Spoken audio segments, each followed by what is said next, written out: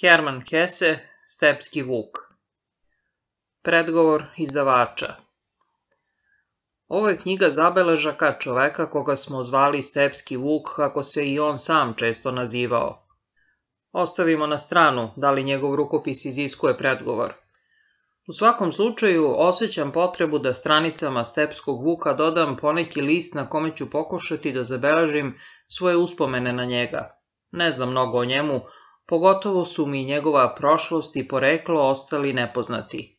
Ali sam o njegovoj ličnosti zadržao snažan i, uprko svemu, simpatičan utisak. Stepski Vuk je bio čovek od oko 50 godina, koji je jednoga dana pre nekoliko godina navratio do moje tetke tražeći nameštenu sobu. Iznajmio je mansardu i malu spavaću sobu pored nje. Došao je posle nekoliko dana sa dva kofera i velikim sandukom knjiga i stanovao je kod nas devet ili deset meseci. Živeo je veoma mirno i povučeno i da naše sobe za spavanje nisu bile do njegove, što je dovodilo do čestih slučajnih susreta na stepenicama ili u hodniku, verovatno se nikada ne bismo upoznali. Taj čovek nije bio društven, naprotiv, bio je najnedruštveniji čovek koga sam ikada sreo – Bio je odista, kako je katkada sebe nazivao, stepski vuk, neko strano, divlje i plašljivo biće i sveta sasvim različitog od mog. U kakvu se duboku usamljenost uživeo na osnovu svojih sklonosti i svoje sudbine i koliko je svesno spoznao tu usamljenost kao svoju sudbinu, saznao sam doduše tek iz njegovih zabeležaka koje je ovde ostavio, ali sam ga u toku kratkih susreta i razgovora donekle upoznao i našao da se slika koju sam o njemu stekao po njegovim zabeleškama u osnovi poklapa sa onom bleđom i nepotpunijom koju sam dobio prilikom našeg ličnog upoznavanja. Slučajno sam bio prisutan kad je Stepski Vuk prvi put stupio u našu kuću i postao podstanar moje tetke. Došao je za vreme ručka, tanjiri su stajali na stolu, a ja sam imao još pola časa slobodnog vremena do odlaska u kancelariju. Ostao mi je u nezaboravnom sećanju neobičan i protivrečan utisak koji je ostavio na mene prilikom prvog susreta. Ušao je na staklena vrata, zazvonivši prethodno, i tetka ga je u polumračnom tremu upitala šta želi. A on, stepski vuk, podigao je svoju šiljatu glavu kratko počišane kose i nervoznim nosom stao da njuši oko sebe, a zatim je, pre nego što bi uopšte odgovorio ili rekao svoje ime, kazao Oh, ovde divno miriše.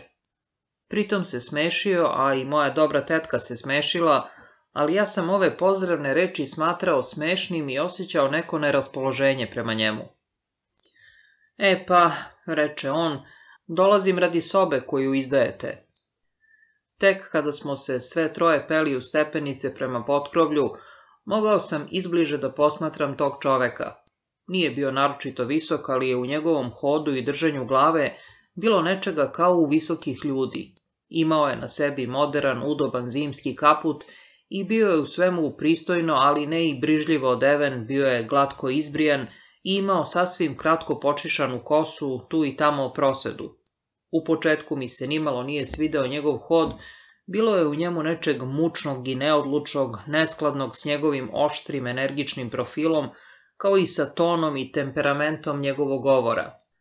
Tek kasnije sam primetio i saznao da je bolestan i da ga hodanje staje izvesnog napora. S nekim čudnim osmehom, koji mi je tada takođe bio neprijatan, posmatrao je stepenice, zidove i prozor kao i starinske visoke ormane na stepeništu. Izgledalo je da mu se sve to svidelo, a ipak kao da mu je istovremeno bilo i smešno. Uopšte, ovaj čovek je davao utisak kao da dolazi k nama iz nekog stranog sveta, možda iz prekomorskih zemalja i kao da mu se kod nas doduše sve dopadalo, ali mu je bilo i pomalo smešno. Bio je, ne mogu drugčije da kažem, učtiv i ljubazan, bez ikakvog prigovora s mesta izrazio zadovoljstvo zbog kuće, sobe i saglasnost sa Kirijom i cenom za doručak, pa ipak je atmosfera oko njega bila strana i, kako se meni činilo, zla i neprijateljska. Iznajmio je sobu, uz i malu spavaću sobu, upoznao se sa načinom loženja, donošenja vode, sa poslugom i kućnim redom, slušao je sve to pažljivo i ljubazno, složio se sa svim, smesta je ponudio plaćanje jednog dela kirije unapred, pa ipak se činilo da u stvari ne učestvuje u svemu tome. kao da u tom poslu samom sebi izgleda smešan i neozbiljan, kao da mu je neobično i novo da uzima sobu pod kiriju, da sa ljudima govori nemački, dok je u stvari u duši zauzet nečim sasvim drugim. Takav je otprilike bio moj utisak, koji nipošto ne bi bio povoljan da ga nisu ispravile razne sitne pojedinosti. Pre svega, od samog početka dopalo mi se njegovo lice. Svidelo mi se i pored onog izraza nastranosti, bilo je to možda neobično, a i tužno lice, ali ujedno i pažljivo, veoma zamišljeno, radom oblikovano i produhovljeno. Moje raspoloženje prema njemu postalo je pomirljivije, zahvaljujući njegovoj učtivosti i ljubaznosti, iako ga je to očigledno stajalo izvesnog napora. Nije u njemu bilo ni traga nadmenosti, nego naprotiv nečeg dirljivog, molećivog. Ali objašnjenje za ovo našao sam te kasnije, što me je donekle privuklo njemu. Još pre nego što se završio obilazak dveju prostorija i ostali pregovori, isteklo mi je vreme podnevnog odmora i morao sam da pođem na posao. Pozdravio sam se i ostavio sam ga sa tetkom. Kada sam se uveče vratio, ispričala mi je da je stranac iznajmio sobu i da će se useliti ovih dana. Zamolio je jedino da se njegov dolazak ne prijavljuje policiji jer kao bolešljiv čovek ne podnosi formalnosti, čekanje po policijskim prostorijama i tako dalje. I sada se tačno sećam kako sam ustuknuo i upozorio svoju tetku da ne prihvata ovaj uslov. Učinilo mi se da je ova strepnja od policije isuviše u vezi sa nepristupačnošću i nastranošću koje je taj čovek nosio u sebi i to mi je izgledalo sumnjivo. Rekao sam svojoj tetki da nipošto ne treba da popusti i onako malo čudnovatom zahtevu potpuno nepoznatog čoveka, jer bi to pod izvesnim uslovima moglo imati veoma nemilih posledica za nju. Ali se tada ispostavilo da je tetka već pristala da mu ispuni želju i da ju je onaj stranac već potpuno očarao i osvojio, jer ona nikada nije primala podstanara sa kojim nije mogla da stupi u neki čovečanski, rođački ili bolje reći materinski odnos, što su njeni raniji stanari uvek obilno iskorišćavali. Prvih nedelja nije se dogodilo ništa, sem što sam stavljao mnoge zamerke novom stanaru, dok je moja tetka uvek usredno uzimala u zaštitu. Kako mi se to propuštanje policijske prijeve nije svidelo, hteo sam bar da saznam šta tetka zna o strancu, o njegovom poreklu i namerama. A ona je već znala po nešto, iako je posle mog odlaska u podne ostao još samo kratko vreme. Rekao je da misli da se zadrži nekoliko meseci u našem gradu, da se koristi bibliotekama i da razgleda stare spomenike grada. U stvari, tetki nije bilo zgodno što je uzima sobu samo za tako kratko vreme, ali on ju je već bio pridobio i pored svog pomalo neobičnog ponašanja. Ukratko, sobe su bile izdate, a moji prigovori došli su kasno. Zašto li je rekao da ovde divno miriše, upitao sam. Tada moja tetka, koja katkada odlično naslučuje, reče Sasvim tačno znam zašto. Ovde kod nas miriše na čistoću i red, na prijetan i pristojan život. I to mu se dopalo.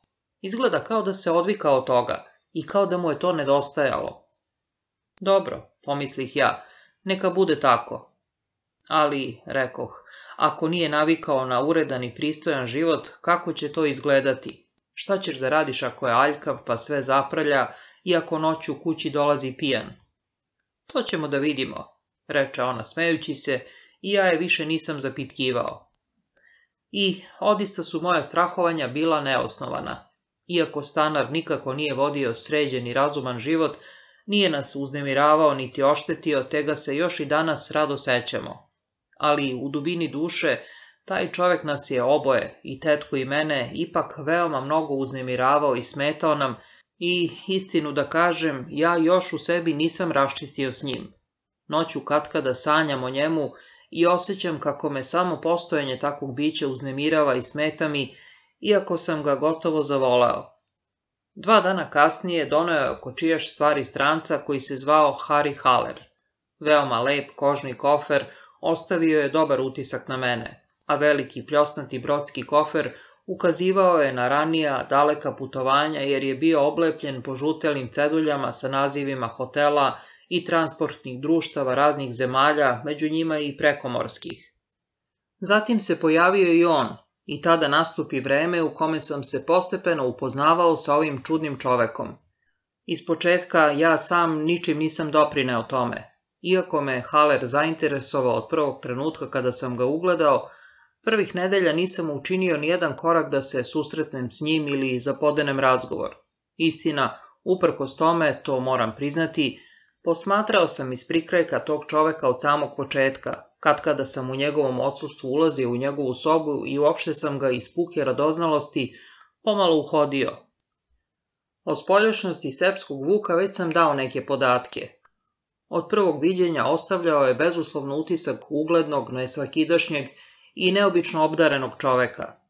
Njegovo lice bilo je puno duha, izvanredno nežna i pokretljiva igra njegovih crta govorila je o zanimljivom, veoma živom, neverovatno istančanom i senzibilnom duševnom životu. U razgovoru bi, iako ne uvek, prekoračio granice konvencionalnosti i iz one svoje nastranosti govorio ličnim, sobstvenim izrazima i tada bi mu se ljudi, kao što smo mi, bezuslovno morali podrediti. Razmišljao je više od svih ostalih i u pitanjima duha, posjedovao onu gotovo hladnu realnost, onu sigurnost, promišljenost i znanje kojima raspolažu samo odista umni ljudi, lišeni častoljublja koji nikada ne žele da blistaju, da se nameću drugima i da ostaju u pravu. Iz poslednjih dana njegovog boravka ovde sećam se jedne njegove izreke, koja čak i nije izreka, već se sastojala samo od jednog pogleda. Neki čuveni istoričar, filozof i kultni kritičar, čovek evropskog glasa, objavio je svoje predavanje u auli, a ja sam uspeo da nagovorim stepskog vuka, koji isprva nije bio raspoložen za to, da odemo na to predavanje. Otišli smo zajedno i sedeli jedan pored drugog u auditoriji. Kada se govornik popeo na katedru i otpočeo svoj govor, razočarao je mnogi slušaoce koji su u njemu gledali neku vrstu proroka svojim pomalo uštogljenim i sujetnim držanjem.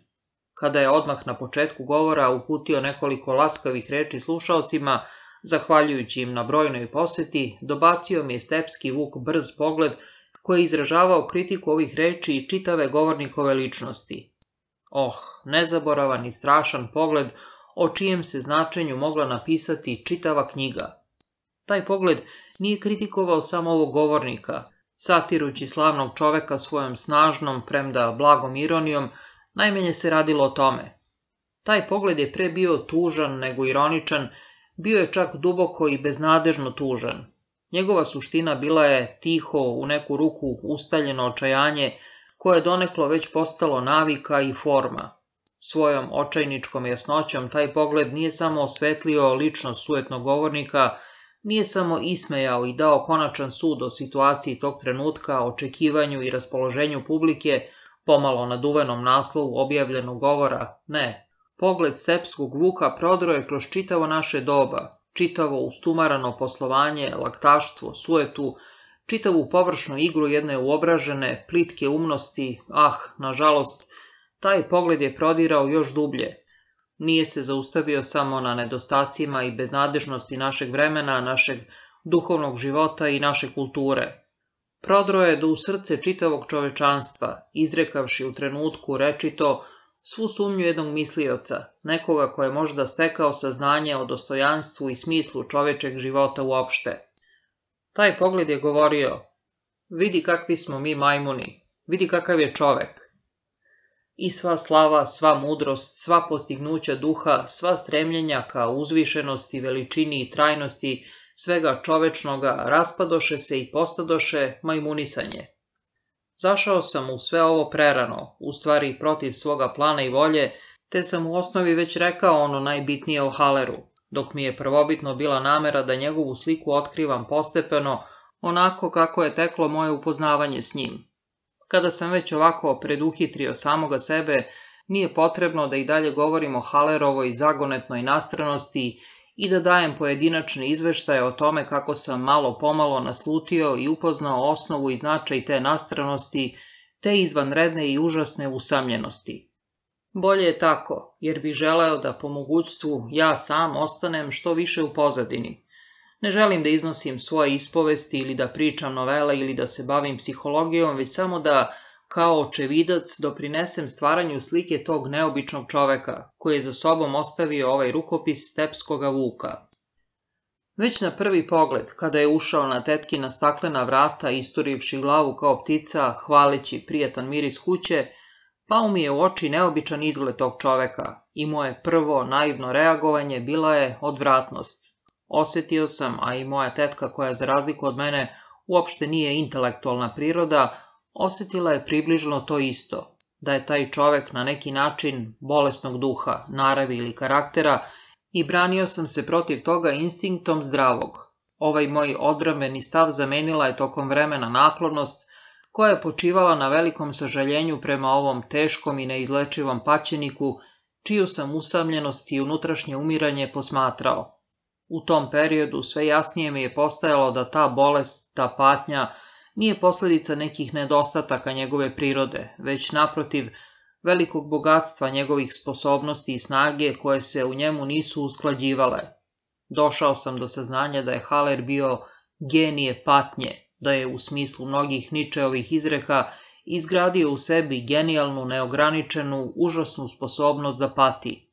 Istovremeno sam uočio da osnova njegovog pesimizma nije bila preziranje sveta, već samo prezir, jer koliko god se nepoštedno i porazno mogao izražavati o institucijama ili ličnostima, nikada nije isključivao sebe. Uvek je bio prvi protiv koga bi upravljao svoje strele, uvek je u prvom redu sebe mrzeo i poricao.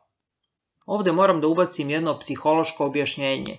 Iako znam veoma malo o životu stepskoga vuka, ipak imam sve razloge za pretpostavku da je dobio vaspitanje od nežnih, ali strogih i veoma pobožnih roditelja, vaspitanje koje počiva na osnovi slomiti volju. Nisu uspeli da unište ličnost i slome volju kod ovog učenika, za to je bio suviše jak i čvrst, odviše ponosan i bogat duhom. Umesto uništenja njegove ličnosti uspeli su da ga nauče da mrzi samog sebe. Protiv sebe samog, protiv tog nevinog i plemenitog bića, sada se čitavog života obarala sva genijalnost njegove fantazije, sva snaga njegove mislilačke moći, jer u tome je, uprko svemu, bio ubeđeni hrišćanin i mučenik i svu oštrinu, svu kritiku, svu pakost, svu mržnju za koju je bio sposoban, upravljao je pre svega i prvenstveno protiv sebe. Što se ticalo ostalih okolnog sveta, uporno je herojski i najozbiljnije pokušavao da ih voli, da im udovolji, da im ne nanosi bol jer su mu ljubav prema bližnjem utuvili u glavu isto kao i mržnju prema samome sebi.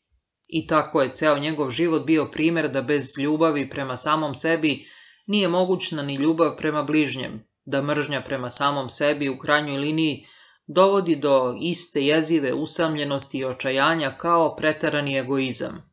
Ali vreme je da potisnem svoje misli i da govorim o stvarnosti. Prvo što sam saznao gospodinu Haleru, zahvaljujući delimično svome uhođenju i delimično opaskama svoje tetke, odnosilo se na način njegovog života.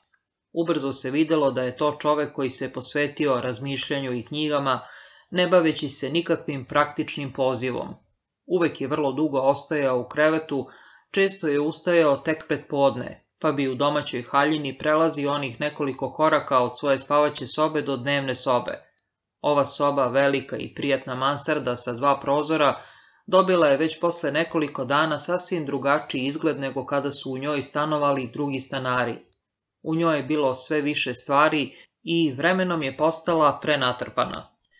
Po zidovima je vešao slike, crteže, katkad i slike iz časopisa koje je često menjao. Tu su visili jedan južnjački pejzaž, fotografije iz nekog nemačkog provincijskog gradića, očigledno Halerovog zavičaja, među njima šareni blistavi akvareli za koje sam kasnije saznao da ih je sam naslikao. Zatim fotografije neke mlade, lepe žene ili devojke. Neko vreme visio je na zidu sijamski Buda, njega je zamenila reprodukcija Noći od Michelangela, zatim slika Mahatme Gandija. Knjige ne samo da su ispunjavale veliki orman za knjige, već ih je bilo svuda po stolovima, na lepom starinskom pisaćem stolu, divanu, po stolicama i po podu knjige sa umetnutim zalogama od hartije koje su se stalno menjale. Broj knjiga je sve više rastao, ne samo što je iz biblioteka donosio čitave svežnjeve, već je veoma često dobijao i pakete poštom. Čovek koji je stanovao u ovakoj sobi mogao je da bude naučnik. Tome je odgovarao i dim cigara, koji je sve više obavijao, opušci i pepeljare razbacene svuda. Međutim, veliki deo knjiga nije bio naučne sadržine. Većina njih bila su dela pesnika svih vremena i svih naroda. Neko vreme stajalo je na divanu na kome bi često preležao po čitave dane svih šest knjiga jednog dela sa naslovom Sofijino putovanje od Memela do Saksonske s kraja 18. veka. Jedno celokupno izdanje Geteovih dela i jedno Žana Pola izgledali su mnogo upotrebljavani, isto tako i Novalis, ali i Lessing, Jakobi i Lichtenberg. U neke knjige Dostojevskog bile su umetnute mnoge ispisane hartice. Na jednom od većih stolova među knjigama i spisima često je stajala kita cveća. Tu se nalazila i kutija sa bojama za slikanje akvarela, koja je međutim uvek bila sva prašnjava. Pored nje pepeljare i da spomenem i to, razne boce s pićima. Jedna slamom opletena boca bila je skoro uvek puna crnog italijanskog vina koje je kupovao u nekoj maloj radnji u blizini. Kad kada se tu mogla vidjeti i boca burgunca, kao i malage, video sam i kako se pozamašna boca trešnjavače za kratko vreme skoro sasvim ispraznila, da bi zatim nestala u jednom od uglova sobe, gde je po njoj popala prašina i ostatak trešnjavače nije popijen. Neću da pravdam to svoje uhođenje i otvoreno priznajem da su u meni izazivali osjećanje odvratnosti i podazrenja svi ovi znaci jednog, doduše, duhovnim interesovanjem ispunjenog, ali ujedno i proćerdanog i raspusnog života. Ne samo da sam čovek koji živi građanskim životom, čovek naviknut na rad i tačan raspored svoga vremena, već sam i abstinent i nepušač i one boce u Halerovoj sobi svidele su mi se još manje od ostalog živopisnog nereda. U spavanju i radu, kao i u jelu i piću, stranac je živeo veoma neredovno i čudljivo. Izvesnih dana uopšte nije izlazio, niti uzimao bilo šta osim svoje jutarnje kafe. Kad kad je tetka kao jedini ostatak nekog obroka nalazila koru od banane, ali se drugih dana hranio u restoranima, čas dobrim i elegantnim, čas u malim krčmama predgrađa. Njegovo zdravlje izgleda nije bilo najbolje. Osim kočenja u nogama, zbog čega se često vrlo teško peo stepenice, kao da su ga mučile i druge smetnje, i jednom je uzgred napomenuo da već godinama nije imao dobro varenje, niti je spavao kako treba. Pripisivao sam to u prvom redu piću. Kasnije, prateći ga katkad do jedne od njegovih gostionica, gledao sam kako brzo i čudljivo ispija vino, ali istinski pijeno ga nisam video ni ja ni ti ko drugi. Nikad neću zaboraviti naš prvi susret nasamo. Poznavali smo se samo toliko koliko se, eto, znaju stanari u jednoj velikoj kući. Tada sam jedne večeri, vraćajući se s posla, na svoje najveće iznenađenje zatekao gospodina Halera kako sedi na odmorištu stepenica između prvog i drugog sprata. Sedeo je na najvišem stepeniku i pomerio se u stranu da me propusti. Upitao sam ga da se možda ne osjeća rđevo i ponudio mu da ga otpratim sve do mansarde. Haler me pogleda i ja primetih da sam ga trgnuo iz neke vrste sna. Lagano se nasmešio onim svojim lepim, ojađenim osmehom, od koga mi je tako često bilo teško na srcu, a zatim me pozva da sednem pored njega. Zahvalih se i rekoh da nisam navikao da sedim na stepenicama pred stanovima drugih ljudi. Ah, da, reče on i osmehnu se jače. U pravu ste. Ali pričekajte još jedan trenutak. Hoću da vam pokažem zašto sam morao da ostanem ovde sedeći. Pritom mi pokaza trem stana na prvom spratu u kome je stanovala neka udovica. Na malom parketiranom prostoru između stepenica, prozora i staklenih vrata stajao je uza zid visok orman od mahagonija, na njemu starinsko kalajno posuđe, a na podu ispred ormana na dva mala oniska stalka stajale su u velikim saksijama dve biljke, azaleja i araukarija.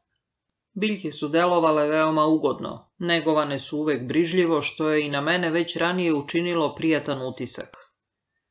Vidite, produži Haler, ovaj mali trem sa araukarijom miriše tako divno, često ne mogu da prođem, a da se ne zaustavim za časak. Kod vaše gospođe tetke takođe miriše prijatno i vladaju najveći red i čistoća, ali ovo mesto sa raukarijom tako je blistavo čisto, tako besprekorno ljubko, Toliko je pažljivo izbrisana prašina, sve tako izglačano i oprano, da upravo zrači. Ovde uvek moram da udišem punim grudima. Zar ne osjećate i vi kako miriše? Miris voska za pod i slab dah mirisa terpentina, zajedno sa mirisom mahagonija, opranim lišćem biljki i svim ovim, sačinjavaju miris koji je kao neki superlativ građanske čistoće, urednosti i tačnosti, izvršavanja dužnosti i postojanosti u malom. Ne znam ko ovde stanuje, ali iza ovih staklenih vrata mora da je raj od čistoće i od opajane građanštine, raj u kome vladaju red i bojažljivo dirljiva odanost sitnim navikama i dužnostima. Pošto sam čutao, on produži. Nemojte molim vas misliti da govorim u ironiji. Daleko bilo od mene, dragi gospodine, da se nešto podsmevam ovoj građanštini redu. Doduše, ja sam živim u jednom drugom svetu, ne u ovom, i možda ne bih ni mogao da izdržim ma jedan dan u stanu sa ovakvim araukarijama. Ali, iako sam stari pomalo odrpan stepski vuk, ipak sam i ja sin jedne majke, i moja je mati bila iz građanskog staleža, i ona je gajila cveće i starala se o sobama i stepeništu, o nameštaju i zavesama, trudeći se da u svoj stan i u svoj život unese što je mogućno više ljubkosti, čistoće i reda. Na to me podsjeća slab dah mirisa terpentina, na to araukarija i kad kada sedim tu i posmatram ovaj tihi mali vrt reda, radujući se što toga još ima. Hteo je da se pridigne, ali kako mu je to bilo teško, nije me odbio kada sam mu u tome malo pomogao. Čutao sam i dalje, ali sam, kao moja tetka ranije, podlegao i sam nekoj čari koja je katkad izbijala iz ovog neobičnog čoveka. Lagano se popesmo u stepenice, a pred njegovim vratima, držeći već ključeve u ruci, on mi još jednom veoma ljubazno pogleda pravo u lice i reče Dolazite li iz trgovine? Pa, u to se uopšte ne razumem, znate, živim nekako po strani, na ivici, ali mislim da i vas interesuju knjige i slične stvari. Vaša tetka mi jednom reče da ste završili gimnaziju i da ste dobro učili grčki. E pa, jutro sam naišao na jednu rečenicu kod Novalisa, mogu li da vam je pokažem? I vama će pružiti uživanje. Poveo me u svoju sobu u kojoj se širio jak miris duvana, izvukao iz neke gomile knjigu i stao da lista i prevrće po njoj. I ovo je dobro, veoma dobro, reče. Čujte prvo ovu rečenicu. Trebalo bi se ponositi bolom. Svaki bol nas podsjeća na naš visoki položaj. Divno. 80 godina pre Ničeja. Ali nije to izreka na koju sam mislio. Čekajte, evo je, dakle. Većina ljudi neće da pliva pre nego što nauči. Zar to nije šaljivo? Razume se da neće da plivaju. Ta rođeni su za tle, a ne za vodu. I razume se, neće da misle, stvoreni su da žive, a ne da misle. Da, onaj koji misli, kome je glavna stvar da misli, može da dotera daleko, ali je ipak zamenio tle vodom i jednom će se udaviti. Sada me je osvojio i zainteresovao, pa sam ostao malo kod njega i od tada se češće događalo da zapodenemo razgovor kada bismo se sreli na stepenicama ili na ulici. Pritom sam u početku, kao i pred Araukarijom, imao osjećanje da mi se pomalo podsmeva, ali nije bilo tako.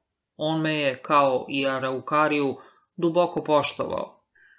Bio je tako svesno ubeđen u svoju usamljenost, svoje plivanje po vodi, u činjenicu da je iščupan iz korena, da je odista i bez ikakvog podsmeha, kad kada mogao da se oduševi prizorom neke svakidašnje građanske delatnosti, na primer tačnošću s kojom sam odlazio u kancelariju ili izrekom neke služavke ili tramvajskog konduktera.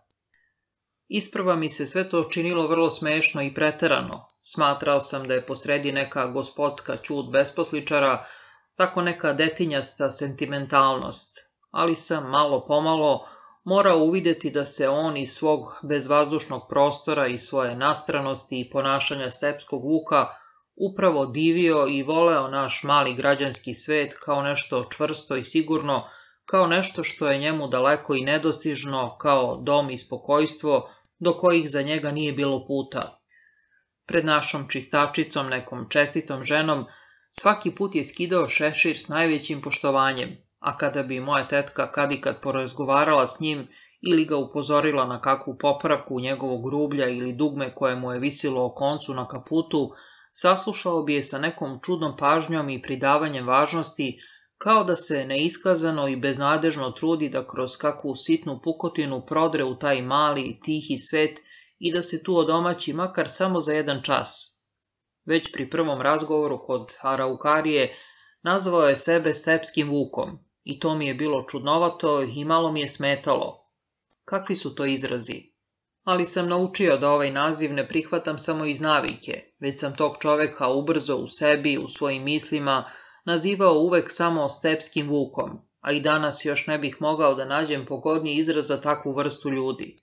Stepski vuk je zalutao vamo k nama, u gradove i život u čoporima, nijedna slika nije mogla ubedljivije prikazati njegovu bojažljivu usamljenost, njegovu divljinu, nemir, čežnju za domom i njegovu bezavičajnost. Jednom sam imao priliku da ga posmatram čitavo jedno veče na jednom simfonijskom koncertu, gde sam ga na svoje iznenađenje opazio kako sedi blizu mene ne primećujući me. Prvo je sviran Handel, plemenita i lepa muzika, ali stepski vuk je sedeo, uvukavši se sav u sebe, bez ikakvog dodira bilo s muzikom, bilo sa svojom okolinom. Sedeo je kao da ne pripada ovoj sredini, usamljen, tuđ, ali zabrinutog lica, oborenog pogleda. Tada dođe drugi deo, jedna mala simfonija od Friedemana Baha i bio sam veoma iznenađen videći kako se moj osobenjak posle nekoliko taktova nasmešio i predao muzici. Sav je utonuo u sebe i valjda deset minuta izgledao zanet srećom i izgubljen u lepim snovima, tako da sam više pažnje poklanjao njemu nego li muzici. Kada je simfonija bila završena, on se prenuo, ispravio se na svom sedištu i kao da je želeo da pođe, ali je zatim ipak ostao i saslušao i poslednji komad, variacije od regera, muziku koja se mnogima činila odviše duga i zamorna. A stepski vuk koji je u početku još pažljivo i dobronamerno slušao, opet se izgubio, zavukao je ruke u džepove i utonuo u sebe, ali ovog puta ne srećno i sanjalački, već tužno, a najzad i ljutito. Njegovo lice je postalo odsutno, sivo i ugašeno, izgledao je star, bolestan i nezadovoljan. Posle koncerta video sam ga ponovo na ulici i pošao sam za njim. Uvukavši se u svoj kaput, koračao je bezvoljno i umorno u pravcu naše četvrti. Zastao je pred jednom malom staromodnom krčmom, neodlučno pogledao na sat, a zatim ipak ušao.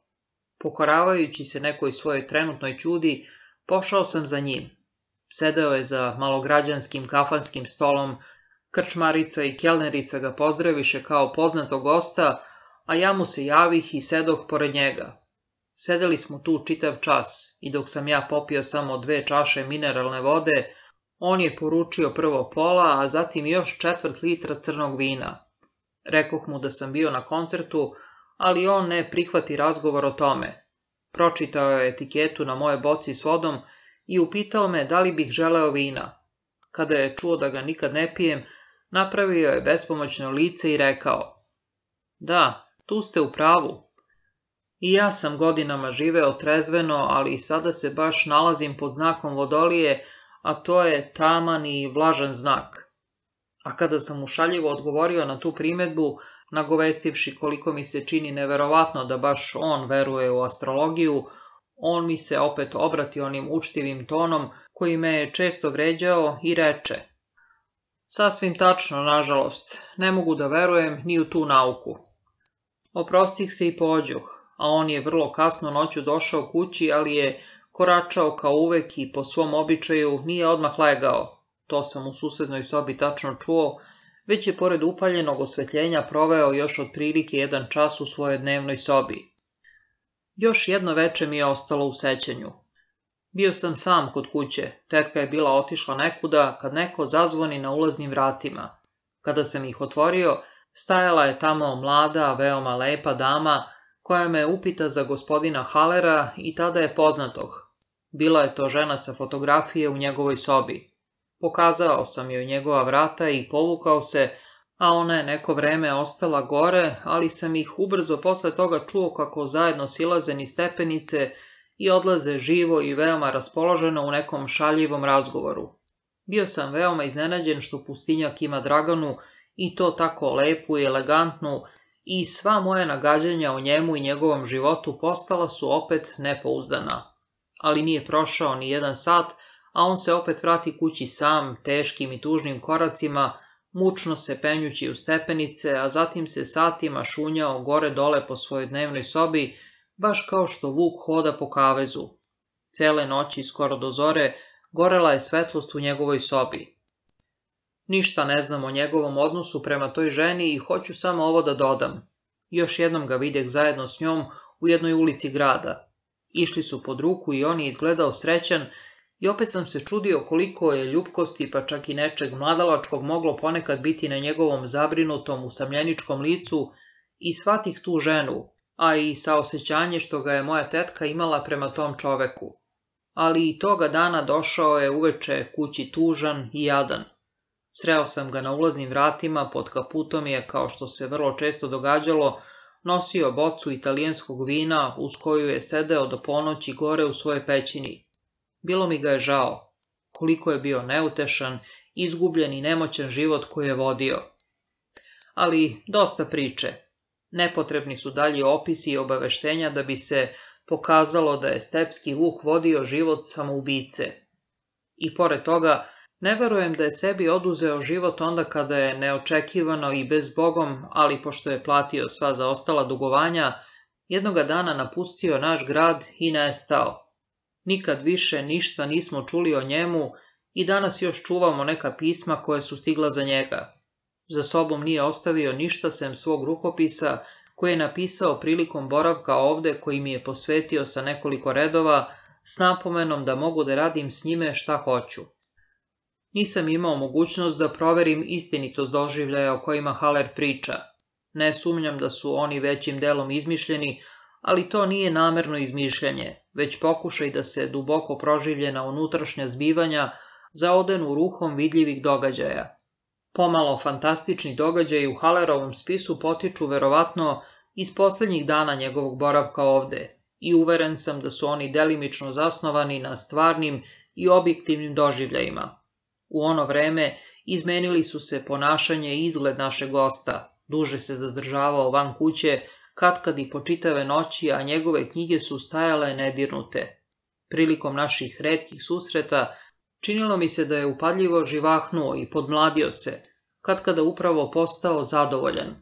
Doduše, odmah posle toga došlo bi do nove, teške depresije, ostajao bi danima u krevetu ne tražeći da jede i u to vreme je došlo i do neobično žestoke i surove svađe s njegovom ponovo iskrslom Draganom, svađe koja je uzbunila celu kuću i zbog koje se Haler sutradan izvinio moje tetki. Ne, ubeđen sam da nije sebi oduzeo život.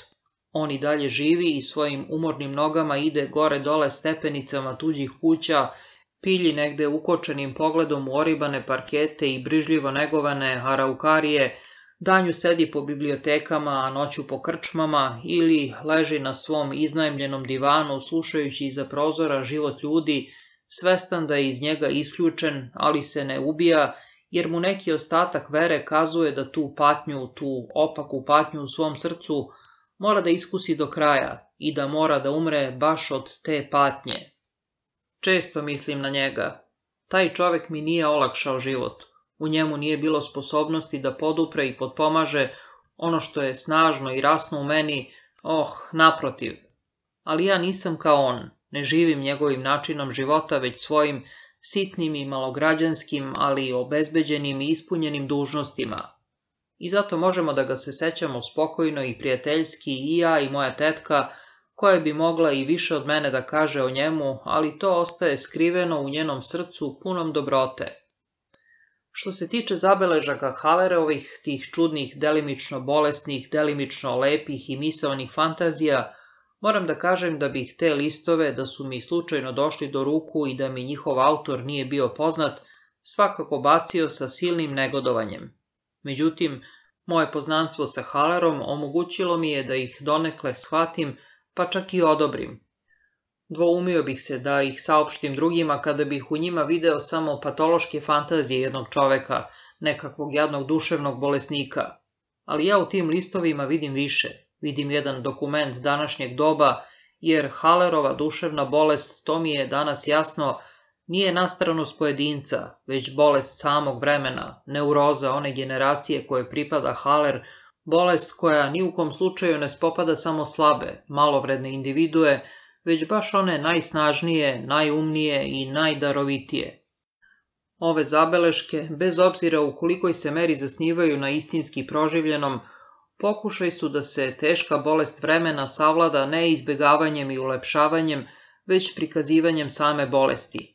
One doslovce znače put kroz pakao, put čas pun strepnje, čas smeo, put kroz haos pomračenog duševnog sveta, prevaljen sa voljom da se prođe kroz pakao, da se oseti i da se zlo prepati do kraja. Jedna Halerova reč poslužila mi je kao ključ za razumevanje svega toga. Jedno mi je rekao posle razgovora o takozvanoj svireposti srednjeg veka, u stvari to i nije svirepost. Čovek srednjeg veka gnušao bi se još više čitavog načina našeg današnjeg života kao svirepog, užasnog i varvarskog. Svako doba, svaka kultura, svaki običaj i tradicija imaju svoj stil, svoje prefinjenosti i grubosti, svoje lepote i svireposti, svako doba smatra izvesne patnje prirodnim, izvesna zla podnosi strpljivo, čoveči život postaje pravi pakao i istinska patnja tek onda kada dve epohe, dve kulture i religije presecaju jedna drugu. Čovek antike koji bi morao da živi u srednjem veku kukavno bi se ugušio, isto kao što bi se i neki divljak morao ugušiti usred naše civilizacije. Postoje vremena kada čitava jedna generacija dospeva između dve epohe, između dva načina života, tako da gubi svaku prirodnost, svaki moral, svaku sigurnost i čednost. Razume se, ne osjeća to svako podjednako snažno, Priroda kao Ničeova morala je da prepati sav ja današnjice za više od jedne generacije unapred. Ono što je on morao da ispašta u samoći i bez razumevanja ostalih, sada moraju da pretrpe hiljade. Tih reči sam se često morao sećati čitajući zabeleške. Haler pripada onim ljudima koji su upali između dve epohe, koji su izgubili svaku sigurnost i čednost, onima čija je sudbina da sa dvostrukom jačinom i kao ličnu patnju i pakao dožive svu problematičnost ljudskog života. U tome se sastoji, kako mi se čini, smisao koju njegove zabeleške mogu da imaju za nas i zato sam odlučio da ih objavim. Uostalom, ne želim da ih uzimam u zaštitu niti da ih osuđujem, neka to svaki čitalac učini po svojoj savesti. Zabeleške Harija Halera samo za ludake. Prošao je dan kao što eto dani prolaze. Nekako sam ga proveo, upravo tiho ubio svojim primitivnim i plašljivim načinom životne umešnosti. Radio sam nekoliko časova, preturao po starim knjigama, dva časa sam imao bolove, kao što ih imaju stariji ljudi, uzeo sam prašak i radovao sam se što sam ih zavarao, ležao sam u vrućoj vodi i uvlačio u sebe prijatnu toplotu, U tri maha sam primio poštu, pregledao sva izlišna pisma i štampane stvari, izvodio svoje vežbe disanja, ali sam umne vežbe izostavio da ne bih remetio udobnost. Proveo sam jedan čas u šetnji i primetio na nebu divne šare nežnih, dragocenih cirusa. Bilo je to veoma prijatno, isto kao i čitanje starih knjiga, kao i ležanje u toploj vodi, ali sve ukupno Nije to baš bio očaravajući, blistav dan sreće i radosti, nego eto, jedan od onih dana kakvi bi za mene već duže vremena trebalo da budu normalni i uobičajeni.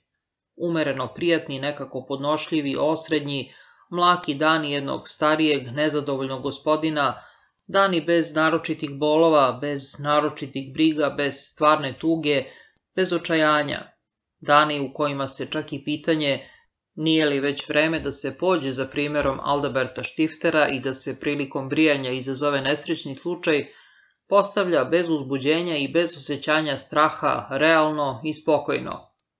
Ko je doživeo drugčije dane, one rđave s napadima kostobolje ili opake glavobolje, koje su se ugnezdile iza očnih duplji i svaku delatnost očiju i ušiju kao nekom mađijom, satanski preobratile iz radosti u mučenje ili one dane duhovnog umiranja, pakosne dane unutrašnje praznine i očajanja, u kojem nam se usred razorene zemlje, isceđene od akcionarskih društava, čovečanstvo i takozvana kultura, u svom lažnom i prostački šupljem vašarskom sjaju, na svakom koraku cereka kao neko sredstvo za povraćanje, koncentrisano i do vrhunca nepodnošljivosti dovedeno u svom sobstvenom bolesnom ja, ko je dakle doživeo takve paklene dane, taj je zadovoljan ovim normalnim, nepotpunim kao što je ovaj današnji. Taj zahvalno sedi kraj tople peći i čitajući novine sa zahvalnošću konstatuje da danas opet nije izbio nikakav rat, da nije uspostavljena ni jedna nova diktatura, da u politici i ekonomiji nije otkrivena nikakva krajnja podlost. Taj blagorodno podešava strune svoje zarađale lire za jedan prilično radostan, skoro zadovoljan psalm zahvalnosti kojim dosađuje svom tihom, blagom, sa pomalo broma ošamućenom, nesavršenom polubogu zadovoljstva i u mlakom i izgusnutom vazduhu ove zadovoljne dosade, ove blagodarnosti dostojne bezbolnosti, oboje kako nepotpuni polubog koji žalosno klima, tako i prosedi polučovek koji prigušeno peva psalm, liče jedan na drugog kao blizanci. Lepo je to biti zadovoljan, ne osjećati bol. Lepi su ovi snošljivi, pritvorni dani u koje se ne usuđuju da kriknu ni bol, ni naslada, u koje sve samo šapuće i sve se na prstima šunja. Ali sa mnom, nažalost, nije tako. Ja teško podnosim osjećanje zadovoljstva, ono mi ubrzo postaje mrsko i odvratno, tako da sav očajan moram da bežim u druge temperature, po mogućstvu pomoću naslade, a po potrebi i pomoću bola. Ako sam neko vreme proveo bez naslade i bola, udišući mlaku, bljutavu smešu takozvanih dobrih dana, tada u svojoj detinjastoj duši osjećam razmetljiv i kukavan jad, tako da liru zahvalnosti bacam sanjevom bogu zadovoljstva u sanjevo lice i više volim da u meni gori pravi satanski bol nego ova povoljna sobna temperatura. Tada u meni gori divlja želja za snažnim osjećanjima, za doživljajima, gori srđba prema ovom ufitiljenom, plitkom, normalnom i sterilizovanom životu i besomučni prohtev da nešto razbijem u paramparčad, kao na primjer neku veliku trgovačku kuću ili katedralu ili samoga sebe, da počinim neku smelu glupost da nekim poštovanim idolima zderem vlasulje, da neke buntovničke đake snabdem priželjkivanom voznom kartom za Hamburg, da zavedem neku devojčicu ili da nekolicini predstavnika građanskog poredka u svetu zavrnem šiju. Jer od svega sam ipak najviše mrzeo, najviše se gnušao i proklinjao to stanje zadovoljstva, zdravlje, udobnost, taj negovani optimizam građanina, to obilno i uspešno odgajivanje osrednjeg, normalnog, prosečnog. Ovako raspoložen završio sam dakle u prvi sumrak ovaj snošljivi svakodnevni dan. Rešio sam bio da ga ne završim na način za bolešljivog čoveka, normalan i povoljan, dopuštajući da me privuče krevet snabdeven grejalicom, bocon sa toplom vodom kao mamcem, pa sam nezadovoljan i osjećajući laku odvratnost prema svojoj sitnoj dnevnoj delatnosti, mrzovoljno obuo cipele i navukao kaput i po mraku i magli pošao u grad da bih u gostionici kod čeličnog šlema popio ono što ljudi koji piju po nekoj staroj konvenciji nazivaju čašicom vina. Silazio sam dakle ni stepenice sa svoje mansarde, tegobne stepenice tuđine, ni ste skroz građanske, izbrisane i čiste stepenice veoma čestite kuće za tri porodice, pod čijim se krovom nalazi moje pustinjačko obitavalište. Ne znam kako je to mogućno, ali ja, beskućni i usamljeni stepski vuk koji mrzi malograđanski svet, stanujem uvek u pravim građanskim kućama. To je neka stara sentimentalnost kod mene. Ne stanujem ni u palatama, ni u proleterskim kućama, već upravo u ovakvim, održavanim gnezdima malograđanštine, u kojima pomalo miriše na terpentin i sapun i u kojima se čovek trza ako jače zalupi ulazna vrata ili uđe prljavih cipela. Nema sumnje da volim tu atmosferu još od detinjstva i da me moja potajna čežnja za nekom vrstom doma beznadežno uvek vodi istim, starim, glupim putevima. A verovatno volim i suprotnost između mog života, mog usamljenog, nemilosrdnog i gonjenog, do krajnosti neurednog života i prave porodične i građanske sredine. Volim da na stepenicama udiše miris spokojstva, reda, čistoće, pristojnosti i pitomosti u kome, i pored moje mržnje prema građanštini, za mene ima nečeg dirljivog, ali volim da zatim prekoračim prag svoje sobe gde sve to prestaje, gde među gomilama knjiga leže opušci cigara i boce s vinom, gde je sve neuredno, tuđinsko i zapušteno, gde su i knjige i rukopisi i misli osenčeni i prožeti jadom usamljenih, problematikom ljudskog bitisanja, čežnjom za davanjem nekog novog smisla čovečijem životu koji je postao besmislen. I tada sam prošao pored Araukarije, naime na prvom spratu ove kuće stepenice vode pored malog trema jednog stana, koji je bez sumnje još besprekorniji, čistiji i šetkaniji od ostalih, jer ovaj mali trem upravo blistao od neviđene urednosti i pravi je mali hram reda. Na parketu na koji se čovek plaši da stane, stoje dve kitnjaste klupice, a na svakoj od njih nalazi se po jedna velika saksija. U jednoj raste azalea, u drugoj prilično stasita araukarija, zdravo i pravo, najsavršenije minijaturno drvo, jer i poslednja iglica poslednje grane zrači svežom čistoćom. Katkada, kada znam da me niko ne posmatra, sednem na stepenik iznad Araukarije, upotrebljavajući ovo mesto kao hram, malo se odmorim, skrstim ruke i predano gledam ispod sebe u taj mali vrt reda, čime diriljiv izgled i usamljena komika nekako potresaju do dna duše. Iza ovog trema, tako reći u svetoj senci Araukarije, naslučujem stan pun blistavog mahagonija i život prožet pristojnošću i zdravljem, sa ranim ustajanjem, ispunjavanjem dužnosti, umereno veselim porodičnim praznicima, nedeljnom posetom crkvi i ranim odlascima na počinak. Pravići se živahan, kaskao sam preko vlažnih pločnika ulica. Suzno i kao velom obavijene, sjaktile su se svetilji kroz hladno-vlažni mutljag, upijajući teške obleske sa mokrog tla. Setio sam se svojih zaboravljenih mladićkih godina, koliko sam voleo ovakve mračne, mutne večeri u poznu jesen ili zimu, kako sam opijen žudno uvlačio u sebe raspoloženje usamljenosti i melanholije, kada sam do ponoći, uvijen u svoj kaput, trčao po kiši i vetru kroz neprijateljsku prirodu punu opalog lišća, već i tada usamljen, ali ispunjen dubokim uživanjem i pesmama koje sam kasnije zapisivao pri svetlosti sveće u svom sobičku, sedeći na ivici kreveta. To je prošlo, taj pehar je ispijen i više se nije punio. Da li je trebalo žaliti za tim? Nije. Ne treba žaliti ni za čim što je prošlo. Žaliti treba za sada i danas, za svim onim nebrojenim danima koje sam izgubio, koji su mi protekli ne donevši mi ni darove, ni uzbuđenja.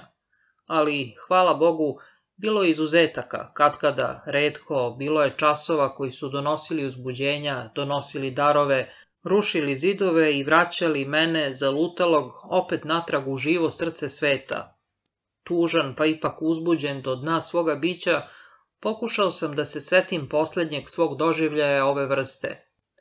Bilo je to na jednom koncertu, svirala se prekrasna stara muzika i tada su mi se opet između dva takta jednog pijana, odsviranog na drvenim duvačkim instrumentima, iznenada otvorila vrata u onaj svet. Preleteo sam nebom i video Boga na delu, osetio sam blažene bolove i više se ničemu na svetu nisam opirao. Ničega se na svetu nisam plašio, sve sam primao sa odobravanjem, svemu sam poklanjao svoje srce. Sve ovo trajalo je kratko vreme, možda četvrt časa, ali mi se te noći vratilo u snu i od tada bi, tokom svih onih praznih dana, katkada zablistalo u tajnosti. U trenucima sam ga jasno video kao zlatan božanski trag koji se provlači kroz moj život, gotovo je uvek bilo duboko zatrpano ispod đubreta i prašine, da bi zatim ponovo zablistalo zlatnim iskrama na izgled kao da se nikada više ne može izgubiti, pa ipak se ubrzo gubilo u tami.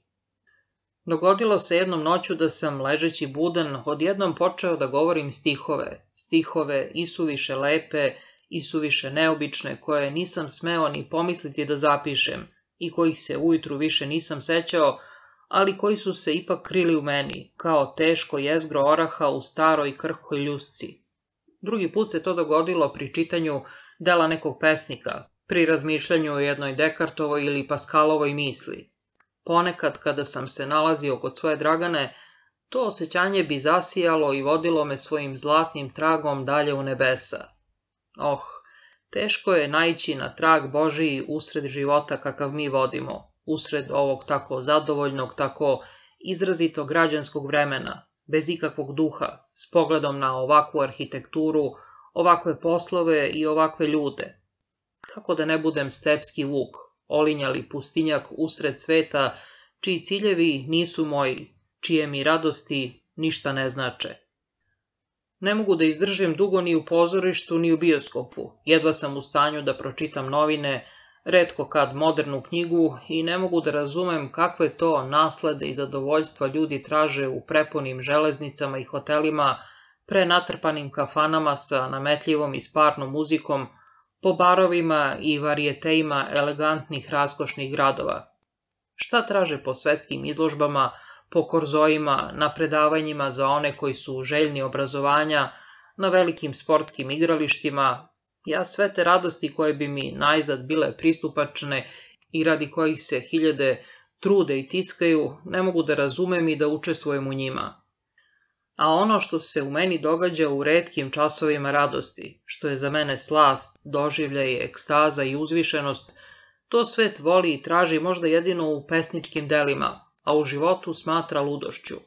I odista, ako je svet u pravu, ako su ta muzika po kafanama, te masovne zabave, ti amerikanizovani ljudi, zadovoljni tako sitnim stvarima, u pravu, onda sam ja kriv, onda sam lud, onda sam odista, kako sam sebe često nazivao, stepski vuk, životinja koja je zalutala u tuđ i nerazumljiv svet, koja više ne nalazi svoju postojbinu, vazduh i hranu. Trčao sam dalje vlažnom ulicom sa ovim svojim uobičajenim mislima kroz jedno od najmirnijih i najstarijih četvrti grada. Tu se preko puta sa druge strane ulice uzdizao u mraku stari sivi kameni zid koji sam uvek rado gledao. Stajao je tu tako stari bezbrižan između male crkve i neke stare bolnice. Danju sam često odmarao oči na njegovoj hrapovoj površini jer je bilo malo tako tihih, blagih, nemih površina u centru grada, gde se inače na polovini svakog kvadratnog metra nalazi poneka trgovina ili dreče imena advokata, berbera, lekara, pronalazača i veštaka za lečenje žuljeva na nogama. Sada sam opet video stari zid kako se uzdiže tiho i spokojno, pa ipak je bilo neke promene na njemu. Video sam mali lepi portal sa šiljatim lukom usred zida i zbunio sam se, jer odista više nisam znao da li se taj portal uvek nalazio tu ili je nedavno napravljen. Bez sumnje izgledao star, prastar.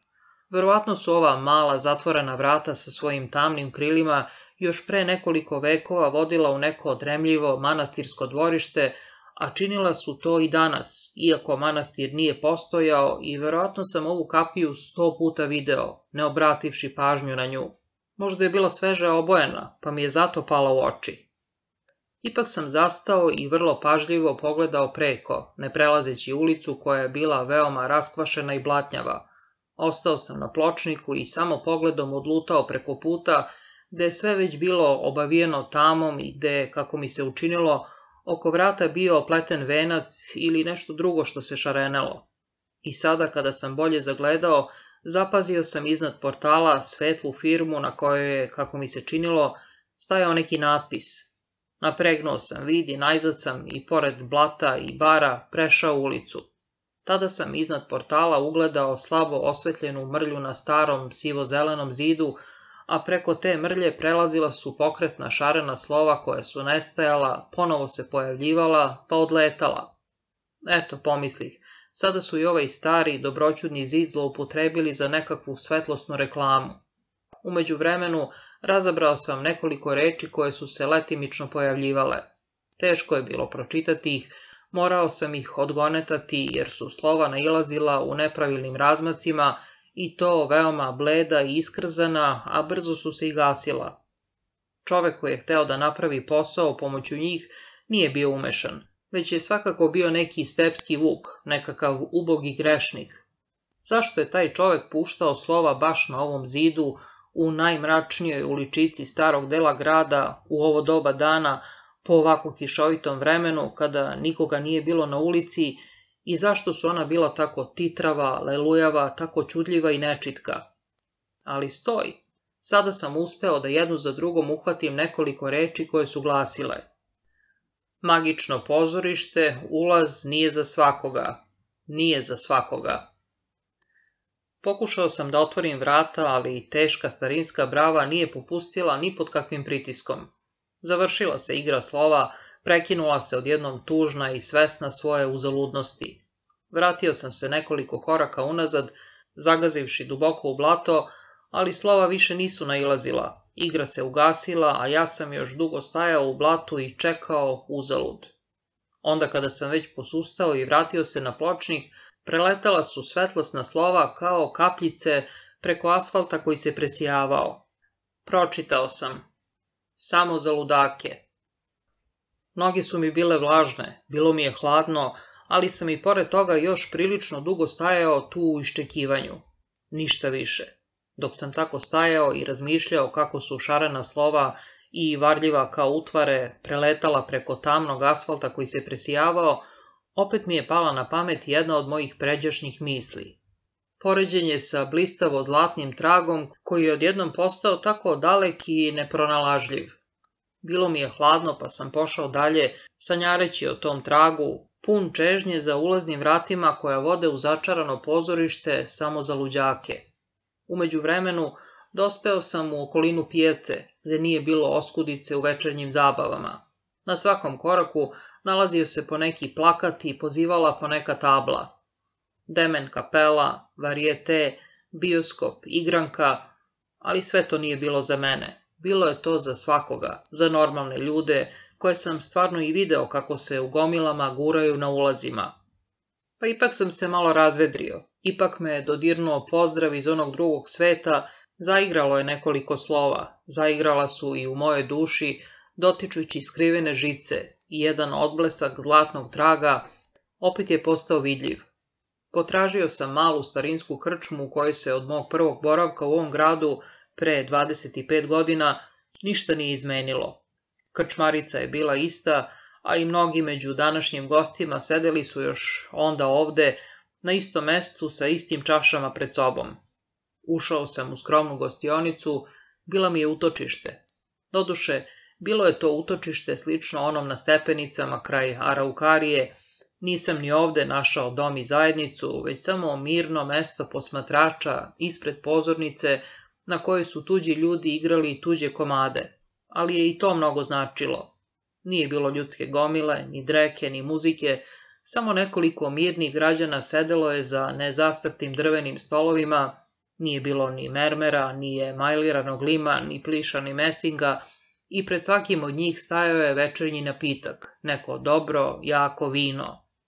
Možda su ovi stalni gosti koje sam sve poznavao iz viđenja bili prave čifte i možda su kod kuće u svojim čiftinskim stanovima imali nekakve ogavne kućne altare pred glupavim idolima zadovoljstva, a možda su bili usamljeni momci, izbačeni iz svog koloseka kao i ja, tihi pijanci, zamišljeni nad propalim idealima, stepski vuci, takođe bednici, ali to mi nije bilo poznato.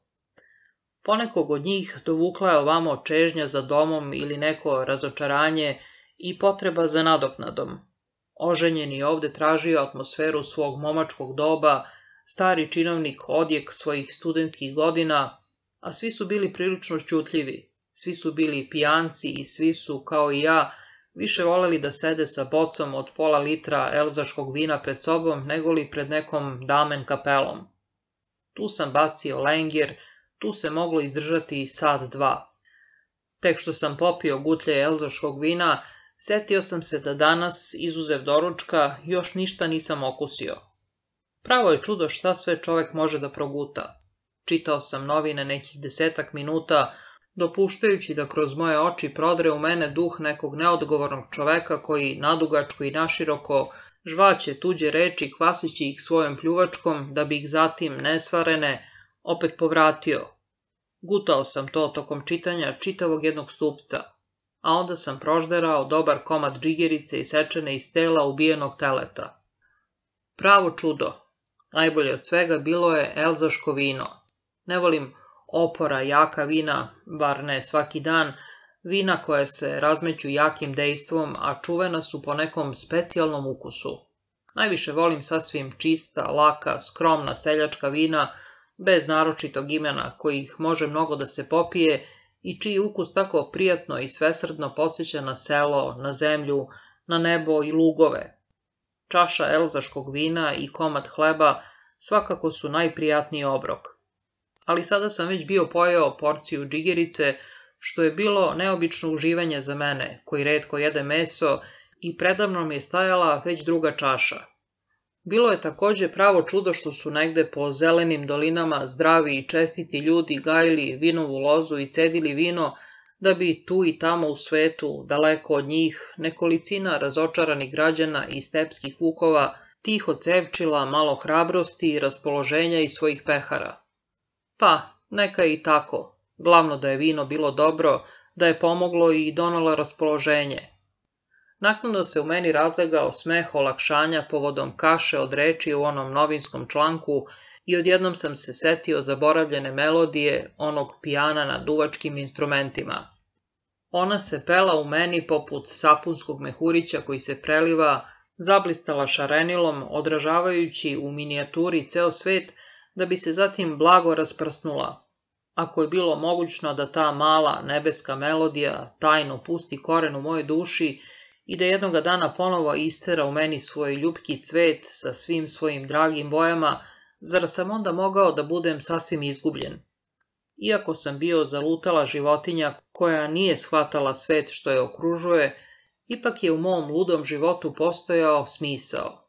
Nešto je u meni davalo odgovore, primalo pozive iz dalekih veličanstvenih svetova, a u mom mozgu naslagale su se hiljade slika – anđeoske čete đota s malog plavog crkvenog svoda u padovi, pored kojih koračaju Hamlet i Ofelija sa vencem na glavi, kao lepi predstavnici sve tugije i svih nesporazuma u svetu.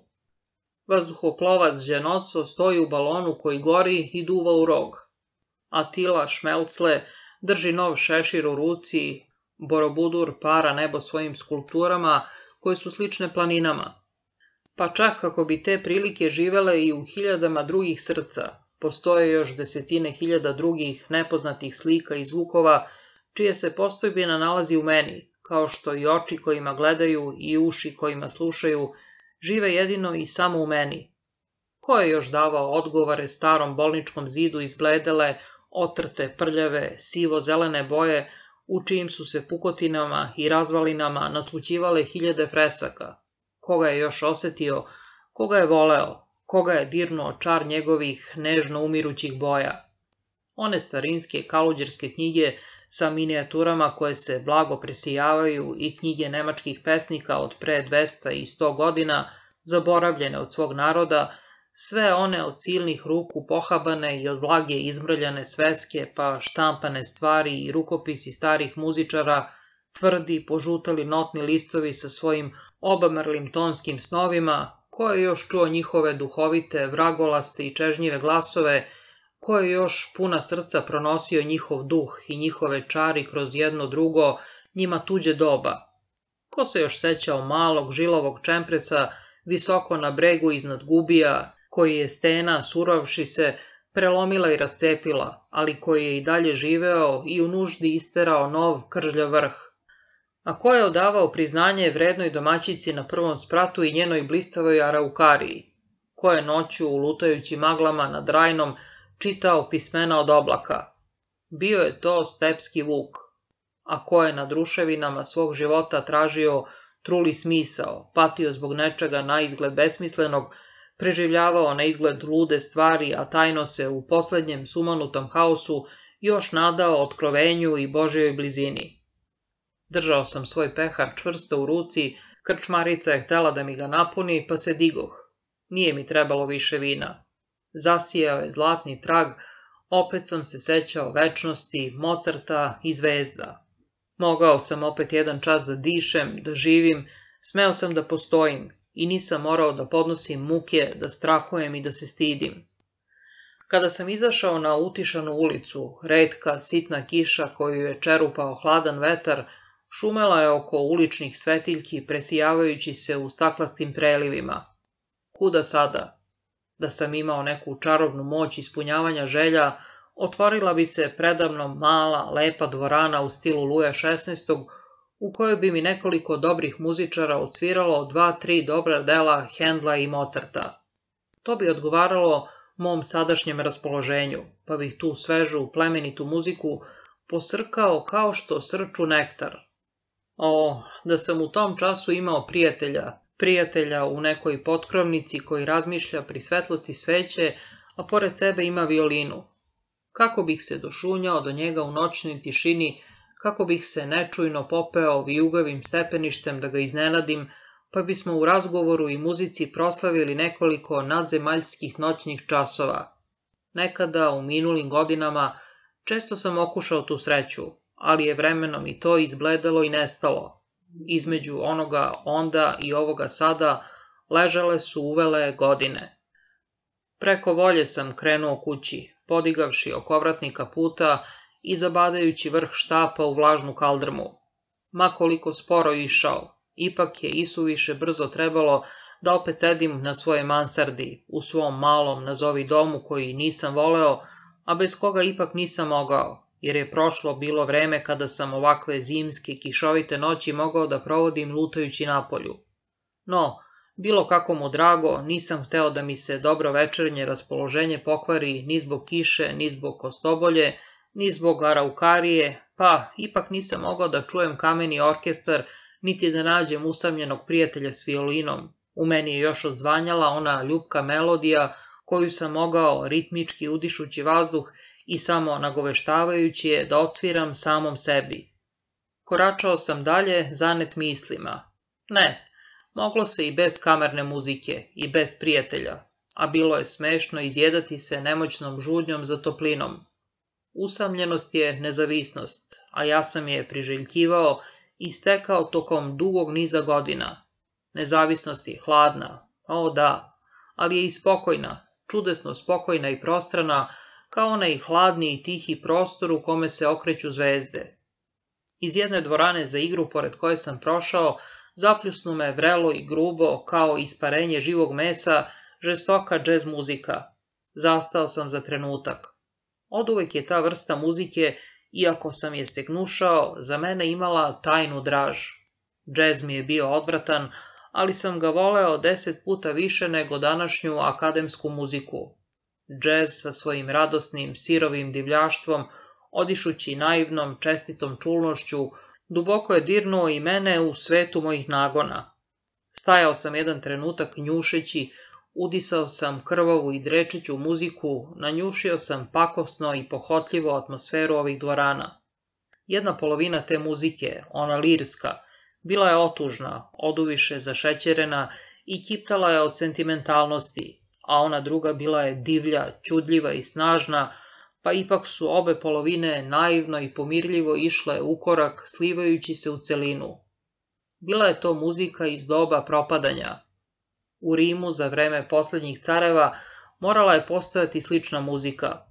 U poređenju sa pravom muzikom, Bachom i Mozartom, to su, razume se, bile pomije, ali tako izgleda sva naša umetnost, čitav naš mentalitet, sva naša nazovi kultura, čim se uporedi sa pravom kulturom.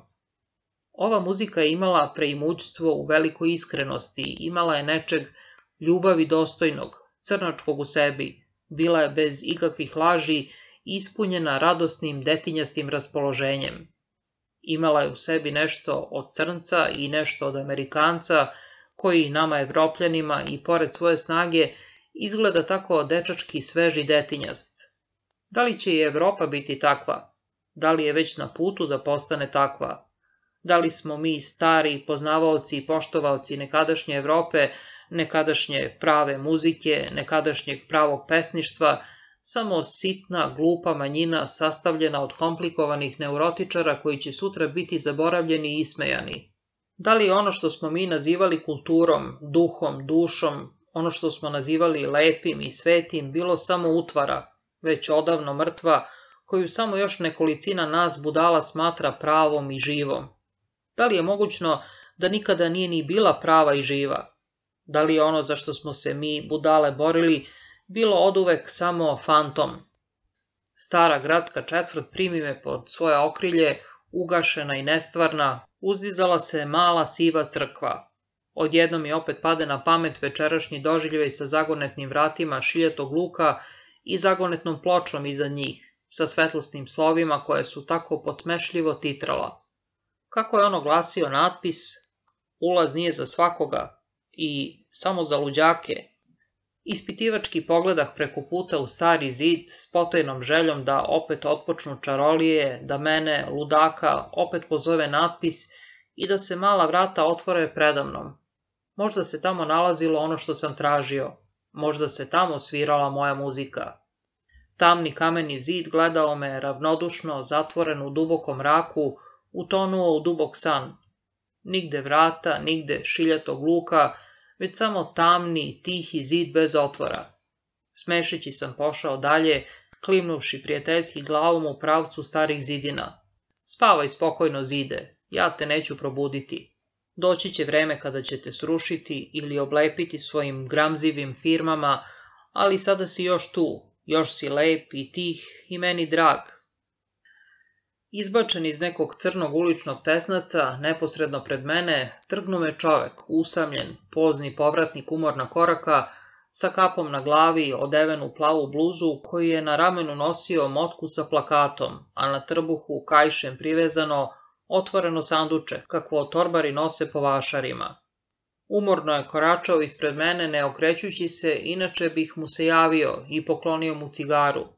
Pri svetlosti najbliže ulične svetiljke pokušao sam da pročitam njegov steg, crveni plakat na motki, ali se on toliko klatio tamo amo da nisam mogao da ga odgonetnem. Tada sam oslovio čoveka i zamolio ga da mi pokaže plakat. On je zastao držeći motku pravo i tada sam uspeo da pročitam titrava i iskrivljena slova. Anarhističko zabavno veče. Magično pozorište. Ulaz nije za svak... Vas sam tražio, uzviknuh radosno. Šta je sa vašom zabavnom večeri? Gde se održava? Kada? On odmah potrča. Nije za svakoga, reče ravnodušno, sanjivim glasom i otrča. Bilo mu je svega dosta. Hteo je da ide kući. Stanite, viknuh i potrčah za njim. Šta to imate u svom sandučiću? Otkupit ću vam nešto. Nezastajući čovek mehanički izvuče iz sandučeta neku knjižicu i pruži mi je. Ja je brzo uzeh i strpah u džep. Dok sam otkopčavao kaput s namerom da izvadim novac, čovek skrenu, uđe u neku kapiju, zatvori je za sobom i nestade. Njegovi teški koraci odjekivali su prvo u dvorištu preko kamenih ploča, a zatim po drvenim stepenicama. Posle toga ništa više nisam čuo. Odjednom i mene savlada umor. Imao sam osjećanje da je već veoma kasno i da će biti dobro da pođem kući. Krenuh brže i uskoro stigoh uspavanom ulicom predgrađa u svoj kraj između šetališta na Bedemu, gde u malim, čistim najamnim kućama iza travnjaka i bršljana stanuju činovnici i sitni rentijeri. Prošavši pored bršljana, travnjaka i mlade jele, stigao do kapije, nađoh ključaonicu i dugme za osvetljenje, prošunjah se pored staklenih vrata, politiranih ormana i biljki u saksijama i otvorih vrata svoje sobe, svog nazovi doma, gde su me očekivali naslonjača i peć, mastionica i kutija s bojama, Novalis i Dostojevski, kao što druge normalne ljude očekuje mati ili žena, deca, služavka, psi i mačke. Kada sam svukao mokar kaput, ponovo mi dođe do ruku ona mala knjiga, Izvukoh je, bila je to tanka, rđevo i na lošem papiru odštampana vašarska knjižica, kao nesveske, čovek rođen u januaru, ili kako ću se za osam dana podmladiti za 20 godina. Ali kada se ugnezdih u svojoj naslonjači i stavih naočare, pročitah sa iznenađenjem i osjećanjem nečeg sudbinskog što se odjednom javilo u meni, naslov ove vašarske sveske. Rasprava o stepskom vuku. Nije za svakoga. Sadržajna spisa koji sam pročitao bez predaha sa najvećom pažnjom bila je sledeća. Rasprava o stepskom vuku, samo za ludake. Bio jednom neko po imenu Hari, nazvan stepski vuk. Išao je na dve noge, nosio odelo i bio čovek, ali je u stvari ipak eto bio stepski vuk. Naučio je mnogo od onoga što bistri ljudi mogu da nauče i bio je prilično razuman čovek. Ali evo šta nije naučio, da bude zadovoljan sobom i svojim životom. To nije bio u stanju da nauči jer je po prirodi bio nezadovoljan čovek. Verovatno je to proisticalo otuda što je u dnu svoje duše oduvek znao ili mislio da zna da on u stvari uopšte nije čovek, već vuk iz stepe. Neka se mudri ljudi prepiru da li je odista bio vuk, da li je možda još pre svog rođenja nekom čarolijom pretvoren od vuka u čoveka, ili je rođen kao čovek, ali sa dušom stepskog vuka kojom je opsednut, ili je pak verovanje da je on u stvari vuk bilo samo neko njegovo uobraženje i bolest. Na primer, bilo bi najzad mogućno da je taj čovek u svome detinstvu bio divalj, neukrotiv i neuredan, da su njegovi vaspitači pokušali da ubiju zver u njemu, pa su mu baš na taj način stvorili uobraženje i verovanje da je on u stvari zver, obavijena samo tankom prevlakom vaspitanja i čovečnosti. O tome bi se moglo govoriti nadugačko, a i zanimljivo. Mogle bi se o tome čak pisati i knjige. Ali stepskom vuku to ne bi bila nikakva usluga, jer je njemu bilo sasvim svejedno da li je vuk ušao u njega mađijom ili batinama, ili je to naprosto samo obraženje njegove duše. Šta su drugi o tome mislili, a i šta je on sam o tome mislio, za njega nije bilo ni od kakve važnosti, jer od toga vuk nije izišao iz njega. Stepski vuk je dakle imao dve prirode, čovečiju i vučiju, takva mu je bila sudbina i može biti da ovako nešto nije ništa naročito ni redko. Nailazilo se već na tolike ljude koji su u sebi imali mnogo šta pseće, lisičije, riblje ili zmijsko, ne osjećajući zbog toga naročitih teškoća. Kod tih ljudi, eto, čovek i lisica ili čovek i riba životarili su jedno pored drugog, ne nanoseći jedno drugom bola, čak i pomažući jedno drugom, i kao kod mnogih ljudi koji su doterali daleko i kojima zavide, pre su postigli uspeh lisica i majmun nego li i sam čovek. To je svima poznato. Ali kod Harija je bilo drugčije.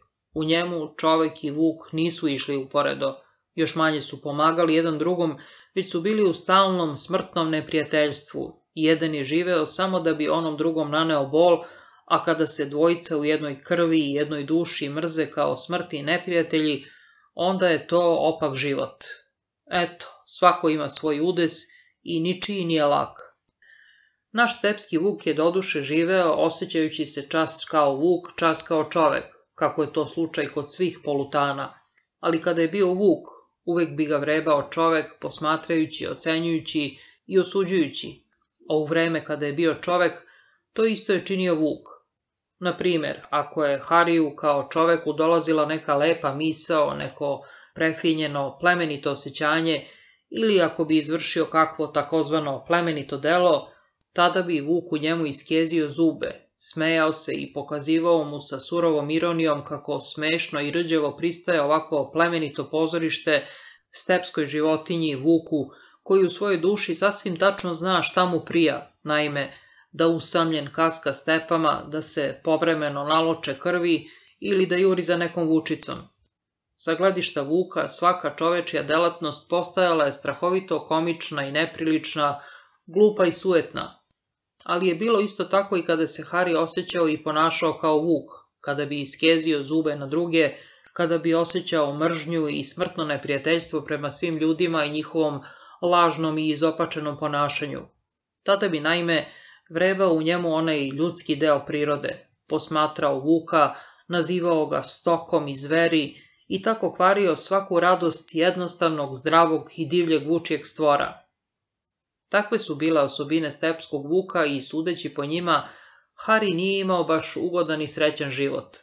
Ali time nije rečeno da je bio naročito nesrećan, iako se njemu samom tako činilo kao što svaki čovek svoje patnje smatra najvećim. To ne bi trebalo reći ni o jednom čoveku, I onaj ko ne nosi vuka u sebi ne mora zbog toga da bude srećan. I najnesrećniji život ima svojih sunčanih časova i pod peskom i kamenjem svoje sitne cvetiće sreće. Tako je to bilo i kod stepskog vuka. Obično je bio veoma nesrećan, to se ne može poreći, a mogao je da unesreći i druge, naime ako ih je voleo, a i oni njega. Jer svi oni koji bi ga zavoleli, videli su samo jednu njegovu stranu. Neki su ga voleli kao prefinjenog, mudrog i neobičnog čoveka, pa bi bili zgranuti i razočarani kada bi odjedno morali da otkriju vuka u njemu. A do toga je moralo doći, jer je Hari kao svako biće želeo da bude voljen kao celina i baš zbog toga nije mogao da krije i da lažima uklanja Vuka ispred očiju onih do čije mu je ljubavi bilo mnogo stalo. Ali je bilo i takvih koji su u njemu voleli baš Vuka, baš ono slobodno, divlje, neukrotivo, opasno i snažno. I ovi su opet doživljavali veliko razočarenje i jad, kada bi odjednom divlji zli Vuk ipak postao čovek koji u sebi nosi čežnju za dobrotom i nežnošću, koji hoće da sluša Mozarta, da čita pesme i da ima ljudske ideale. Baš su ovi ljudi obično bili naročito razočarani i ljutiti i tako je stepski vuk svoju dvojakost i podvojenost unosio i u sudbine drugih s kojima je dolazio u dodir. Ali ako neko sada misli da poznaje stepskog vuka i da može sebi predstaviti njegov bedni rastrzani život, taj je ipak u zabludi, jer još ni iz daleka ne zna sve.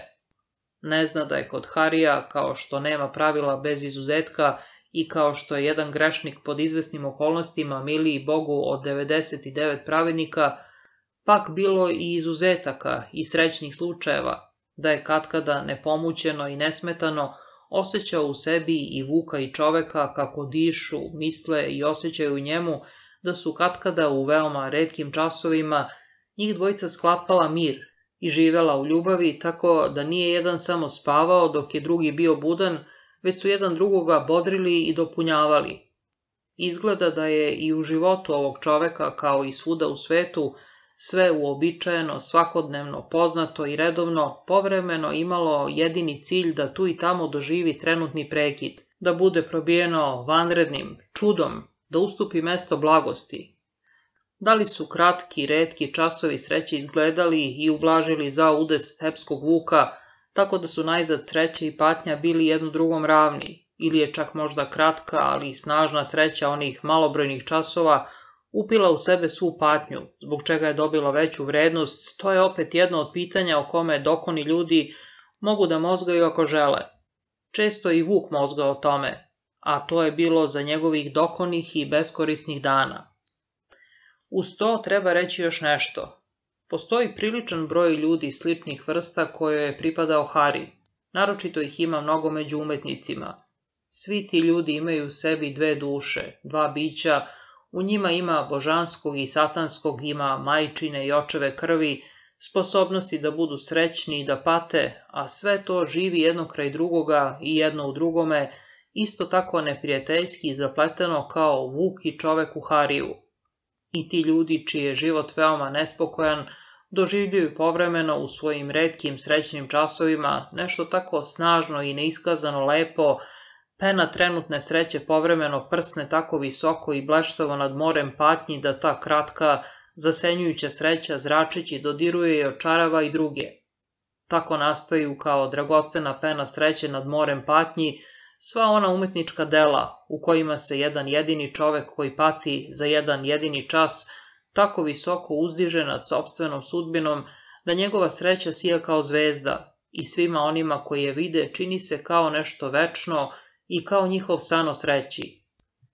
Svi ovi ljudi, ma kako se zvala njihova dela i tvorevine, u stvari uopšte nemaju života, odnosno njihov život ne znači postojanje u pravom smislu i nema svog oblika. Oni nisu heroji ili umetnici ili mislioci, onako kao što su drugi sudije, lekari, obućari ili učitelji, već je to večno paćeničko kretanje i vrtlog, nesrećno i bolno istrzano, jezivo i besmisleno, ako čovek nije spreman da vidi smisao baš u ovim redkim doživljajima, delima, mislima i tvorevinama koji zrače nad haosom ovakvog života.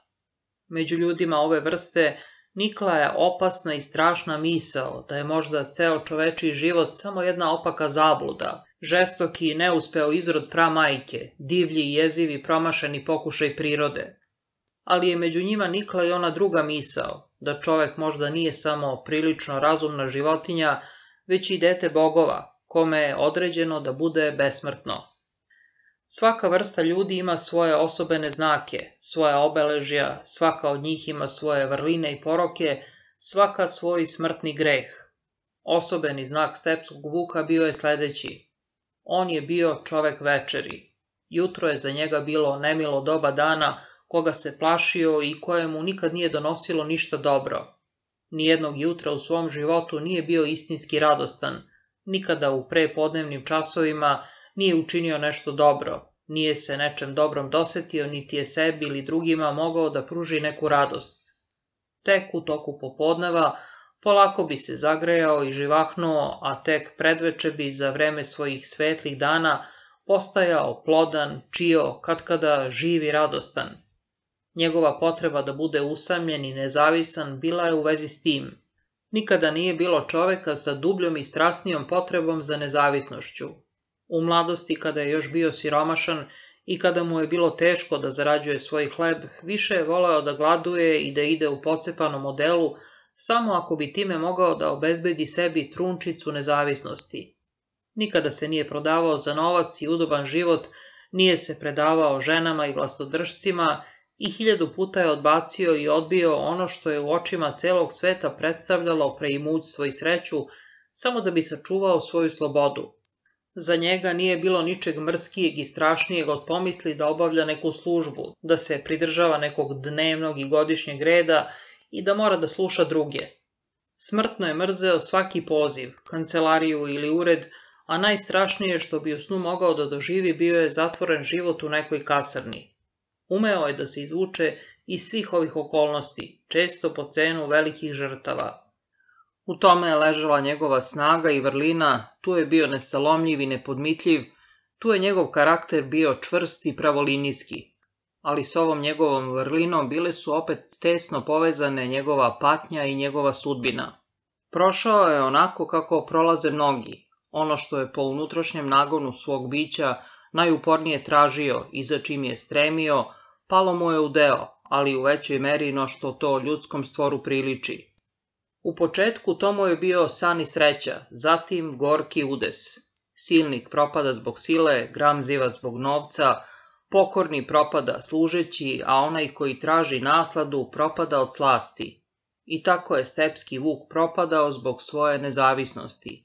On je postigao svoj cilj, postao je potpuno nezavisan, niko nije mogao da mu naređuje, nije morao da se upravlja ni prema kome, slobodno i samostalno odlučivao je šta da čini i preduzima. Jer svaki čovek neminovno postiže ono što je po svom pravom nagonu prinuđen da traži.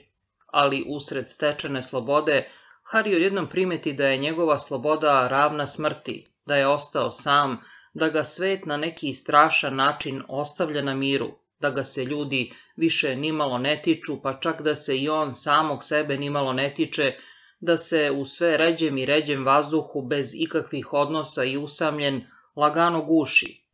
Jer sada mu samoća i nezavisnost više nisu bili cilj i želja, već udes, presuda koja mu je izrečena, čarobna želja koja je izgovorena i više ne može da se porekne, Sada mu više ništa nije pomagalo ako je pun čežnje i dobre volje, pružao ruke i bio spreman da se poveže i stopi sa zajednicom.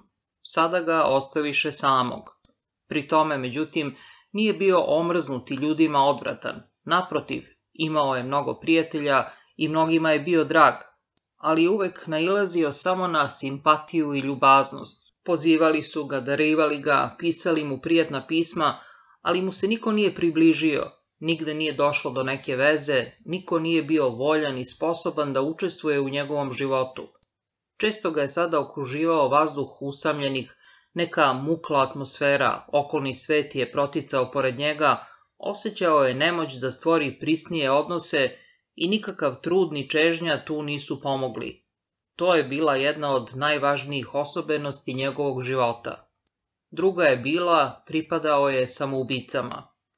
Ovde se mora napomenuti da je pogrešno nazivati samoubicama samo one ljude koji se odista ubijaju. Među ovima ih čak ima mnogo koji su, tako reći, pukim slučajem postali samoubice, kod kojih pojam samoubistva nije sastavni deo njihovog bića. Među ljudima bez individualnosti, bez snažne konstitucije, bez velikog udesa, među običnim ljudima iz čopora, ima mnogo njih koji završe samoubistvom, a po svom obeležju i kovu ne pripadaju tipu samoubice, dok naprotiv, mnogi koji su po svom biću samoubice, možda veći deo njih, nikada stvarno ne dižu ruku na sebe. Samoubica, a Hari je bio jedan od njih, ne mora nužno da živi u naročito prisnom odnosu sa smrću. To može da se čini, a da čovek ipak nije samoubica. Ali je samoubici svojstveno da svoje ja, bez obzira da li s pravom ili ne, osjeća kao naročito ugroženu klicu prirode, da mu se uvek čini kao da je izuzetno izložen opasnosti kao da stoji na najšiljatijem vrhu hridine, pa mu je dovoljan najmanji spoljni udar ili neka sićušna unutrašnja slabost da se surva u ponor. Ova vrsta ljudi obeležena je po svojoj liniji sudbine time što je za njih samoubistvo najverovatniji način smrti, bar u njihovoj sobstvenoj uobrazilji. Preduslov za ovakav stav koji je uočljiv još u ranoj mladosti i ove ljude prati tokom čitavog njihovog života, nije neka izuzetno slaba životna snaga. Naprotiv, među samoubicama nailazimo na vanredno žilave, strasne, a i smele prirode. Ali, kao što postoje prirode koje prilikom i najmenje bolesti naginju groznici, tako ove prirode koje mi nazivamo samoubicama i koje su često veoma osetljive i osjećajne, naginju tome da se pri najmenjem potresu predaju intenzivnoj predstavi samoubistva. Kada bi postojala nauka koja bi imala smelosti i snage odgovornosti da se bavi čovekom umesto isključivo mehanizmima životnih pojava, kada bismo imali nešto slično antropologiji, nešto kao psihologiju, ove činjenice bile bi svakome poznate. Ovo što smo ovde govorili o samoubicama odnosi se naravno samo na površinu stvari. To je psihologija, pa prema tome deo fizike. Posmatrajući je metafizički, Ta stvar izgleda drugačije i mnogo jasnije jer pri ovakvom posmatranju samoubice nam se prikazuju kao bića pogođena osjećanjem krivice zbog svoje individualnosti, kao duše kojima više nije životni cilj da sebe usavrše i oblikuju, već da se raspadnu i vrate majici Bogu, da se vrate u svemir. Među ovim prirodama mnoge su potpuno nesposobne da ikada izvrše stvarno samoubistvo, jer su duboko spoznale koliki je ono greh. Za nas su one ipak samoubice, jer žive u smrti, a ne u spasonosnom životu, jer su spremne da se odreknu sebe, da se predaju, ugase i vrate početku. Kao što svaka snaga može da postane i slabost pod izvesnim okolnostima, do toga mora da dođe, tako i obratno, izraziti samoubica često može da pretvori svoju prividnu slabost u snagu i oslonac, pa to obično i čini, Među ove slučajeve dolazi i slučaj Harija, stepskog vuka, kao i hiljade njemu sličnih, od zamisli da mu je svakog časa otvoren put u smrt, stvorio je ne samo mladalačko melanholičnu igru fantazije, već je iz te zamisli crpao utehu i oslonac.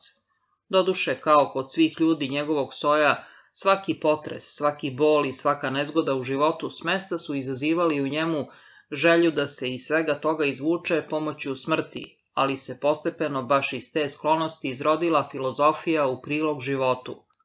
Srodivši se prisno sa zamišlju da mu je onaj izlaz u slučaju nužde uvek otvoren, ona mu je davala snage da postane radoznao za iskustvo bola i neprilika i kada mu je bilo naročito rđavo, mogao je katkada sa radošću, pa čak i sa zluradošću da oseti Radoznao sam da vidim koliko čovek u stvari može da izdrži, Kada dospem do granice podnošljivog, dovoljno je da otvorim vrata i već sam umakao. Postoji veliki broj samoubica koji iz ove zamisli crpu neobičnu snagu. S druge strane, svim samoubicama je dobro poznata borba protiv iskušenja da izvrše samoubistvo. Svaki od njih u nekom skrivenom kutu svoje duše Dobro zna da je samoubistvo doduše izlaz, ali da je ipak samo pomalo otrcan i ilegalan izlaz za slučaj nužde, da je u suštini plemenitije lepše ostaviti da čoveka pobedi i obori sam život nego sobstvena ruka. Svest o tome, nečista savest koja ima isti izvor kao na primjer nečista savest kod takozvanih samobludnika, podstiču većinu samoubica na trajnu borbu protiv iskušenja. Oni se bore kao što se kleptoman bori protiv svog poroka. Ova borba je i stepskom vuku bila dobro poznata, vodio je mnogobrojnim, uvek drugčijim oružjem. Najzad je oko 47. svoje godine došao na srećnu ideju koja nije bila bez humora i koja mu je često pružala zadovoljstvo da svoj 50. rođendan odredi kao dan kada će dopustiti sebi da izvrši samoubistvo. Sporazumeo se sam sa sobom da toga dana ostavi sebi na volju da li će za slučaj nužde prema svom trenutnom raspoloženju upotrebiti ovaj izlaz. Neka mu se sada dogodi što mu je drago, neka se razboli, osiromaši, neka doživi patnju i gorčinu, za sve je određen rok, sve to može da potraje najviše još nekoliko godina, meseci i dana, a njihov se broj stalno smanjuje. I odista je sada lakše podnosio sve nedaće koje bi ga ranije jače i duže mučile, pa čak i do dna duše potresale. Ako se iz bilo kog razloga osjećao naročito rđavo, ako bi pored pustoši, usamljenosti i podivljelosti njegova života naišle i izvanredne patnje i gubici, mogao je tim patnjama da kaže Čekajte, još samo dve godine pa ću zagospodariti vama. I tada bi se s ljubavlju predao zamisli kako će na dan njegovog 50. rođendana ujutru stići pisma i čestitke, dok će se on, siguran u svoj nož za brijanje, oprostiti svih patnji zatvarajući vrata za sobom. Tada bi kostobolja, seta, glavobolja i bolovi u stomaku mogli da gledaju kuda će sad. Preostaje nam još da osobeni fenomen stepskog vuka, a naročito njegov neobični odnos prema građanštini, objasnimo na taj način što ćemo sve te pojave svesti na njihove osnovne zakone.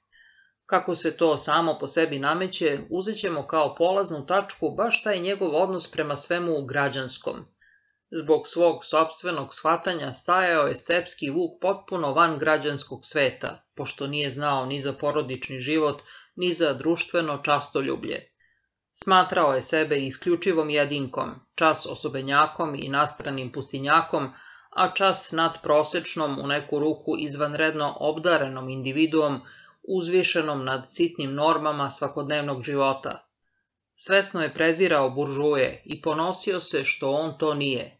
U izvesnom pogledu živeo je sasvim građanski, imao je novaca u banci i pomagao je siromašne rođake, odevao se doduše nemarno, ali pristojno i neupadljivo, težio je da s policijom, poreznicima i sličnim silama živi u dobrim odnosima. Osim toga, neka snažna, potajna čežnja stalno ga je privlačila malograđanskom svetu, tihim, pristojnim porodičnim kućama sa urednim bašticama, blistavo čisto održavanim stepeništem i čitavoj onoj skromnoj atmosferi reda i savršene pristojnosti. Sviđalo mu se da ima svoje sitne poroke i ekstravagantnosti, da se osjeća kao čovek izvan građanskog sveta, osobenjak ili genije, ali da se tako izrazimo, nikada nije stanovao i živeo po periferiji života, gde građanština više ne postoji, niti se osjećao kod kuće u atmosferi nasilnika i izuzetnih ljudi, ni kod zločinaca i obespravljenih, već je uvek ostao sa stanom u provinciji građanstva, jer je imao izvestan odnos prema njegovim običajima, propisima i atmosferi, pa ma to bio i odnos otpora i pobune. Osim toga, odrastao je i vaspitan malograđanski i otuda je zadržao mnoštvo pojmova i šablona. Teoretski nije imao ništa protiv javnih žena, ali bi on lično bio nesposoban da ozbiljno shvati jednu od njih i da je gleda kao stvorenje sebi ravno. Političkog zločinca, revolucionara ili duhovnog zavodnika koga su država i društvo proganjali, mogao je da voli kao svoga brata, ali ne bi znao kako da se ponese prema lopovu, obijaču ili ubici iz pohote, osim da ih na prilično građanski način sažaljeva. Tako jednom polovinom svoga bića priznavao i potvrđivao ono što je drugom polovinom pobijao i poricao. odrastao u kultivisanoj građanskoj kući po ustaljenim pravilima i običajima, ostao je jednim delom svoje duše uvek privezan za poredke na ovom svetu, iako se već odavno individualizovao preko građanski moguće mere, oslobodivši se sadržine građanskog ideala i verovanja. Ovo građansko kao stalno postojeće stanje svega čovečnoga nije bilo ništa drugo nego pokušaj izmirenja, težnje za ujednačenom sredinom između bezbrojnih ekstrema i dvojnih suprotnosti čovečijih postupaka. Uzmimo za primer jednu od ovih dvojnih suprotnosti, recimo sveca i razvratnika, pa će nam poređenje uskoro biti razumljivo. Čoveku se pruža mogućnost da se potpuno preda duhovnom životu, da pokuša da se približi idealu sveca, i obrnuto pruža mu se mogućnost da se potpuno preda svojim nagonima, prohtevima svojih čula i da sva svoja stremljenja usredsredi na sticanje trenutnih naslada. Prvi od ovih puteva vodi do sveca, do mučenika duše, do samopredaje Bogu. Drugi vodi do razvratnika, do mučenika nagona, do samopredaje truleži. Građanin pokušava da živi u prijatno temperiranoj sredini između ova dva puta. On se nikada neće predati, niti podati ni zanosu, ni askezi, nikada neće postati mučenik, nikada pristati da bude uništen. Naprotiv, njegov ideal nije da se preda, već da održava sobstveno ja. Njegova stremljenja nisu uperena ni prema svetlosti, ni prema jednoj njenoj suprotnosti, sve što je bezuslovno njemu je nesnosno, on hoće da služi Bogu, ali i zanosu, hoće da ima vrline, ali i da mu je dobro i udobno na zemlji. Ukratko, on pokušava da se naseli u sredini između krajnosti, u umerenoj i povoljnoj zoni, bez žestokih bura i oluja u čemu i uspeva, ali na račun onog životnog i osjećajnog intenziteta koji pruža život usmeren prema bezuslovnosti i prema krajnostima. Intenzivno se može živeti samo na račun sobstvenog ja, a građanin ništa više ne ceni nego svoje ja koje je doduše razvijeno samo rudimentarno i prema tome postiže samo održanje i sigurnost na račun intenziteta. Umesto da sumanuto bude opsednut Bogom, stiče mirnu savest, umesto naslede prijatnost, umesto slobode udobnost, a umesto smrtne vatre ugodnu temperaturu. Zbog toga je građanin po svom biću stvorenje sa slabim životnim pogonom, plašljivo te lako upravljati njime jer se boji svakog davanja samog sebe. Zato je on namesto moći postavio većinu, namesto sile zakon, namesto odgovornosti postupak glasanja. Jasno je da se ovo slabo i plašljivo biće ne može održati ma u kolikom broju postojalo, da ono sa svojim osobinama može odigrati u svetu samo jednu ulogu, stada jaganjaca među vucima koji slobodno krstare, pa ipak vidimo da u doba vladavine veoma snažnih priroda građanin doduše s mesta biva pritešnjen uza zid, ali ipak nikad ne propada, a povremeno, prividno, čak i vlada svetom. Kako je to mogućno? Ni veliki broj čopora u kojima živi, ni njegove vrline, ni njegov common sense, ni čitava organizacija ne bi bili dovoljno snažni da ga spasu od propasti onoga čiji je životni intenzitet već od samog početka toliko oslabljen, ne može da održava u životu nikakva medicina sveta, pa ipak građanština živi, snažna je i napreduje. Zašto? Odgovor glasi zbog stepskih vukova. Odista, vitalna snaga buržoazije nipošto ne počiva na svojstvima njenih normalnih članova, već na veoma mnogobrojnim autsajderima koje obuhvata usled rasplinutosti i rastegljivosti svojih ideala. Među građanštinom uvek živi i veliki broj snažnih i divljih priroda. Naš stepski vuk Hari tipičan je primjer za to. On se razvio kao individua daleko preko granice koju može da dostigne građanin. On, kome su poznate slasti meditacije kao i mračne radosti, mržnje i samo mržnje, on koji prezire zakon, vrlinu i common sense, ipak je prinudni zatočenik građanštine i nije u stanju da je umakne. I tako su se oko stvarne mase pravih građana nataložili široki slojevi ljudi, mnoge hiljade života i inteligencija, od kojih je svaki doduše već oslobođen građanštine i pozvan za život u bezuslovnom, ali od kojih je svaki nekim detinjastim osjećanjima vezan za građanštinu i do izvesne mere zaražen njenim malaksalim životnim intenzitetom, pa ipak nekako ostaje i dalje u njoj, ropski zavisan i obavezan da joj služi, jer kod građanštine osnovno načelo velikana glasi obrnuto, ko nije protiv mene, ta je za mene. Ako u ovom smislu ispitamo dušu stepskog vuka, tada nam se on prikazuje kao čovek kome je zbog visokog stepena njegove individualnosti određeno da ne bude građanin, jer se svaka visoko razvijena individualnost ustremljuje protiv sobstvenog ja i naginje njegovom uništenju. Vidimo da je on u sebi nosio jake nagone, kako sveca, tako i razvratnika, ali usled izvesne slabosti i tromosti nije mogao da uzme zaletu slobodni divlji svemir, nego je ostao prikovan za teško materinsko sazvežđe građanštine. Ovakav je njegov položaj u svetskom prostoru, ovakva je njegova vezanost. Većina intelektualaca i najveći deo umetnika pripadaju istom tipu. Samo najsnažiji među njima uspevaju da probiju atmosferu građanske zemlje i da stignu u kosmički svet – Ostali se mire sa sudbinom ili sklapaju kompromise, preziru građanštinu, a ipak joj pripadaju, jačaju je i veličaju, jer na kraju ipak moraju da je prihvate da bi mogli da žive.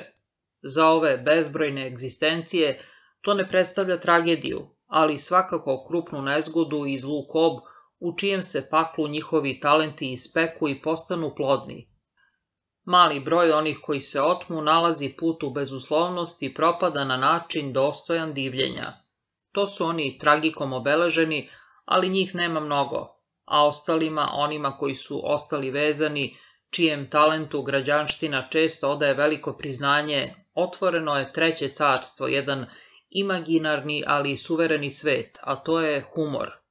Nemirnim stepskim vucima, tim stvorenjima koja neprekidno i strahovito pate, njima kojima je uskraćena tragika kao i sila potrebna za prodor u zvezdani svemir, njima koji osjećaju da su pozvani za bezuslovno, a ipak ne mogu da žive u njemu, njima se pruža pomirljiv izlaz u humor, ako je njihov duh usled patnji postao dovoljno snažan i elastičan. Humor uvek ostaje na neki način građanski, iako je pravi tip građanina nesposoban da ga shvati u imaginarnoj sferi humora ostvaruje se zamršeni, mnogostruki ideal svih stepskih vukova. Tu je mogućno zauzeti stav odobravanja ne samo prema svecu, nego i prema razvratniku, tu ne samo da se savijaju polovi jedan prema drugome, nego se u ovakav stav odobravanja uključuje i građanin. Onome koji je sumanuto opsednut Bogom, mogućno je da zauzme stav odobravanja i prema zločincu, a isto tako i obrnuto, ali njima obojici i svim ostalim ljudima bez uslovnosti nemogućno je da odobravaju još i onu neutralnu mlaku sredinu, građanštinu. Jedino humor, taj vidni izum onih kojima je preprečen put ka onom najvišem za što su pozvani, taj izum onih skoro tragičnih, najdarovitijih nesrećnika, jedino humor, možda najčudnije i najgenijalnije dostignuće čovečanstva, izvršava i ono nemoguće, naime spaja i sjedinjuje sve oblasti ljudskog bića u zracima svojih prizmi. Živjeti u svetu kao da to i nije svet, poštovati zakon, a stajati iznad njega, posjedovati kao da se ne posjeduje, odreći se kao da to nije odricanje, sve ove omiljene i često formulisane zahteve visoke životne mudrosti može da ostvaruje jedino humor.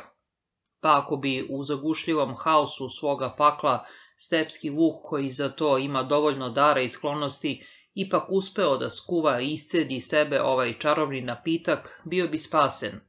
Za to mu još mnogo što šta nedostaje, ali i mogućnosti i nada postoje. Koga voli, ko se osjeća sa njim, neka mu poželi ovaj spas. On bi doduše zauvek ostao u građanštini, ali bi njegove patnje bile snošljive i plodne.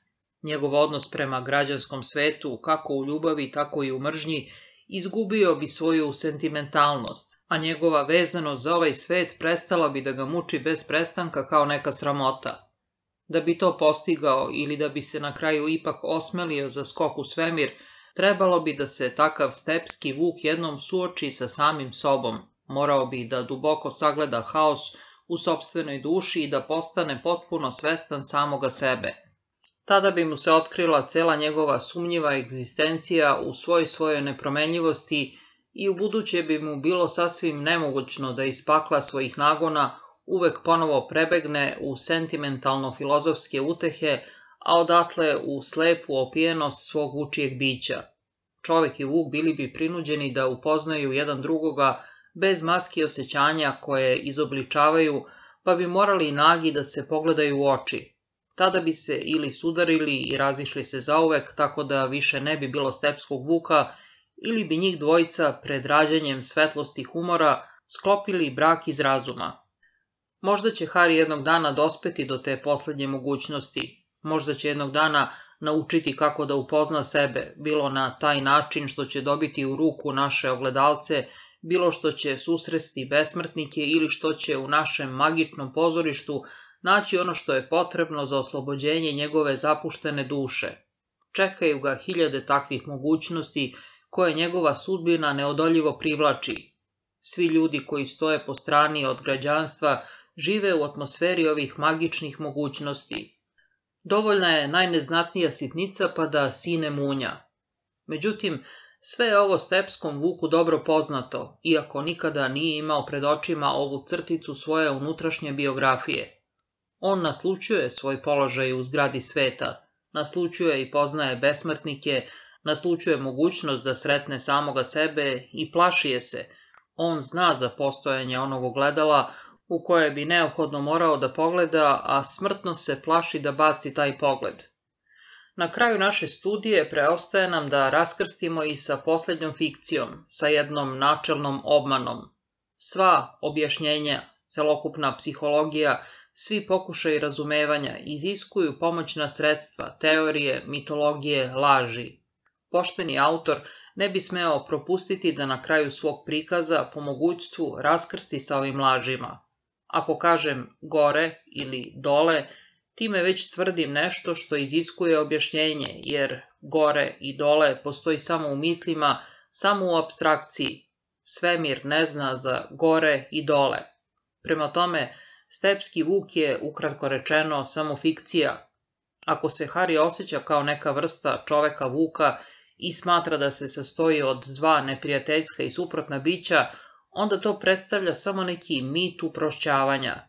Hari uopšte nije čovek vuk i ako smo prividno i neispitujući prihvatili tu laž koju je sam izmislio i u koju veruje, ako smo pokušali da ga posmatramo i da ga protumačimo kao dvostruko biće, kao stepskog vuka, onda smo se u nadi da ćemo ga lakše razumeti koristili obmanom koju ćemo sada ispraviti.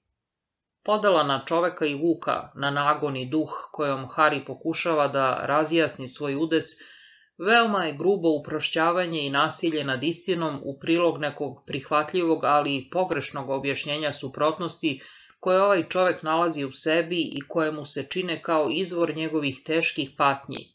Hari u sebi nalazi čoveka, to je čitav jedan svet misli, osjećanja, kulture, pripitomljene i sublimisane prirode, a pored toga još i vuka, to jest mračni svet nagona, divljaštva, svireposti i nesublimisane sirove prirode. I pored ove na izgled tako jasne podale njegovog bića na dve sfere, koje su jedna prema drugoj neprijateljski raspoložene, kad i kad je doživljavao da se vuki čovek za izvesno vreme za koji srećni trenutak slože.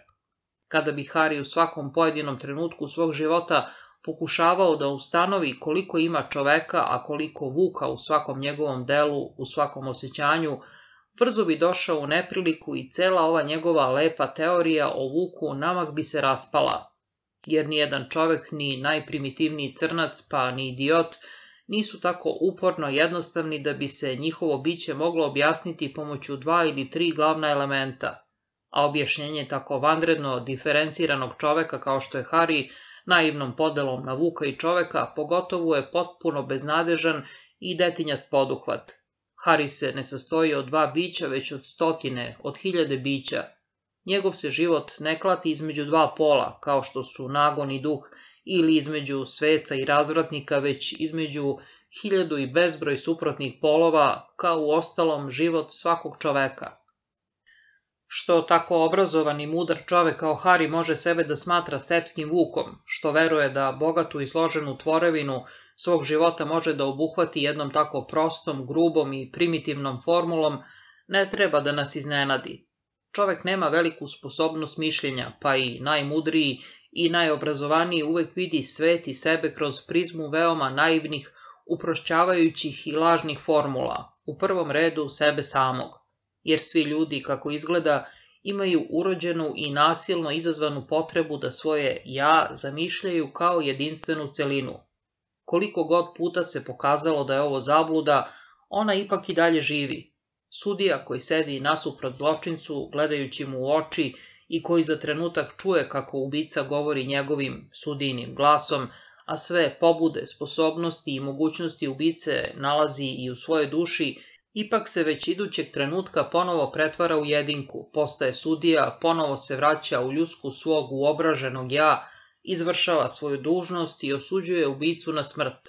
A kada naročito obdarene ljudske duše nežnog sastava počnu da naslučuju svoju mnogostrukost, kada kao svi geniji probiju zabludu o celini svoje ličnosti pa sebe osete složenim iz više delova kao kakav snop od mnogih ja, tada je dovoljno da to samo izjave, pa da ih većina zatvori pozivajući nauku u pomoć, a ova opet konstatuje šizofreniju i sprečava da čovečanstvo iz usta ovih nesrećnika čuje uzvik istine.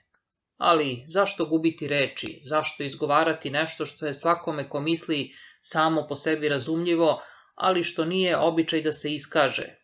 Ako već jedan čovek pristupa proširenju uobražene celine svog ja u dvostruko biće, onda je bezmalo genije, ili u svakom slučaju redak i zanimljiv izuzetak.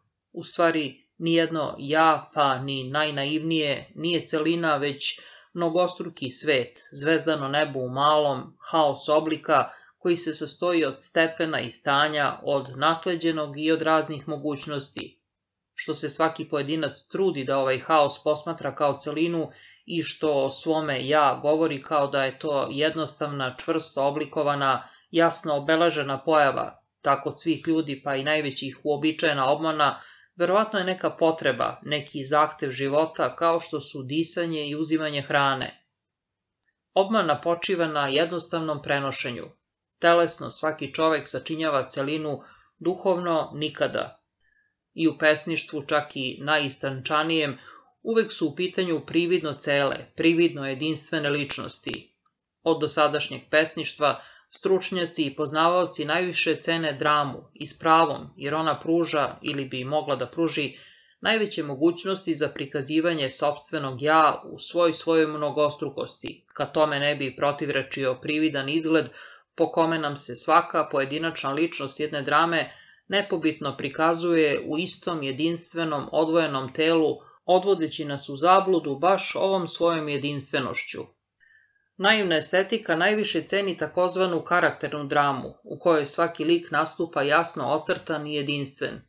Tek iz daleka i postepeno naslučuju pojedinci da je to možda jeftina i površna estetika, da smo u zabludi, da grešimo ako na naše velike dramatičare primenjujemo veličanstvene, ali ne prirodne, već samo nametnute pojmove lepote kakva se ceni još iz antičkog doba, dramatičare koji su, polazeći uvek od vidljivog tela, u stvari istvorili fikciju o sobstvenom ja, o jedinstvenoj ličnosti.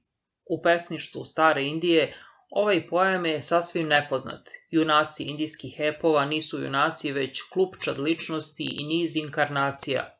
U našem modernom svetu, međutim, Postoje pesnička dela u kojima autor, verovatno ne sasvim svesno, pokušava da nam iza vela komedije ličnosti i karaktera prikaže mnogostrukost duše.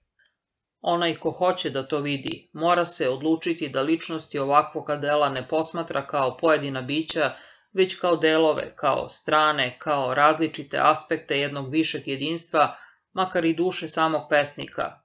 Ko Fausta bude posmatrao na ovaj način, Za toga će se od Fausta, Mefista, Wagnera i svih ostalih stvoriti jedna celina, jedan nadlik i tek u toj višoj celini, a ne u pojedinim likovima, nazreće nešto od prave prirode duše. kada Faust izgovara izreku čuvenu među učiteljima koju Filistri izgovaraju sa jezom, a koja glasi Dve duše se, ah, kriju u mojim grudima, tada zaboravlja na Mefista i mnoštvo drugih duša koje se takođe nalaze u njegovim grudima. I naš stepski vuk veruje da u sebi nosi dve duše, vuka i čoveka, i već mu je od toga prilično tesno u grudima. Grudi i telo uvek predstavljaju celinu, ali duša u njima nema dve ili pet, već bezbroj. Čovek je lukovica sastavljena od stotinu ljuski, tkanina od mnogih niti. To su tačno znali i shvatili stari azijski narodi i izumeli su tačnu tehniku budističkog jogija, naime, raskrinkavanje zablude o ličnosti.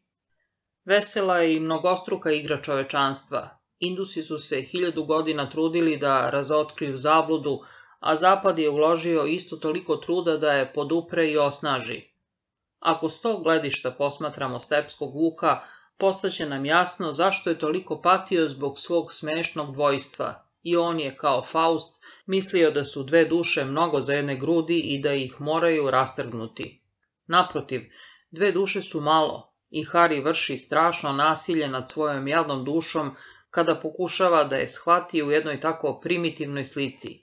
Iako je Hari visoko obrazovan čovek, ipak postupa kao kakav divljak koji ume da broji samo do dva. Jedan deo sebe naziva čovekom, a drugi vukom i smatra da je time došao do kraja i da se iscrpao. U čoveka trpa sve što je u njemu umno, uzvišeno i kultivisano, a u vuka sve što je nagonsko, divlje i haotično.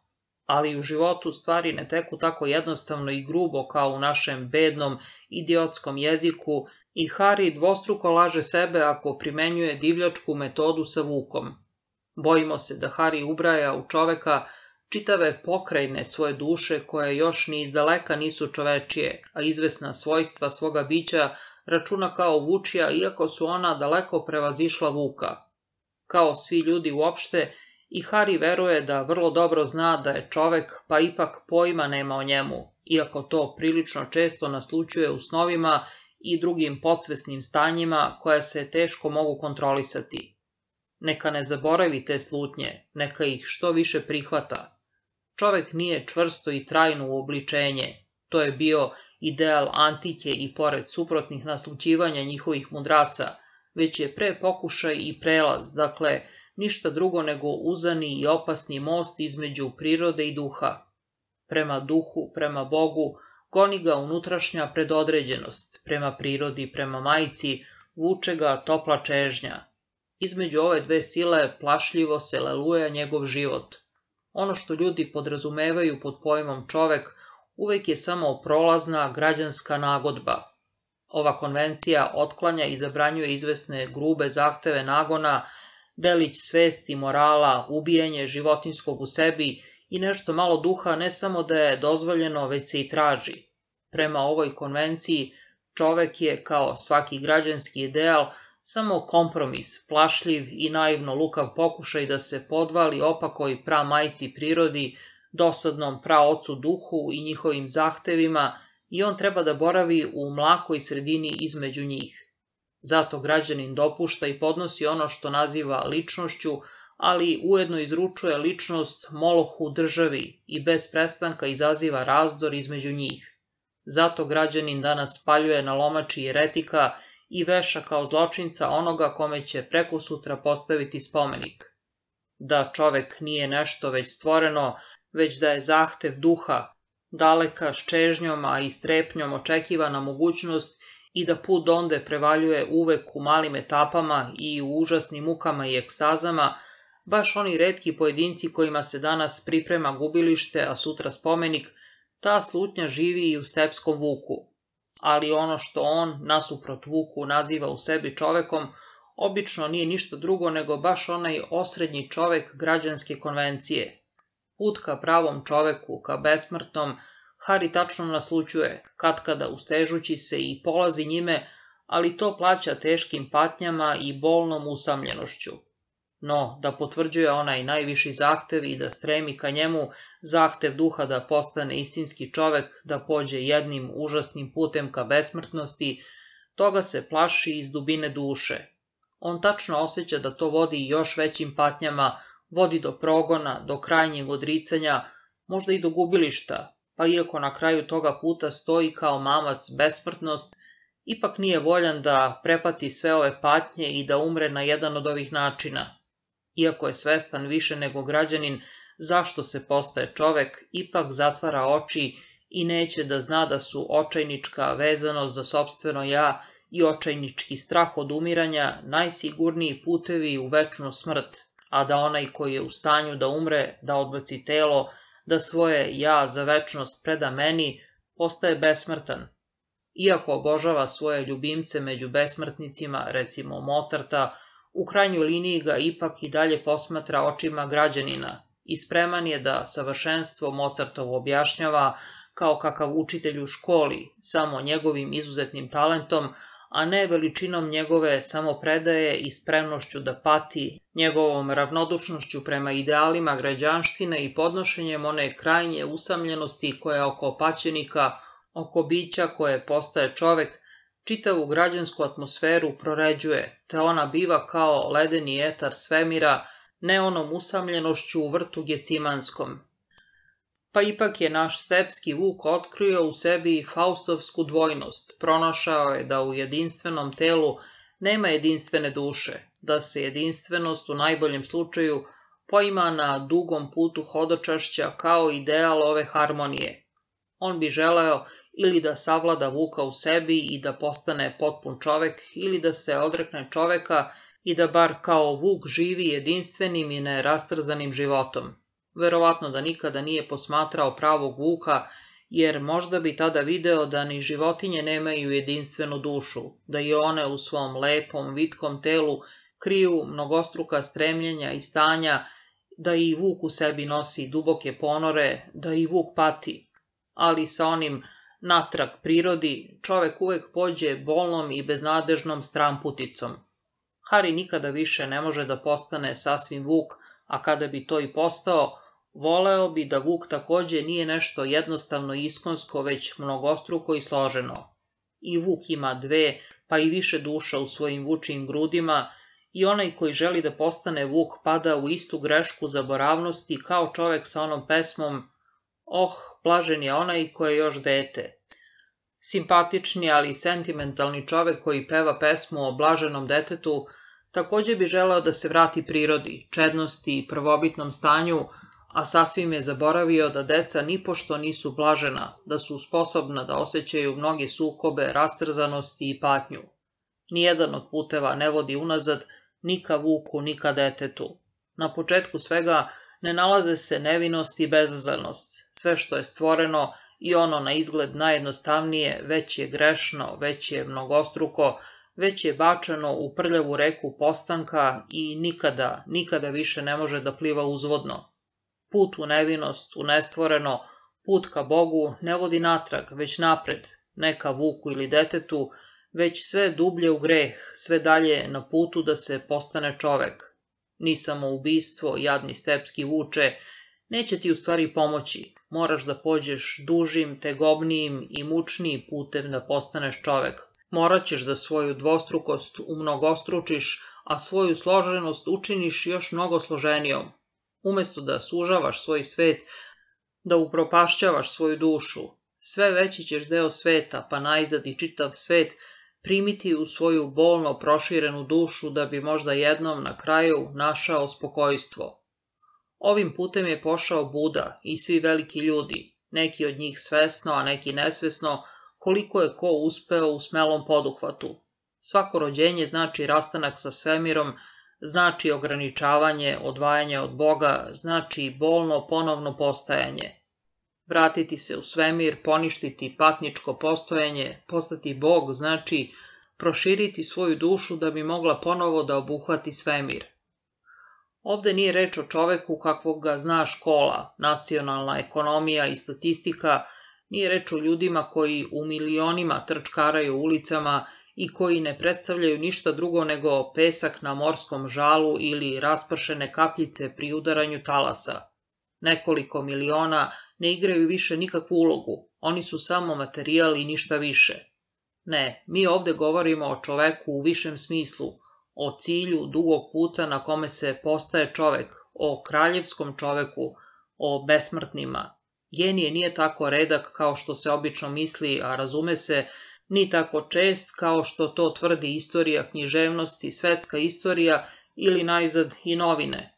Stepski Vuk Hari, kako nam se čini, bio bi dovoljno genijalan za smeo poduhvat da postane čovek, umesto što se pri svakoj teškoći sažaljivo izgovara svojim glupim stepskim vukom. Činjenica da se ljudi koji imaju takvih mogućnosti pomažu stepskim vucima i ah dvema dušama, kao i činjenica da često osjećaju onu kukavičku ljubav prema građanštini, jeste nešto što veoma iznenađuje, a i rastužuje. Čovek koji je sposoban da shvati budu, čovek koji naslučuje nebesa i ponore čovečanstva, ne bi trebalo da živi u svetu u kome vladaju common sense, demokratija i građansko obrazovanje. On u njemu živi samo iz kukavičluka, iako ga njegove dimenzije sputavaju, ako mu je građanska soba odviše tesna, svu krivicu za to baca na Vuka i neće da shvati da je za sada Vuk njegov najbolji deo. Sve divlje u sebi naziva Vukom i osjeća to kao rđavo, opasno i kao neku vrstu strašila za građane. Međutim, on, koji veruje da je umetnik da ima prefinjena čula, nije u stanju da vidi da osim Vuka i iza Vuka u njemu živi i mnogo šta drugo, da nije sve Vuk što ujeda, da se tu nalaze još i lisica, zmaj, tigar, majmun i rajska ptica.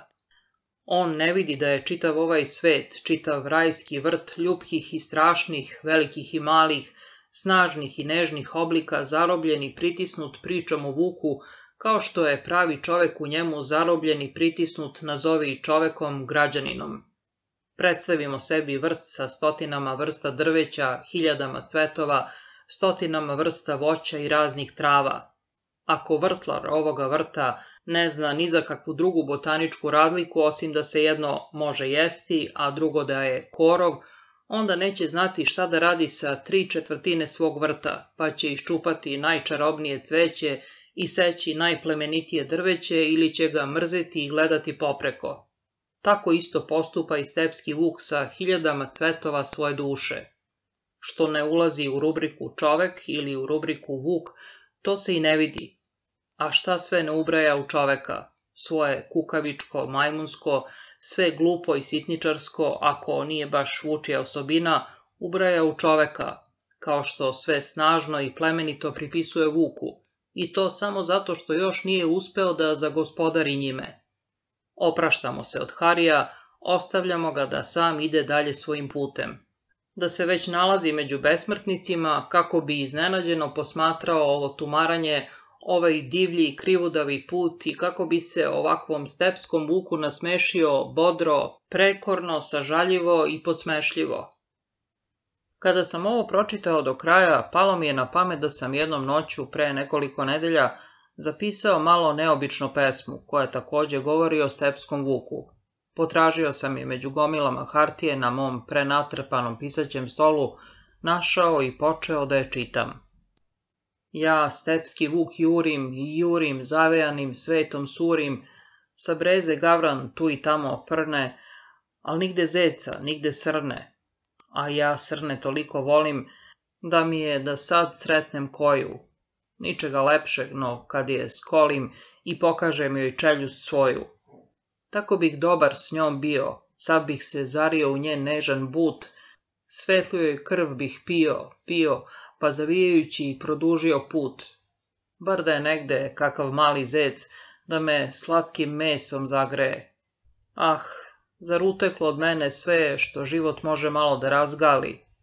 Odavno mi je umrla ženka, olinjao i sedmi je rep, a ja jurim kroz noć kao senka, jurim i sanjam, poluslep, kako srne i zečeve vijam, slušam gde vetar granjem zavija, snegom tolim suvoga grla plam i nosim dušu da je đavolu dam. Sada sam eto u rukama imao dve slike o sebi. Jedna je bila autoportret u rogobatnim stihovima, tužan i pun strepnje kao i ja sam, druga naslikana nešto hladnije i na izgled s velikom objektivnošću od nekoga sa strane koje je posmatrao s polja i s visine, napisana od nekog ko je znao više, a opet i manje od mene. I ove dve slike zajedno, moje setno, unezvereno lice i mudra studije iz nepoznate ruke, oba mi zadadoše bol. Obe su bile u pravu, obe su mi otvoreno prikazivale moju neutešnu egzistenciju. Obe su jasno pokazivale koliko je nepodnošljivo i neodrživo moje stanje. Stepski Vuk je morao da umre, da sobstvenom rukom okonča svoje omrznuto bitisanje ili rastopljen na samrtnoj vatri obnovljenog samo posmatranja, da se izmeni, da ždere svoju masku i postane novo ja. Oh, ovaj postupak nije za mene bio ni nov, ni nepoznat, znao sam ga i doživljavao više puta, uvek u vreme najvećeg očajanja. Svaki put kada se to dešavalo, što me je potresalo do dna duše, moje tadašnje ja razbijalo se u param parčat, svaki put bi ga mračne snage prodrmale i uništile, i svaki put bi se izgubio po jedan negovani, naročito voljeni deo mog života, izneverivši me.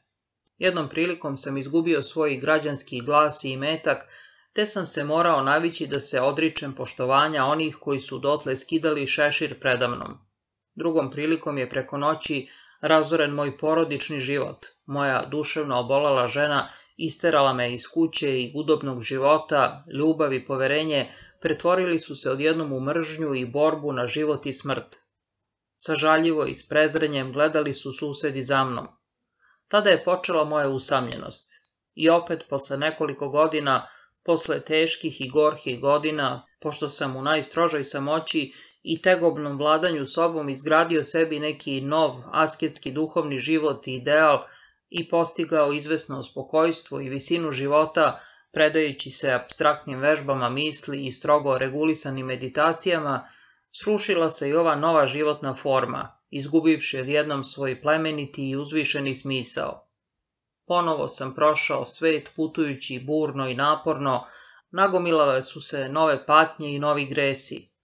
I svaki put je svlačenju jedne maske, rušenju jednog ideala, prethodila ona jeziva praznina i tišina, ono samrtno tištanje, ona usamljenost i kidana je veza sa svetom, onaj prazni, pusti pakao očajanja, lišen svake ljubavi, kroz koji sam tada opet morao da prođem. Prilikom svakog ovakvog potresa u životu stekao bih po nešto, to ne mogu da poreknem, malo slobode, nešto duha i dubine, ali i usamljenost, nerazumevanje sveta i hladnoću. Sa građanskog stanovišta, moj život je od jednog do drugog takvog potresa bio u stalnom padu, predstavljao je sve veće udaljavanje od normalnog, dozvoljenog i zdravog. Tokom godina ostao sam bez zanimanja, bez porodice i domovine, našao sam se van svih socijalnih grupa, nikome nije voleo, mnogima sam bio sumnjiv, bio sam u stalnom ogorčenom sukobu sa javnim mnjenjem i moralom, pa, iako sam živeo u građanskim okvirima, po svojim osjećanjima i mislima bio sam u tom svetu tuđinac. Religija, otačbina, porodice i država nisu za mene imale nikakve vrednosti i nimalo me se više nisu ticale. Gadilo mi se od samoisticanja nauke, raznih esnafa i umetnosti. Moji pogledi, moj ukus, ceo moj misaoni svet, kojima sam nekada kao daroviti omiljen čovek blistao, sada su bili zapušteni, podivljali i ljudima sumnjivi. Ako sam možda prilikom svojih toliko bolnih preobražaja istekao nešto nevidljivo i neocenjivo, ipak sam to morao skupo platiti i svaki put bi moj život postao teži, suroviji, usamljeniji i ugroženiji. Odista, nisam imao razloga da produžim tim putem, koji me je vodio u sve razređeniji vazduh, sličan onom dimu u Ničevoj pesmi o jeseni. O da, bili su mi poznati doživlja i imene što ih je sudbina namenila onoj svoje deci koje je zadaju najviše briga, svojoj najodabranijoj deci. Bili su mi poznati i su više dobro. Bili su mi poznati kao što su lovcu, častoljubivom, ali bez plena, poznate sve etape njegovih lovačkih pohoda, kao što su starom igraču na berzi poznate sve etape špekulacije, dobijanja, nesigurnosti, promenljivosti i bankrota. Da li sam odista morao ponovo da preživim sve to? Svu muku, sav smušeni jad, uviđenje niskosti i bezvrednosti sobstvenog ja, svu onu užasnu bojazan da ću podleći i strah od smrti. Zar nije bilo mudrije i jednostavnije sprečiti ponavljanje tolikih patnji i izgubiti se? Svakako da je to bilo jednostavnije i mudrije. Pa, bez obzira da li je onako kao što piše o samoubicama u knjižici o Stepskom vuku ili drugčije, niko mi nije mogao uskratiti zadovoljstvo da pomoću plina, noža za brijanje ili revolvera uštedim sebi obnavljanje jednog procesa čije sam gorke patnje odista već često i duboko iskusio. Ne, do sto đavola, nije bilo sile na svetu koja je mogla zatražiti od mene da se ponovo susretnem sa svojom grozom od smrti i ponovo preživim preobraženje i reinkarnaciju, čiji cilj i završetak nisu spokojstvo i mir, već uvek samo uništenje, uvek novo oblikovanje svoga ja. Neka je samoubistvo i glupo, kukavičko i otrcano, neka je ono i neslavni i sramni izlaz za slučaj nužde, svaki pa i najprezreniji izlaz iz ovog mlina patnje je dobrodošao, jer ovde više nema mesta izigravanju plemenitosti i heroizma, ovde sam jednostavno primoran da biram između trenutnog bola i neizrecive, žestoke, beskrajne patnje. U svom tegovnom i ludom životu bio sam dovoljno često plemeniti Don Kihot, pretpostavljajući čast prijatnosti i birajući pre heroizam nego razumnost. Ali dosta o tome. Jutro se već pomaljalo iza okeana, olovno, prokleto jutro zimskog dana, kada sam najzad legao u postelju ponevši sobom svoju odluku. Ali pri samom kraju, na samom rubu svesti pre sna, za trenutak blesnu predavnom onaj čudni odeljak u knjižici o stepskom vuku u kome se govori o besmrtnima, a na njega se odjednom nadove za sećanje da sam se ponekad, eto još nedavno, osjećao toliko blizak besmrtnima da sam u jednom taktu starinske muzike iskusio svu njihovu hladnu, jasnu mudrost koja se tako neumoljivo smešila. Iskrslo je to predamnom, zablistalo i ugasilo se, a san se spustio na moje čelo, težak kao planina. Probudivši se oko podne, ubrzo sam u sebi ponovo osetio prečišćenu situaciju. Knjižica je ležala na noćnom ormančiću, zajedno sa mojom pesmom, a odluka rođena iz pometnje mog najnovijeg života posmatrala me ljubazno i uzdržljivo, prosto se preko noći zaoblila i učvrstila. Nepotrebno je bilo žuriti, odluka da pođem u smrt nije bila čud jednog trenutka, već zreo i izdržljiv plod koji je sporo rastao i otežao, tiho se ljuljajući na vetru sudbine, čiji će ga idući udar oboriti. U svojoj putnoj apoteci imao sam odlično sredstvo za umirenje bolova, neki naročito jak opijumski preparat koji sam redko uzimao i često ga se mesecima odricao. Ovo teško opojno sredstvo uzimao sam samo kada bi me telesni bolovi neizdržljivo mučili. Nažalost, ono nije bilo pogodno za izvršenje samoubistva što sam pre nekoliko godina iskušao. Tada sam, u vreme kada sam opet bio obuzet očajanjem, progutao priličnu količinu, dovoljnu da ubije šestoricu ljudi, ali me ona ipak nije ubila. Zaspao sam doduše i nekoliko časova ležao u potpunoj obamrlosti, ali su me zatim, na moje najveće razočarenje, gotovo razbudili žestoki grčevi u stomaku. Povratio sam sav otrov još u polu svesti i ponovo zaspao da bih se konačno probudio sutradan u podne, strahovito otrežnjen, izgorela i prazna mozga, ne sećajući se skoro ničega. Osim što sam jedno vreme patio od nesanice i neugodnih bolova u stomaku, nisam više osjećao nikakvo dejstvo otrova. Ovo sredstvo, dakle, nije moglo doći u obzir. Zato sam sada svojoj odluci dao sledeći oblik. Čim budem dospeo dotle da se moram poslužiti ovim opijumskim preparatom, neka mi bude dozvoljeno da umesto tog kratkog spasa posrčem trajni, smrt, i to sigurnu, pouzdanu smrt, metkom ili nožem za brijenje. Time je moj položaj postao jasan, čekanje do 50. rođendana prema šaljivom receptu knjižice o stepskom vuku učinilo mi se odviše dug rok, jer je do toga trebalo da prođu još dve godine. No, bilo to posle godinu, mesec dana ili i sutra, vrata su mi bila otvorena. Ne bih mogao tvrditi da je odluka znatno izmenila moj život. Zahvaljujući njoj, Postao sam malo ravnodušniji prema tegobama, malo bezbrižniji pri upotrebi opijuma i vina, malo radoznaliji da vidim dokle dopiru granice podnošljivog i to je bilo sve. Jače su delovali na mene ostali doživljaj one večeri.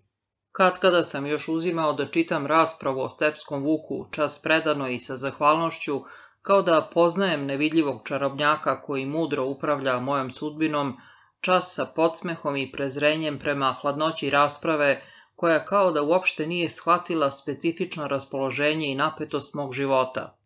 Ono što je bilo napisano o stepskim vucima i samoubicama bilo je možda sasvim dobro i pametno, važilo je za izvesnu vrstu i tip ljudi, a bila je i duhovita abstrakcija. Međutim, moja ličnost, moja stvarna duša, moja sobstvena, jedinstvena sudbina, čini mi se, ipak nisu mogli da se uhvate u tako grubu mrežu. Ali više od svega ostalog, zanimala me ona halucinacija ili vizija na crkvenom zidu, objava onih titravih svetlosnih slova koja su toliko obećavala, a koja su se podudarala sa nagoveštajima rasprave. Mnogo mi je tu obećano, glasovi onog tuđeg sveta silno su podstakli moju radoznalost, te sam često satima duboko razmišljao o tome i sve jasnije su se javljale u meni opomene onog natpisa. Nije za svakog i samo za luđake.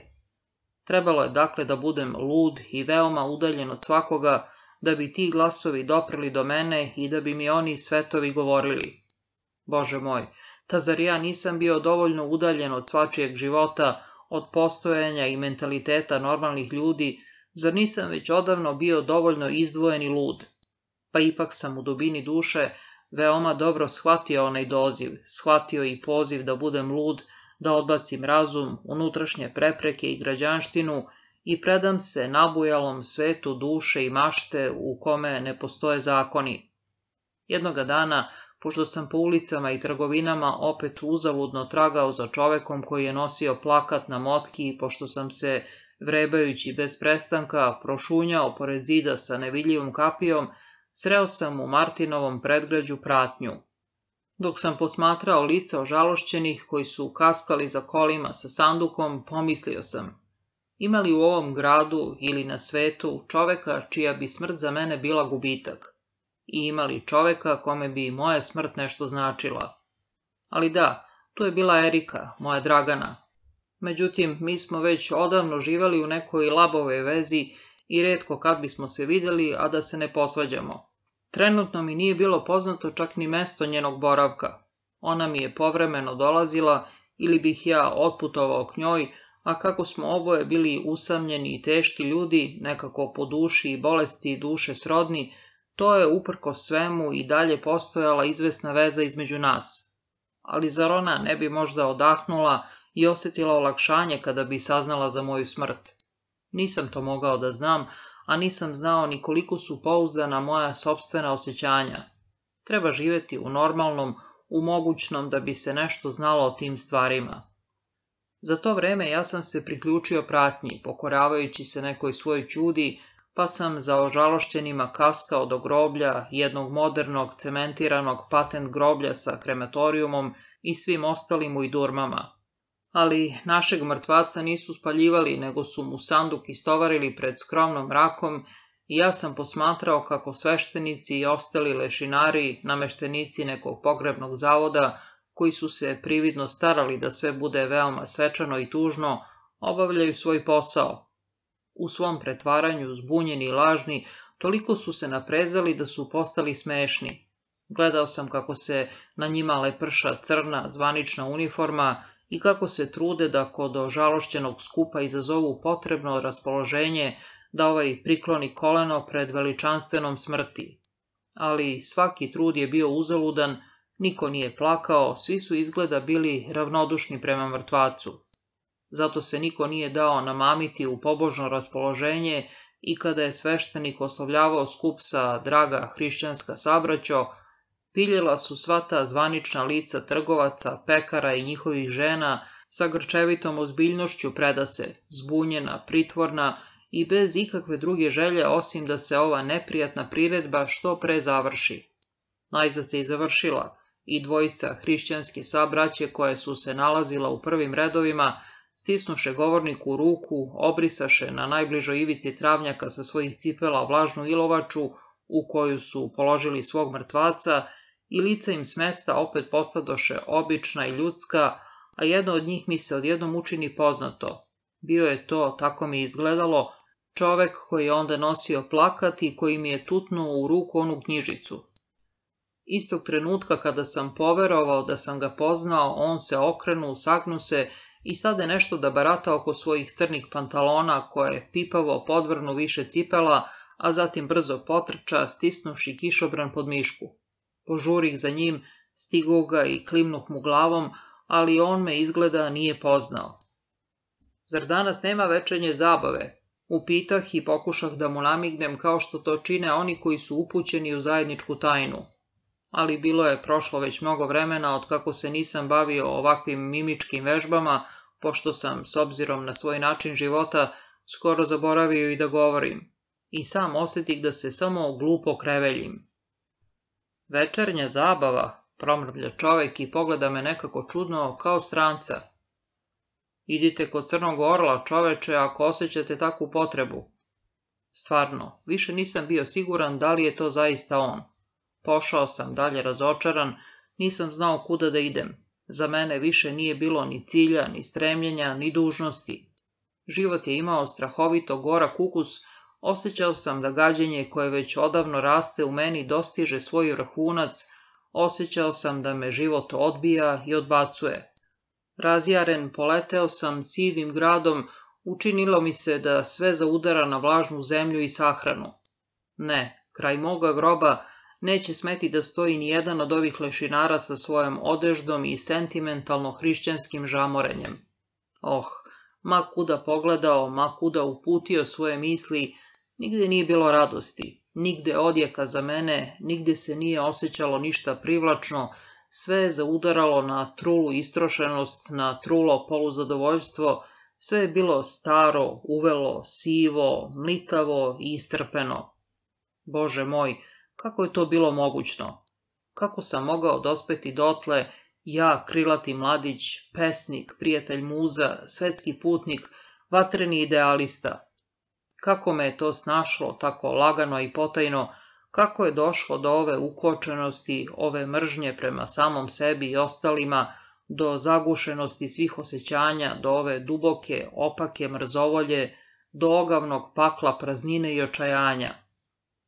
Prolazeći pored biblioteke, sreo sam mladog profesora sa kojim sam ranije povremeno razgovarao i koga sam prilikom svog poslednjeg boravka u ovom gradu katkada čak posećivao i kod kuće, da bih razgovarao s njim o orijentalnoj mitologiji, grani nauke kojom sam se tada mnogo bavio. Naučnik mi je išao u susret, ukrućen i kratkovid, i poznao me tek kada sam skoro prošao pored njega. Poleteo je glavačke prema meni, pozdravljajući se veoma srdačno, a ja sam mu za to, u onako kukavnom stanju, bio bezmalo zahvalan. On se obradovao, živahnuo i podsjetio me na pojedinosti naših nekadašnjih razgovora, ubeđujući me da ima mnogo da zahvali mome podstreku i da je često mislio na mene. Od tada je redko imao prilike za tako uzbudljiva i istrpna razlaganja sa kolegama. Upitao me od kada se nalazim u gradu, slagao sam ga tek od pre nekoliko dana i zašto nisam navratio k njemu. Pogledao sam učtivom čoveku učeno, čestito lice, nalazeći da je ova scena u stvari smešna, ali sam ipak, kao izgladnelo pseto, uživao u mrvici topline, gutljaju ljubavi i zalogaju priznanja. Stepski vuk Hari kezio se dirnut, u isušenom ždrelu sakupljala mu se pljuvačka, a sentimentalnost mu je i protiv volje savijala leđa. Da, revnosno sam se trudio da se izvučem lažima, rekao sam da se nalazim ovde samo u prolazu, studija radi i da se ne osjećam najbolje, inače bih ga, razume se, svakako posetio, a kada je me srdačno pozvao da to veče provedem kod njega, prihvatio sam zahvalno i zamolio ga da pozdravi svoju ženu. Za to vreme su me od silnog govora i osmehivanja zaboleli obrazi, odviknuti od takvih napora. I dok sam ja, Harry Haller, stajao na ulici iznenađen na prepad i polaskan, učtiv i revnostan, smešeći se ljubaznom čoveku u kratkovido lice, dotle je drugi Hari stajao pored mene i takođe se kezio, kezio i mislio kakav sam ja to čudan, čaknuti i neiskren bratac, kada sam još pre dva minuta besno iskrlještio zube na ceo ovaj prokleti svet, a sada na prvi poziv, na prvi bezazlen pozdrav jedne čestite dobričine, žurno, dirnuto i preterano revnosno prihvatam sve, valjajući se ovo malo dobronamernosti, poštovanja i ljubaznosti kao kako prase. Tako su oba Harija, obojca veoma nesimpatične prilike, stajala pred učtivim profesorom i smevajući jedan drugoga, posmatrajući se uzajamno, pljujući jedan na drugog i kao i obično u takvim prilikama, ponovno jedan drugom postaviše pitanje.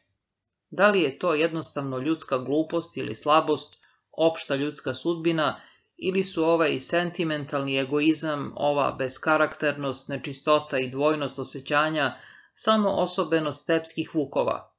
Ako je ta podlost bila opšte ljudska, e, onda se moje prezrenje sveta moglo sručiti na njega novom snagom. Ako je to bila samo moja lična slabost, onda je to bio povod za orgiju samopreziranja. Zbog razmirice dvojice Harija, gotovo sam bio zaboravio na profesora. Odjednom je opet bio na teretu i pohitao sam da ga se otarasim. Gledao sam dugo za njim kako odmiče ogolelom alejom, dobroćutnim i malo smešnim hodom idealiste i čoveka koji još veruje. U meni je besnela žestoka bitka i dok sam mehanički grčio i opet ispružao ukočene prste u borbi sa potmulom kostoboljom, morao sam priznati sebi da sam dopustio da me nadmudre, da sam sebi natovario na vrat poziv na večeru u pola osam, zajedno sa obavezom na razne učtivosti, uz naučno brbljanje i posmatranje tuđe porodične sreće. Otišao sam kući ljutit, pomešao konjak s vodom, progutao u sto i svoje pilule protiv kostobolje, legao na divan i pokušao da čitam. Kada mi je pošlo za rukom da izvesno vreme čitam Sofijino putovanje od Memela do Saksonske, dražesnu kupusaru iz 18. veka, odjednom se opet setih poziva, setih se da nisam obrijan i da bi trebalo da se obučem. Bog zna zašto sam to sebi udrobio. Dakle, Hari, ustani, sklopi knjigu, nasapunjaj se, zagrebi svoju bradu do krvi, obuci se i uživaj u ljudima. I dok sam se sapunjao, mislio sam na prljavu jamu u Ilovači na groblju u kojoj su danas na konopcima spustili nepoznatog i na ukočena lica hrišćanske sabraće koje su se dosađivala, ali nisam bio u stanju čak ni da se smejem. Tamo je bio svršetak, kako mi se činilo, u onoj prljavoj jami u Ilovači, uz glupe, zbunjene reči sveštenika kraj glupih, zbunjenih lica tužnog skupa, uz očajnički pogled na krstače i table od lima i mermera, kraj veštačkog cveća od žice ili stakla. Tamo nije završio samo onaj nepoznati. Neću samo ja, sutra ili preko sutra, završiti zakopanu blatnjavu ilovaču uz zbunjenost i pritvornost učesnika, već se tako završava sve, Sva naša stremljenja, celokupna naša kultura, sva naša vera, sva naša životna radost i volja za životom, koja je tako bolesna i koja će uskoro biti tamo zakopana.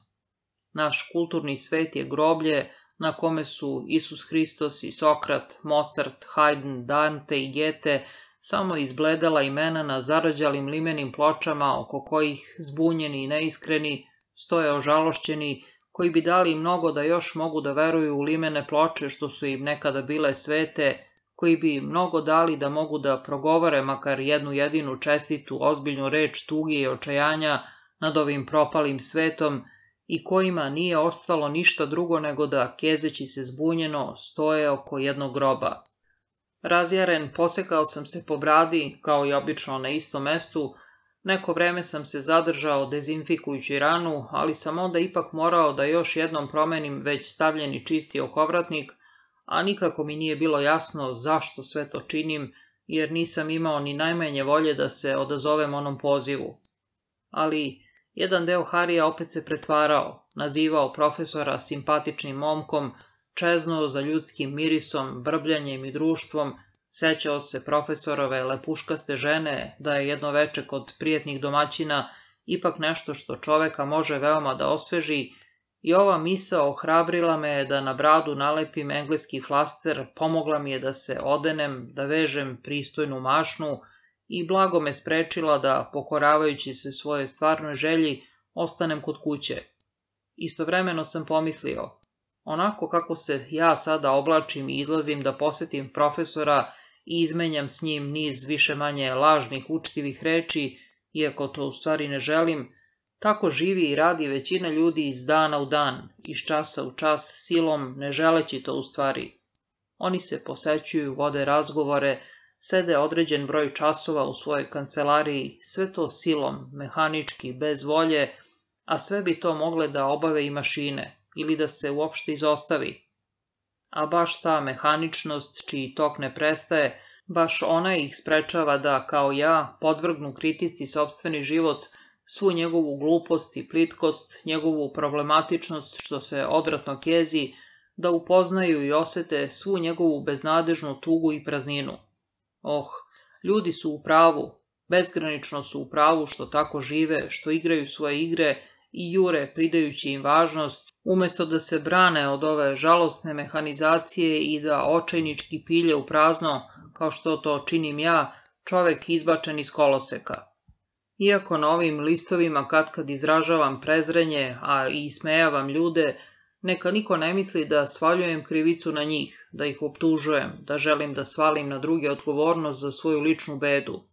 Međutim, ja, koji sam otišao tako daleko i koji stojim na ivici života, tamo gde ovaj pada u mračni ponor bez dna, grešim i lažem ako pokušavam da sebe i druge zavaram kako je ona mehaničnost još iza mene u toku, kako još pripadam onom ljubkom i detinjastom svetu večite igre. Veče je, u skladu sa ovim, bilo čudesno. Zastao sam za trenutak pred kućom svog poznanika i pogledao gore u prozore. Evo, ovde stanuje taj čovek, pomislio sam, i iz godine u godinu radi svoj posao, čita i dalje komentare tekstova, istražuje veze između prednjeazijskih i indijskih mitologija i pritom je veseo, jer veruje u vrednost svoga rada, veruje u nauku čiji je sluga, veruje u vrednost samog znanja i njegovog nagomilavanja, u napredak i razvitak. Kao da nije preživeo ratni potres koji je Einstein izazvao u dosadašnjim osnovama misli. To se tiče samo matematičara, misli on. Ne vidi da se oko njega vrše pripreme za idući rat, smatra da treba mrzeti jevreje i komuniste, ukratko, on je dobro i veselo dete koje ne misli mnogo, a sebi pridaje veliku važnost i kome treba zavideti. Trgao sam se i ušao. Dočekala me služavka u beloj kecilji i po nekoj intuiciji tačno sam zapamtio gde je stavila moj kaput i šešir.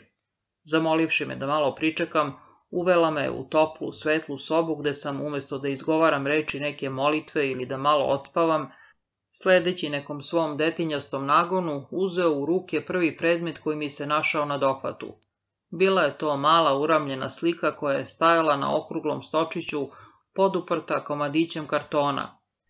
Prikazivala je pesnika Getea, karakternog, genijalno očešljenog starca lepo izvajana lica, na kome nisu nedostajale ni čuvene vatrene oči, ni usamljenost i tragika, lica premazanog stavom dvorskog čoveka na koje je umetnik obratio naročitu pažnju. On je uspeo da ovom demonskom starcu, ne umanjujući mu dubinu, da izvesnu profesorsku ili glumačku crtu savlađivanja i čestitosti i da ga sve u svemu prikaže kao odista lepog starog gospodina koji je svakoj građanskoj kući mogao da posluži za ukras. Ova slika verovatno nije bila gluplja od ostalih ove vrste, od svih onih spasitelja, apostola, heroja, junaka duha i državnika, stvorenih rukama vrednih umetnika zanatlija, možda je samo izvesnom svojom virtuoznom veštinom delovala na mene tako razdražljivo. Bilo kako bilo, u svakom slučaju, pošto sam i onako bio nervozan i prepun jeda, bola mi je oči sujetna slika starog Getea, tako punog samodopadanja, kao fetalni neskladni ton, pokazujući mi da ovo nije mesto za mene. Ovde su se dobro osjećali lepo stilizovani stari majstori i nacionalne veličine, a ni pošto stepski vuk. Da je sada ušao domaćin, možda bi mi pošlo za rukom da se pod nekakvim prihvatljivim izgovorom povučem. ali je ušla njegova žena i ja sam se predao svojoj sudbini, iako sam naslućivao da će doći do nekakve nesreće. Pozdravi smo se i prvom neskladnom tonu sledili su drugi.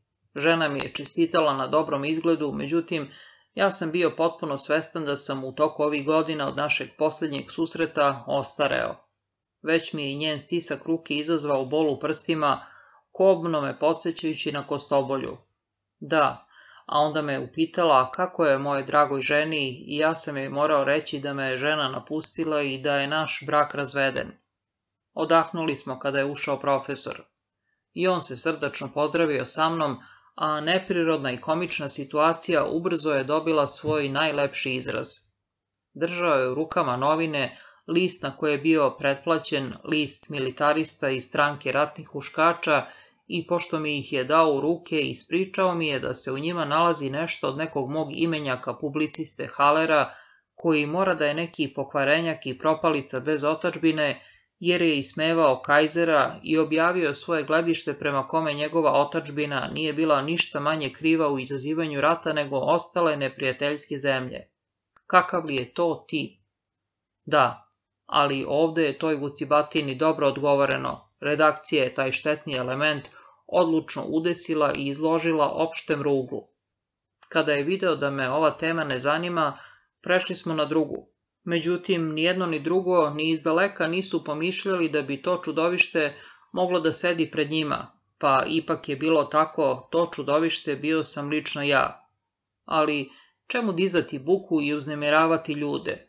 U sebi sam se smejao, ali sam izgubio i posljednju nadu da ću te večeri doživeti nešto prijatno. Taj trenutak mi je jasno ostao u sećenju. Naime, za vreme dok je profesor govorio o izdajniku Haleru, u meni se zgusnulo opako osjećanje depresije i očajanja, koje se nagomilavalo još od sahrane i sve više pojačavalo, pretvarajući se u odvratan pritisak, u neku telesnu tegobu u donjem delu tela, neko predosjećanje puno strepnje koje me je gušilo. Osjećao sam da me nešto vreba, iz pozadine se šunjala neka opasnost. Tog časa srećom javiše da je večera gotova. Prešli smo u trpezariju i trudeći se da stalno govorim ili pitam nešto bezazleno, jeo sam više nego što sam navikao i svakog trenutka osjećao sam se sve jadnije. Bože moj, mislio sam bez prestanka zašto se toliko naprežemo. Jasno sam osjećao da se ni moji domaćini ne osjećaju prijatno i da im živahnost zadaje muka, bilo zato što sam ja unosio takvo mrtvilo, bilo što je i inače vladalo neko neraspoloženje u kući. Postavljali su mi sve takva pitanja na koja je iskren odgovor bio nemoguć, pa sam uskoro ogrezao u lažima, boreći se sa gađenjem pri svakoj reči. Počeo sam najzad da bih skrenuo tok razgovora, da pričam o sahrani koju sam danas posmatrao. Ali nisam uspeo da pogodim ton i moji pokušaj da budem humorističan izazvali su neraspoloženje, tako da smo se sve više razilazili. Za to vreme je stepski vuk u meni kezio zube smejući se, a kad su posluženi slatkiši, svo troje smo bili već veoma čutljivi. Vratili smo se u prvu sobu da popijemo kafu i rakiju, u nadi da će nam to možda malo pomoći.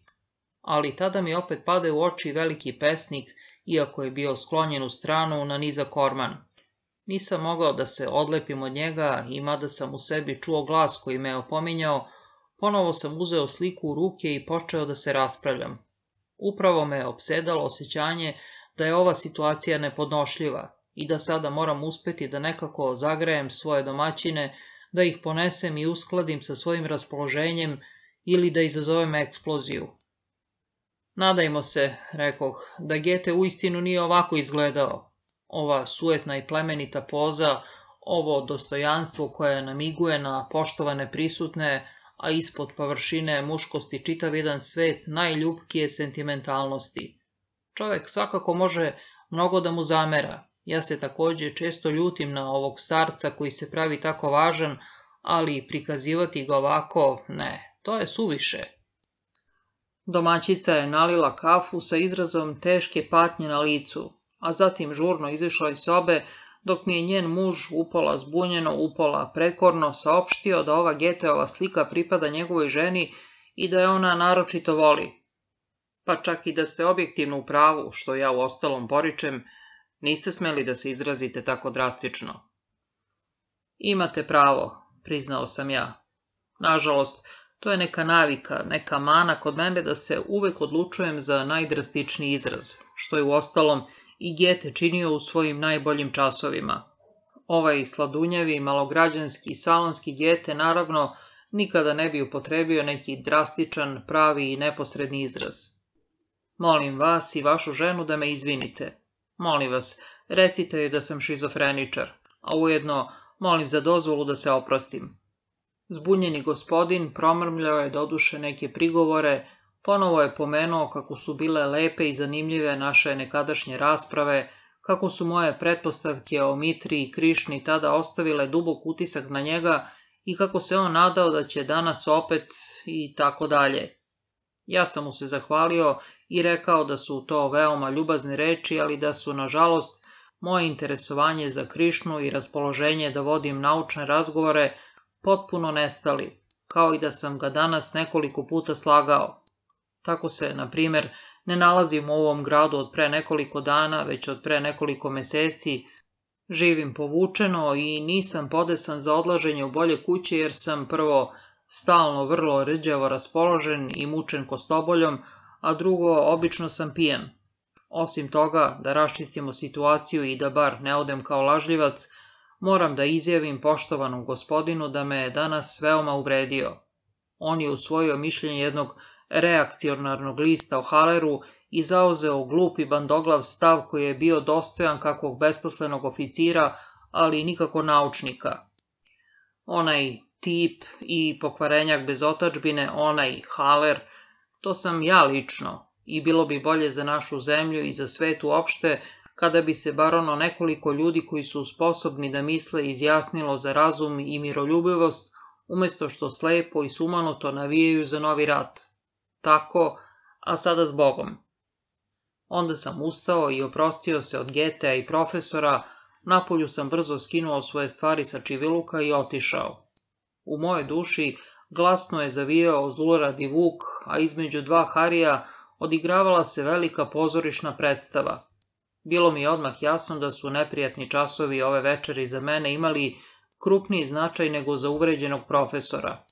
Za njega su bili razočarenje i mala ljutnja, ali za mene su oni bili posljednji neuspeh i bekstvo, moj oproštaj sa građanskim, moralnim i naučnim svetom, potpuna pobeda stepskog vuka. Bilo je to i opraštanje begunca i pobeđenog, priznanje bankrota pred samim sobom i rastanak bez utehe, bez ikakve nadmoći i bez humora. Opraštao sam se sa svojim nekadašnjim svetom i domovinom, sa građanskim životom, moralom i učenošću, kao što se čovek koji boluje od čira u stomaku oprašta sa svinskim pečenjem. Sav besan trčao sam ispod uličnih svetiljki, besan i samrtnički tužan. Kakav je ovo neutešan, mučan i opak dan od jutra do mraka, od groblja pa sve do scene kod profesora. A čemu? Zašto? Da li ima smisla natovariti sebi još više ovakvih dana, pokusati još više ovakvih čorbi? Ne. I zato ću noćas okončati ovu komediju. Idi kući, Hari, i preseci sebi grkljan. Dosta si čekao. Trčao sam ulicama tamo amo dok me je sobstvena beda davila. Razume se, bilo je glupo od mene što sam onim čestitim ljudima ispljuvao njihov salonski ukras, bilo je glupo i nevaspitano, ali eto, nisam mogao drugčije, nisam mogao više da podnesem taj pitomi, lažni i uglađeni život. A pošto, kako mi se činilo, više nisam mogao da podnesem ni samoću, pošto sam i sobstveno društvo beskrajno mrzeo i gadio ga se, pošto sam u bezvazdušnom prostoru svoga pakla, daveći se, udarao oko sebe, Kakav mi je još izlaz preostajao? Nije ga bilo. Oh, oče, majko, oh, daleki svetli plamenovi moje mladosti, oh, vi hiljade radosti, vi radovi i ciljevi moga života. Ništa mi nije ostalo od svega toga, čak ni kajanje, već samo gađenje i bol. Činilo mi se da me sama činjenica da moram da živim nikada nije toliko pekla kao toga časa. Za trenutak sam se odmorio u nekoj bednoj krčmi u predgrađu, pio vode i konjaka, zatim sam otrčao dalje, kao da mi je đavo za petama, gore dole niz strme, krivudave ulice starog dela grada, preko aleja i trga ispred stanice. Otputovati, pomislio sam, ušao u staničnu zgradu i piljio u redove vožnje po zidovima, popio sam i malo vina, pokušavajući da se priberem. Utvara koje sam se bojao dolazila je sve bliže i sve sam je jasnije video. Bio je to povratak kući u svoju sobu i ono nasilno mirovanje pred očajem. To nisam mogao da izbegnem, makar još satima trčkarao tamo amo. Nisam mogao da izbegnem povratak svojim vratima, stolu sa knjigama, divanu i slici moje Dragane iza njega, nisam mogao da izbegnem trenutku u kome ću naoštriti nož za brijenje i preseći sebi grkljen. Sve se jasnije ucrtavala predamnom ova slika i sve jasnije sam, dok mi je srce ludo udaralo, osjećao strah nad strahom. Strah od smrti. Da, užasno sam se bojao smrti. Iako nisam video drugog izlaza, iako su se u meni nagomilali gađenje, bol i očajanje, iako više ništa nije moglo da me privuče, da u meni probudi radost i nadu, ipak sam se užasno, neizrecivo bojao smrti, posljednjeg trenutka, hladnog, razijapljenog reza u sobstvenom mesu. Nisam video puta kojim bih umakao toj strahoti. Ako danas u borbi između očajanja i kukavičluka možda opet pobedi kukavičluk, sutra i svakog dana predavnom će stajati očajanje, uvećano samo prezrenjem. Uzimaću u ruke nož i opet ga odbacivati sve dok jednom ipak ne izvršim čin. Pa onda bolje još danas, govorio sam samom sebi razložno, kao kakvom zaplašenom detetu, ali dete nije htelo da sluša, već je bežalo jer je htelo da živi. Trzalo me i vuklo dalje gradom, obilazio sam oko svoga stana u širokom luku, neprestano misleći na povratak, a odlažući ga stalno. Tu i tamo svratio bih u poneku krčmu na čašicu, pa i dve, a zatim sam morao dalje u širokom krugu oko cilja, oko noža za brijanje, oko smrti. S vremena na vreme bih, smrtno umoran, posedeo na nekoj klupi, na ivici nekog bunara, na nekom kamenom međašu, slušao kako mi srce kuca, brisao znoj sa čela, a zatim opet trčao dalje, pun samrtnog straha i drhtave čežnje za životom. Tako me, kasno u noć, ta ista sila naterala da uđem u jednu gostionicu iza čijih je prozora odjekivala muzika za igru i to u nekom zablačenom meni malo poznatom predgrađu. Iznad ulaznih vrata pročitao sam starinski natpis kod Crnog orla. Unutra je bilo veselje u punom jeku, bučna ljudska vreva, dim, isparenje vina i vika, a u dvorani iza ove se igralo, tamo je besnela muzika za igru. Ostao sam u prednjoj prostoriji, gde su sedeli sve sami, jednostavni, prilično sirotinski odeveni ljudi, dok su se pozadi u dvorani za igru mogle vidjeti i neke elegantne prilike. Pritisnut gomilom, obreo sam se na drugom kraju prostorije. Pored bifea, za jednim stolom za kojim je na klupi uza zid sedela lepuškasta bleda devojka u tankoj duboko izrezanoj balskoj haljini sa uvelim cvetom u kosi. Videći da je se približujem, devojka me je pogledala pažljivo i ljubazno i pomerila se malo u stranu da mi napravi mesta. Smem li? Upitao sam i seo pored nje. Razume se da smeš, reče ona. A ko si ti? Hvala, rekoh joj. Nemogućno mi je da idem kući. Ne mogu. Pa ne mogu, pa hoću da ostanem ovde kod vas, ako dozvolite. Ne, ne mogu da idem kući. Ona klimnu glavom kao da me je shvatila i dok je to činila, posmatrao sam uvojak koji je sa čela padao preko uveta i video da je onaj uveli cvet kamelija. Sa drugog kraja treštala je muzika, za bifeom su kelnerice žurno dovikivale svoje poručbine. Ostani ovde, reče ona glasom koji mi je godio.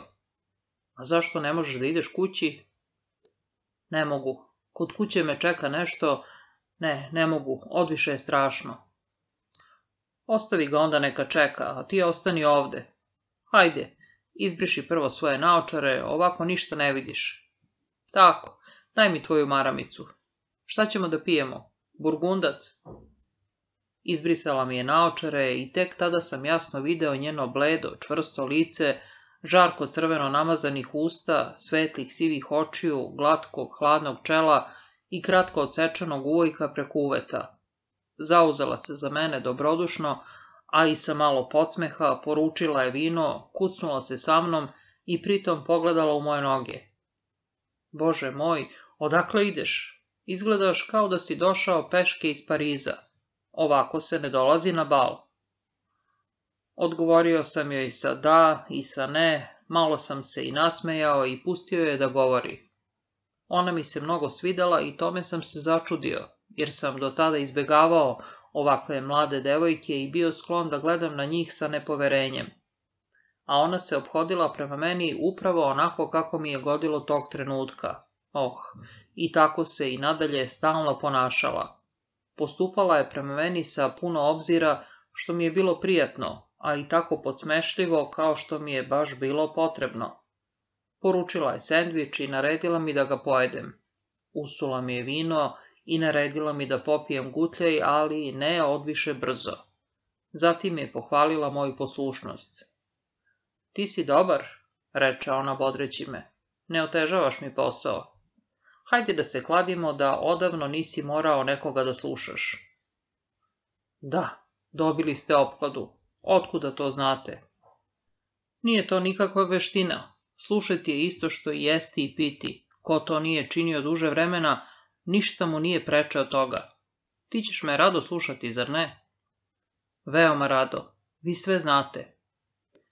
S tobom je lako. Možda bih ti, prijatelju, mogla reći šta te čeka kod kuće i čega se toliko plašiš. Ali ti to znaš i sam, ne moramo o tome da govorimo, zar ne? Glupost. Ako neko hoće da se obesi, e pa lepo, neka se obesi, verovatno ima svojih razloga za to. Ili taj isti živi i sada i onda treba da se brine samo o životu. Sasvim prosto. Oh, uzviknuo sam, kad bi to bilo tako prosto. Ja sam se, tako mi Boga, prilično brinuo o životu, pa ništa nije vredalo. Možda je teško obesiti se, ne znam, ali živeti je mnogo, mnogo teže. Sam Bog zna koliko je teško. E pa, vidjet ćeš koliko je to lako. Već smo počeli, ti si izbrisao svoje naočare, i pio.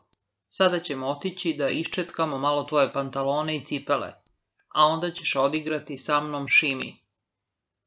Eto vidite, Uzviknuo sam žustro. Ipak sam bio u pravu. Ništa mi nije žalije nego da ne izvršim neko vaše naređenje. Ali ovo ne mogu. Ne umem da igram šimi, pa ni valcer, ni polku i kako se još te stvari zovu, nikada u životu nisam učio da igram. Vidite li sada da nije sve tako prosto kako vi mislite? Lepa devojka se nasmešila svojim žarko crvenim usnama i zatresla svojom čvrstom, dečački očešljanom glavom. Dok se mi gledao, učinilo mi se da liči na Rozu Chrysler, prvu devojku u koju sam se kao dečak zaljubio, ali ona bila crmpurasta i tamne kose. Ne, nisam znao na koga me podsjeća ova nepoznata devojka. Znao sam samo da je to morao biti neko iz sasvim rane mladosti, iz doba dečaštva. Polako, viknu ona, polako. Ti, dakle, ne umeš da igraš. Uopšte ne umeš. Čak ni van step. A međutim tvrdiš da si se Bog zna kako brinuo o svom životu. Slagao si malo, momče, a to u tvojim godinama ne bi trebalo da činiš. Kako si mogao da kažeš da si se brinuo o svom životu kad nećeš čak ni da igraš? Ali kad ne umem, nikada nisam učio. Ona se smejala. A učio si da čitaš i da pišeš, jeli, pa i da računaš, a verovatno i latinski i francuski i slično. Kladila bih se da si sedeo u školi 10 ili 12 godina, da si možda posle još i studirao, možda čak imaš i doktorsku titulu i znaš kineski ili španski. Ili ne? E, vidiš. A nisi mogao da nađeš malo vremena i novaca za časove igranja. Eto. Krivi su moji roditelji, pravdao sam se ja. Oni su me dali da učim latinski i grčki i sve ostalo, ali nisu mi dali da uzimam časove igranja, to kod nas nije bilo u modi. Moji roditelji takođe nikada nisu igrali. Pogledala me hladno i s velikim prezrenjem i opet se na njenom licu pojavilo nešto što me posjećalo na mladićko doba. Tako znači, krivi su tvoji roditelji. A jesi li ih pitao da li večera smeš da ideš kod Crnog Orla? Jesi li? Oni su već odavno mrtvi, kažeš. Pa dobro. Recimo da u mladosti nisi hteo da naučiš da igraš zbog silne poslušnosti, iako ne verujem da si u to vreme bio tako primeran dečak. Ali kasnije, šta si radio kasnije tokom dugih godina? Ah, morao sam priznati, ne znam više ni sam. Studirao sam, svirao, čitao knjige, pisao knjige, putovao. Imaš čudne pojmove o životu. Uvijek si se dakle bavio teškim i komplikovanim stvarima, a one proste uopšte nisi učio. Nisi imao vremena ili volje. Što se mene tiče, neka i tako, hvala Bogu, nisam ti mati. Al da se posle praviš kao da si okušao život, ali ništa u njemu nisi našao, ne, to ne ide. Nemojte me grditi, molio sam je. Znam da sam lud. Eh, koješta, šta mi sad tu zanovetaš? Ti nikako nisi lud, gospodine profesore, čak si mi odviše malo lud. Ti si pametan na tako glup način da mi izgledaš baš kao kakav profesor. Hajde, pojedi još jedan sendvič, poslije ćeš mi pričati dalje. Nabavila mi je još jedan sendvič, posolila ga malko i tanko premazala senfom, zatim je ocekla jedan komadić za sebe i rekla mi da jedem. Jeo sam. Učinio bih sve što bi mi rekla, izuzev da igram. Bilo mi je neverovatno prijetno da slušam nekoga ko me ispituje, ko mi daje naređenja i ko me grdi. Da su to pre nekoliko časova učinili profesor ili njegova žena, uštedeli bi mi time mnogo štošta. Ali ne, dobro je bilo ovako, jer bi ih mnogo propustio. Kako se u stvari zoveš? upita me ona iznenada. Hari. Hari? Ime za dečaka. A ti jesi dečak, Hari, pored nekoliko sedih pramenova u tvojoj kosi. Ti si dečak i trebalo je da imaš nekoga ko bi se malo starao o tebi. O igranju više neću ništa da kažem. Ali kako si to očešljan, zar nemaš ženu ili Draganu? Nemam više ženu, razvedeni smo. Imam doduše Draganu, ali ona ne boravi ovde i vrlo je redko viđam. Ne slažemo se baš najbolje. Ona tiho zviznu kroz stisnute zube. Izgleda da si ti neki komplikovan gospodin, kada ni jedna ne ostaje pored tebe. Ali, reci mi sada, šta se to naročito desilo večeras kad si tako izbezumljeno trčkarao okolo? Da nije bilo neke gužve? Prokockao si novac? Bilo je teško objasniti joj. Vidite, počeh ja. Bila je to u stvari sitnica. Bio sam pozvan kod jednog profesora, ja sam nisam profesor, a u stvari nije trebalo da idem. Odvikao sam se da sedim kod ljudi i brbljam, odučio sam se od toga. Ušao sam u kuću, predosećajući već tada nešto rđevo. Čim sam okačio svoj šešir, pomislio sam da će mi možda uskoro zatrebati. I eto, kod tog profesora na stolu stajala je neka slika, neka glupa slika koja me je ljutila. Kakva slika? Zašto te je ona ljutila? Prekinu me ona. Slika koja je predstavljala GTA, znate, pesnika GTA, ali na slici nije bio onakav kakav je uistinu izgledao, to se naime uopšte ne zna tačno jer je umro pre sto godina. Neki moderni slikar doterao je GTA onako kako ga je on zamišljao i ta me je slika ljutila i bila mi je strahovito odvratna. Ne znam da li to možete da razumete. Odlično mogu da razumem, budi bez brige. Dalje. Još pre toga se nisam slagao s profesorom, on je, kao skoro svi profesori, veliki patriota i za vreme rata je i on svojski pomogao da se narod laže, naravno iz najiskrenijeg ubeđenja. A ja sam protivnik rata. Ali svejedno. Dakle, dalje. Najzad, nisam morao ni da pogledam tu sliku. To je tačno. Ali prvo, bilo mi je žao zbog GTA, on mi je naime veoma, veoma drag, a zatim pomislio sam, eto, pomislio sam ili sam osjećao nešto otprilike ovako. Evo me gde sedim ovde kod ljudi koje smatram sebi sličnim i za koje sam mislio da vole GTA kao i ja i da o njemu imaju istu sliku kakvu sam ja u sebi stvorio, a eno gde im tamo stoji ona neukusna, neistinita, sladunjava slika koju smatraju divnom, ne primećujući uopšte da je Njen duh sušta suprotnost Geteovog duha. Oni nalaze da je slika divna i što se mene tiče, neka ih, ali je sve moje poverenje u te ljude, sve moje prijateljstvo i osjećanje srodnosti i povezanosti s njima iščezlo i otišlo u nepovrat. Uostalom, prijateljstvo i onako nije bilo prisno, a onda sam se naljutio i rastužio, videvši da sam potpuno usamljen i da me niko ne razume. Shvatate li? To je lako shvatiti, Hari. A zatim, jesi li im tresnuo sliku o glavu? Ne, nisam, ali sam izrazio svoje negodovanje i brzo otišao, teo sam kući, ali... Ali tamo ne bi bilo mame da uteši svoga glupog dečaka ili da ga izgradi. E pa, Hari, ja te bezmalo žalim. Ti si neverovatno detinjast. Da bome, to sam uviđao, kako mi se činilo. Ona mi dade da popijem čašu vina. Odista se obhodila prema meni kao neka mama, ali sam povremeno za trenutak zapažao koliko je lepa i mlada. Dakle, počeo ona opet, dakle, Gete je umro pre sto godina, a Hari ga veoma voli i ima čudesnu predstavu o tome kako je izgledao, a na to Hari ima pravo, zar ne? Ali slikar koji takođe luduje za Geteom i koji je sebi stvorio njegovu sliku, taj na to nema pravo, ani profesor, niti uopšte iko drugi, jer se to Hariju ne sviđa, on to ne podnosi, on onda mora da negoduje i da beži. Da je pametan, on bi se jednostavno smejao i slikaru i profesoru. Da je lud, bacio bi im Getea u lice, ali pošto je samo mali dečak, trči kući i hoće da se obesi. Dobro sam razumela tvoju priču, Hari. Smešna je to priča. Ona me zasmejava. Stoj, nemoj da piješ tako brzo. Burgundac se pije polako, inače i suviše zagreva. Ali tebi se sve mora reći, mali dečače. Njen pogled je bio strog i pun opomena, kao u 60-godišnje guvernante. Oh, molio sam je zadovoljan, recite mi samo sve. Šta da ti kažem?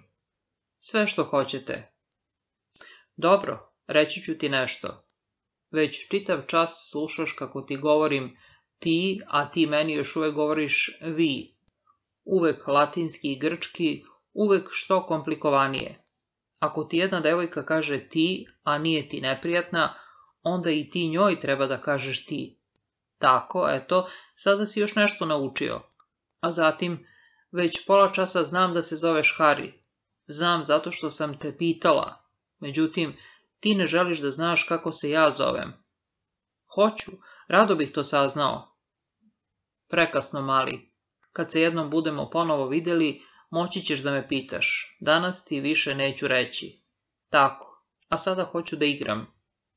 Spremala se da ustane i moje raspoloženje se pomrači. Uplaših se da će otići i ostaviti me samog, a onda bi sve opet bilo kao i pre.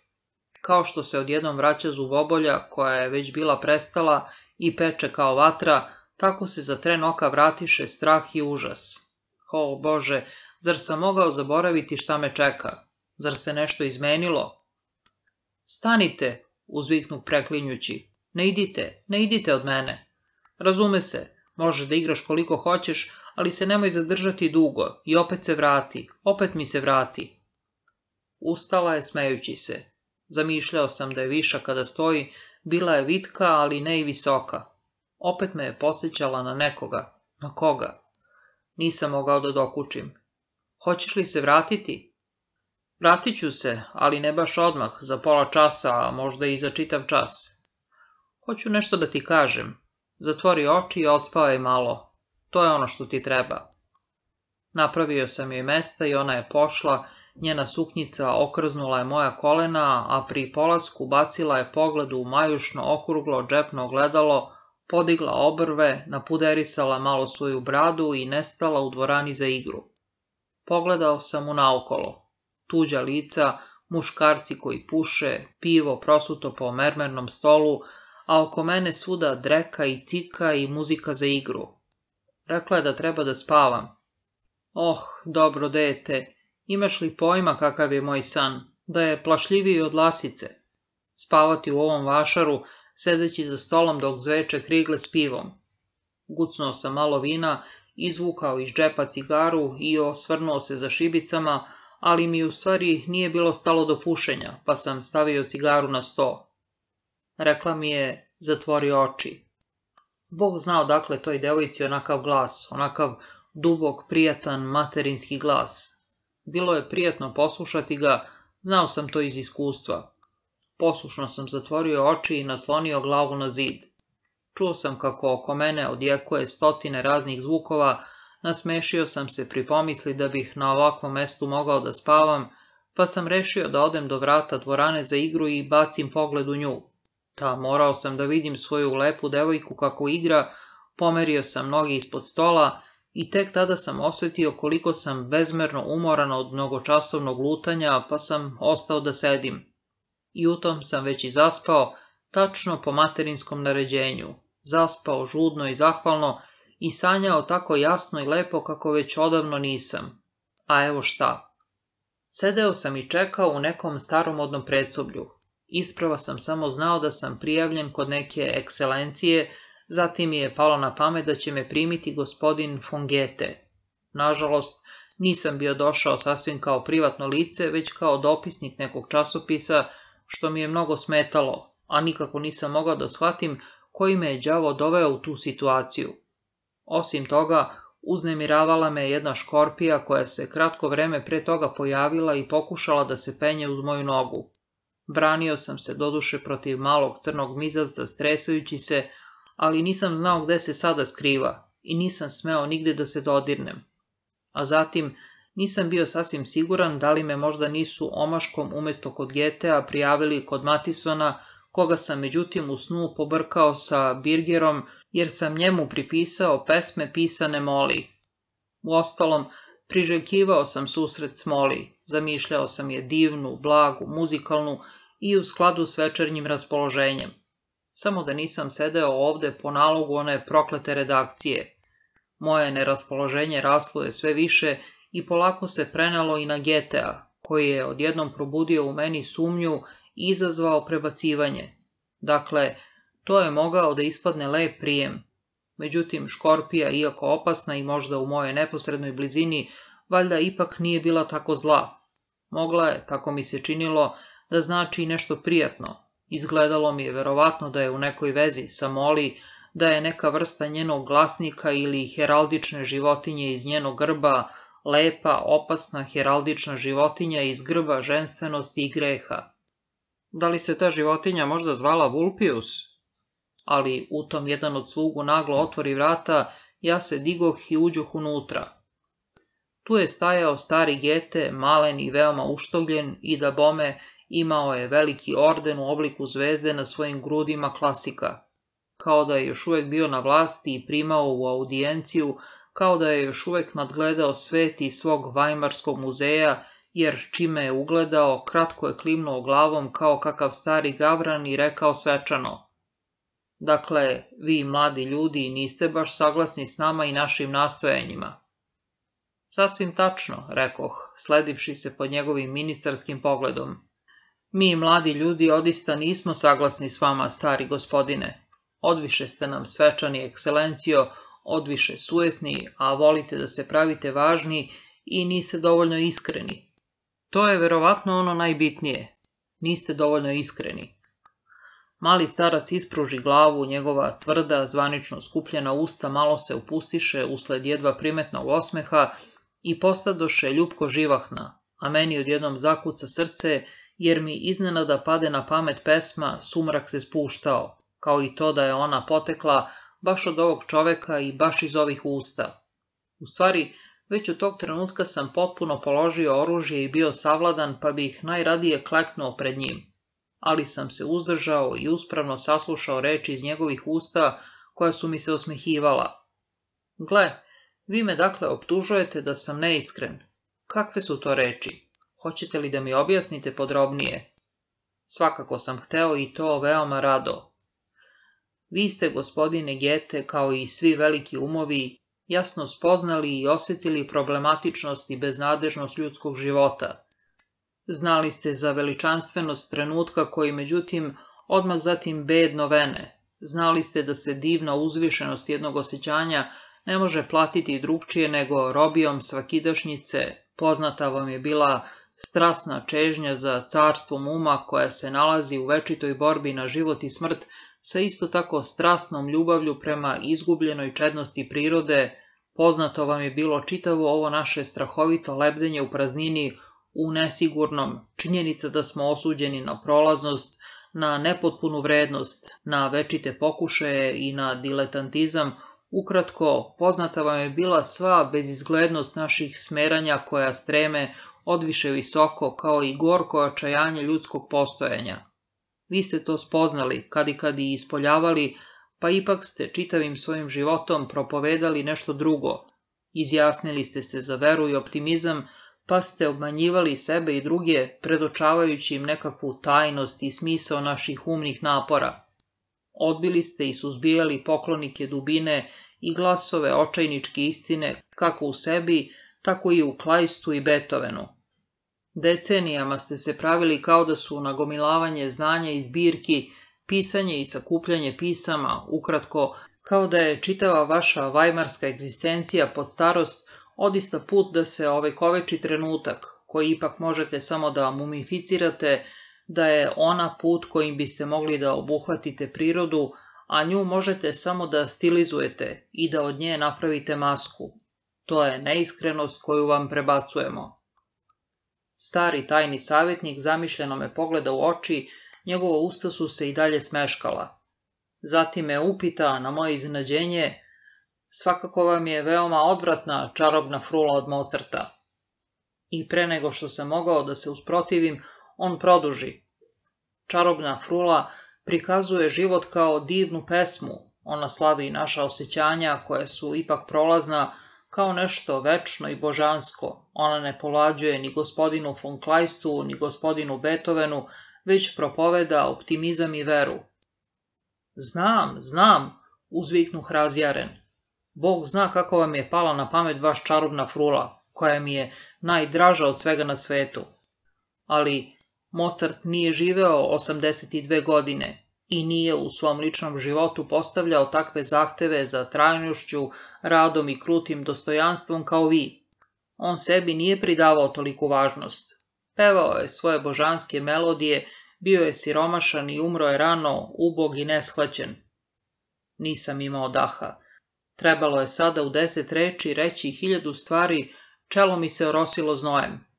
Međutim, Gete reče veoma ljubazno, Neka mi se i ne oprosti što sam doživeo 82 godine, ali moje zadovoljstvo zbog toga bilo je manje nego što vi mislite. Vi ste u pravu, uvek me ispunjavala snažna želja za trajnošću. Uvek sam se bojao smrti i borio se protiv nje. Verujem da su borba protiv smrti i bezuslovna tvrdoglava volja da se živi podstrek po kome su delali i živeli svi izvanredni ljudi. Da čovek na kraju ipak mora da umre, mladi moji prijatelju, dokazao sam u 82. godini isto tako nepobitno kao i da sam umro kao đak. Ukoliko to može da me opravda, hteo bih vam reći još i ovo. U mojoj prirodi bilo je mnogo detinjastoga, mnogo radoznalosti, velika je bila moja želja da se igram i volja da gubim vreme. Zato mi eto trebalo mnogo vremena da uvidim da se igra jednom mora završiti. Dok je ovo govorio, smeškao se vrlo prepredeno, tako reći mangupski. Stas mu je postao viši, a u izrazu lica nestalo je ukočenosti i grčevitog dostojanstva. Vazduh oko nas bio je sada pun melodija, sve samih melodija Geteovih pesama, jasno sam čuo Mozartovu ljubičicu i Šubertovo, opet puni šlugova i doline. Geteovo lice sada je bilo rumeno i mlado, bilo je nasmešeno i čas je ličio na Mozarta, čas na Šuberta, kao brat na brata. Zvezda na njegovim grudima bila je sastavljena od samog poljskog cveća, a u sredini je cvetala jedna žuta jagorčevina, bujna i radosna. Nije mi bilo sasvim po volji što je starac na tako šaljiv način hteo da se izvuče iz mojih pitanja i optužbi, pa sam ga prekorno pogledao. Tada se on nagnu prema meni, približivši mi svoje usta, usta koje su postajala već sasvim detinska, i tiho mi prošapta na uvo. Dečače moj, ti suviše ozbiljno shvataš starog GTA. Stare ljude koji su već umrli ne treba shvatati ozbiljno, jer im se time nanosi nepravda. Mi besmrtnici ne volimo da nas shvataju ozbiljno, mi volimo šalu. Ozbiljnost, dečače moj, to je stvar vremena. Odaću ti da ona nastaje zbog precenjivanja vremena. I ja sam nekada precenjivao vrednost vremena, zato sam i hteo da doživim sto godina. Ali vidiš, u večnosti vreme ne postoji, večnost je samo trenutak, taman dovoljan za jednu šalu. Odista se s tim čovekom više nije mogla progovoriti ni jedna ozbiljna reč. Veselo i gipko je poigravao tamo amo, a Jagorčevina iz njegovog ordena je čas iskakala kao kakva raketa, čas se smanjivala i nestajala. Dok je on zadivljavao svojim koracima u igri i figurama, morao sam pomisliti na to kako ovaj čovek bar nije propustio da nauči da igra. Igrao je izvanredno. Onda mi opet pade na pamet škorpija, bolje reći Moli, pa doviknu Geteu, recite mi, zar Moli nije tu?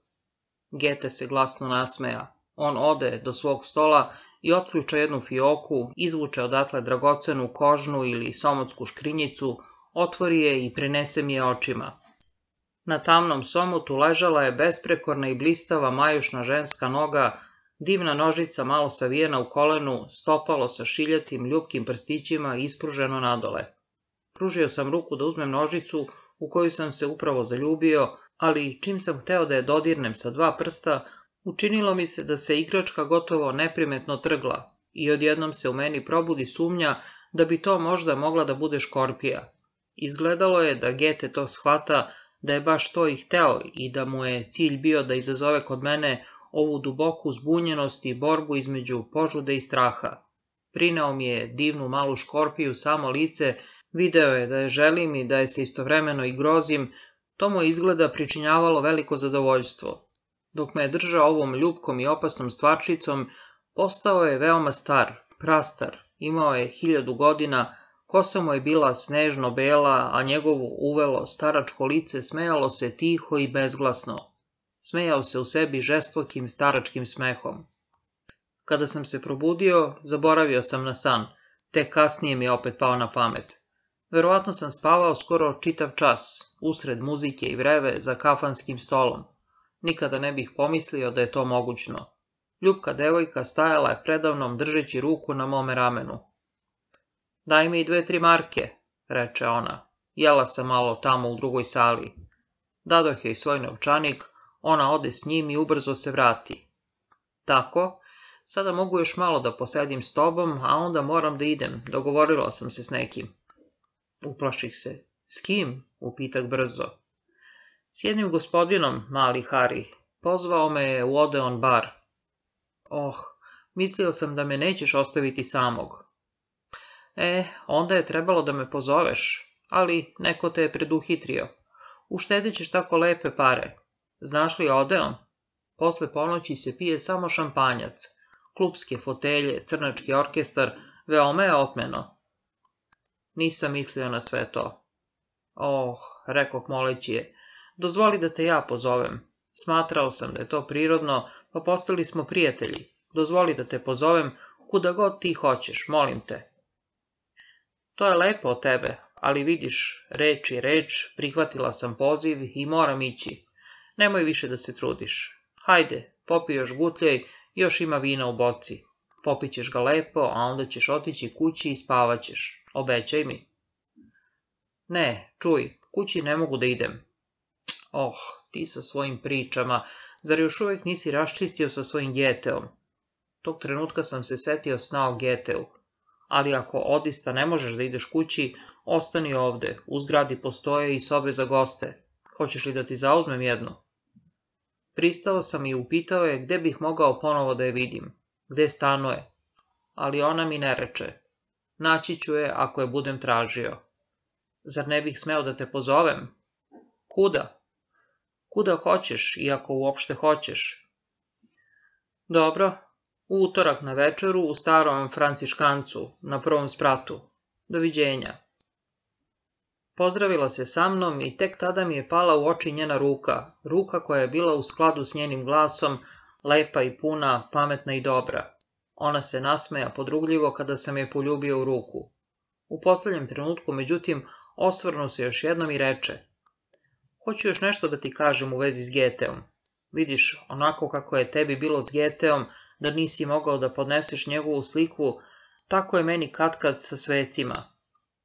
Sa svecima? Zar si tako pobožna? Ne, nisam pobožna, nažalost, ali sam nekada bila i jednom ću opet biti. Čovek nema vremena da bude pobožan. Nema vremena? Zar je za to potrebno vreme? Da bome, za pobožnost je potrebno vreme, pa čak i nešto više, nezavisnost od vremena. Ne možeš da budeš istinski pobožan i da istovremeno živiš u stvarnosti i shvataš ozbiljno i vreme i novac i odeon bar i sve ostalo. Razumem. A ono sa svecima? Eto, ima nekoliko svetaca koje naročito volim. Stefan, Franja i drugi. Kad kada vidim njihove slike, a i slike spasitelja i majke Božije, tako neke lažne, izvitoperene, zatlupljujuće slike koje su mi isto tako odvratne kao tebi ona Geteova. Kada tako ugledam nekog sladunjavog, glupavog spasitelja ili svetog Franju i vidim kako drugi nalaze da su te slike lepe i da donose okrepljenje, učini mi se to kao neka uvreda nanesena pravom spasitelju i pomislim, oh, zašto je živeo i patio tako strašno, kada je ljudima dovoljna jedna takva glupa slika o njemu. Pa ipak, znam da je i moja slika spasitelja ili Franje samo ljudska slika koja nije dostojna pravog spasitelja ili pravog Franje i da bi se spasitelju moja unutrašnja slika o njemu učinila isto tako glupa i nepotpuna kao što se meni čine one sladunjave reprodukcije. Ne kažem ti ovo da bih ti dala za pravo u tvom neraspoloženju i besu protiv Geteove slike, ne, ti nisi u pravu. Kažem ti to samo da bih ti pokazala da mogu da te razumem. Vama, naučnicima i umetnicima, dolaze u glavu svakojake nastrane misli, ali ste ipak ljudi kao i svi drugi, a i mi u glavi imamo svoje snove i igre. Primetila sam naime, učeni gospodine, da si se malo zbunio kada je trebalo da mi ispričaš ono Geteu. Morao si se napregnuti kako bi svoje idealne misli meni, jednostavnoj devojci, objasnio razumljivo. Pa zato bih želela da ti pokažem da nije trebalo da se naprežeš. Razumem te i bez toga. Tako, a sada dosta. Tebi je mesto u krevetu. Otišla je, a mene je stari gostionički sluga odveo dva sprata više. Prvo se raspitao za moj prtljag i kada je čuo da ga nemam, morao sam da platim unapred taksu za spavanje, kako se on izrazio. Zatim me preko starog i mračnog stepeništa uveo u neki sobičak i ostavio me samog. Tu je stajao kratak i veoma tvrd drveni krevet, a na zidu je visila nekakva sablja i Garibaldijeva slika u boji kao i uveli venac sa proslave nekog udruženja. Mnogo bih dao da sam mogao imati spavaću košulju. Ali je tu bar bilo vode i jedan mali ubrus, mogao sam da se umijem, a onda sam u odelu legao na krevet, ostavljajući osvetljenje da gori, imao sam dovoljno vremena za razmišljanje. Dakle, sa Geteom sam bio načisto. Divno je bilo što mi je došao u snu. Pa ona čudesna devojka, da sam joj bar znao ime. Odjednom jedno ljudsko biće, živo ljudsko biće, koje je razbilo mutno stakleno zvono moje obamrlosti i pružilo mi ruku, svoju dobru, lepu, toplu ruku. Odjednom je opet bilo stvari koje su me se ticale, na koje sam mogao misliti s radošću, brigom i napetošću. Odjednom su se otvorila jedna vrata kroz koja je ušao život idući mi u susret. Možda sam ponovo mogao da živim i možda sam ponovo mogao da postanem čovek. Moja duša, obamrla od hladnoće i gotovo zaleđena, opet je disala i sanjivo udarala svojim malim, slabim krilima. Gete je bio sa mnom. Jedna devojka mi je naredila da jedem, da pijem, da spavam. Bila je ljubazna prema meni. Ismevala me i nazivala glupim malim dečakom.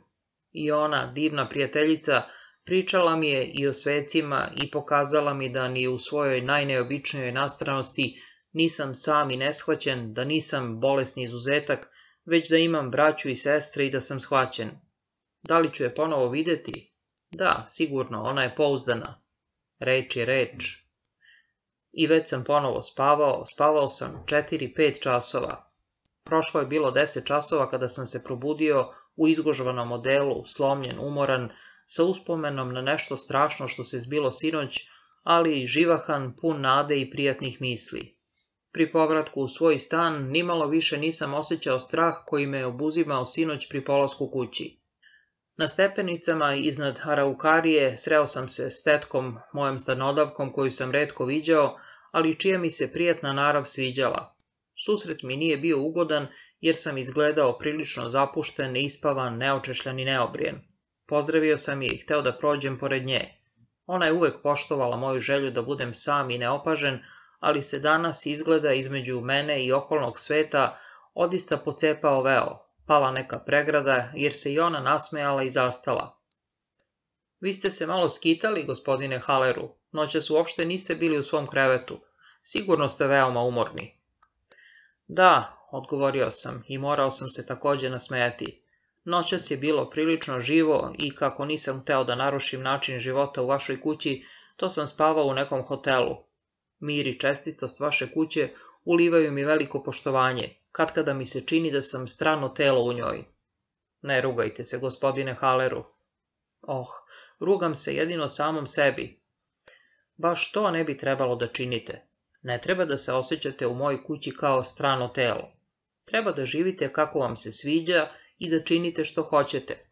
Imala sam već mnoge veoma, veoma čestite stanare, prave bisere čestitosti, ali nijedan nije bio mirniji, nijedan nije manje smetao od vas. A sada, hoćete li jedan čaj? Nisam se opirao. Poslužila me je čajem u svom salonu sa lepim slikama predaka i starinskim nameštajem, ćaskali smo i prijatna žena je saznala što što iz mog života i mojih misli ne pitajući me ništa, već slušajući s poštovanjem, ali ujedno i sasvim materinski, ne shvatajući me ozbiljno kao što to obično čine razumne žene kada su u pitanju nastranosti muškaraca. Bilo je govora i o njenom nećaku i ona mi je u susednoj sobi pokazala njegov najnoviji rad kojim se bavio u svojim slobodnim časovima, jedan radioaparat. Eto, vredni mladić sedeo je ovde u svoje slobodne sate i sklapao ovu mašinu, zanet idejom bežičnosti, klečeći pred bogom tehnike koji je posle hiljadu godina otkrio i prikazao ono što je svakom misliocu oduvek bilo poznato i što je on umeo razumnije da koristi.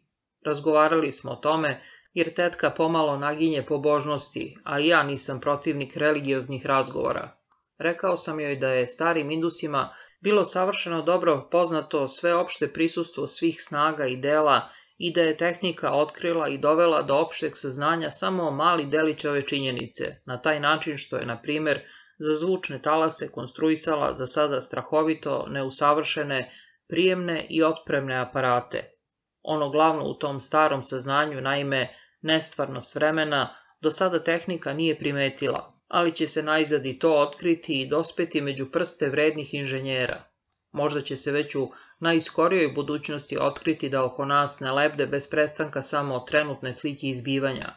Kao što sada možemo da slušamo muziku iz Pariza i Berlina u Frankfurtu ili Cirihu, moći ćemo jednog dana, sa ili bez žica, sa ili bez sporednih smetnji, da slušamo govor kralja Solomona ili Valtera od Fogelvajda, jer sve što se nekad zbilo možda još uvek postoji zabeleženo. I sve će to, kao i današnji prvi radioaparati, poslužiti ljudima samo da bi bežali od sebe i svojih ciljeva i pomagati im da se okruže što gušćom mrežom razonoda i nekorisnih zanimanja. O svim ovim meni dobro poznatim stvarima, međutim, nisam govorio s naglaskom gorčine i podsmeha prema vremenu i tehnici, već šaljivo, kao u igri, i tetka se smeškala pa smo čitav čas sedeli zajedno, pili čaj i bili zadovoljni. Za utorak uveče pozvao sam lepu, neobičnu devojku iz Crnog Orla i dosta me je truda stalo da nekako provedem vreme dotle. Najzad je došao utorak i upravo sam se uplašio kada mi je postalo jasno koliku važnost pridajem odnosu prema nepoznatoj devojci. Mislio sam samo na nju, očekivao sam sve od nje, bio sam spreman da joj žrtvujem sve i da joj sve položim pred noge, iako uopšte nisam bio zaljubljen u nju. Dovoljno je bilo da zamislim da će zaboraviti ili prekršiti naš dogovor, pa da jasno vidim šta bi to značilo za mene. Svet bi mi tada bio prazan jedan dan kao i drugi, sivi, bez ikakve vrednosti, oko mene bi opet vladala jeziva tišina i obamrlost, a iz tog nemog pakla ne bi bilo drugog izlaza osim noža za brijenje. Međutim, u toku ovih nekoliko dana nož za brijanje nije mi postao miliji i nimalo nije izgubio od svoje strahote. U tome je baš i bilo ono ružno. Duboko do dna duše plašio sam se reza preko svog grkljena, opirao se umiranju sa divljačkom, žilavom, propinjućom snagom, kao da sam najzdraviji čovek i kao da je moj život bio raj. Postao sam svestan svoga stanja sa potpunom i bezobzirnom jasnoćom, postao sam svestan da mi je zbog neizdržljive napetosti između nemogućnosti da živim i nemogućnosti da umrem tako važna, mala, nepoznata igračica iz Crnog Orla. Ona je bila prozorčić, majušni svetli otvor u tami moje špilje ispunjene strahom. Ona je bila spas i put u slobodu. Ona je morala da me nauči da živim ili da me nauči da umrem, ona je svojom čvrstom i lepom rukom morala da mi opipa sleđeno srce da bi ono pod dodirom života ponovo procvetalo ili se raspalo u prah. Odakle su joj izvirale te snage, otkuda je bila ta mađija, iz kakvih je tajanstvenih razloga ona dobila za mene ovakav dubog značaj, o tome nisam mogao da razmišljam i najzad to je bilo sporedno. Nije mi bilo stalo do tog saznanja. Više mi ni najmanje nije bilo stalo ni do kakvog saznanja, ni do kakvog sagledanja, jer sam bio prezasićen time. Baš u tome se i sastojala najoštrija i najpodrugljivija patnja i sramota za mene, što sam jasno video svoje stanje i bio ga svestan.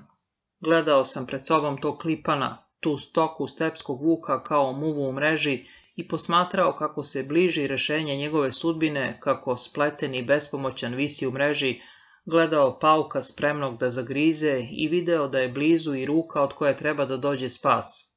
O uzrocima i vezama između moje patnje, moje duševne bolesti, moje opčinjenosti i neuroze, mogao sam da dam najrazumniji i najrazboritiji sud jer sam prozreo njihovu mehaniku. Ali meni nije bilo potrebno znanje i razumevanje. Ja nisam tako očajnički čeznuo za tim, nego za doživljavanjem, odlukom, udarcem i skokom.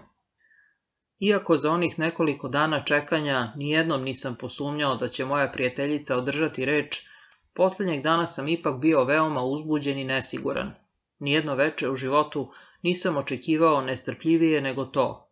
I mada su moja napregnutost i nestrpljenje postali skoro nepodnošljivi, istovremeno mi je to i godilo, meni, otrežnjenom čoveku koji već odavno ništa nije čekao i ničemu se nije radovao.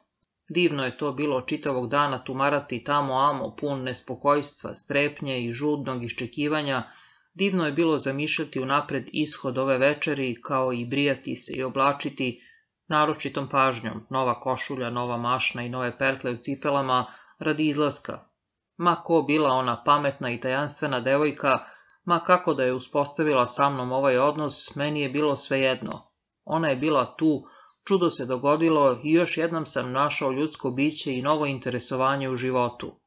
Važno je bilo samo da se to produži, da se predam toj privlačnosti i sledim tu zvezdu. Nezaboravan trenutak kada sam je ponovo ugledao. Sedeo sam za malim stolom starog prijetnog restorana, poručenim bez ikakve potrebe, unapred preko telefona i pregledao jelovnik, a predamnom u vodojnoj čaši Stajale su dve orhideje koje sam kupio za svoju prijateljicu. Morao sam da čekam prilično dugo, ali sam bio siguran u njen dolazak i više nisam bio uzbuđen. A zatim je ona došla, zastala pred garderobom i pozdravila me samo pažljivim, pomalo ispitivačkim pogledom svojih svetlo-sivih očiju. Pun podozrenja, pazio sam kako se Kjelner ponaša prema njoj. Ne, hvala Bogu, nije bilo nikakve intimnosti u njegovom ponašanju, držao se na odstojanju i bio besprekorno učtiv. Pa ipak su se poznavali, jer ga je ona zvala po imenu, Emil.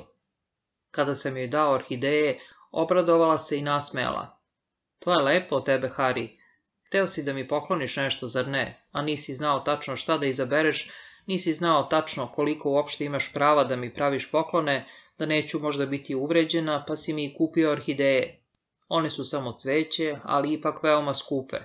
Dakle, hvala ti. Uostalom, hoću odmah da ti kažem, neću poklone od tebe. Ja živim od muškaraca, ali neću da živim od tebe. Nego, kako si se izmenio, ne mogu da te poznam. Onomac je izgledao kao da su te tog trenutka skinuli s konopca, a sada si već bezmalo čovek. Uostalom, jesi li izvršio moje naređenje? Koje naređenje? Zar si tako zaboravan? Mislim, Da li sada već umeš da igraš foxtrot? Rekao si mi da ništa više ne želiš nego da dobiješ naređenja od mene i da ti ništa nije milije nego da ih izvršavaš. Sećaš li se? O, da, i neka tako ostane, rekao sam to ozbiljno. Pa ipak nisi naučio da igraš. Zar se to može za svega nekoliko dana?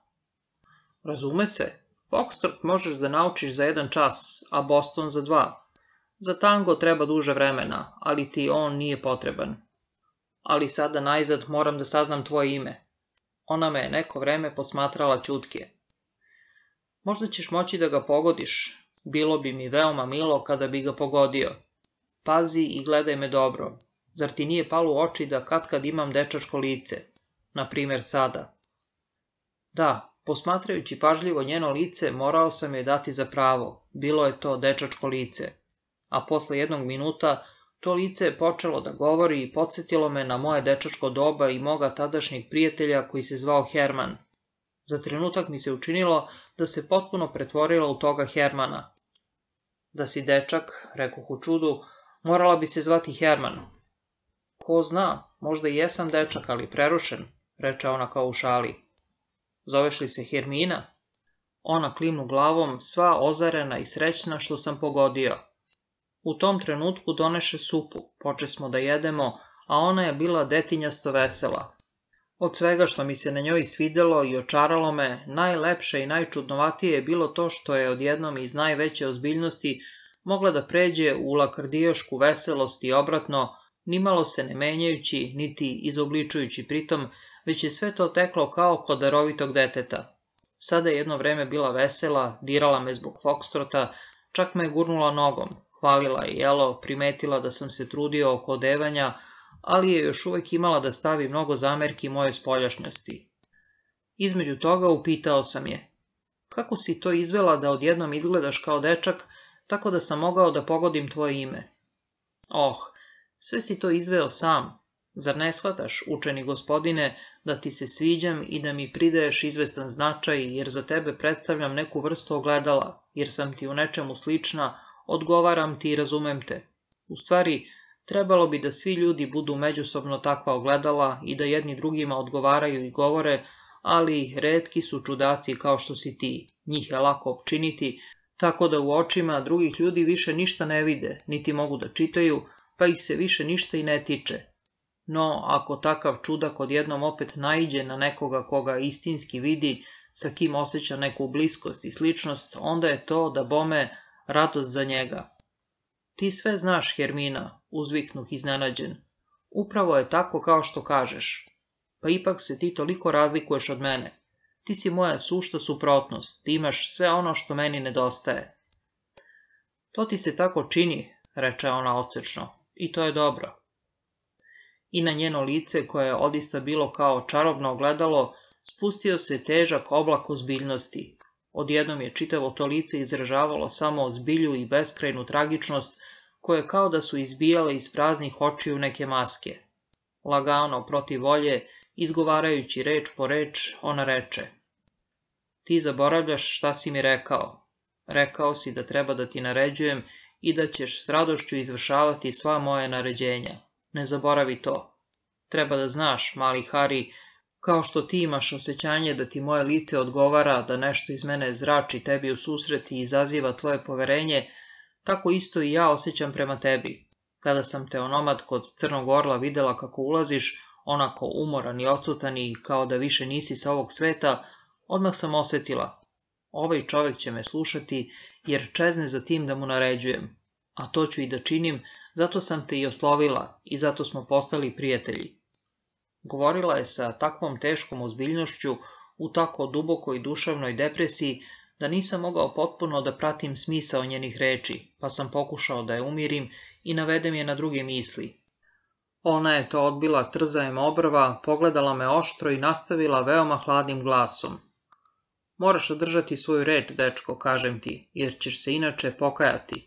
Dobijaćeš od mene mnoga naređenja i ispunjavat ćeš ih, lepa, prijatna naređenja koja ćeš izvršavati sa zadovoljstvom, a na posledku ćeš izvršiti i moje poslednje naređenje, Hari. Izvršit ću ga, rekoh tako reći protiv svoje volje, a kakvo će biti tvoje posljednje naređenje? Međutim, već sam ga naslučivao, Bog će znati zašto. Ona se strese kao u groznici i izgledalo je kao da se lagano budi. Njene oči me nisu ispuštale. Odjednom postade još mračnija. Bilo bi razborito da ti to ne kažem, ali neću da budem razborita, Harry, bar ne ovoga puta. Hoću nešto sasvim drugo. Pazi i slušaj me. Ti ćeš ovo čuti i zaboraviti, smejećeš se tome i plakaćeš. Pazi, dečko. Hoću, braco, da igram s tobom na život i smrt i hoću da ti otkrijem svoje karte još pre početka naše igre. Kako je lepo, kako nadzemaljsko bilo njeno lice kada je ovo izgovorila. U njenim hladnim i jasnim očima odražavala se sveznajuća tuga, kao da su te oči prepatile sve moguće patnje i kao da su na te patnje odgovorile potvrdno. Usta su izgovarala reči teško, s nekakvom smetnjom, kao kada se govori na velikom razu, kada je lice ukočeno. Ali usne, uglovi usana i samo na trenutak primetna igra vrška jezika izražavali su nasuprot pogledu i glasu slatku razigranu čulnost, žarku žudnju za nasladom. Preko mirnog glatkog čela padao je kratki uvojak i iz tog ugla čela i uvojka strujao je s vremena na vreme kao živi dah onaj talas sličnosti sa dečakom i hermafroditske čari. Slušao sam je sa strahom, pa ipak kao šamućen i samo upola prisutan. Voliš me, produži ona, iz razloga koji sam ti već rekla. Probila sam tvoju usamljenost, zaustavila te pred samim vratima pakla i ponovo te probudila. Ali ja hoću više od tebe, mnogo više. Hoću da se zaljubiš u mene. Ne, nemoj mi protivrečiti, pusti me da govorim. Ti me voliš, to osjećam i zahvalan si mi, ali nisi zaljubljen u mene. Hoću da to budeš, to sačinjava deo mog poziva, ja živim od toga da se muškarci zaljubljuju u mene. Ali, pazi dobro, ne činim to zato što smatram da si naročito privlačan. Ja nisam zaljubljena u tebe, Hari, isto kao što ni ti nisi u mene. Ali si mi potreban, kao što sam i ja tebi potrebna. Sada trenutno potrebna sam ti zato što si očajan i što ti treba udarac koji će te baciti u vodu da bi ponovo oživeo. Potrebna sam ti da bi naučio da igraš da bi naučio da se smeješ, da bi naučio da živiš. A meni si ti potreban ne danas, već kasnije, za nešto veoma važno i lepo. Kada se budeš zaljubio u mene, izdaću ti posljednje naređenje i ti ćeš ga izvršiti, a to će za mene biti dobro. Izvukla je malo iz čaše jednu od mrko ljubičastih orhideja sa zelenim žilicama i za trenutak nagnula nad nju svoje lice ukočeno gledajući u cvet. Neće ti biti lako, ali ćeš ga ipak izvršiti. Ispunit ćeš moj zahtev i ubićeš me. Eto, ne pitaj me više ništa. Učutala je, gledajući i dalje u orhideju, lice joj se rasplinulo kao pupolja kad se rascveta, tako da su sa njega postepeno iščezli pritisak i napetost i odjednom se na njenim usnama pojavio očaravajući osmeh, dok su joj oči još za trenutak ostale ukočene i prikovane za cvet a zatim je zatresla glavom sa malim dečačkim uvojkom, popila i vode i odjednom primetila da smo još pri obedu, pa je s radosnim apetitom navalila na razna jela.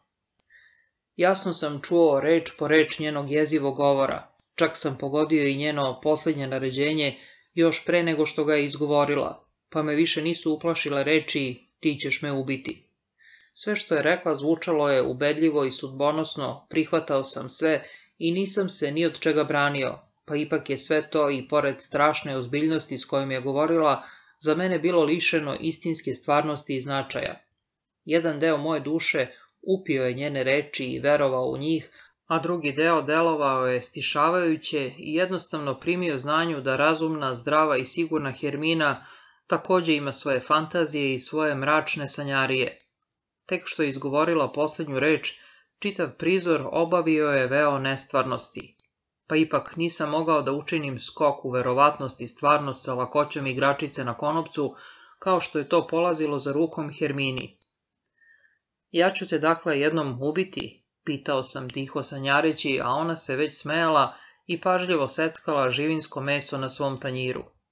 Razume se, klimnula je ovlaš glavom, ali dosta o tome, sad je vreme da se jede. Hari, Budi ljubazan i poruči mi još malo zelene salate. Zar nemaš apetita? Mislim da treba da naučiš sve što se kod drugih ljudi samo po sebi razume, pa čak i da osjećaš zadovoljstvo pri jelu. Dakle, vidi dečko, ovo je batačić od plovke i kada se ovo lepo, svetlo meso odvoji od kosti, onda je to pravi praznik i čovjek treba u srcu da osjeća istu takvu prijatnost, punoću i zahvalnost kao zaljubljeni kada prvi put pomaže svojoj devojci da skine kaput. Jesi li razumeo? Nisi? Baš si glup. Pazi, daću ti komadić ovog lepog plovčijeg batačića, pa ćeš i sam videti. Tako, otvori usta.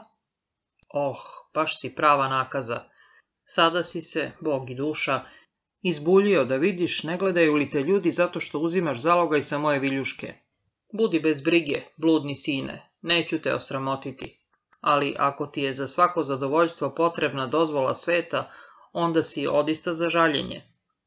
Malopređašnja scena sve više tonula u nestvarnost, bilo je sve manje verovatno da su ove oči još pre nekoliko minuta gledale onako ukočeno, teško i bile pune jeze.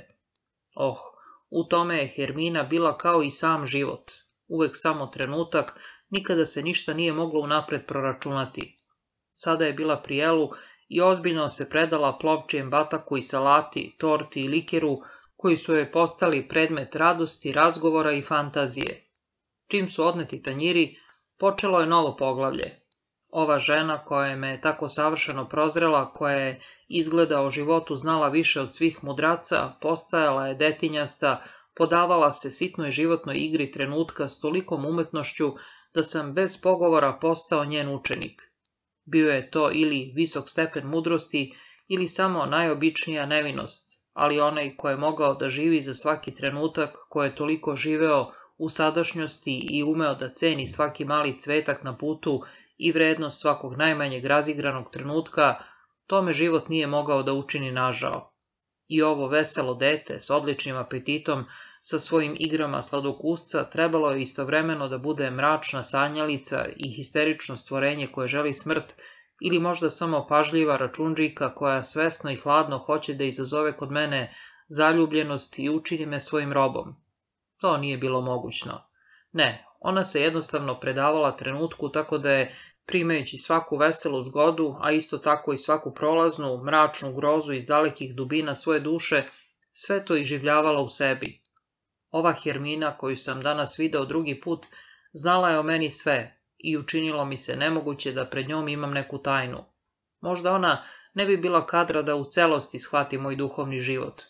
Možda ne bi bila u stanju da me sledi u mojim odnosima prema muzici, Geteu, Novalisu ili Bodleru, ali ni to nije bilo sigurno. Verovatno je čak da je i to ne bi stalo velikih napora.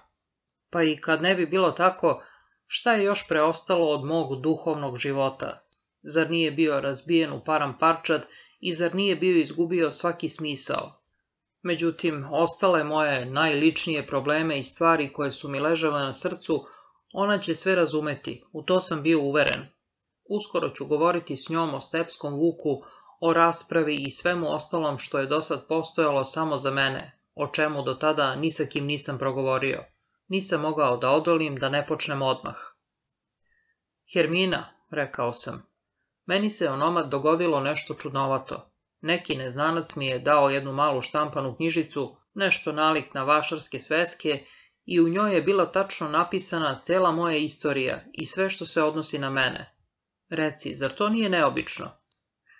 Kakav je naslov te knjižice? upita ona nemarno. Naslov glasi Rasprava o stepskom vuku. O, stepski vuk, sjajno. A taj stepski vuk si ti. To treba da si ti. Da, to sam ja. Ja sam stvorenje koje je pola čoveka, pola vuk, ili bar tako uobražavam. Ona mi ne odgovori. Pogleda me pažljivo i ispitivački u oči, zatim baci pogled na moje ruke i za trenutak se u njenim očima i na njenom licu opet pojaviše duboka ozbiljnost i malopređašnja mračna strast. Verovao sam da sam pogodio šta je pomislila, naime, da li sam dovoljno vuk da izvršim njeno posljednje naređenje. To je, razume se, samo tvoje obraženje, reče ona, vrativši se vedrom raspoloženju, ili ako hoćeš, neka vrsta poezije.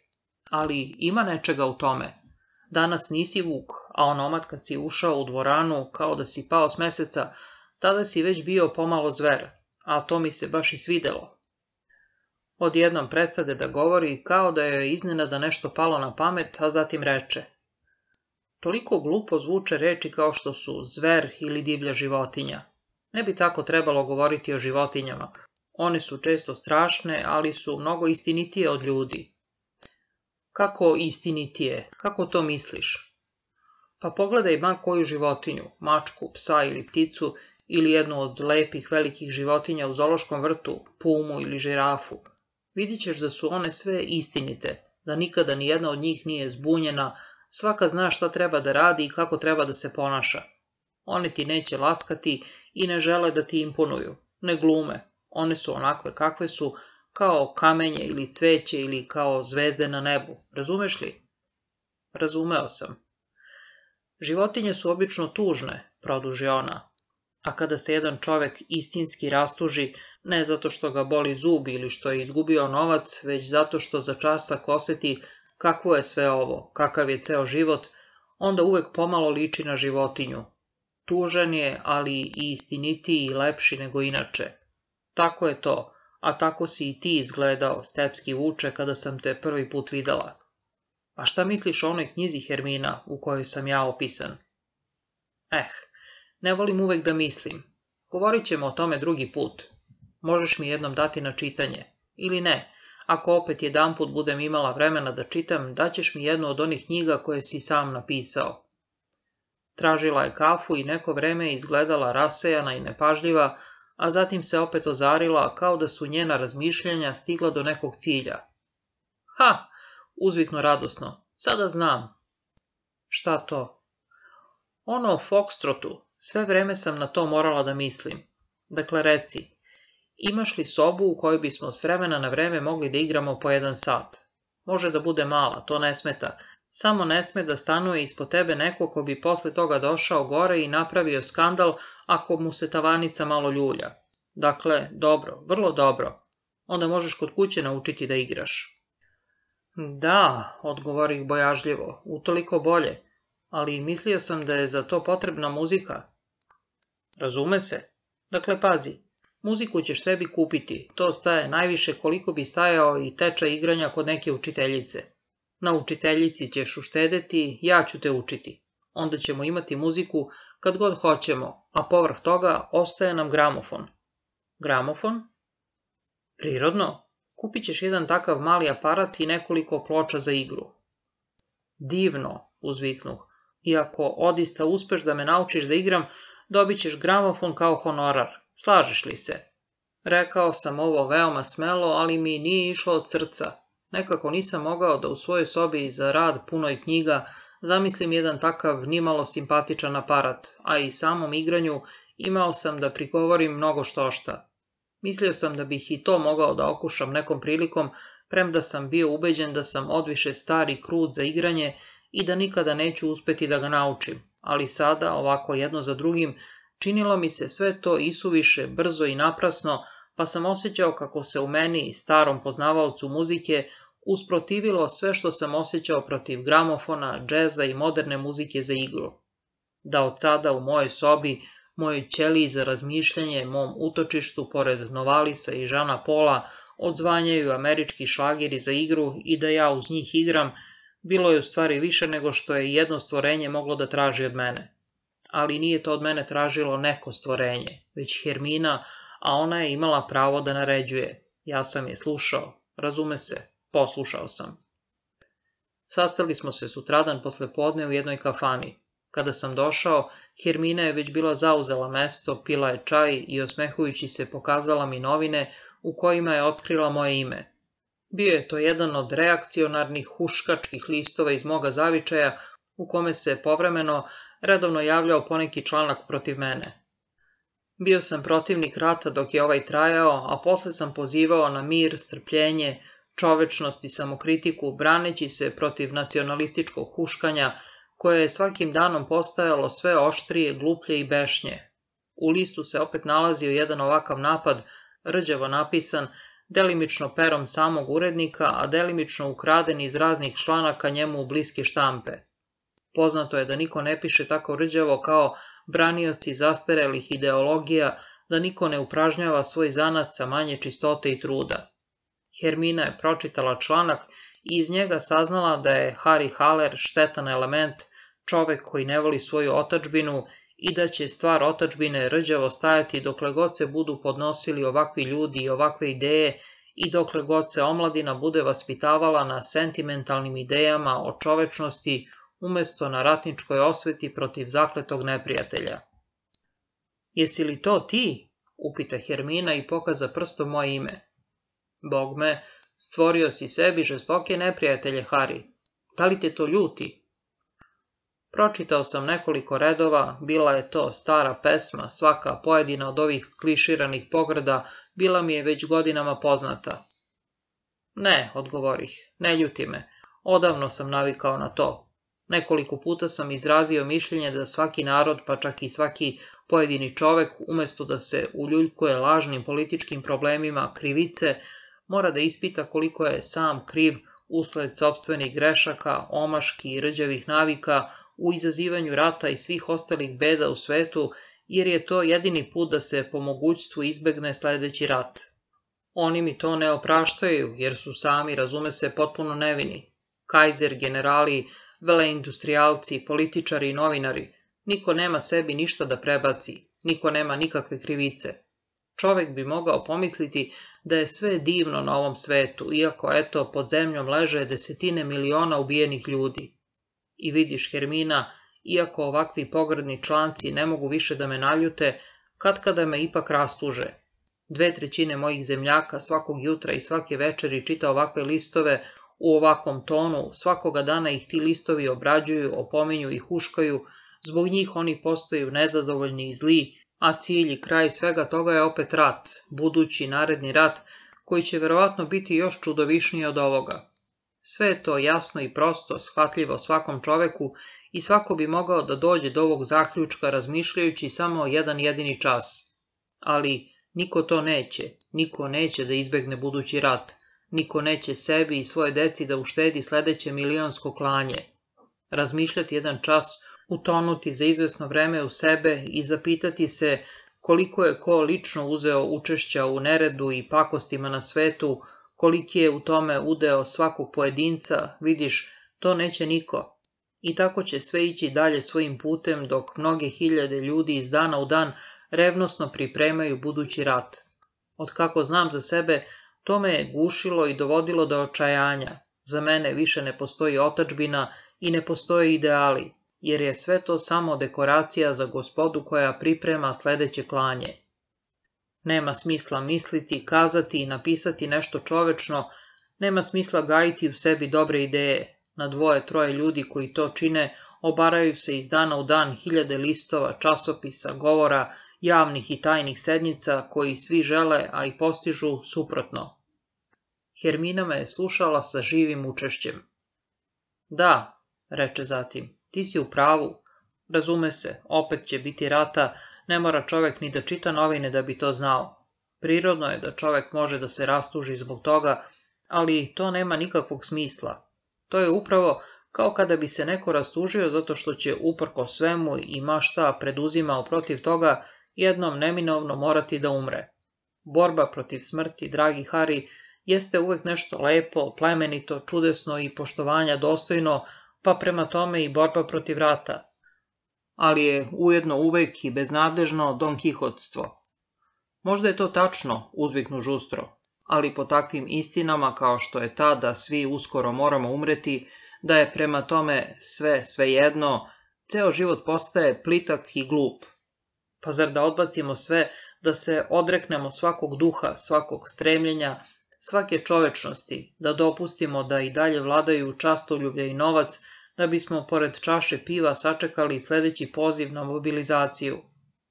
Čudan je bio pogled koji mi je Hermina dobacila, pogled u kome je bilo podsmeha, šaretluka i drugarstva punog razumevanja, a istovremeno i težine mudrosti i beskrajne ozbiljnosti. Ne, ne treba da postupiš tako, reče ona materinski. Tvoj život neće postati plitak i glup, iako znaš da će tvoja borba biti bezuspešna. Bilo bi mnogo pliće, Hari, kada bi se borio za nešto dobro i idealno misleći da to moraš i postići. Zar ideali postoje da bi ih čovek dostigao? Da li mi ljudi živimo da bismo uništili smrt? Ne, živimo da bismo je se bojali, da bismo je potom voleli i baš zbog nje se ovo malo života u nama katkada na jedan čas tako divno zažari. Pravo si dete, Hari. Budi sada poslušan i pođi. Danas imamo mnogo posla. Danas više neću da vodim računa o ratu i novinama. A ti? Ni ja. Bio sam takođe spreman da to prihvatim. Pošli smo zajedno, bio je to naš prvi zajednički izlazak u grad, u radnju sa muzičkim instrumentima gde smo gledali gramofone, otvarali ih i zatvarali, puštali ih da nam sviraju i kada sam našao jedan koji nam je odgovarao i po izgledu i po ceni, hteo sam da ga kupim, ali Hermina se nije tako brzo odlučivala. Ona me je zadržala, te sam morao da obiđem s njom i drugu radnju i tamo pogledam i saslušam gramofone svih sistema i veličina od najskupljeg do najjeftinijeg, pa se tek onda saglasila da se vratimo u prvu radnju i tamo kupimo aparat koji smo ranije našli. Vidiš, rekoh ja, to smo mogli da uradimo jednostavnije. Misliš? A možda bismo sutra videli u nekom izlogu isti aparat koji bi bio jeftiniji za 20 franaka. A osim toga, zadovoljstvo je kupovati, a svako zadovoljstvo treba sladiti. Morat ćeš ti da naučiš još mnogo što šta. Sa jednim nosačem doneli smo plod naše kupovine u moj stan. Hermina je pažljivo pregledala moju dnevnu sobu, pohvalila je peć i divan, isprobala stolice, uzimala je knjige u ruke i dugo se zadržala pred fotografijom moje Dragane. Gramofon smo postavili na nizak orman pored gomile knjiga, a onda je otpočela nastava. Ona je stavila na gramofon ploču sa fokstrotom i, pokazujući mi prve korake, uzela me za ruke i počela da me vodi. Ja sam poslušno kaskao za njom, sudarao se sa stolicama, slušao njena naređenja, ali ih nisam razumevao, gazio je po nogama i bio nespretan koliko i revnostan. Posle druge igre bacila se na divan, zacenivši se od smeha kao kakvo dete. Bože moj, kako si krut. Koračaj jednostavno, kao kad se šetaš. Tu nije potrebno nikakvo naprezanje. Čini mi se da ti je toplo. E, pa da se odmorimo pet minuta. Vidiš, igrati je, kada čovek to ume, isto tako jednostavno kao i misliti, a mnogo se lakše nauči. Bićeš manje nestrpljiv što ljudi neće da nauče da misle, već više vole da gospodina Halera nazivaju izdajnikom otačbine i mirno dopuštaju da dođe do sledećeg rata. Otišla je posle jednog časa, uveravajući me da će idući put već ići bolje. Ja sam o tome imao drugčije mišljenje i bio sam veoma razočaran zbog svoje gluposti i nezgrapnosti, činilo mi se da za ovaj jedan čas nisam ništa naučio i nisam verovao da će ikada biti bolje. Ne, za igranje čovek mora imati sposobnosti koje su meni potpuno nedostajale. Veselost, čednost, lakomislenost i elan. Eh, pa to sam odmah mislio.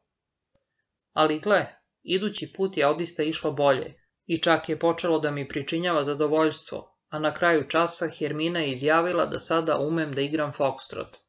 Ali kada je iz toga izvela zaključak da sutra moram da idem s njom u restoran u kome se igra, grdno sam se uplašio i stao da se branim iz petnih žila. Ona me hladno podsjetila na moj zavet poslušnosti i naredila mi da sutradan dođem na čaj u hotel Balans. Te večeri sedeo sam kod kuće, teo sam da čitam, ali nisam mogao. Bojao sam se sutrašnjeg dana, Bila mi je strašna pomisao da ja, stari, plašljivi i osetljivi čudak, odem u jedan od onih sumornih modernih lokala u kojima se pije čaj i igra i ne samo to, nego je trebalo da se pokazujem tamo pred stranim svetom kao igrač, iako to još nisam bio. Priznajem da sam se stideo i smejao samom sebi kada sam u svojoj sobi za studije navio aparat i tiho u čarapama sam ponavljao korake Fokstrota, Sutradan je u hotelu Balans svirao mali orkestar i služen je čaj i viski. Pokušao sam da podmitim Herminu, ponudio sam je kolačima, pokušao sam da je pozovem na bocu dobrog vina, ali je ona ostala neumoljiva. Ti danas nisi ovde radi svoga zadovoljstva, ovo je čas igranja. Morao sam dva, tri puta da igram s njom, a umeđu vremenu upoznala me sa saksofonistom, crnomanjastim, lepim mladićem španskog ili južnoameričkog porekla koji je, kako je ona rekla, svirao na svim instrumentima i govorio sve jezike sveta. Izgleda da se ovaj senjor odlično poznavao sa Herminom i da je bio u prijateljstvu s njom. Pred sobom je imao dva saksofona različite veličine, u koje je duvao naizmenično, dok su njegove crne, sjajne oči pažljivo i veselo ispitivale igrače. Na svoje iznenađenje osetio sam prema ovom bezazlenom, lepuškastom sviraču nešto nalik na ljubomoru. Ne ljubavničku ljubomoru, jer između mene i Hermine nije bilo ni govora o ljubavi, nego neku vrstu duhovne ljubomore na njihovo prijateljstvo, jer mi se činilo da nije sasvim dostojan interesovanja, upadljivog isticanja, pa čak i uvažavanja koje mu je ukazivala. Čudna poznanstva moram da sklapam, pomislio sam neraspoložen. A zatim su Herminu uzastopno pozivali da igra, i ja sam ostao sam pored čaja, slušajući muziku, vrstu muzike koju dotle nisam mogao da podnesem. Bože moj, pomislio sam u sebi, sada treba da budem uveden i da se odomaćim ovde, u ovome meni tako odvratnom i tuđem svetu, u ovom do sada tako obrižljivo izbegavanom svetu lumpađija i zabave željnih ljudi, u glatkom uniformisanom svetu mermenih stočića, džeza, kokota i trgovačkih putnika. Tužno sam ispijao svoj čaj i piljio u poluelegantno mnoštvo. Moj pogled privukoše dve lepe devojke, obe dobre igračice koje sam posmatrao sa divljenjem i zavišću kako gipko, lepo, veselo i sigurno kruže u igri. Uto se Hermina ponovo pojavi i izjavi da je nezadovoljna mnome. Kao da nisam ovde, grdila me kada pravim takvo lice i sedim nepomično za stolom sa čajem. Sada treba da se trgnem i igram. Kako? Nikoga ne poznajem. To nije važno. Zar ovde nema ni jedne devojke koja mi se sviđa? Pokazao sam joj jednu lepšu od onih dveju devojaka, kratko pocečene, guste, plave kose, koja je baš stajala u našoj blizini u svojoj lepoj somotskoj suknjici i koja je sa svojim punačkim ženstvenim rukama izgledala veoma ljubko. Hermina je uporno tražila da je s mesta priđem i zamolim je za igru. Ja sam se očajnički branio. Ne mogu, rekoh savojeđen, da sam lep, mlad momak bih, ali ovakva kruta, matora budala koja ne ume ni da igra, ta ona bi me ismejala. Hermina me prezrivo pogleda. A što ću ja da te ismejem, to ti je, razume se, sve jedno. Baš si prava kukavica. Kogod prilazi nekoj devojci, izlaže se ismevanju, to je ulog. Dakle, reskiraj Hari, a u najgorem slučaju dopusti da te ismeju, inače je svršeno s mojom verom u tvoju poslušnost. Nikako nije popuštala. Digao sam se sa strepnjom i pošao prema lepoj devojci baš kada je muzika ponovo zasvirala.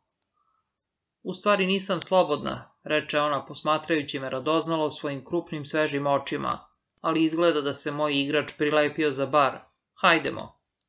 Obuhvatio sam je i napravio prvih nekoliko koraka, još uvek začuđen što me nije odbila, kad ona već primeti o čemu se radi i preuze vodstvo. Igrala je divno ja se zaneh i trenutno zaboravih na svoju dužnost i pravila igre i jednostavno se prepustih struji, osjećajući čvrste bokove i brza, gipka kolena moje igračice, gledajući u njeno mlado, ozareno lice i priznajući joj da danas igram prvi put u životu. Ona se nasmeši i ohrabri me, a na moje zadivljene poglede i laskave reči odgovori izvanredno spretno, ne rečima, već tihim, očaravajućim pokretima koji su nas divno zbližili.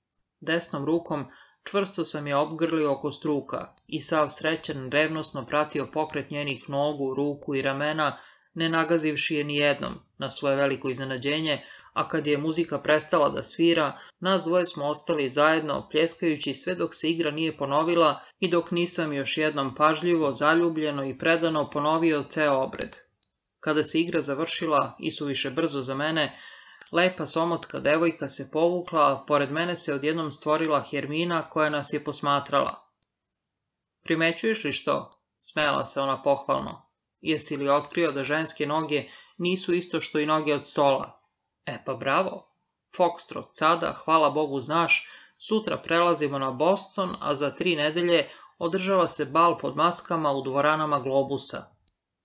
Bio je odmor i mi smo seli, a zatim je prišao i lepuškasti mladi gospodin Pablo, saksofonista, klimnuo glavom i seo pored Hermine.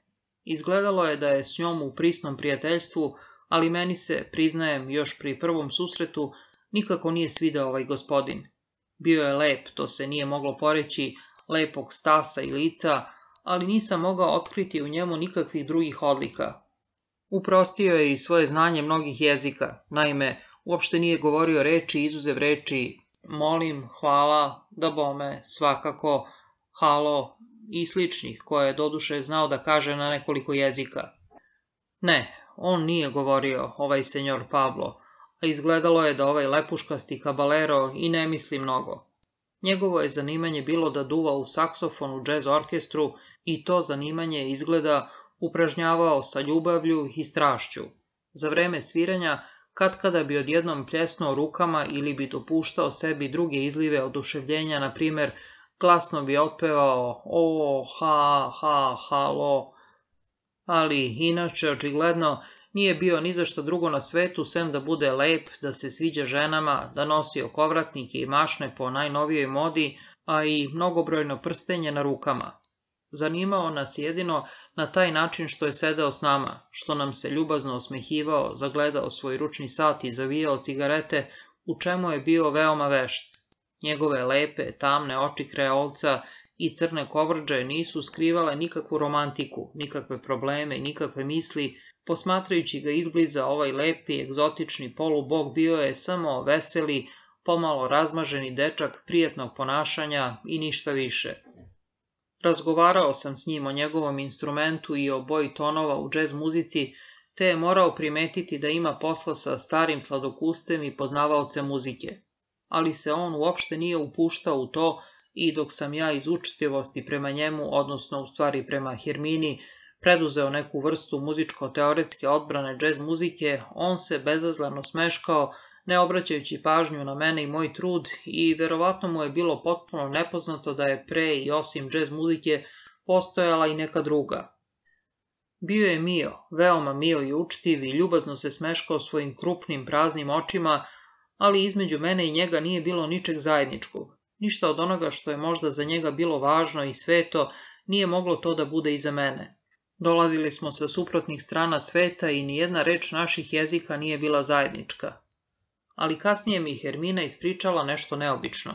Rekla mi je da je Pablo posle onog razgovora sa mnom kazao da treba veoma pažljivo da postupa sa tim čovekom jer je veoma nesrećan. A kada ga je ona upitala po čemu je to zaključio, rekao je Jadan, jadan čovek, pogledaj njegove oči. On ne ume da se smeje.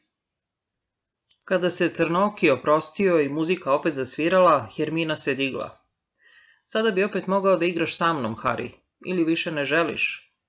I s njom sada sam igrao lakše, slobodnije i veselije, iako ne tako krilato i zaboravljajući se. Hermina me je pustila da vodim, prilagođavajući se nežno i lako kao kakav cvetni list, a i kod nje sam našao i osetio one lepote koje čas dolaze u susret, čas beže, Ona je takođe širila miris žene i ljubavi i njena igra nežno i toplo pevala ljubku zamamnu pesmu pola, pa ipak na sve to nisam mogao da odgovorim slobodno i radosno, nisam mogao da se potpuno zaboravim i sav se predam. Hermina mi je bila odviše bliska, ona mi je bila drug, sestra, ona je bila moga soja, Ličila je na mene i ličila je na Hermana, mog prijatelja iz mladosti, zanesenjaka, pesnika i vatrenog druga mojih umnih vežbi i stramputica. Znam, reče ona kasnije kada sam joj govorio o tome, dobro znam. Ja ću doduše ipak postići da se zaljubiš u mene, ali za to ima vremena. Za sada smo drugovi, ljudi koji se nadaju da će postati prijatelji, jer smo upoznali jedno drugo. Sada ćemo učiti jedno od drugoga, igraćemo se jedno s drugim. Pokazat ću ti svoje malo pozorište, naučit ću te da igraš, da budeš malo veseo i budalast, a ti ćeš mi izložiti svoje misli i nešto od svoga znanja. Ah, Hermina, nema tu bog zna šta da se izlaže. Ti znaš više od mene. Kako si ti neobično ljudsko stvorenje, devojko. U sve se razumeš i u svemu prednjačiš. Da li ti ja nešto značim? Da ti nisam dosadan? Smrknutih očiju gledala je u pod. Ne volim da te čujem da tako govoriš. Pomisli na veče kada si slomljen i očajan, usred svojih patnji i usamljenosti, presekao moj put i postao mi drug. Šta misliš, zašto sam tada umela da te poznam i razumem? Zašto, Hermina, reci mi? Zato što sam ista kao i ti, zato što sam isto tako usamljena kao i ti, zato što isto kao i ti ne mogu da volim i da shvatim ozbiljno život i ljude. Uvijek postoji nekolicina ljudi koji od života traže ono najviše i koji teško mogu da se pomire s glupošću i grubošću. Ti, ti, uzviknuh neobično iznenađen. Razumem te, drugarice, niko te ne razume kao ja. Pa ipak predstavljaš zagonetku za mene. Pa ti s takvom lakoćom izlaziš na kraj sa životom, ti tako čudesno poštuješ male stvari i zadovoljstva, ti si takva umetnica u životu. Kako možeš da patiš od života? Kako možeš da očajavaš? Ne očajavam, Hari, ali da patim od života, oh, na to sam već navikla. Ti se čudiš što nisam srećna, iako umem da igram, iako se tako dobro snalazim na površini života. A ja se, prijatelju, čudim što si se ti toliko razočarao u životu, ti koji tako dobro poznaješ najlepše i najdublje stvari, duh, umetnost i misli. Zato smo se i privukli uzajamno, zato i jesmo brat i sestra. Naučit ću te da igraš i da budeš razigran, da se smešiš, a da uprko svemu ipak ne budeš zadovoljan. Naučit ću od tebe da mislim, da stičem znanje, a da ipak ne budem zadovoljna. Znaš li da smo mi oboje deca đavola? Jesmo, đavo je duh, a mi smo njegova nesrećna deca. Mi smo ispali iz prirode i visimo u praznini. Ali sada mi nešto pade na pamet. U raspravi o stepskom vuku, o kojoj sam ti govorio, stoji da Hari samo uobražava da ima jednu ili dve duše i da se sastoji od jedne ili dve ličnosti. Svaki čovek, navodno, sazdan je od deset, sto i hiljadu duša. To mi se mnogo sviđa, uzviknu Hermina. Kod tebe je, na primer, veoma razvijen duhovni život i zato si zaostao u raznim sitnim životnim umešnostima. Mislilac Hari ima sto godina, ali igraču Hariju je jedva pola dana. Njega ćemo razvijeti dalje, njega i ostalu njegovu malu braću, koja su isto tako mala, glupa i nedorasla kao i on. Gledala me smešeći se. Zatim me upita tiho, promenjenim glasom. A kako ti se svidela Marija? Marija? Ko je to? To je ona s kojom si igrao. Lepa je devojka, veoma lepa devojka. Koliko sam mogla da vidim, bio si malo zaljubljen u nju. Zar je poznaješ? Da, poznajemo se vrlo dobro. Ili ti mnogo stalo do nje? Svidela mi se i bio sam radostan što je tako predusretljivo podnosila moje igranje. Zar je to sve? Trebalo bi da joj se malo udvaraš, Hari. Ona je veoma lepa i odlično igra, a već si zaljubljen u nju. Verujem da ćeš imati uspeha. Oh, nije mi to cilj. Sada si malo slagao. Znam da negde u svetu imaš Draganu i da je viđaš jednom u pola godine, da bi se onda svađao s njom. Lepo je od tebe najzad što hoćeš da ostaneš veran toj svojoj čudnoj prijateljici, ali dopusti mi da tome ne pridam naročit značaj. Naslučujem da ti ljubav uopšte ne shvataš veoma ozbiljno. Neka je i tako, voli na svoj idealan način koliko hoćeš, to je tvoja stvar, nije moje da vodim računa o tome.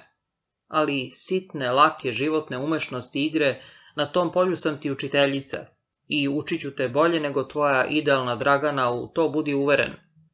Veoma ti je potrebno da opet jednom spavaš s jednom lepom devojkom, stepski vuče. Hermina, uzviknuhu izmučeno, pa pogledaj me, ja sam star čovek. Ti si mali dečak i kao što si bio odviše nemaran da naučiš da igraš, tako si isto bio odviše nemaran da naučiš da voliš. Ti, prijatelju, svakako odlično umeš da voliš idealno i tragično, u to ne sumnjam i odajem ti priznanje. Ali sada ćeš naučiti da voliš i obično, ljudski. Početak je tu. Uskoro čovek može da te pusti da odeš na neki bal. Još moraš da naučiš Boston, s time ćemo otpočeti sutra. Doći ću u tri sata. Uostalom, kako ti se svidela muzika ovde? Neobično. Vidiš, i to je napredak, već si nešto naučio. Do sada nisi mogao da podneseš džez i muziku za igru, nije ti bila dovoljno ozbiljna i duboka, a sada si uvideo da je ne treba ni shvatiti ozbiljno, ali da može da bude ljubka i čarobna. Uostalom, da nije Pabla, ceo orkestar ne bi vredeo ništa. On ga vodi i daje mu živost. Kao što je gramofon iskvario vazduh asketske duhovnosti moje radne sobe, kao što su američke igre, tuđe, neprikladne i ubistvene, prodrle u moj negovani muzički svet, tako je sa svih strana nadiralo nešto novo, opasno, razorno, u moj do sada tako oštro ograničeni i strogo zatvoreni život.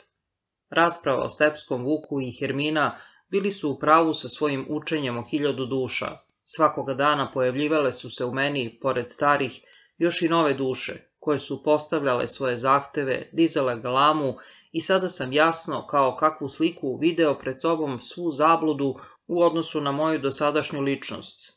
Onih nekoliko veština i vežbi u kojima sam slučajno bio dobro potkovan, prihvatio sam i pomoću njih naslikao jednog Harija, živeći životom jednog Harija, koji u stvari nije bio ništa drugo nego prefinjeni poznavalac pesništva, muzike i filozofije, a sav ostali deo svoje ličnosti, čitav ostali haos sposobnosti, nagona i stremljenja, bio mi je na teretu, pa sam mu nadenuo ime Stepski Vuk. Međutim, moje vraćanje s pogrešnog puta i raspadanje moje dosadašnje ličnosti nisu bile ni prijatne ni zanimljive pustolovine, već je sve ovo naprotiv često bivalo gorko i bolno, a kad kad upravo nepodnošljivo. Gramofon je često satanski zvučao u sredini u kojoj je sve bilo podešeno za druge tonove, a kad kada, kad bih u nekom restoranu koji je bio u modi igrao svoje van stepe među elegantnim bon vivanima i hoštaplerima, učinio bih se samom sebi izdajnikom svega onoga što mi se ikada u životu učinilo dostojno poštovanja i sveto.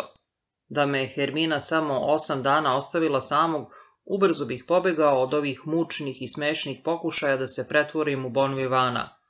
Ali Hermina je uvek bila tu. Iako je nisam viđao svakog dana, ona me ipak stalno posmatrala, vodila, nadzirala i ocenjivala, pa mi je i moje najžešće buntovničke misli, kao i nameru da bežim, sa osmehom čitala s lica. Postepeno, kako je napredovalo rušenje onoga što sam ranije nazivao svojom ličnošću, počinjao sam da shvatam zašto sam uprko svem očajanju morao toliko da se bojim smrti, pa sam primećivao da je i taj užasni i sramni strah bio samo deo moje stare građanske lažne egzistencije. Dosadašnji gospodin Haller, daroviti pisac, poznavalac Getea i Mozarta, autor čitanja dostojnih eseja o metafizici i umetnosti, o geniju, tragici i čovečnosti, melaholični pustinjak u svojoj ćeliji pretrpanoj knjigama, podvrgnut je deo po deo samokritici i u svemu je podbacio. Daroviti i zanimljivi gospodin Haer propovedao je doduše razumnost i čovečnost, protestovao je protiv surovosti rata, ali nije dopustio da ga za vreme rata postave uza zid i streljaju, što je u stvari trebalo da bude posledica njegovog shvatanja, već se nekako prilagodio, razume se, veoma časno i plemenito, ali je to ipak bio samo kompromis. Osim toga bio je protivnik sile i izrabljivanja, ali je u banci imao nekoliko hartija od vrednosti raznih industrijskih preduzeća, čije kamate uživao bez ikakve griže savesti. I tako je to bilo u svemu. Harry Haller se doduše divno prerušio u idealistu i čoveka koji prezire svet, u setnog pustinjaka i kivnog proroka, ali je u osnovi ipak bio buržuj. Osuđivao je život koje je vodila Hermina, ljutio se zbog noći koje je straćio po restoranima, isto tako i zbog novca koji je tamo proćerdao, savest mu nije bila čista, a nikako nije čeznuo za unutrašnjim oslobođenjem i savršenstvom, već je naprotiv žestoko čeznuo za udobnim vremenom kada su mu njegove umne vežbe još pružale zadovoljstvo i donosile mu slavu. Tako su i oni čitaoci novina koje on prezirao i smevao, čeznuli za idealnim vremenima pre rata, jer je to bilo mnogo lakše nego naučiti nešto na sobstvenim patnjama. Pih, dođavola, čoveku se morao zgaditi ovaj gospodin Haller. Pa, ipak sam ga se grčevito držao, njega i njegove obrazine, koja je već bila u raspadanju, njegovog koketiranja sa duhovnim životom, njegovog malograđanskog straha od svega što je nesređeno i slučajno, u što se ubrajala i smrt. Sa podsmehom i zavišću sam upoređivao budućeg, novog Harija, ovog pomalo plašljivog i smešnog diletanta dvorana za igru, sa onom nekadašnjom lažno idealnom slikom Harija na kojoj sam u međuvremenu otkrio kobne crte koje su mi onda na profesorovoj slici Getea toliko smetale. A on sam, stari Hari, bio je isto tako građanski idealizovani Gete, isti takav junak duha, odviše plemenitog pogleda koji je blistao uzvišenošću, duhom i čovečnošću, kao da je namazan briljantinom i koji je, tako reći, i sam bio tronut plemenitošću svoje sobstvene duše. Dođevala, ova ljubka slika bila je prilično izrešetana, idealni gospodin Haller bedno je demontiran. Izgledao je kao velikodostojnik koga su opljačkali drumski razbojnici, pa je ostao u pocepanim gaćama i koji bi mudro uradio kada bi sada naučio ulogu odrpanca, ali on umesto toga nosi svoje rite kao da na njima još ima ordenja i plačno i dalje traži izgubljeno dostojanstvo. Često sam se sretao sa sviračem Pablom i morao sam ponovo da razmotrim svoj sud o njemu, već i zato što ga je Hermina toliko volela i uvek tražila njegovo društvo. U mom sećanju Pablo je bio zabeležen kao lepuška stanula, kao mali, pomalo sujetan lepotan, kao vedro dete bez problema, koje je veselo duva u vašarsku trubu i koje je lako naterati na poslušnost pomoću pohvala i čokolade. Ali Pablo nije pitao za moj sud o njemu. Bio mu je isto tako ravnodušan kao i moje muzičke teorije. Slušao me učtivo i ljubazno, smeškajući se bez prestanka, ali mi nikada nije davao pravi odgovor. No, Uprkos tome izgledalo je da sam ga zainteresovao i očigledno se trudio da mi se svidi i pokaže se dobronameran prema meni.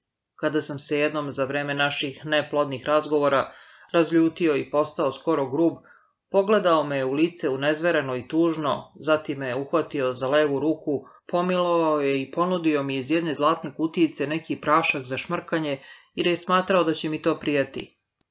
Pogledom sam upitao Herminu, ona je klimnula glavom u znak odobravanja i ja sam se poslužio i ušmrknuo prašak. Odista sam ubrzo postao svežiji i živahniji, u onom prašku je verovatno bilo malo kokaina. Hermina mi je pričala da Pablo raspolaže mnogim ovakvim sredstvima, do kojih dolazi tajno i kojima više puta poslužuje prijatelje, jer je u njihovom spravljanju i doziranju pravi majstor. Bila su to sredstva za umirivanje bolova, za spavanje, za izazivanje lepih snova, za izazivanje veselosti i zaljubljenosti. Jedanput sam ga sreo na ulici, blizu Keja, i on mi se odmah pridružio. Ovoga puta uspeo sam da ga nateram da najzad progovori. Gospodine Pablo, rekao sam mu dok se on igrao crno-srebrnim štapićem, vi ste Herminin prijatelj i to je razlog zbog koga se interesujem za vas. Ali vi mi, to vam moram reći, otežavate konverzaciju. Ja sam nekoliko puta pokušao da razgovaram sa vama u muzici, zanimalo me da čujem vaše mišljenje, vaše neslaganje i vaš sud, ali vi ste uvek prezrivo odbijali da mi ma šta odgovorite. On se srdačno nasmeja i ovoga puta mi ne ostade dužan odgovora, već ravnodušno reče. Vidite, po mom mišljenju razgovor o muzici nema nikakve vrednosti. Ja nikada ne govorim o muzici. Šta bih vam i odgovorio na vaše veoma mudre i istinite reči? Vi ste toliko u pravu u svemu što ste rekli. Ali vidite, ja sam muzičar, a ne naučnik i ne verujem da muzika ima ma kakve veze sa istinitim izjavama. Za muziku nije važno da li je neko u pravu, da li neko ima ukusa, obrazovanja i svega ostalog. Pa dobro, a šta je onda važno?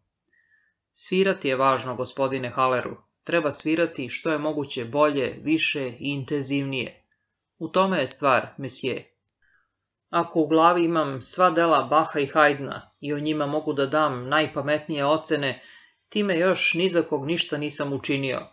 Ali ako uzmem svoj duvački rog i na njemu odsviram živahni šimi, bio taj šimi dobar ili loš, u njemu će ljudi ipak uživati, od njega će im se razmrdati noge i prostrujati krv. A jedino je to važno. Pogledajte jednom lice u dvorani za igru, u trenutku kada muzika posle dužeg odmora ponovo zasvira, kako tada oči zablistaju, noge počnu da se trzaju, a lica da se smeju. To je ono radi čega se svira. Vrlo dobro, gospodine Pavlo, ali ne postoji samo muzika čula, postoji i muzika duha. Ne postoji samo ona koja se svira za trenutak, već i besmrtna muzika koja živi dalje i onda kada se ne svira. Može neko, ležeći sam u svom krevetu, da izazove u svojim mislima neku melodiju iz čarobne frule ili Matejeve pasije i onda je to muzika iako niko ne vuče gudalom, niti duva u flautu. Svakako, gospodine Haleru, ali i Jirning i Valenciju reprodukuju u sebi svake noći mnogi usamljeni i sanjalački raspoloženi ljudi. I najsiromašnija daktilografkinja u kancelariji ima u glavi svoj van step i po njegovom taktu udara u slova. Oni su u pravu, svi ti usamljeni ljudi, i ja im rado dopuštam njihovu nemu muziku, bilo da je u pitanju Jirning, Čarobna frula ili Valencija. Ali odakle tim ljudima ta usamljena nema muzika? Oni je uzimaju od nas, muzičara. Ona prvo mora da bude odsvirana i saslušana, mora da uđe u krv pre nego što čovek od kuće u svojoj sobici može da misli na nju i sanja o njoj. Saglasan sam, rekao hladno, ali ipak ne mogu Mozart i najnoviji Foxtrot stajati na istom stepenu. I nije svejedno da li ljudima svirate božansku i večnu muziku ili jeftinu muziku koja ne traje više od jednog dana. Kad Pablo primeti uzbuđenje u mom glasu, njegovo lice dobi svoj najljubazniji izraz, on me pomilova po mišici i unese u svoj glas neverovatnu blagost. Oh, dragi gospodine, vi ste sigurno u pravu sa svojim stepenima. Nemam ništa protiv toga da Mozarta, Haydna i Valenciju stavite na stepen koji želite. Meni je to sasvim svejedno. Ne odlučujem ja o tim stepenima, mene za to ne pitaju. Mozarta će možda svirati i posle sto godina, a Valenciju ni posle dve. Mislim da to mirne duše možemo prepustiti dragom Bogu, on je pravedan i u njegovim je rukama trajanje našeg života, pa i svakog valcera i fokstrota, on će sigurno učiniti kako je najbolje. Ali mi muzičari moramo da činimo naše, da izvršavamo svoju dužnost i zadatke. Moramo da sviramo ono što ljudi trenutno traže i to što je mogućno bolje, lepše i ubedljivije. Uzdahnuo sam i nisam rekao više ništa. Ovom čoveku se nije moglo doskočiti. U izvesnim trenucima su se novo i staro, bol i naslada, strah i radost veoma čudno mešali. Bio sam čas na nebu, čas u paklu, ali većinom na oba mesta istovremeno. Stari i novi Hari živali su jedan pored drugoga, čas u ogorčenoj svađi, čas u miru i spokojstvu. Kad kada je izgledalo da je stari Hari zauvek umro, a onda bi se odjednom opet pojavio, izdavao naređenja, tiranisao i sve znao bolje, a novi mladi Hari ćutao je, dopuštajući da bude pritešnjen uza zid. Nailazili su opet drugčiji časovi kada je mladi Hari starog hvatao za gušu i svojski stezao, pa bi tada bilo mnogo stenjanja, mnogo borbe na život i smrt i mnogo misli o nožu za brijanje. Ali često bi me poklopio jedan jedini talas i sreće i patnje, Takav je bio trenutak kada sam nekoliko dana posle svog prvog javnog pokušaja da igram ušao u svoju spavaću sobu i na moje neizmerno iznenađenje, čuđenje, strah i oduševljenje našao lepu Mariju da leži u mom krevetu. Od svih iznenađenja koje mi je Hermina do sada priredila, ovo je bilo najžešće. Jer nijednog trenutka nisam bio u nedoumici da mi je ona uputila ovu rajsku pticu.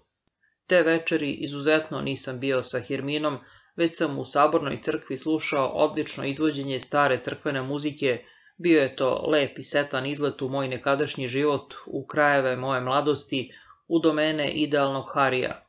U visokom prostoru gotske crkve, čiji su se lepi mrežasti svodovi u igri malobrojnih svetiljki avetinski živo lelujeli tamo amo, slušao sam komade od Hudea, Pahelbela, Baha i Hajdna, opet sam koračao starim dragim stazama, slušao divni glas pevačice s kojom sam nekada bio u prijateljstvu i sa kojom sam doživeo mnoga izvanredna izvođenja. Glasovi stare muzike, njihovo beskrajno dostojanstvo i svetost probudili su u meni sva uzvišena osjećanja, oduševljenja i zanos moje mladosti. Tužan i utonuo u sebe, sedeo sam na visokom horu crkve za jedan čas gost ovog plemenitog, blaženog sveta koji mi je nekada bio domovina. Za vreme jednog hajdnovog dueta odjednom mi navrše suze. Nisam sačekao kraj, odustao sam od ponovnog viđenja sa pevačicom, Oh, koliko sam blistavih večeri nekada proveo sa umetnicima na ovakvim koncertima, očunjao sam se iz saborne crkve i do iznemoglosti jurio ulicama kroz noć gde su tu i tamo iza prozora restorana džez orkestri svirali melodiju mog sadašnjeg života. Oh, kakav je tužni lavirint postao moj život. Prilikom ove noćne šetnje dugo sam razmišljao o svom neobičnom odnosu prema muzici i još jednom sam u ovom dirljivom, a i fatalnom odnosu sagledao sudbinu čitavog nemačkog duhovnog života. U nemačkom duhu vlada materinsko pravo i privrženost prirodi u obliku hegemonije muzike, za koju drugi narodi nikada nisu znali. Umesto da se mi, ljudi od duha, muški branimo protiv toga, umesto da budemo potčnjeni i poslušni duhu, logosu, reči, svi mi maštamo o jednom jeziku bez reči koji će izraziti neizrecivo i prikazati ono što se ne može uobličiti. Umesto da što vernije i predanije svira na svom instrumentu, Nemac od duha uvek se bunio protiv reči i protiv razuma, a uvek je koketirao s muzikom.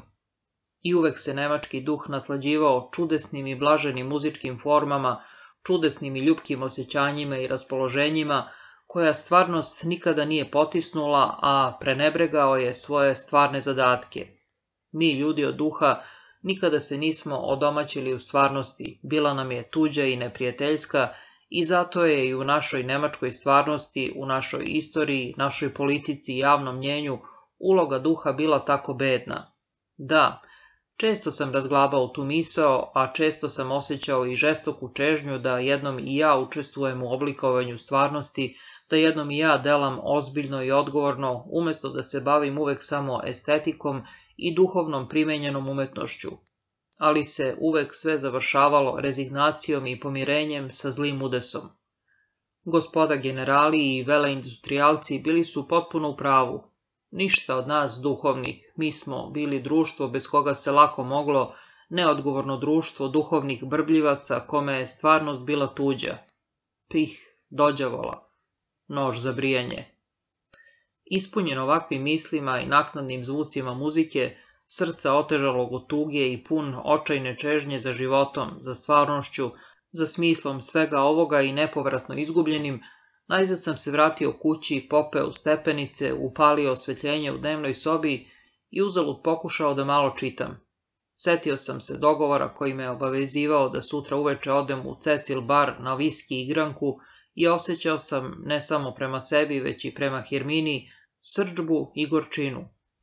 Neka je njena namera i dobra i srdačna, a ona sama neka je čudesno stvorenje, Bolje da me onda pustila da propadnem, umesto što me povukla u ovaj tuđi svet koji tako čudno treperi, svet igre i zbrke u kome ću uvek biti tuđinac i u kome propada i strada ono što je najbolje u meni.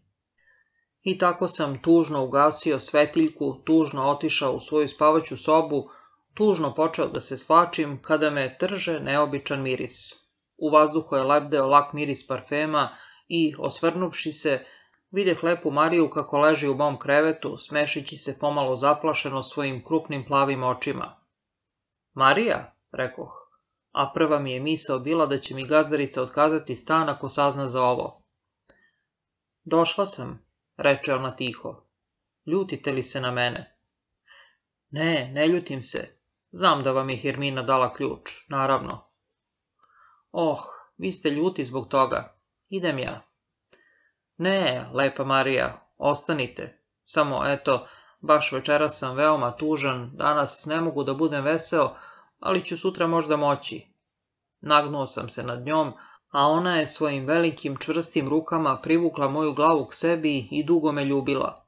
Seo sam zatim na krevet, držeći je za ruku, i zamolio je da govori veoma tiho, jer niko nije smeo da nas čuje, Gledao sam naniže u njeno lepo, puno lice, koje je tako strano i čudno, poput velikog cveta, ležalo na mom uzglavlju.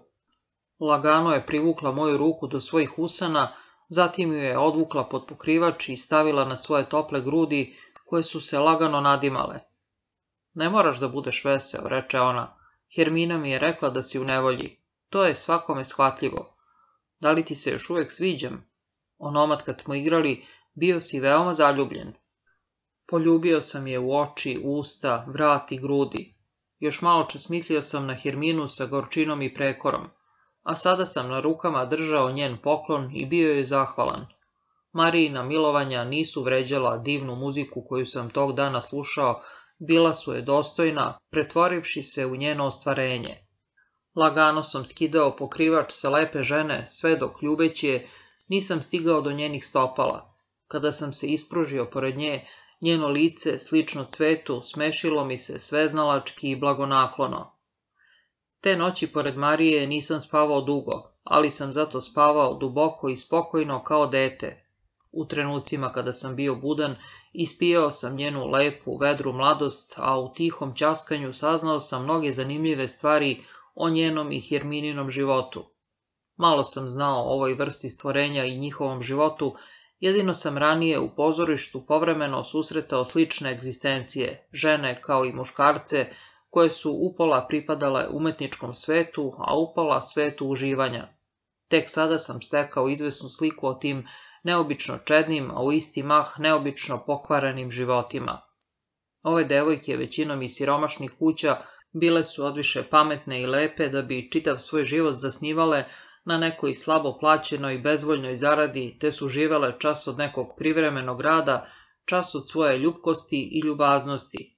Kad kada bi po nekoliko meseci sedale za pisaćom mašinom, povremeno su bile ljubavnice imućnih Bonu Ivana, dobile džeparac i poklone, a bilo je i vremena kada su u krznu i automobilima živele u Grand hotelu, dok bi drugi put opet stanovale u potkrovnicama. Mogućno je bilo pridobiti ih za brak u slučaju neke veoma povoljne ponude, ali nisu žudele za njim. Neke od njih nisu bile pohotljive u ljubavi i svoju naklonost pokazivale su ustežući se uz cenkanje za najvišu cenu. Druge, među koje je dolazila i Marija, bile su neobično obdarene za ljubav i željne ljubavi. Većina ih je bila iskusna u ljubavi prema oba pola. One su živele isključivo za ljubav, a pored prijatelja koji su plaćali, uvek su imale još i neke druge ljubavne odnose. Marljive i vredne, pametne, pa ipak besvesne, živale su ove leptirice svojim detinjastim i prepredenim životom. Bile su nezavisne, nije mogao svako da ih kupi, očekivale su sve od sreće i lepog vremena, bile su zaljubljene u život, ali su ga cenile mnogo manje od građana, uvek su bile spremne da sa princem iz bajke pođu u njegov dvorac, dok su u podsvesti uvek bile sigurne u težak i tužan kraj. Marija me, one neobične prve noći i narednih dana, naučila mnogo čemu, ne samo divnim novim igrama i nasladama čula, već i novom razumevanju, novim shvatanjima i novoj vrsti ljubavi. Svet koji je živeo po lokalima za igru, po bioskopima, barovima i hotelskim tremovima, a koji je za mene, pustinjaka i estetu, još uvek pretpostavljao nešto što je imalo nižu vrednost, nešto zabranjeno i nedosledno, bio je za Mariju, Herminu i njihove drugarice naprosto svet koji nije bio ni zao ni dobar, koji niti su želele, niti mrzele, jer je baš u ovom svetu cvetao njihov kratki, čežnjom ispunjeni život, u njemu su bile odomaćene i iskrene. Volele su neku naročitu vrstu šampanjca ili neko specijalno jelo u grill rumu, kao što ljudi moga kova vole nekog kompozitora ili pesnika, a na novi šlager ili sentimentalnu i bljutavu pesmu nekog džez pevača rasipale su isto oduševljenje, uzbuđenje i tronutost kao drugi na Ničea ili Hamsuna. Marija mi je pričala o lepuškastom saksofonisti Pablu i o nekom američkom songu koji je ovaj katkada pevao, govoreći o tome sa takvim zanosom, divljenjem i ljubavlju, da me to dirnulo i mnogo više potreslo od zanosa nekog visoko obrazovnog čoveka prilikom prefinjenog umetničkog uživanja. Bio sam spreman da se zanosim zajedno s njom, ma kakav bio pomenuti song. Marine ljubazne reči i njen čežnjivi rascvetali pogled stvarali su široke prolome u mojoj estetici. Bilo je nekih lepota, nekih malobrojnih odabranih lepota na čelu sa Mozartom, koje su za mene bile uzdignute iznad svake prepirke i sumnje, ali gde se nalazila granica? Zar nismo svi mi, poznavaoci i kritičari u mladosti, vatreno obožavali umetnike i umetnička dela koja nam se danas čine problematična i fatalna? Zar se mnogima od nas to nije događalo sa Listom, Wagnerom, pa čak i Beethovenom. Zar Marina rascvetala Detinjasta tronutost songom iz Amerike nije bila isto tako čist, lep i iznad svake sumnje uzdignut umetnički doživljaj, kao i potresenost nekog prosvetnog savjetnika povodom Tristana ili ekstaza nekog dirigenta povodom devete simfonije. I zar se to nije neobično poklapalo s mišljenjem gospodina Pabla, dajući mu za pravo? Tog Pabla, tog lepotana, Marija je izgleda mnogo volela. On je lep čovek, rekao sam ja, i meni se mnogo sviđa. Ali, reci mi, Marija, kako možeš da voliš i mene pored njega, mene dosadnog, starog momka, koji nije lep i već je skoro sasvim sed i koji ne ume da duva u saksofon niti da peva engleske ljubavne pesme. Ne govori tako ružno, grdila me ona. Pa to je sasvim prirodno. I ti mi se sviđaš. Ima i u tebi nečeg lepog, milog i naročitog, ne smeš da budeš drugačiji nego što si. O tim stvarima ne treba govoriti, niti tražiti da se o njima polaže račun. Vidiš, kad me ljubiš u vrat ili uvo, osjećam da me voliš, da ti se sviđam. Ti ljubiš na neki naročit način, pomalo bojažljivo, i to mi kazuje, on te voli, on ti je zahvalan što si lepuškasta. To mi je milo, veoma milo. A opet, kod drugog muškarca, volim ono suprotno, baš to što izgleda kao da mu nije stalo do mene i što me ljubi kao da mi ukazuje nekakvu milost. Ponovo smo zaspali i opet sam se probudio, ne ispuštajući iz zagrljaja svoj lepi i prelepi cvet. Čudno, lepi cvet je ipak ostao i dalje poklon od Hermine. Neprekidno je ona stajala iza njega, bio je obavijen njome kao kakvom maskom, a umeđu vremenu odjednom sam se setio Erike, svoje daleke, zločeste Dragane, svoje jadne prijateljice. Ona je bila jedva nešto manje lepa od Marije, iako ne u takvom cvetu i toliko oslobođena svakog unutrašnjeg tereta, a bila je i siromašnija u sitnim, nenadmašnim ljubavnim veštinama. Neko vreme mi je jasno i bolno lebdela pred očima njena voljena slika, duboko utkana u moju sudbinu, a zatim je opet potonula u san i zaborav daljine, što je kod mene izazivalo neko tiho žaljenje. I tako su u ovoj prvoj nežnoj noći iskrsle predamno mnoge slike mog života koji je do tada dugo bio prazan, ubog i bez slike. Eros je kao čarolijom otvorio duboke i bogate njihove izvore i videći koliko je moj život bogat slikama, koliko je duša jednog stepskog vuka puna dalekih večnih zvezda i sazvežđa, moje srce na trenutke prestajalo da kuca od očaranosti i tuge.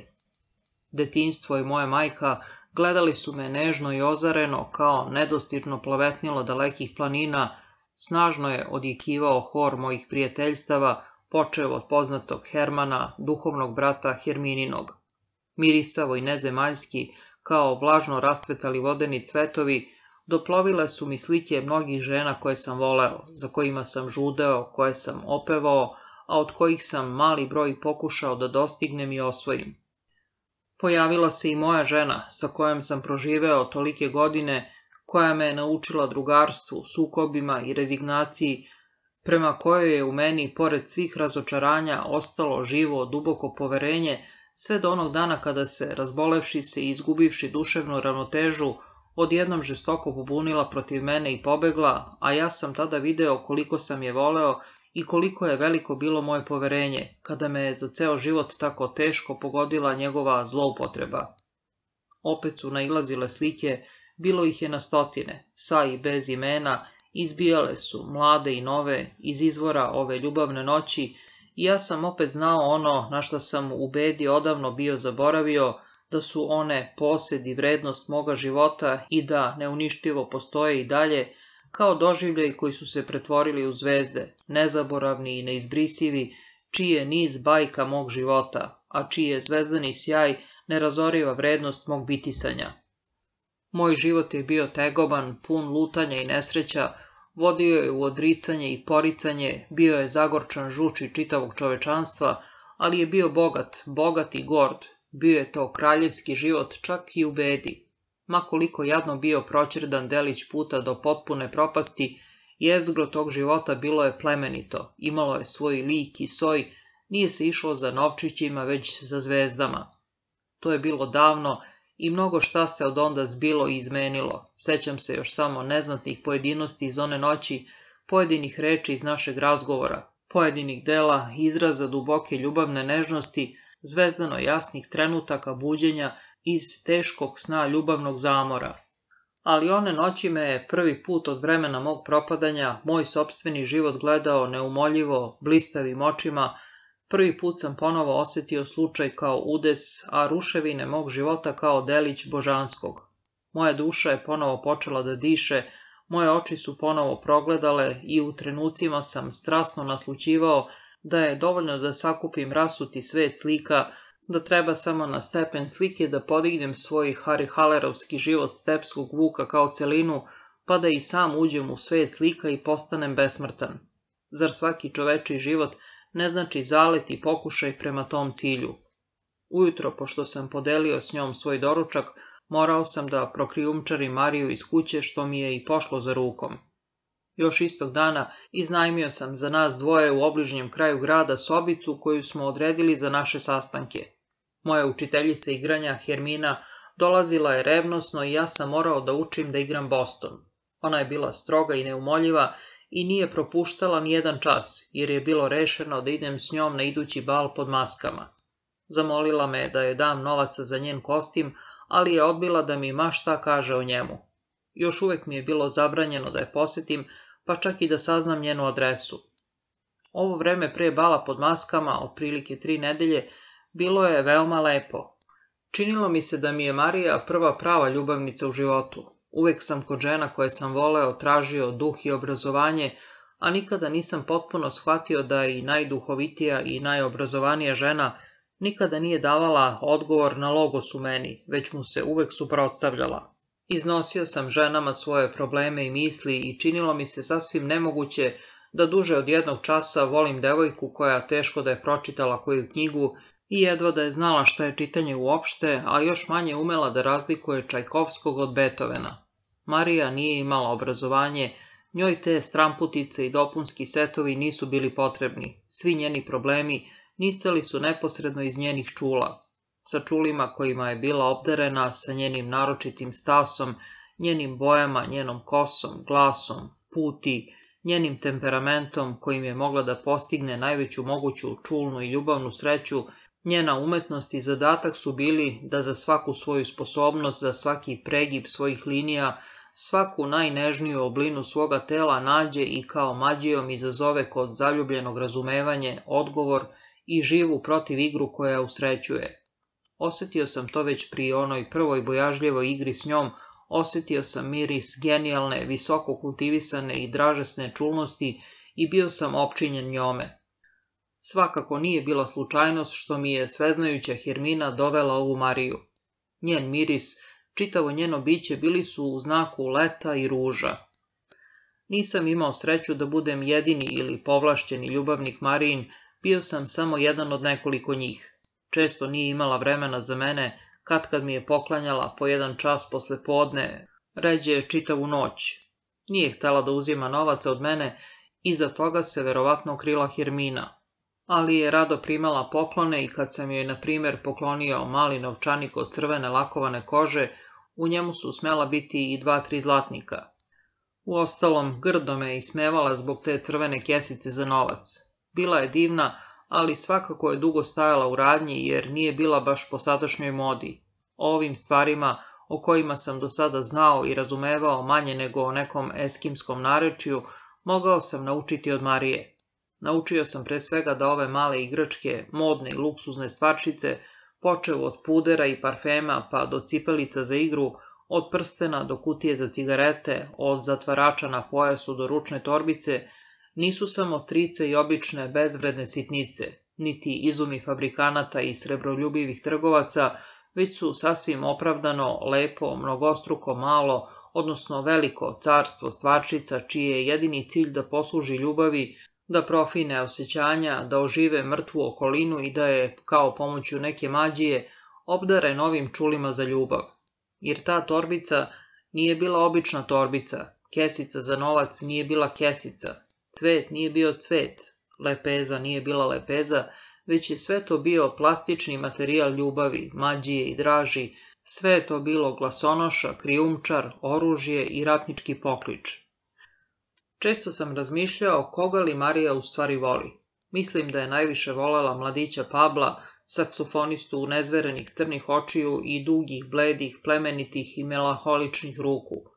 Bio sam sklon da tog Pabla u ljubavi zamišljam kao pomalo snenog, razmaženog i pasivnog, ali me je Marija uveravala da ga je doduše lagano obuzimao ljubavni žar, ali da je zatim bio napregnut, čvrst, muževan i pun zahteva kao kakav bokser ili džentlmen jahač. I tako sam doznao i dokučio mnoge skrivene stvari o ovom i onom, o džez sviraču, o glumcu, o mnogim ženama i devojkama, mnogim muškarcima naših krugova, sagledao sam razne veze i neprijateljstva ispod površine i lagano se približio i uvrstio među svet u kome sam dotle bio tuđe telo bez ikakvih spona. I o Hermini sam saznao mnogo štošta, a naročito sam se često viđao sa gospodinom Pablom, koga je Marija mnogo volela.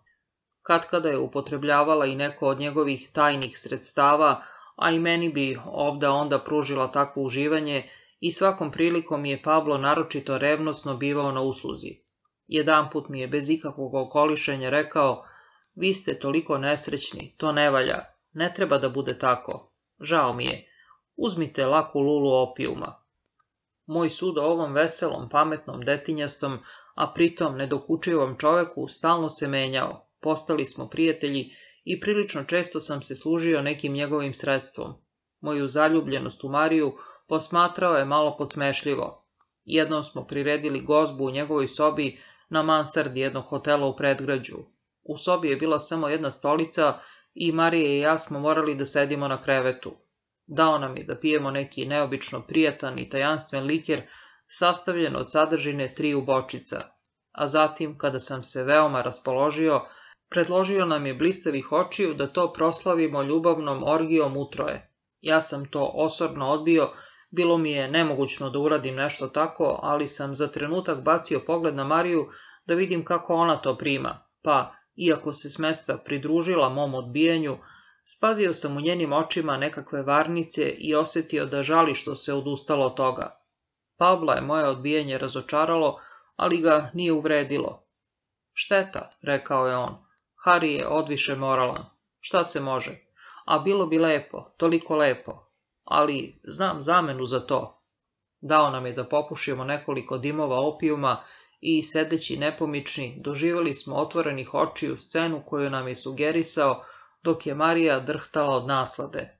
Kada mi se posle toga malo smučilo, Pablo me je položio na krevet, dao mi je nekoliko kapi nekog leka i, zatvarajući oči za nekoliko trenutaka, osetio sam na svakom očnom kapku po jedan letimičan, jedva osetan poljubac. Pravio sam se kao da uobražavam da me je poljubila Marija, ali sam tačno znao da me je to on poljubio. A jedne večeri me je još više iznenadio. Pojavio se u mom stanu, ispričao mi da mu je potrebno 20 franaka i molio me da mu ih dam. U naknadu mi je ponudio da raspolože Marijom te noći umjesto njega. Pablo, rekao sam uplašeno, vi ne znate šta govorite. Kod nas se smatra kao najveća sramota da čovek svoju ljubavnicu ustupi drugome za novac. Nisam čuo vaš predlog, Pablo.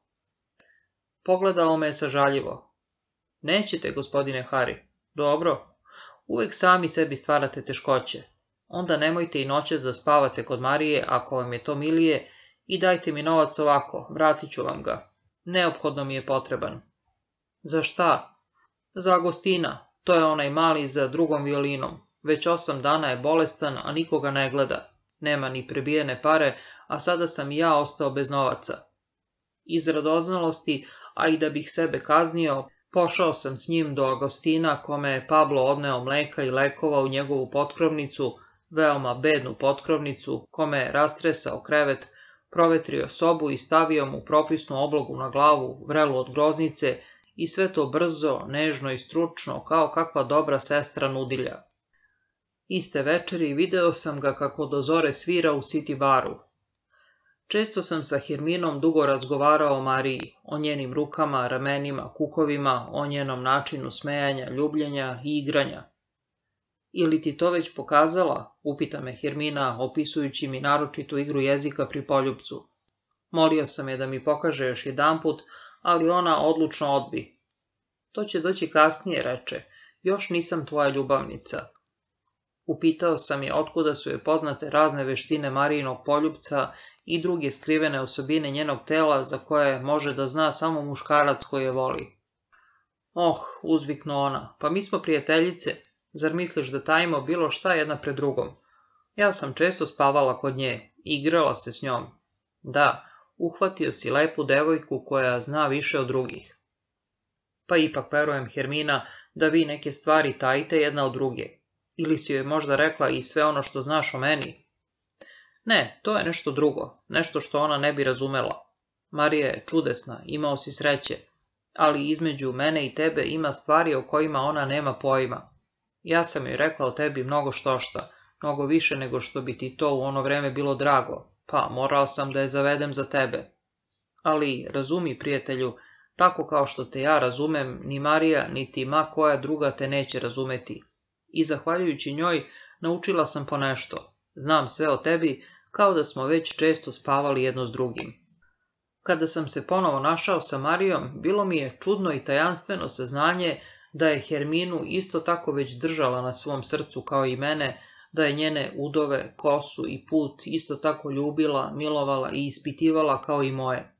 Predamnom su iskrsli novi, posredni i složeni odnosi i veze, nove ljubavne i životne mogućnosti zbog čega sam morao da mislim na hiljadu duša u raspravi o stepskom vuku.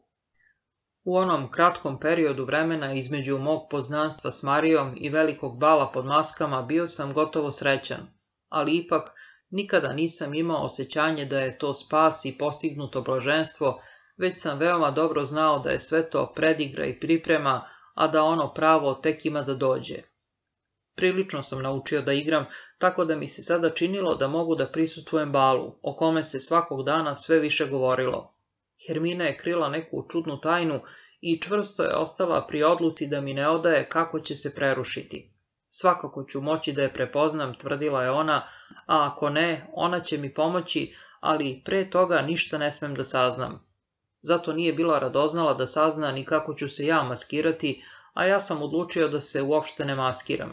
Kada sam hteo da pozovem Mariju na bal, objasnila mi je da za tu svečanost već ima kavaljera, odista već je imala i ulaznicu i ja sam razočaran uvideo da ću morati sam da idem na zabavu. Bio je to najotmeniji kostimirani bal u gradu koji su umetnici priređivali svake godine u dvoranama Globusa. Tih dana redko sam viđao Herminu, ali je u oči bala bila neko vreme kod mene, došla je da uzme ulaznicu koju sam je nabavio i spokojno je sedala u mojoj sobi kada se zapoden u neobičan razgovor koji je ostavio dubok utisak na mene. U stvari, sada prilično dobro živiš, reče ona. Igranje ti godi. Ko te nije video za poslednje četiri nedelje, ne bi te poznao. Da, priznadoh ja, već godinama nisam živeo tako dobro, a za sve to imam da zahvalim tebi, Hermina. Oh, a zar ne tvojoj lepoj Mariji? Ne, i nju si mi ti poklonila. Ona je čudesna. Ona je ljubavnica kakva je tebi bila potrebna, stepski vuče. Lepa, mlada, vedrog raspoloženja i iskusna u ljubavi, a sem toga ljubavnica koju ne možeš imati svakog dana. Da, ne moraš da je deliš sa drugima, da kod tebe nije uvek samo prolazan gost, ne bi sve bilo tako dobro. Da, i to sam morao da priznam. Dakle, imaš li sada u stvari sve što ti treba? Ne, Hermina, nije tako. Imam nešto veoma lepo i dražesno, imam veliku radost i dragu utehu. Gotovo sam srećan. Pa eto, zar bih hteo više? Hteo bih. Ne zadovoljavam se činjenicom da sam srećan. Nisam stvoren za to, nije mi to predodređeno. Predodređeno mi je baš ono suprotno. Dakle, da budeš nesrećan. Pa bio si to u dovoljnoj meri onda kada zbog noža za brijenje nisi mogao da ideš kući. Ne, Hermina, ipak nije tako. Onda sam, priznajem, bio veoma nesrećan, ali to je bila glupa, neplodna nesreća. A zašto? Jer inače ne bih morao toliko da se bojim smrti, koju sam međutim priželjkivao. Nesreća koja mi je potrebna i za kojom čeznem je drugčija. Trebalo bi da zbog nje patim sa požudom i umirem sa nasladom. To je nesreća ili sreća koju očekujem. Razumem te, U tome smo brat i sestra. Ali šta imaš protiv sreće koju si sada našao s Marijom? Zašto nisi zadovoljan? Nemam ništa protiv te sreće, o, nikako. Ja volim Mariju i zahvalan sam joj. Lepa je kao sunčan dan usred kišovitog leta. Ali osjećam da ta sreća ne može da bude trajna i da je neplodna. Od nje čovek postaje zadovoljan, a zadovoljstvo nije hrana za mene. Ona uspavljuje stepskog vuka, zasićuje ga. Nije to sreća zbog koje bi čovek pristao da umre. Zar mora da se umire, stepski vuče? Mislim da mora. Veoma sam zadovoljan svojom srećom i mogu da je podnesem još izvesno vreme. Ali ako mi ona katkada ostavlja vremena da se probudim, da osetim čežnju, tada moja čežnja ne stremi za tim da zauvek zadržim tu sreću, već da ponovo patim samo lepše i ne tako bedno kao ranije. Čeznem za patnjama radi kojih ću biti spreman da pođem u smrt. Danas hoću nešto da ti kažem, nešto što već odavno znam, a i ti to već znaš, ali možda još nisi sebi priznao. Kazat ću ti sada ono što znam o tebi i o sebi, kao i o našem zajedničkom udesu. Ti si, Hari, bio umetnik i mislilac, čovek pun radosti i vere, koji je još i sad u poteri za velikim i večnim, koji nikada nije zadovoljan lepuškastim i malim.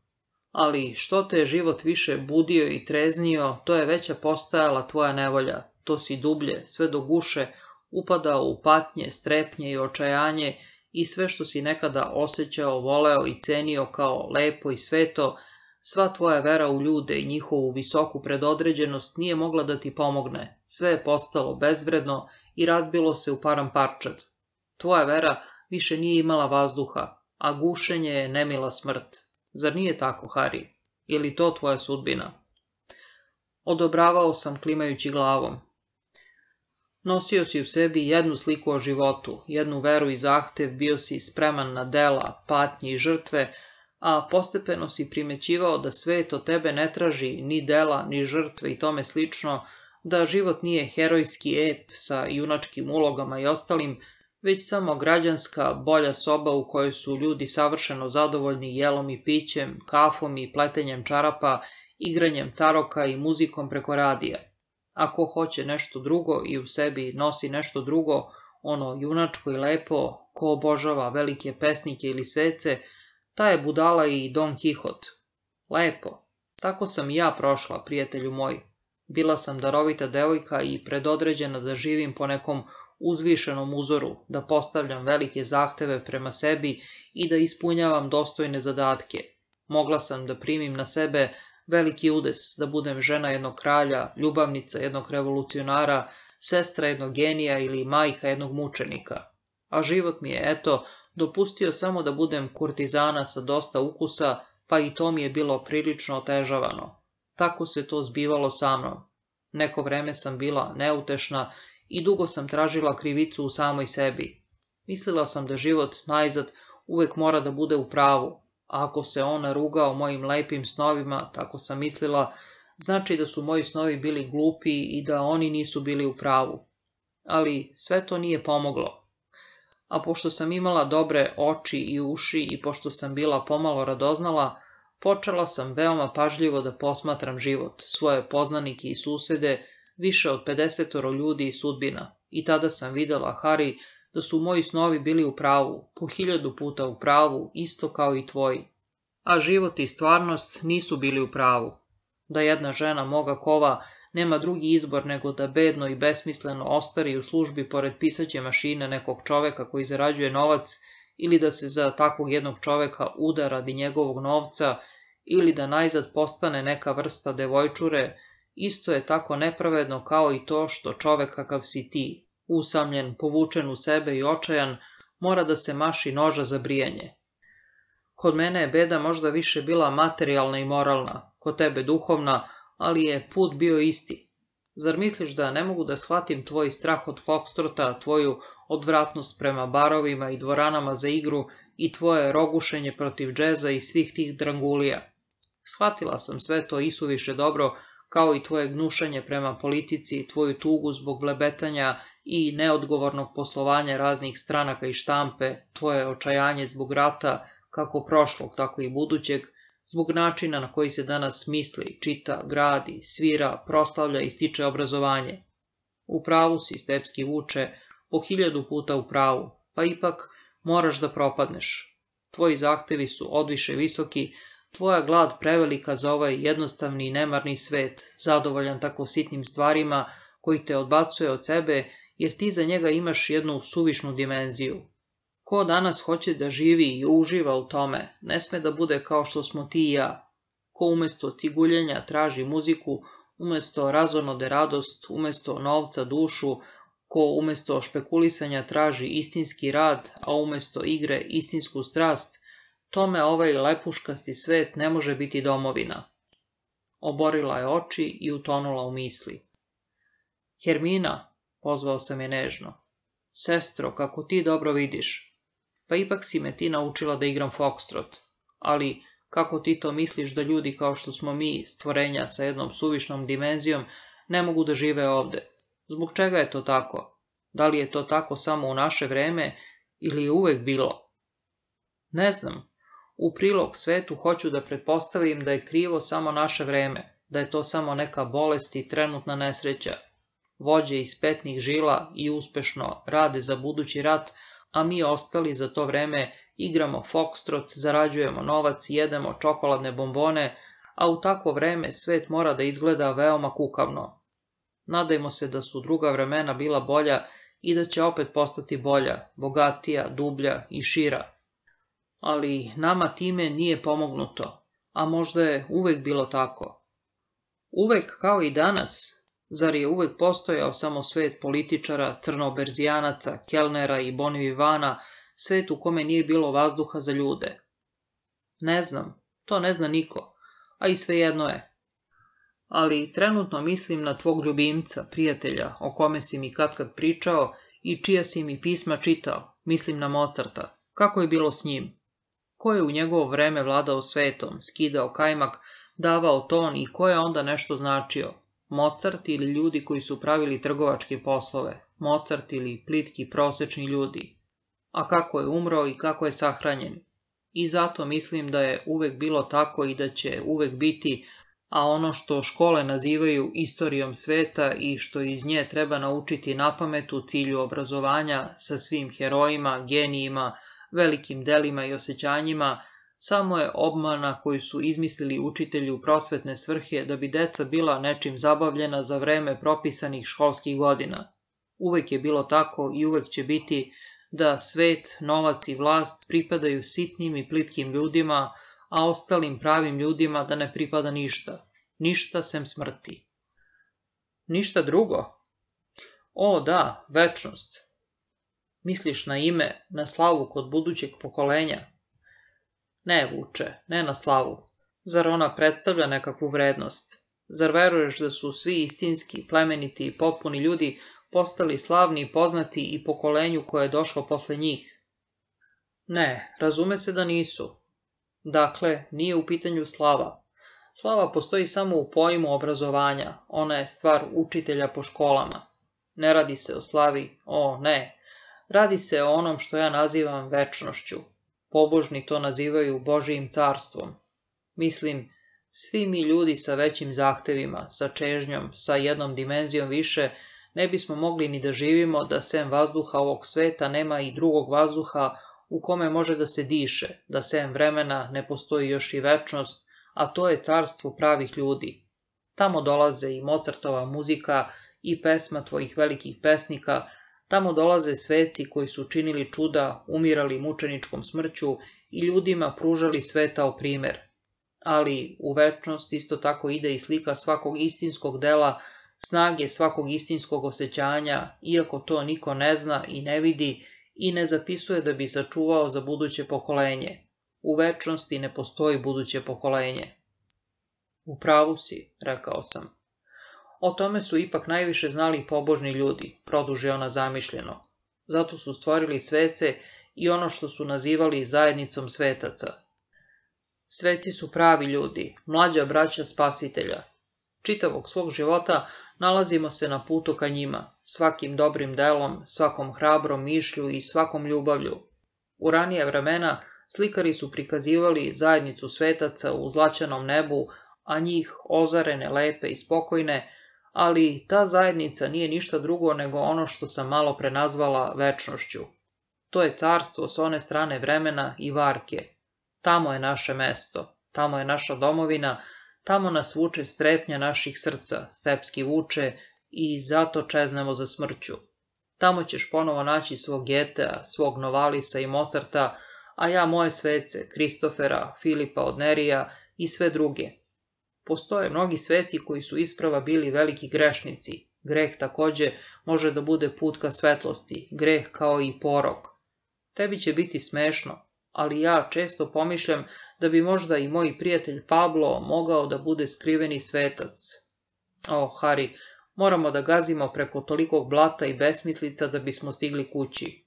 A nemamo nikoga da nas vodi, jedini nam je vođa čežnja za domom. Poslednje reči izgovorila je opet skoro nečujno i sada je u sobi bilo tiho i spokojno. Sunce je bilo na zalasku i od njegovog ocijaja zablistala su zlatna slova na poleđinama knjiga moje biblioteke. Uzeo sam Hermininu glavu među svoje ruke, poljubio je u čelo i prislonio njen obraz u svoj, kao da smo brat i sestra, i za trenutak smo ostali tako. Najradije bih tako i ostao i ne bih više ni izlazio toga dana. Ali ovu noć, poslednju pre velikog bala, obećala mi je bila Marija.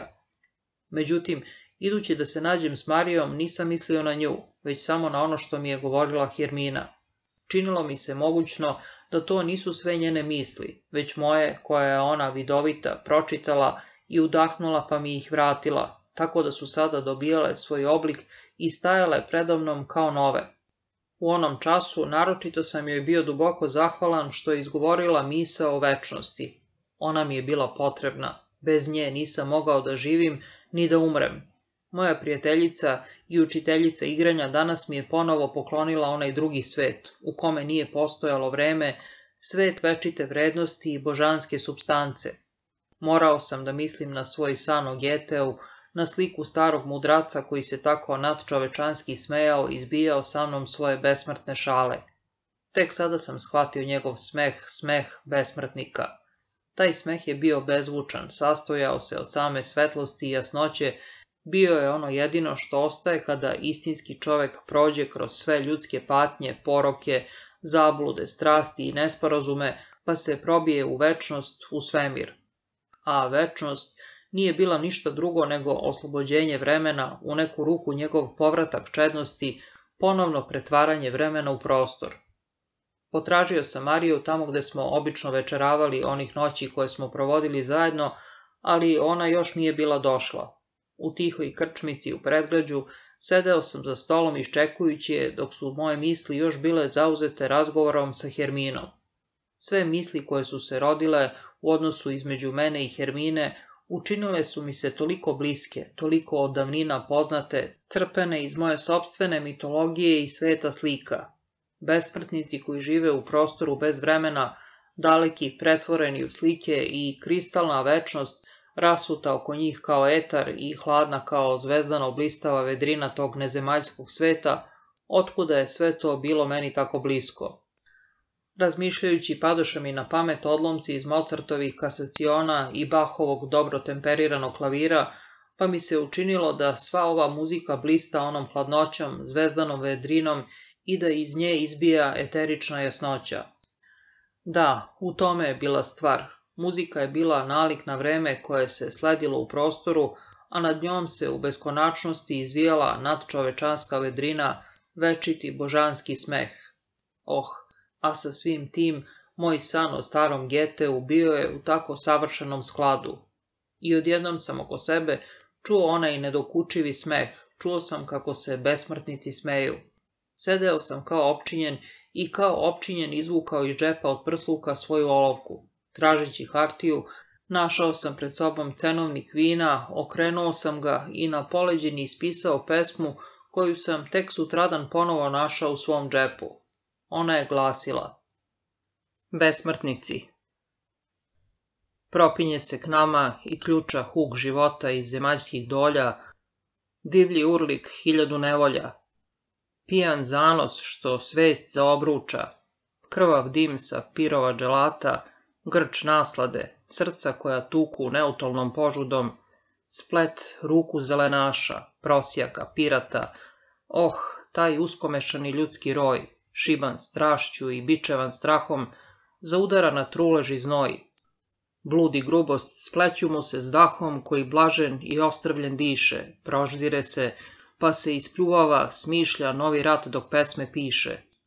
Rasplamsali bordel ukrašava, mota, ždere, kurva se dok šeta sred drečavog vašarskog veselja, sred obmana svog dečijeg sveta što se svakom sa pučine želja nov ukaže kao zlatan val i svakom se raspadne u kal. Naš je stan pak usred obasjene beskrajnosti eterske ledene, ne znamo za sate niti dane, za razlike čoveka i žene. Vaše grehe, pohote, ubojstva, vaše strepnje i nade u spas, ravnodušni i puni spokojstva, gledamo ko sunca oko nas. Zmaj nebeski sa nama se druži, prožima nas vasionski led, a oko nas sve u nedogled kolo zvezda bez prestanka kruži. Dok gledamo mirno na vaš greh, koprcenje i jad neizrečni, nepomiča naš je život večni, hladan, zvezdan naš je večni smeh. Zatim je došla Marija, a posle večere, koju smo proveli u vedrom raspoloženju, otišao sam s njom u našu sobicu. Te večeri bila je lepša, toplija i prisnija nego ikada i dala mi je da okusim nežnost igre koje sam osetio kao njeno potpuno predavanje. Marija, rekao sam, ti se danas rasipaš kao kakva boginja. Nemoj da nas usmrtiš oboje, da sutra je bal pod maskama. Kakvog ćeš kavaljera imati sutra?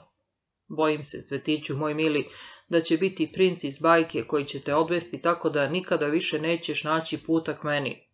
Ti me danas voliš gotovo isto onako kao što se pravi ljubavnici vole na rastanku posljednji put. Priljubila je usne uz moje uvo i prošaputala. Ne govori, Hari, svaki put može biti posljednji put. Ako te Hermina uzme, više mi nećeš doći. Možda će te uzeti već sutra. Nikad nisam bio svesniji karakterističnog osjećanja onih dana, onog čudnog, gorko-slatkog, dvostrukog raspoloženja, kao one noći uoči bala. Ono što sam osjećao bila je sreća Marina, lepota i predavanje, uživanje, dodir i udisanje stotine prefinjenih, divnih naslada koje sam upoznao kasno, kao čovek u godinama, brčkanje u blagom, uljutkujućem talasu uživanja. Pa ipak je to bila samo ljuska. Iznutra je sve bilo puno značaja, napetosti i sudbine, i dok sam pun ljubavi i nežnosti bio zabavljen slatkim, dirljivim ljubavnim sitnicama, dok sam na izgled plivao u sreći, osjećao sam u duši kako moja sudbina navrat na nos hrli napred, jureći i propinjući se kao uplašen konj, u susret provaliji, u susret padu, puna straha, čežnje i predanosti smrti. Kao što sam se još pre kratkog vremena sa strepnjom i strahom branio od prijatnih lakomislenosti čisto čulne ljubavi, kao što sam osjećao strah od Marine nasmejane lepote, spremne da pokloni sebe, tako sam sada osjećao strah od smrti, ali strah za koji sam znao da će se uskoro pretvoriti u predaju i oslobođenje. Dok smo čutki i predano tonuli u igre naše ljubavi i pripadali jedno drugom prisnije no ikada, moja duša se opraštala s Marijom, opraštala se sa svim onim što je ona za mene značila. Od nje sam naučio da se još jednom, pre svršetka, prepustim detinjastoj igri površine, da tražim trenutne radosti, da budem i dete i životinja u nevinosti polova, stanje koje sam u svom ranijem životu poznavao samo kao neki izuzetak, jer čulni i polni život su za mene skoro uvek imali naročit ukus greha, onaj slatki, ali i opori ukus zabranjenog voća, koga se čovek od uma mora čuvati. Sada su mi Hermina i Marija pokazale taj vrt u njegovoj čednosti. Sa zahvalnošću sam gostovao u njemu, ali je uskoro trebalo da krenem dalje. U tom vrtu je bilo isuviše lepo i toplo. Bilo mi je određeno da i dalje težim za krunom života, da i dalje ispaštam beskrajnu krivicu života. Lak život, laka ljubav, laka smrt nisu bili za mene. Iz nagoveštaja devojaka zaključio sam da su na sutrašnjem balu ili posle njega bila u planu naročita uživanja i razvrat. Možda je to bio svršetak, možda je Marija bila u pravu sa svojim slutnjama i možda smo danas posljednji put ležali jedno pored drugog. Ko zna, možda je već sutra sudbina kretala novim tokom. Bio sam ispunjen vrelom čežnjom, a i strahom koji me je gušio, pa sam se grčevito hvatao Marije, još jednom sam vatreno i požudno prešao preko svih staza i čestara njenog vrta, još jednom sam zagrizao slatki plod rajskog drveta. Nadoknadio sam izgubljeni san ove noći u toku dana. Ujutru sam se odvezao u kupatilo, zatim, mrtav umoran, kući, zamračio sam svoju spavaću sobu, skidajući odelo našao sam pesmu u džepu, ali sam opet zaboravio na nju. Odmah sam legao, zaboravio na Mariju, Herminu i bal pod maskama i spavao celog dana. Kada sam uveče ustao, tek mi je za vreme brijanja palo na pamet da će za jedan sat već otpočeti bal pod maskama i da moram da spremim košulju uz frak. Oblačio sam se raspoložen i izišao da najpre nešto pojedem. Bio je to prvi bal pod maskama kome je trebalo da prisustvujem. Nekada sam doduše s vremena na vreme posjećivao ovakve zabave, kad kad su mi bile i prijatne, ali nisam igrao, već sam bio samo posmatrač i uvek mi se činilo smešno oduševljenje sa kojim su drugi govorili o tome ili se unapred radovali. Danas je bal za mene bio događaj kome sam se radovao sa uzbuđenjem, a i sa nešto strepnje. Kako nije trebalo da pratim damu, odlučio sam da pođemo namo kasno, što mi je i Hermina preporučila. U posljednje vreme Redko sam posjećivao čelični šlem, moje nekadašnje utočište, u kome su razočarani muževi provodili svoje večeri pijući vino i izigravajući momke, jer više nije bilo u stilu sa mojim sadašnjim životom. Ali večeras me nešto vuklo onamo, u onom bojažljivo radosnom raspoloženju koje me trenutno zahvatilo, sve stanice i istaknutija prebivališta mog života još jednom su dobili bolno lepi ocijaj prošlosti, pa tako i mala zadimljena krčma u kojoj sam još do nedavno bio stalni gost, u kojoj me još do pre kratkog vremena zadovoljavalo primitivno sredstvo za umirenje u obliku boce sa seljačkim vinom, pomažući mi da provedem još jednu noć u svom usamljenom krevetu i da nekako proživim još jedan dan. Od tada sam okušao druga sredstva i žešće draži, ispijao sam slađe otrove. S osmehom sam ušao u kafanicu gde me dočeka pozdrav krčmarice i klimanje glave čutljivih stalnih gostiju. Preporučiše mi i donesoše pečeno pilence, u debelu seljačku čašu usuše mi bistro, svetlo, mlado, elzaško vino, čisti beli drveni stolovi i staro žuto drvo kojim su bili obloženi zidovi, prijatno su me gledali. I dok sam jeo i pio, u meni se pojačavalo osjećanje nečega što vene, što se oprašta, ono slatko, prisno osjećanje jednog nikad sasvim rešenog, ali sada za rešenje sazrelog srastanja sa svim poprištima i stvarima mog ranijeg života. Modern čovek to naziva sentimentalnošću. On je prestao da voli stvari, čak i svoju najveću svetinju, svoj automobil, želi da što pre zameni nekom boljom markom. Ovaj modern čovek je odvažan, vredan, zdrav, hladan i krut, odličan je to soj, koji će se u budućem ratu pokazati izvanredan. Meni je bilo svejedno, nisam bio modern čovek, pa ni staromodan. Ja sam ispao iz vremena i struja me smrti željnog nosila ka smrti. Ništa nisam imao protiv sentimentalnosti, bio sam radostan i zahvalan što sam u svom izgorelom srcu još mogao da nađem nešto nalik na osjećanje. Predao sam se uspomenama na staru krčmu svoje privrženosti prema starim glomaznim stolicama, predao sam se mirisu dima i vina i zračku navike, topline i zavičajnosti, što je sve ovo predstavljalo za mene. Lepo je opraštati se, raspoloženje postaje tako blago. Moje tvrdo sedište bilo mi je drago, mio mi je bio sveži, plodni ukus elzaškog vina, mila mi je bila prisnost sa svim i svačim u ovoj prostoriji, mila su mi bila lica čiji sam brat bio dugo vremena. Obuzala me je ovde građanska sentimentalnost, lako začinjena mirisom starovremenske kafanske romantike još iz dešaškog doba, kada su za mene gostionice, vino i cigare bili nešto zabranjeno, nepoznato i divno. Nikakav se stepski vuk nije dizao da iskezi zube i da na parčiće raskomada moju sentimentalnost. Sedeo sam spokojan, u meni se žarila prošlost i slabo zračilo jedno u međuvremenu nestalo sazvežđe.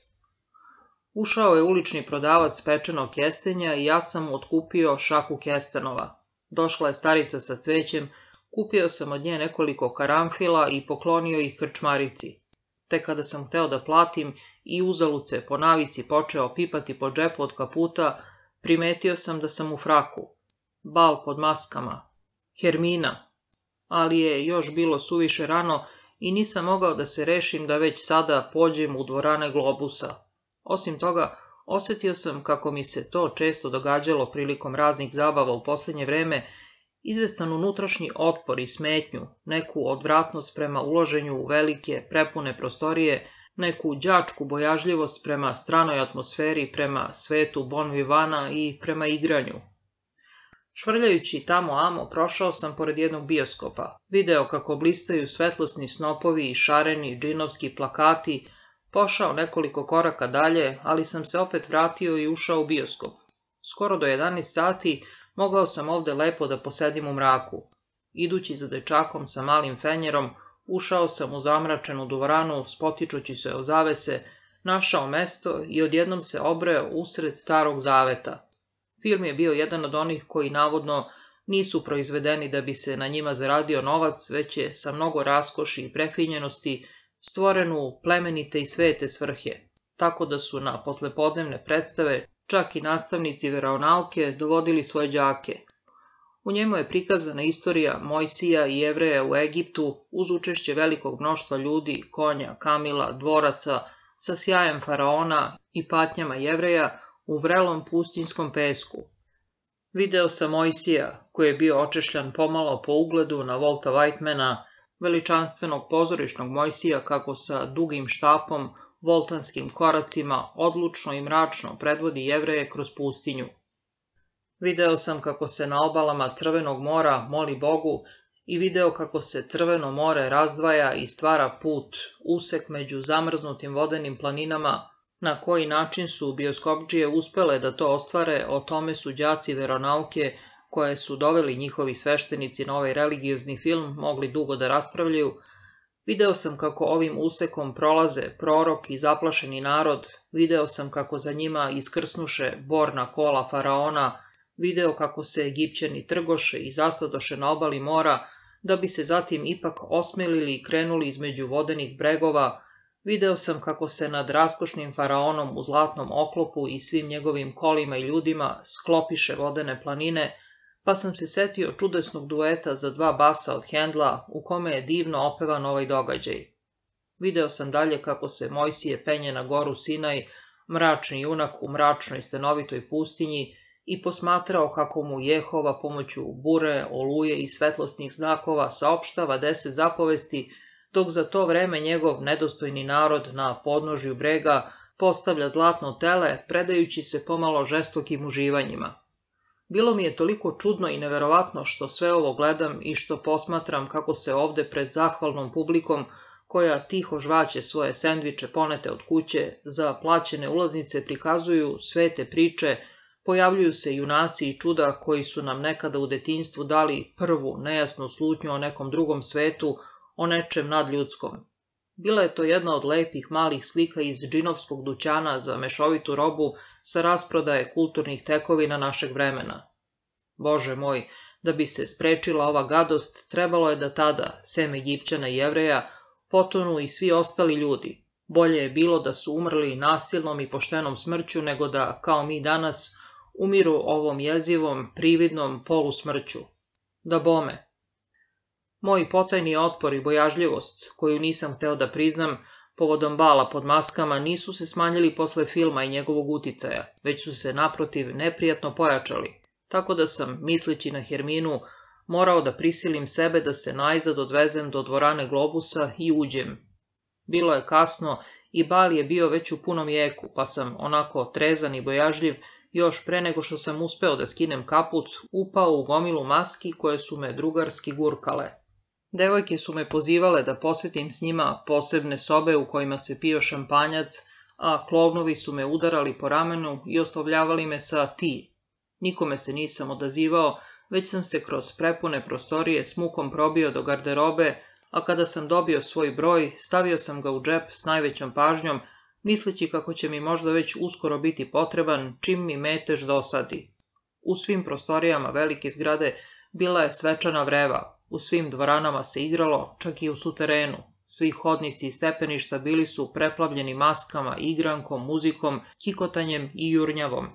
Stegnuta srca provlačio sam se kroz gomilu, od crnačkog orkestra sve do seljačke muzike, od velike blistave glavne dvorane do hodnika i stepenica, kroz barove, bifeje i sobe u kojima se točio šampanjac. Na zidovima su visile drečave, vesele slike najmlađih umetnika. Sve se sakupilo ovde, umetnici, novinari, naučnici, poslovni ljudi i razume se sav gradski svet koji je život provodio u uživanjima. U jednom od orkestara sedeo je gospodin Pablo i oduševljeno duvao u svoju izvijenu cev. Kada me je poznao, glasno mi je otpevao svoj pozdrav. Nošen mnoštvom stizao sam u razne prostorije, u stepenice i niz stepenice. Jedan hodnik u suterenu udesili su umetnici kao pakao i u njemu je orkestar đavola besomučno udarao u bubnjeve. Najzad sam počeo da vrebam Herminu ili Mariju, pošao sam da ih tražim, u nekoliko mahova sam se trudio da dospem u glavnu halu, ali sam svakom prilikom zalutao ili bi me struja gomile sprečila u tome. Oko ponoći još nikoga nisam bio našao, iako još nisam zaigrao, vrtelo mi se u glavi, bilo mi je toplo, pa sam se bacio na najbližu stolicu među same nepoznate osobe, poručio vino i našao da učestvovanje u tako bučnim zabavama nije pogodno za starog čoveka kao što sam ja. Pomiren sa sudbinom, ispijao sam svoju čašu vina, ukočenim pogledom buljio sam u nage ruke i leđa žena, video kako promiču groteskne prilike maski, pustio da me guraju, Ćutke sam odbio nekoliko devojaka koje su htele da mi sednu u krilo ili da igraju sa mnom. Stari namćor, doviknula mi je jedna od njih i bila je u pravu. Rešio sam da malo popijem, da bih stekao više hrabrosti i raspoloženja, ali mi ni vino nije prijelo i jedva sam popio drugu čašu. Malo pomalo osetio sam kako stepski vuk stoji iza mene isplaženog jezika. Nije ovo bilo za mene, nalazio sam se na pogrešnom mestu. Došao sam u najboljoj nameri, ali ovde nisam mogao da se razveselim, a bučno, uskiptelo veselje, raskalašni kikot i sve ludorije oko mene učinili su mi se glupi i usiljeni. Tako je došlo do toga da sam se u jedan čas po ponoći, razočaran i ljut, opet probio do garderobe da bih obukao kaput i otišao. Bio je to poraz, vraćanje stepskom vuku, koji će mi Hermina teško oprostiti, ali nisam mogao drugčije. Na tegobnom putu do garderobe još jednom sam se pažljivo osvrnuo na sve strane, ne bih li ugledao jednu od svojih prijateljica. Sada sam stajao ispred prozorčića, učtivi čovek iza pregrade već je ispružio ruku da uzme moj broj, zavukao sam ruku u džep od prsluka, ali broja više nije bilo. Dođe vola, samo mi je još to trebalo. Dok sam tužno lutao dvoranama i dok sam sedeo pored bljutavog vina, Nekoliko puta sam se mašio džepa, boreći se sa odlukom da odem i svaki put sam napipao okrugli pljosnati broj, a sada ga nije bilo. Sve se zaverilo protiv mene. Izgubio si broj, upita pored mene piskavim glasom mali crveno-žuti đavo. Evo, druže, možeš da uzmeš moj i pruži mi ga. Dok sam ja, primivši ga mehanički, vrteo broj među prstima, hitri momčić je već nestao a kada sam podigao kartončić do visine očiju da pogledam broj, video sam da je umesto njega bilo nešto nažvrljano sitnim slovima. Zamolio sam čoveka iz garderobe da pričeka, otišao do najbliže svetiljke i počeo da čitam. Sitnim, nečitkim, titravim slovima bilo je naškrabano. Noćas, počev od četiri sata, magično pozorište, samo za luđake. Cena ulaznice, razum, nije za svakoga, Hermina je u paklu. Kao što marioneta čija je žica za trenutak ispala majstoru igraču iz ruke posle kratke ukočenosti i tuposti, oživi i ponovo počinje da se kreće, da učestvuje u igri, tako sam ja, pokrenut magičnom žicom, gipko, mladalački i revnosno poleteo u gungulu, od koje sam malo pre pobegao umoran, bezvoljan i star. Nikada se nijednom grešniku nije više žurilo da što pre stigne u pakao nego meni. Do malo pre su mi bile tesne lakovane cipele, bio mi je odvratan, gusti, parfemom zasićeni vazduh, klonuo sam bio od vrućine.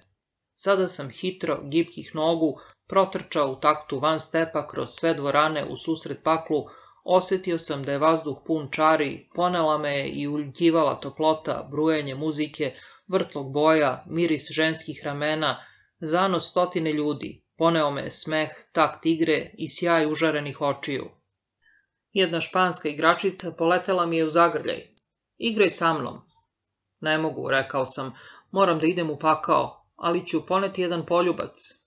Crvene usne ispod maske pružale su mi se u susret i tek u poljubcu sam poznao Mariju. Čvrsto sam je stegao, njena puna usta cvetala su kao letnja ruža u punoj rasvetalosti. I već smo zaigrali spojenih usana, a u igri smo prošli pored Pabla, koji se zaljubljeno naginjao nad svoju muzičku cev iz koje su se izvijali nežni zvuci. Njegov lepi životinski pogled obuhvatio nas je ozareno i pomalo odsutno, ali pre nego što smo napravili dvadeset koraka, muzika je stala i ja sam nerado pustio Mariju iz svojih ruku. Rado bih igrao još jednu igru s tobom, rekao sam zanet njenom toplinom. Pođi nekoliko koraka sa mnom, Marija, zaljubljen sam u tvoje lepe ruke, ostavi mi ih još za trenutak. Ali, eto, Hermina me je zvala, ona je u paklu. Odmah sam pomislila, zbogom, Hari, ostaćeš mi u dragoj uspomeni. Ona se opraštala. Bio je to rastanak, jesen, bila je to sudbina, zato je letnja ruža mirisala tako rascvetano i opojno. Potrčao sam dalje, kroz duge hodnike u kojima su se nežno tiskali parovi ni stepenice pravo upakao. Tamo su na zidovima, crnim kao gar, gorele drečave zloslunte svetiljke, a orkestar đavola svirao je grozničavo. Na jednoj od visokih barskih stolica sedeo je lep mladić bez maske, u fraku. On me je odmerio podrugljivim pogledom. Vreva igrača pritisla me uza zid, u tesnoj prostoriji igralo je oko dvadeset parova. Požudno i bojažljivo sam posmatrao sve žene, većina njih još je bila pod maskama, neke su mi se nasmešile, ali nijedna od njih nije bila Hermina. Lepi mladić podrugljivo je gledao u mene sa svoje visoke barske stolice. U sledećem odmoru između dve igre pomislio sam doći će i Hermina i oslovit će me. Igra se završila, ali niko nije došao. Otišao sam preko do bara koji je bio stisnut u jednom uglu male niske prostorije. Stao sam pored mladićeve stolice i poručio viski. Dok sam pio, gledao sam profil mladog čoveka, koji mi se učinio tako poznat i drag kao neka slika iz davno minulih dana, dragocena zbog lako prašnjavog vela prošlosti. Oh, a tada mi je sinula misao, pa to je Herman, moj drug iz mladosti. Hermane, rekao sam bojažljivo. On se nasmešio. Hari, jesi li me našao? Bila je to Hermina, nešto malo drugačije očešljena i neprimetno našminkana. Iz modernog visokog okovratnika isticalo se neobično i bledo njeno pametno lice. Njene ruke, čudesno male, provirivale su iz širokih crnih rukava fraka i belih manžeta. Njene nožice, čudesno nežne, provirivale su u crno-belim kratkim muškim čarapama iz dugačkih crnih pantalona. Je li to kostim Hermina u kome treba da se zaljubim u tebe? Do sada, klimno ona glavom, zaljubilo se u mene nekoliko dama. Ali sada si ti na redu. Hajde da prvo popijemo po čašu šampanjca. To i učinismo, sedeći na svojim visokim barskim stolicama dok se pored nas i dalje igralo i dok je gudački orkestar besomučno svirao. Uskoro sam se strasno zaljubio u Herminu, iako se ona, na izgled, uopšte nije trudila da to postigne. Pošto je nosila muško delo, nisam mogao da igram sa njom, niti sam se mogao odlučiti na bilo kakve nežnosti ili osvajanje, a ona, daleka i neutralna u svojem muškom kostimu, obuhvatala me pogledima, upućivala mi reči i pokrete u kojima je bila sva draž njene ženstvenosti. Nedodirujući je, podlegao sam njenoj čari, čari koja se sastojala u njenoj ulozi i koja je bila hermafroditska. Ona se zabavljala sa mnom razgovarajući o Hermanu i detinjstvu, mome i svome, o godinama pre polne zrelosti u kojima mladalačka moć ljubavi ne obuhvata samo oba pola, već sve i svakog, kako čulno, tako i duhovno, u kojima je sve nadahnuto ljubavnom čari i čudesnom moći preobražaja, što se u kasnije doba povremeno vraća samo kod izabranih i pesnika. Ona je u potpunosti igrala ulogu mladića, pušila je cigarete, ćaskala lako i duhovito, često se malo podsmeha, ali iz svega je zračio Eros, sve se na putu do mojih čula pretvorilo u divno zavođenje. Uobražavao sam da dobro i tačno poznajem Herminu, a kako mi se potpuno nova otkrila ove noći. Kako je blago i neprimetno isplela oko mene željenu mrežu, kako mi je razigrano i kao kakva vodena vila davala da pijem slatki otrov. Sedeli smo ćaskali i pili šampanjac. Lutali smo dvoranama kao otkrivači pustolovi, pronalazili parove i krišom osluškivali njihove ljubavne igre. Ona mi je pokazivala žene, nagovarala me da igram s njima i savjetovala mi kakvim umešnostima da zavedem ovu ili onu. Nastupali smo kao suparnici, neko vreme bismo pratili istu ženu, igrali s njom neizmenično i oboje pokušavali da je osvojimo. Pa ipak je sve ovo bila samo igra maski, igra između nas dvoje, koja nas je sve tešnje vezivala i zagrevala. Sve je bilo kao u bajci, sve imalo jednu dimenziju više, jedan dublji značaj, sve ovo bila igra i simbol. Videli smo jednu veoma lepu, mladu ženu sa nezadovoljnim i paćeničkim izrazom. Herman je odigrao s njom i ona je procvetala, zatim su nestali u jednoj od soba u kojima se točio šampanjac, a kasnije mi je ispričao da tu ženu nije osvojio kao muškarac, već kao žena dražima Lesbosa. Čitava ova zvucima zasićena kuća, pune dvorane u kojima je brujala igranka i sav ovaj opijeni narod maski postepeno su se pretvorili za mene u raj snova. Cvet za cvetom osvajao me svojim mirisom, prstima koji su kušali tražio sam plod za plodom. Zmije su me zavodnički gledale iz zelenog žbunja, cvet lotosa promicao je kao utvarana crnom očvarom, čarobne ptice sletale su sa granja, a sve me ipak vodilo samo jednom željenom cilju, sve me ispunjavalo novom čežnjom za jedinom. Igrao sam sa nepoznatom devojkom, vrelo i zavodnički odvukla me u zanos i pijanstvo i dok smo lebdeli u nestvarnosti, ona odjednom prsnu u smeh i reče Ne može čovek više da te pozna, večeras si bio tako glup i dosadan. Tada sam poznao onu koja me pre nekoliko časova nazvala starim namćorom. Mislila je da me je sada osvojila, ali pri sledećoj igri već sam zaplamsao za drugom. Igrao sam bez prestanka dva časa, a možda i duže, igrao sam svaku igru, i one koje nikada nisam učio. Herman, nasmešeni mladić, svaki čas bi iskrsnuo u mojoj blizini, klimnuo bi mi glavom i nestao u gužvi.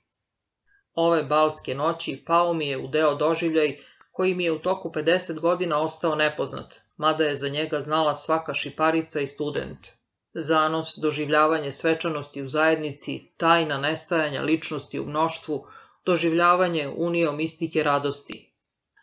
Često sam slušao kako se o tome govori, bilo je to poznato svakoj služavci i često sam primećivao blesak u očima onoga koji je o tome pričao, na što sam se ja smeškao i nadmoćno i zavidljivo onaj blesak u opijenim očima zanesenog, oslobođenog samog sebe, onaj osmeh i gotovo sumanuto gubljenje onoga koji se rasplinuo u zanosu zajednice, video sam stotinu puta u životu, na plemenitim i prostačkim primjerima, kako kod pijenih regruta i mornara, tako i kod velikih umetnika prilikom oduševljenja na svečanim priredbama, a isto tako i kod mladih vojnika koji polaze u rat.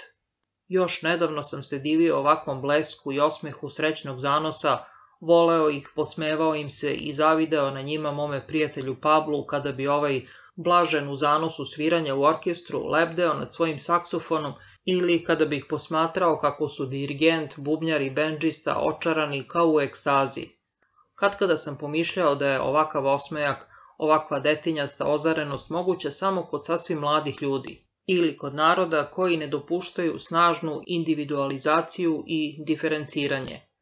Ali danas, ove blagoslovene noći, izračio sam i sam ovim osmehom, ja, stepski Vuk Hari, plivao sam i sam u dubokoj detinskoj sreći kao u kakvoj bajci, udisao sam i sam slatki san i opojnost zajednice, muzike, ritma, vina i čulne radosti, iako sam nekada, slušajući izveštaj o balu od kakvog studenta, primao sve to sa podsmehom i bednom nadloći. Ja više nisam bio ja, moja ličnost se istopila u svečanom zanosu kao so u vodi. Igrao sam sa ovom ili onom ženom, ali nisam držao u rukama samo nju, nisam držao samo onu čija me je kosa dodirivala, čiji sam miris udisao, već sve žene u toj istoj dvorani, koje su uplivale u istoj igri, uz istu muziku kao i ja, i čija su ozarena lica promicala pored mene kao veliki fantastični cvetovi. Sve su one pripadale meni, svima sam pripadao ja, svi smo jedni u drugima imali udela. A tu su dolazili i muškarci, nisam im bio tuđ, kao ni oni meni, njihov osmeh je bio i moj, njihovo osvajanje bilo i moje, a moje njihovo. Te zime osvojio je svet novi fokstrot pod imenom Jirning. Svirali su ga uzastopce i uvek je bio iznova tražen. Svi su bili zadovoljni i opijeni njime, svi su zajedno pevušili njegovu melodiju. Igrao sam bez prestanka sa svakom ženom na koju bih naišao, sa veoma mladim devojkama, sa cvetnim mladim ženama, sa zrelim i bolno rastvrtalim kao leto. Sve su me očaravale, smejao sam se bio vedar i srećan. A kada me je Pablo video onako ozarenog, mene, koga je uvek smatrao ubogim đavolom koga treba žaliti, tada su mi njegove presrećne oči zablistale u susret. Oduševljeno se digao sa svoje stolice u orkestru, žestoko je dunuo u svoj rog, popeo se na stolicu i stojeći na njoj, duvao punih obraza, njišući se pritom zajedno sa instrumentom, divljački blaženo u taktu Irninga, dok smo mu ja i moja igračica dobacivali poljubce i glasno pevali s njim. Ah, pomislio sam u taj mah, neka bude sa mnom što mu drago, jednom sam ipak ja bio srećan, bio sam vedar i oslobođen svoga ja, kao da sam brat Pablov ili dete. Izgubio sam bio osjećanje vremena, ne znam koliko je časova ili trenutaka traja ovaj srećni zanos, Isto tako nisam primetio da se zabava, što je bivala bešnja, zbija na sve uži prostor. Veći deo sveta već je bio otišao, u hodnicima je zavladala tišina i mnoge svetiljke su bile ugašene. U gornjim dvoranama orkestri su jedan za drugim prestajali da sviraju i odlazili, samo u glavnoj dvorani i u paklu besnela je, raspaljujući se sve više, šarena opojnost. Pošto sa Herminom, mladićem, Nisam smeo da igram, to smo se za vreme odmora između dve igre uvek letimično sastajali i pozdravljali, dok mi najzad nije sasvim nestala ispred očiju kao i iz misli. Više nisu postojale misli. Plivao sam rasplinut u opijenoj gunguli igrača, dok su do mene dopirali mirisi, zvuci, uzdasi i reči, dok su me pozdravljale tuđe oči, raspaljivala tuđa lica, usne, obrazi, ruke, grudi i kolena, dok me je muzika kao kakav talas bacala tamo amo po taktu. U tom odjednom spazih, trgnuvši se za trenutak, među poslednjim gostima koji su još zaostali, ispunivši jednu od manjih dvorana, jedinu u kojoj je još treštala muzika, spazih odjednom crnu pjeretu belo namazanog lica, lepu, svežu devojku koja je još jedina imala masku, čarobnu pojavu, koju cele noći dotle nisam video, dok se na svima ostalima po njihovim crvenim zažarenim licima izgužvanim kostimima i uvelim okovratnicima, videlo da je već vreme poodmaklo, dotle je crna pjereta, sveža i nova sa svojim belim licem iza maske, imala besprekoran kostim i netaknut okovratnik, čiste bele čipkane mažete i svežu frizuru. Nešto me je vuklo k njoj i poveo sam je da igramo. Njen mirišljavi okovratnik golicao me po bradi, Njena kosa dodirivala je moj obraz, njeno mlado telo se gipkije prilagođavalo mojim pokretima nego bilo koja druga igračica te noći, čas odmičući se, čas privlačeći me i mameći razigrano da ga uvek ponovo dodirujem. I odjednom, kada sam se za vreme igre nagnuo tražeći njena usta, ta usta su se osmehivala nadmoćno i tako prisno, i ja sam poznao čvrstu bradu, poznao sam sav srećan i ramena, laktove i ruke. Bila je to Hermina, a ne više Herman, presvukla se, malo namirisala i napuderisala. Naše usne se sastaviše vrelo, celo njeno telo, sve do kolena, priljubi se za trenutak požudno i podatno uzame, a zatim ona odvoji svoje usne i poče da igra uzdržljivo i kao bežeći od mene. Kada je muzika prestala da svira, ostali smo zagrljeni, a raspaljeni parovi oko nas pljeskali su, lupali nogama, vikali i terali umorni orkestar da ponovi Jirning. A tada smo svi odjednom osetili jutro, ugledali bledu svetlost iza zavesa, osetili skori kraj uživanja, naslutili umor koji je nailazio, pa smo se slepo, zacenjujući se od smeha i očajnički, još jednom bacili u igru, u mlaz svetlosti, koračali smo kao sumanuti, par stisnut uz par, još jednom smo blaženo osetili kako nas preklapa veliki talas. U ovoj igri Nestalo je Herminine nadmoći, njenog podsmeha i hladnoće, znala je da to više nije potrebno da bih se zaljubio u nju. Pripadao sam joj, a ona mi se predala u igri, u pogledu, u poljupcu i osmehu.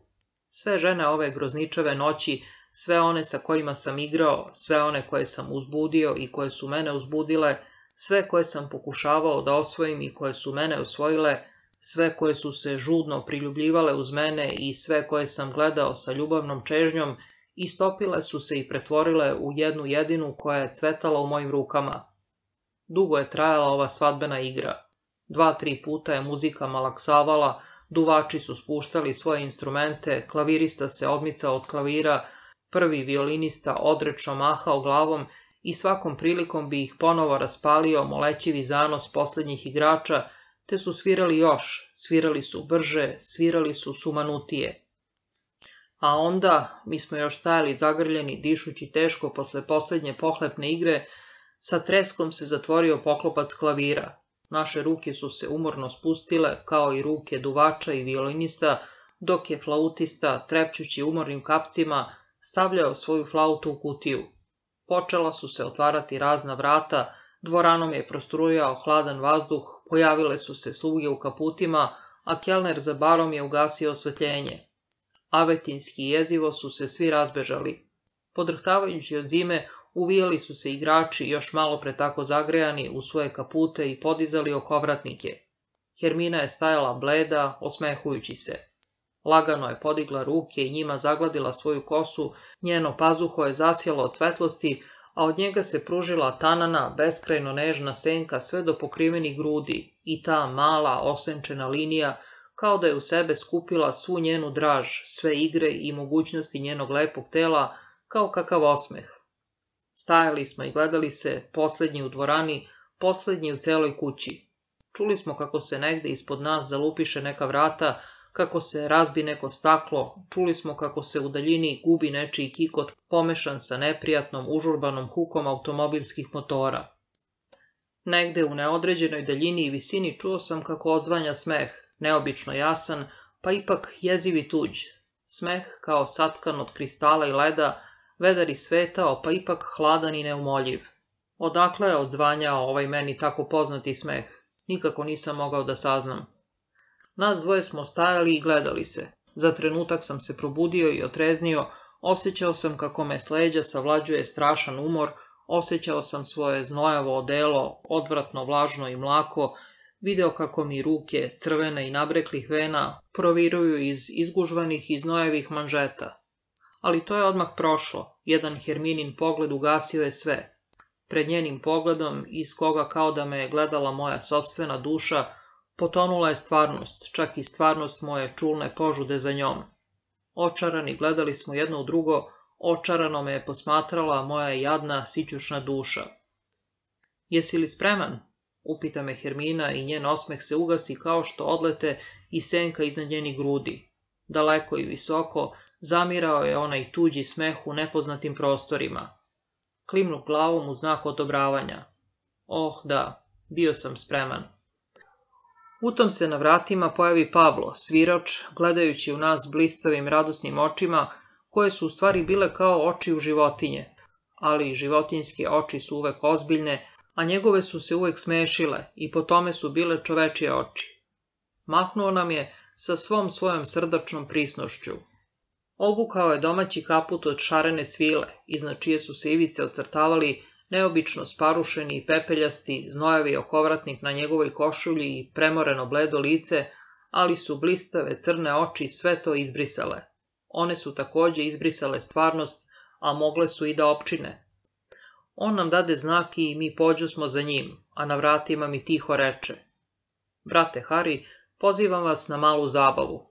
Ulaz samo za luđake, a cena je razum. Jeste li spremni? Ja ponovo klinu glavom. Mio mladić, nežno i brižno nas je uhvatio pod ruku, Herminu s desne, a mene s leve strane, i poveo nas uz neke stepenice u malu sobu koja je bila osvetljena od ozgo plavičastom svetlošću i skoro sasvim prazna. Ništa u njoj nije bilo sve malog okruglog stola i tri stolice na koje smo seli. Gde smo se nalazili? Da li sam spavao? Da li sam bio kod kuće? Jesam li sedeo i vozio se u automobilu? Ne. Sedeo sam u plavičasto osvetljenoj, okrugloj prostoriji, u razređenom vazduhu, u sloju veoma razređene stvarnosti. Zašto je Hermina bila tako bleda? Zašto je Pablo toliko govorio? Zar nisam ja bio taj koji ga je terao da govori, koji je govorio iz njega? Zar me nije i iz njegovih crnih očiju gledala samo moja sobstvena duša, izgubljena plašljiva ptica, a tako isto i iz Hermininih sivih očiju? Pablo nas je posmatrao sa svojom dragom, malo ceremonijalnom prisnošću i govorio mnogo i dugo. On, koga nikada nisam čuo da govori povezano, koga nije interesovala nikakva rasprava ni formulacija, za koga nisam verovao da je sposoban da uopšte misli, sada je govorio svojim prijatnim i toplim glasom, tečno i besprekorno. Prijatelji, pozvao sam vas na jednu zabavu koju Hari odavno priželjkuje, o kojoj već odavno sanja. Malo je kasno i verovatno smo svi pomalo umorni, zato ćemo se prvo ovde malo odmoriti i okrepiti. Iz jednog udubljenja u zidu izvadio je tri čašice i jednu malu, smešnu bocu, uzeo je kutiju od egzotičnog šarenog drveta, napunio je sve tri čaše, izvadio iz kutije tri tanke, duge, žute cigarete, izvukao iz svog svilanog kaputa upaljač i ponudio nas vatrom.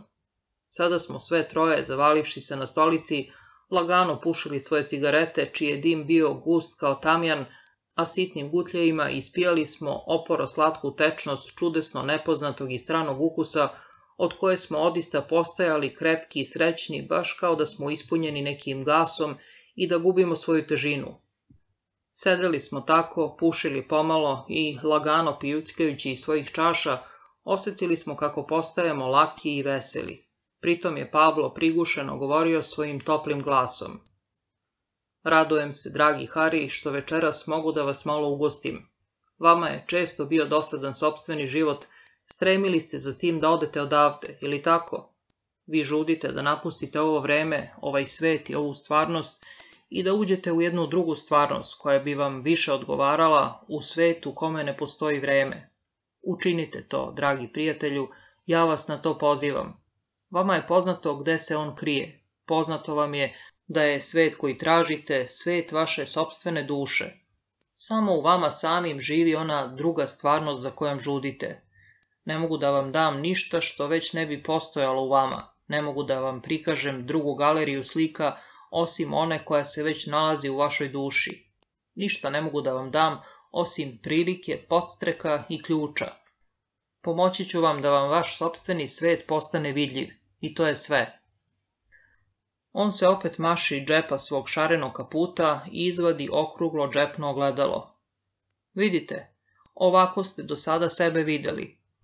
Podigao je ogledalce do visine mojih očiju, meni pade na pamet dečja pesmica Ogledalce, ogledalce u ruci, i ja ugledah pomalo rasplinutu i maglovitu, jezivu, pokretljivu sliku koja je živela i previrala.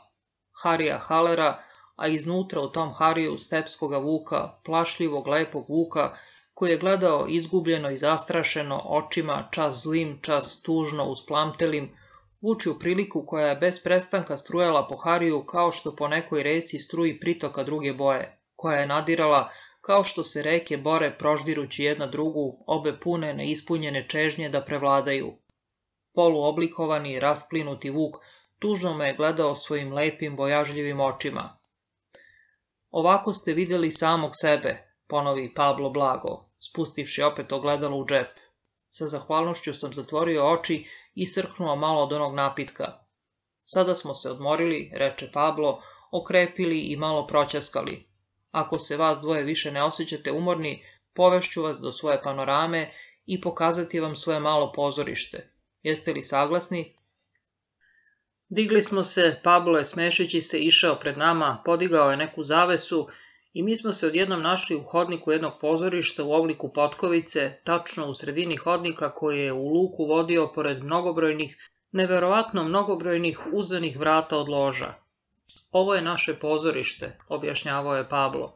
Veselo pozorište, pa se nadam da ćete se mnogo čemu smejati. Pritom se glasno nasmejao, u skali od svega nekoliko tonova, ali oni su me žestoko prožimali, jer je to opet bio onaj vedri, tuđi smeh koji sam ranije čuo da dopire od ozgo. Moje malo pozorište ima onoliko loža koliko vi želite, deset ili stotinu ili hiljadu, a iza svakih vrata koja vode u njih očekuje vas ono što trenutno tražite. Lep je to kabinet slika, dragi prijatelji, ali vam ništa ne bi vredelo da prođete njime ovakvi kakvi ste. Smetalo bi vam i zasenilo bi vas ono što ste navikli da nazivate svojom ličnošću. Bez sumnje ste već odavno pogodili da savlađivanje vremena, oslobođenja od stvarnosti i kakva god imena još iznalazili za svoju čežnju, ne znače ništa drugo nego želju da se otarasite vaše takozvane ličnosti. Ona je zatvor u kome sedite. I kada biste vi, ovakvi kakvi ste, stupili u pozorište, gledali biste sve očima Harija i kroz stare naočari stepskog vuka. Zato vas pozivam da se otarasite tih naočara i da tu vašu veoma cenjenu ličnost ostavite ovde u garderobi gde će vam po želji u svako doba stajati na raspoloženju. Prijatna zabava kojoj ste prisustvovali, rasprava o stepskom vuku, a najzad i ono lako sredstvo za uzbuđivanje koje smo malo čas uzeli, svakako su vas dovoljno pripremili. Vama, Hari, pošto budete svukli svoju cenjenu ličnost, stajaće na raspoloženju leva strana pozorišta, a Hermini desna, u samom pozorištu moći ćete da se sretnete po želji. Molim te, Hermina, idi za sada iza zavese, želeo bih prvo da uvedem Harija. Hermina nestade desno, prošavši pored džinovskog ogledala koje je pokrivalo zadnji zid od zemlje pa do svoda. Tako, Hari, a sada hajdite i budite dobro raspoloženi. Cilj čitave ove priredbe je da vas što više raspoloži i da vas nauči da se smejete, a vi ćete mi, nadam se, to olakšati. Osjećate li se dobro? Sada ćete bez straha i sa istinskom radošću ući u naš prividni svet, i to ovako. Izvršit ćete jedno malo, prividno samoubistvo kao što je to običaj. Opet je izvukao džepno ogledalce i stavio mi ga pred lice. Opet me je odande gledao lik zamršenog maglovitog Harija, kroz koji je, boreći se, strujao vuči lik, slika meni dobro poznata i odista nimalo simpatična, zbog čega njeno uništenje nije moglo da mi zadaje brige. Izbrisat ćemo sada, dragi prijatelju, ovaj lik u ogledalu, jer je izlišan, ništa drugo nije ni potrebno. Dovoljno je da ovu sliku, ukoliko to vaše raspoloženje dozvoljava, posmatrate sa iskrenim smehom. Ovde se nalazite u školi humora, treba da naučite da se smejete. A početak svakog višeg humora je da čovek više ne shvata ozbiljno svoju sobstvenu ličnost. Dobro sam pogledao u ogledalce, ogledalce u ruci u kome se trzao Harry Vuk. Za trenutak je duboko, tiho, ali i bolno, zadrhtalo u meni nešto nalik na sećenje, na čežnju za domom i kajanje. Zatim je ova nelagodnost ustupila mesto novom osjećanju, sličnom onome koje se javlja u čoveku kada mu iz kokainom umrtljenih desni izvade bolestan zub. Osjećanja olakšanja, čovek odahne, a ujedno se čudi što sve to nije nimalo bolalo. A ovom osjećanju pridružiše se vedro raspoloženje i želja da se smejem, kojoj nisam mogao da odolim, pa prsnuh u neobuzdan smeh. Mutni lik u ogledalu se trže, a zatim se ugasi. Mala okrugla površina ogledala izgledala je odjednom kao izgorela, postala je siva, hrapava i neprozirna. Pablo, smejući se, odbaci parče stakla koje se otkotrlja po podu beskrajnog hodnika i izgubi se. Odlično si se smejao, Hari. Naučit ćeš još da se smeješ kao besmrtnici. Sada si najzad ubio stepskog vuka. Noževima za brijanje to nije mogućno. Pazi da ostane mrtav. Odmah ćeš moći da napustiš glupu stvarnost. Sledećom prilikom popićemo nešto da se pobratimo, dragi moj. Nikada mi se nisi toliko svideo kao danas. A ako ti posle još bude stalo do toga, možemo koliko god hoćeš da filozofiramo i da raspravljamo o muzici, o Mozartu, o Gluku, Platonu i Geteu. Shvatit ćeš sada zašto to ranije nije bilo mogućno. Nadam se da ćeš uspeti i da ćeš se za danas otarasiti stepskog vuka, jer prirodno tvoje samoubistvo nije konačno. Mi se ovde nalazimo u magičnom pozorištu, ovde su samo slike, a ne stvarnosti. Izaberi sebi lepe i vedre slike i pokaži da odista nisi zaljubljen u svoju problematičnu ličnost. A ako bi ipak poželeo da se vratiš, dovoljno je da pogledaš u ogledalo koje ću ti sada pokazati. No, tebi je poznata stara, mudra izreka. Bolje jedno gledalce u ruci nego dva na zidu. Haha, opet se smeja onim lepim i užasnim smehom. Tako, a sada treba da obavimo samo još jednu malu, veselu ceremoniju. Odbacio si naočare svoje ličnosti, a sada dođi i baci jedan put pogled u pravo ogledalo. Biće to uspela šala. Smejući se i milujući me sitnim, smešnim pokretima, okrenuo me je i ja sam se našao pred ogromnim zidnim ogledalom. U njemu sam video sebe. U magnovenju sam ugledao meni poznatog Harija, ali neobično raspoloženog, vedra, nasmejana lica. No, tek što sam ga poznao, raspao se, a iz njega se izdvojio drugi lik, pa treći, deseti, dvadeseti, i čitavo ogromno ogledalo bilo je puno Harija ili delova Harija, bezbroj Harija, koje sam sve video i poznao samo u magnovenju. Neki od ovih mnogobrojnih Harija bili su moji godina, neki stariji, neki prastari, neki opet sasvim mladi, mladići, dečaci, đaci, mangupčići i deca.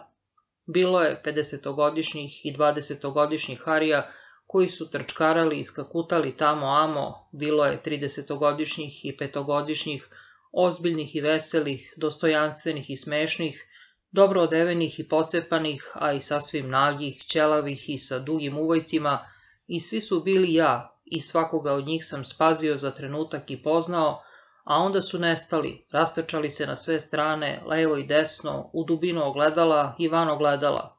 Jedan od njih, mlad, elegantan momak, bacio se nasmejan Pablu na grudi, zagrlio ga i otrčao sa njim. A jedan koji mi se naročito svideo, lep mladić od 16 ili 17 godina, pun čara, potrčao je hodnikom kao munja i stao žudno da čita natpise na svim vratima. Ja sam potrčao za njim, a pred jednim vratima on je zastao i ja sam pročitao natpis. Ubaci jednu marku, sve su devojke tvoje. Dragi dečak odskočio je uvis, ubacio se glavački u otvor za bacanje novca na vratima i nestao. Nestao je i Pablo, a izgleda i ogledalo i sa njim bezbroj Harijevih likova. Osjećao sam se sada prepušten sebi i pozorištu i radoznalo sam pošao od vrata do vrata. Na svima sam pročitao po neki natpis, mamac i obećanje. Privukao me je natpis. Napred u veseli lov. Veliki lov na automobile. Otvorio sam uzena vrata i ušao. U tom času upao sam među bučan i uzbuđen svet. Ulicama su jurili automobili, delimično oklopljeni automobili, koji su ugonili pešake, gazili ih i mrvili, nječili ih uza zidove kuća i uništavali. S mesta sam shvatio, bila je to borba između ljudi i mašina, već odavno pripremljena, odavno očekivana, koje se svet odavno plašio i koja je najzad nastupila. Svuda su ležali mrtvi i na komade razneseni ljudi, svuda je bilo i oborenih, iskrivljenih i upola izgorelih automobila, a nad ovim užasnim dar marom kružili su avioni na koje se pucalo sa mnogih krovova i prozora, kako iz pušaka, tako i iz mitraljeza. Besomučni, sjajni, huškački plakati džinovskim slovima su pozivali narod sa svih zidova da najzad stane na stranu ljudi, a protiv mašina, i da najzad premlati i pobije debele, lepo odevene i namirisane bogataše, koji pomoću mašina piju krv ostalima, zajedno sa njihovim velikim automobilima što opako reže, kašlju i đavolski frkću, da najzad zapale fabrike i da donekle razrede stanovništvo oskrnavljene zemlje, da bi opet mogla da niče trava, da bi od prašnjave cementne zemlje opet postalo nešto nalik na šumu, polje, livadu, potok i močvaru. Drugi plakati, opet divno naslikani, vanredno stilizovani u nežnim, manje detinjastim bojama, upozoravali su nasuprot tome sve posjednike i razumne ljude na opasnost od haosa i anarhije, prikazivali su odista dirljivo sav blagoslov reda, rada, poseda, kulture i pravde, Hvalili su mašine kao najviši i poslednji ljudski izum pomoću kojih će ljudi postati bogovi. Zamišljen i zadivljen čitao sam i crvene i zelene plakate, njihova vatrena rečitost i nadmoćna logika neverovatno su delovali na mene. Bili su u pravu i ja sam duboko ubeđen, stajao čas pred jednim, čas pred drugim, pa ipak mi je znatno smetalo prilično jako puškaranje oko mene. No, ono glavno bilo je jasno. Bio je to rat, žestok, rasan i veoma simpatičan rat u kome se nije radilo o kajzeru, republici, državnim granicama, o zastavama, bojama i sličnim, već dekorativnim i teatralnim stvarima, u osnovi o tricama, već u kome je svako kome je vazduh postao odviše redak i kome život više nije prijao kako treba, snažno izražavao svoje neraspoloženje i trudio se da utre put opštem uništenju ovog šupljeg civilizovanog sveta. Video sam kako se svima, vedro iskreno, smeje iz očiju želja da uprošćuju i ubijaju, a i u meni samom se ti crveni divlji cvetovi visoko i gojazno rascvetaše, smejući se ništa manje. Radostan priključio sam se borbi, ali najlepše od svega je bilo to što je pored mene odjednom iskrsnuo moj školski drug Gustav, o kome već decenijama nisam ništa znao, nekada najneobuzdaniji, najsnažniji i života najviše željan od svih prijatelja mog ranog detinjstva. Srce mi se nasmešilo kada sam video kako mi opet namiguje svojim svetlo-plavim očima. On mi mahnu i ja radosno pođog za njim. Bože moj, Gustave, uzviknu sav srećan, najzad da se vidim i s tobom. Šta je postalo od tebe? Ljutito se smejao, sasvim kao nekada u dečaštvu. Stoko glupava, zar odmah moraš da pitaš i da brbljaš? Postao sam profesor teologije, eto, sad znaš, ali srećom nema više teologije, mladiću, sada je rat. Hajde, pođi. Ubio je iz puške vozača jednog od manjih automobila koji nam je baš brekćući dolazio u susret, hitro kao majmun skočio je u kola, zaustavio ih i sačekao da se ja popnem, a zatim smo se satanskom brzinom kroz kišu metaka i pored mnogih oborenih kola povezli u grad i dalje u predgrađe. Jesi li na strani fabrikanata? upitao sam svoga prijatelja. Eh, šta, to je pitanje ukusa, razmislit ćemo o tome u polju. Ali ne, čekaj, pre sam za to da se pridružimo drugoj strani, iako je to u osnovi, razume se, svejedno. Ja sam teolog i moj preteča Luter pomagao je u svoje vreme kneževima i bogatašima protiv seljaka. To ćemo sada da ispravimo. Rđeva su kola, nadajmo se da će izdržati još nekoliko kilometara.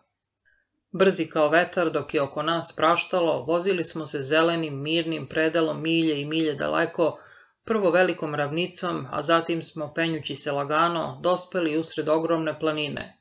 Tu smo se zaustavili na nekom glatkom, bleštavom drumu koji je između strmih stena i niske zaštitne ograde u smelim krivinama vodio visoko gore iznad plavog svetlucavog jezera. Lep kraj, rekoh ja. Veoma lep. Možemo ovo da nazovemo osovinskim drumom, jer se navodno ovde lome razne osovine, Hariću moj. Pazi. Kraj puta je rasla visoka pinija, a na samoj piniji ugledali smo neku vrstu kolibe napravljene od asaka kao smatračnicu ili lovačku zasedu. Gustav se glasno nasmeja, namigujući mi lukavo svojim plavim očima, pa obojica žurno iziđo smo iz kola i stado smo da se penjamo uz drvo, a zatim se, duboko odahnuvši, sakri smo u osmatračnici koja nam se veoma dopala. U njoj smo našli puške, pištolje i sanduke s municijom. Tek što smo se malo rashladili i smestili u lovačkoj zasedi, zapišta sa krivine promuklo i vlastoljubivo, sirena luksuznih kola koja su uz buku motora najvećom brzinom vozila planinskim drumom. Mi smo već držali puške u rukama. Bilo je neobično zanimljivo. Ciljaju šofera, naradi Gustav brzo i baš u tom teška kola projuriše pored nas. Ja sam već bio na nišanio i okinu hobarač pravo u vozačevu plavu kapu.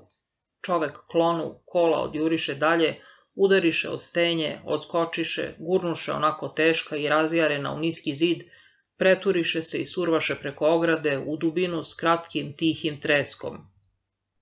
Udesili smo ih, likovao je Gustav. Sledeće uzimam ja na nišan. Već su nailazila druga kola, u njima su na jastucima bili šćućureni njih troje ili četvoro, sa ženine glave kruto i vodoravno vio se za njom veo, svetlo plavi veo, bilo mi ga je u stvari žao, ko zna, možda se pod njim smešilo najlepše žensko lice. Bože moj, kada smo već izigravali razbojnike, bilo je možda bolje i lepše da, sledeći primjeru velikih uzora, ne protežemo našu valjanu želju za ubijenjem i na lepuškaste dame. Ali u tom je Gustav već opalio. Šofer se trgnuo i klonuo, kola su odskočila na strmoj steni, survala se i pala na drum točkova okrenutih nebu. Čekali smo, ali se ništa nije micalo. Ljudi su, nemi, kao uhvaćeni u zamku, ležali ispod kola. Ona su još uvek zvrjala i zveketala, točkovi su se smešno okretali u vazduhu, ali odjednom se razleže užasan prasak i iz njih suknu plamen. Fordova kola, reče Gustav. Moramo da siđemo i oslobodimo drum. Spustili smo se i posmatrali gomilu koja je gorela. Izgorela je veoma brzo, a mi smo umeđu vremenu napravili poluge od mladog drveća, malo podigli kola i odbacili ih u stranu preko ivice druma u ambis tako da su još dugo krkljala u žbunju. Prilikom okretanja kola ispala su dva mrtvaca, delimično izgorelih odela. Jedan od njih imao je još prilično očuvan kaput i mi smo ga pretražili, ne bismo li saznali ko je to bio. Našli smo lisnicu u kojoj su se nalazile posetnice. Izvadio sam jednu i pročitao sledeće. Tat tvam asi. Veoma šaljivo, reče Gustav. Ali, u stvari je savršeno svejedno kako se zovu ljudi koje ovde ubijamo. Oni su ubogi đavoli kao i mi, a ime nije ni važno. Ovaj svet mora da propadne, a i mi s njim. Najbezbolniji postupak bio bi potopiti ga celog za deset minuta u vodu. Ali hajde, na posao. Pobacali smo mrtve za kolima. Već se čula sirena novog automobila koji je nailazio. Na njega smo pucali odmah tu sa druma. Kružio je još jednim delom puta, kao da se do besvesti opio, a zatim dahćući ostao da leži, oni koji su sedeli u njemu ostali su i dalje mirno u kolima, a jedna lepuškasta mlada devojka izišla iz njih nepovređena, iako bleda i drhćući celim telom. Mi smo je ljubazno pozdravili i ponudili joj svoje usluge. Ona je bila odviše uplašena, nije mogla da govori i neko vreme je ukočeno gledala u nas, kao da je sišla suma. E, Pa hajde da vidimo šta je sa starim gospodinom, reče Gustav i okrenu se putniku koji je još uvijek bio presamićen preko sedišta iza mrtvog šofera. Bio je to gospodin kratke sede kose, njegove pametne svetlo sive oči bile su otvorene, ali je izgledalo da je ozbiljno povređen, jer mu je iz usta curila krv, a vrat je držao nekako jezivo krivo i ukočeno. Dozvolite, stari gospodine, moje ime je Gustav, Mi smo sebi dopustili da iz puške ubijemo vašeg šofera. Smemo li da upitamo s kim imamo čast? Starac je hladno i tužno gledao svojim sitnim sivim očima. Ja sam viši državni tužilac Lering, reče lagano.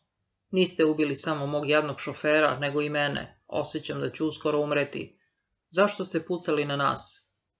Zato što ste vozili suviše brzo. Mi smo terali normalnom brzinom. Ono što je juče bilo normalno, danas više nije, gospodine viši državni tužioče. Mi danas smatramo da je svaka brzina kojom auto može da se vozi i suviše velika. Mi sada uništavamo sve automobile, a i ostale mašine. I vaše puške? I one će doći na red, ukoliko još budemo imali vremena. Verovatno ćemo sutra ili preko sutra svi biti uništeni.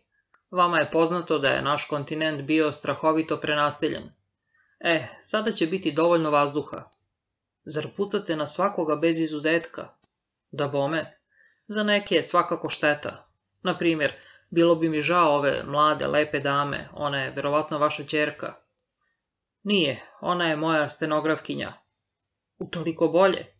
A sada molim vas iziđite iz kola ili pustite da vas mi izvučemo iz njih jer ćemo kola uništiti. Više volim da ja budem uništen zajedno s njima, kako god želite. Dopustite mi još jedno pitanje. Vi ste državni tužilac.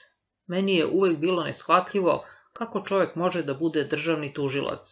Živite od toga što optužujete i osuđujete na kazne druge ljude, većinom uboge đavole, zar ne?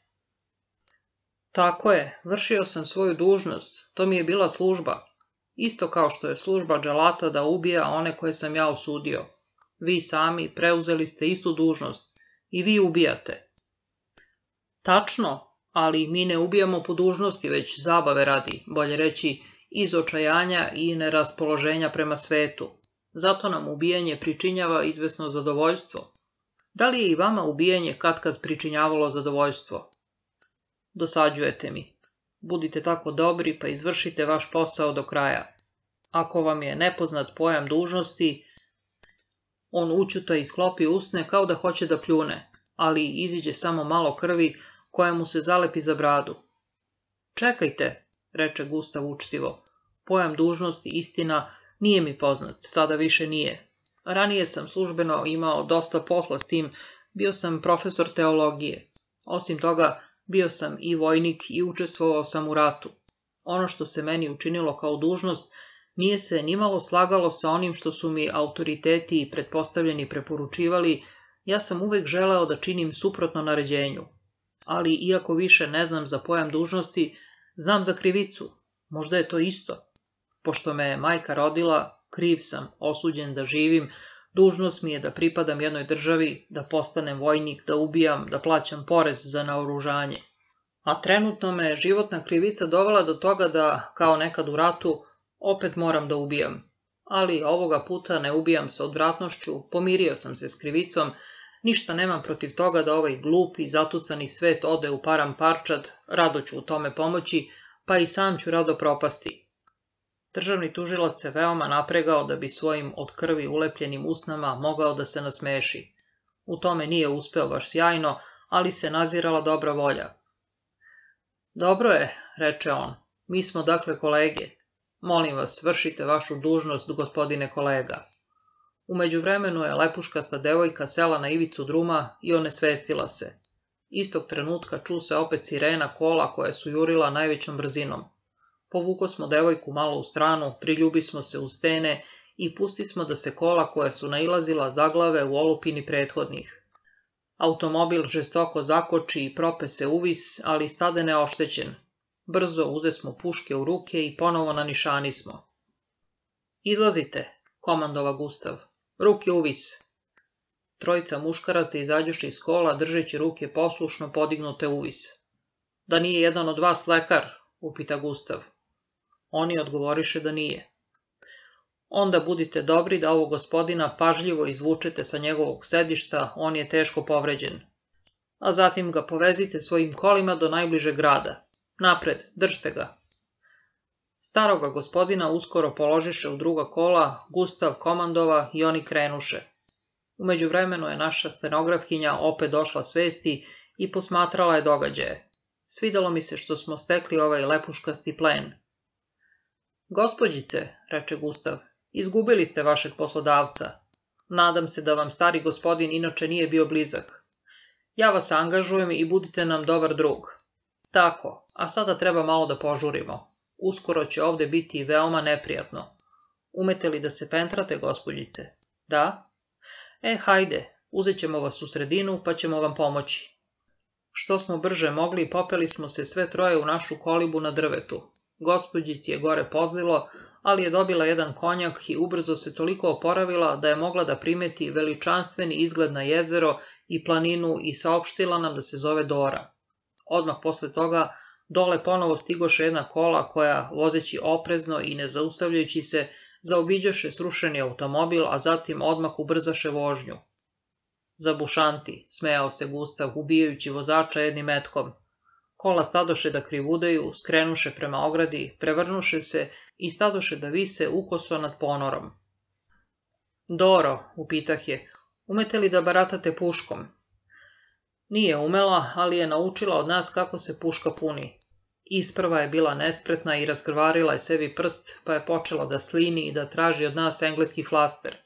Gustav je izjavio da je rat i da ona treba da se pokaže hrabra i valjana devojka. Posle toga je već bilo bolje. Ali šta će biti s nama? upitala je malo kasnije. Ne znam, rekao je Gustav. Moj prijatelj Harry voli lepuškaste žene, on će vam biti prijatelj ali oni će doći s policijom i vojnicima, pa će nas ucmekati.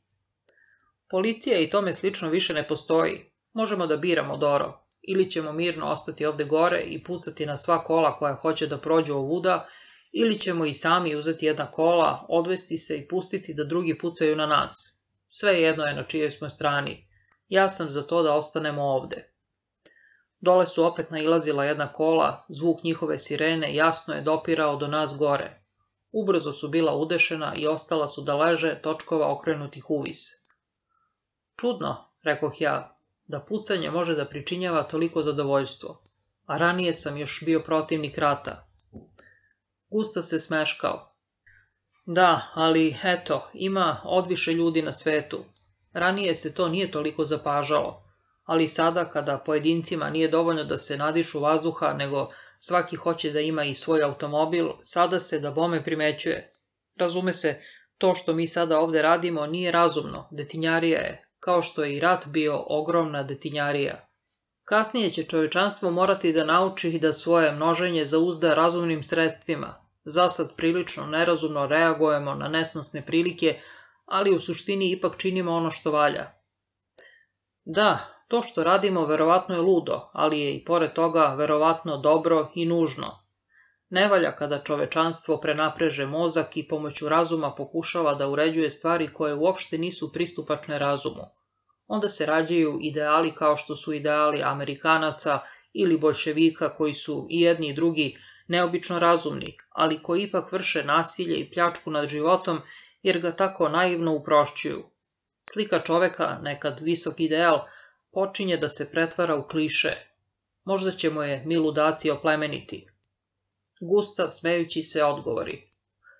Mladiću, govoriš začudo pametno, zadovoljstvo je i velika dobit slušati ovaj izvor mudrosti. A možda si čak i pomalo u pravu, ali budi tako dobar i napuni ponovo svoju pušku, odviše si mi sanjalački raspoložen. Svakoga časa može da najđe nekoliko srdaća, a njih ne možemo ubiti filozofijom, treba da imamo metaka u cevi. Najđe jedan auto i s mesta se sruši, drum je bio zakrčen. Jedan od preživelih, gojazan, riđ čovek, besomučno je mlatarao pored olupine, buljio očima uz i niz drum, ugledao naše skrovište, urlajući poleteo prema nama i nekoliko puta iz revolvera opalio u našem pravcu. Idite ili ću da pucam, tovikno mu Gustav. Čovek ga uze na nišan i okinu još jednom. Onda ga mi ubismo sa dva metka. Dođeše još dvoja kola koja uništi smo. Zatim drum ostade pust i prazan, verovatno se bio raširio glas da je opasan.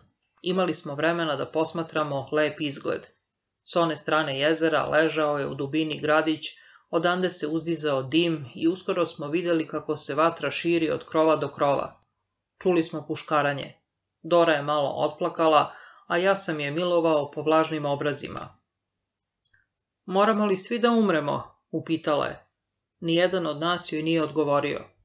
Umeđu vremenu je dole naišao jedan dečak, video upropašćene automobile, stao da njuška oko njih, zatim je uvukao glavu u jedan i odande izvukao šareni suncobran, damsku kožnu torbicu i bocu s vinom, pa je spokojno seo na ogradu, povukao iz boce, jeo nešto što je izvukao iz džepa, umotano u staniol, ispio bocu do dna, a zatim veselo pošao dalje, stisnuvši suncobran pod pazuh.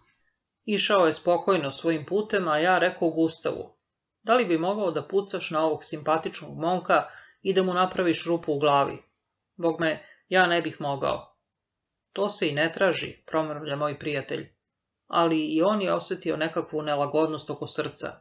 Tek što smo ugledali čoveka koji se još ponašao bezazleno, spokojno i detinjasto, koji je još živeo u stanju čednosti, sve ovo naše hvale, dostojno i nužno, delanje učinilo nam se glupo i odvrtno. Pih, dođevala, toliko krvi. Stidali smo se, ali su navodno to osjećali i neki generali u ratu. Nemojte da ostanemo ovde duže, preklinjala je Dora. Hajde da siđemo, sigurno ćemo u kolima naći nešto za jelo. Zar vi niste gladni, bolševici? Dole u gradu koji je goreo počela su da zvone zvona, uzbuđeno i sa stravom. Spremali smo se za silazak. Kada sam pomogao Dori da se popne preko ograde, poljubio sam je u koleno. Ona se glasno nasmejala. Ali tada je ograda popustila i mi smo se oboje survali u bezdan.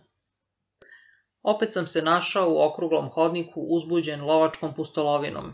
Svuda na bezbroj vrata mamili su natpisi. Mutabor, preobražaj u bilo koju životinju ili biljku. Kama sutra, učenje indijskih ljubavnih veština, kurs za početnike, 42 razne metode ljubavnih vežbi. Samoubistvo puno uživanja, umrećeš od smeha. Hoćete li da se produhovite? Mudrost istoka. O, da, imam hiljadu jezika, samo za gospodu. Propast zapada, umerene cene, do sada nenadmašeno. Sinteza umetnosti, pretvaranje vremena u prostor pomoću muzike. Suza koja se smeje, kabinet za humor. Pustinjačke igre, potpuna zamena za svaku društvenost.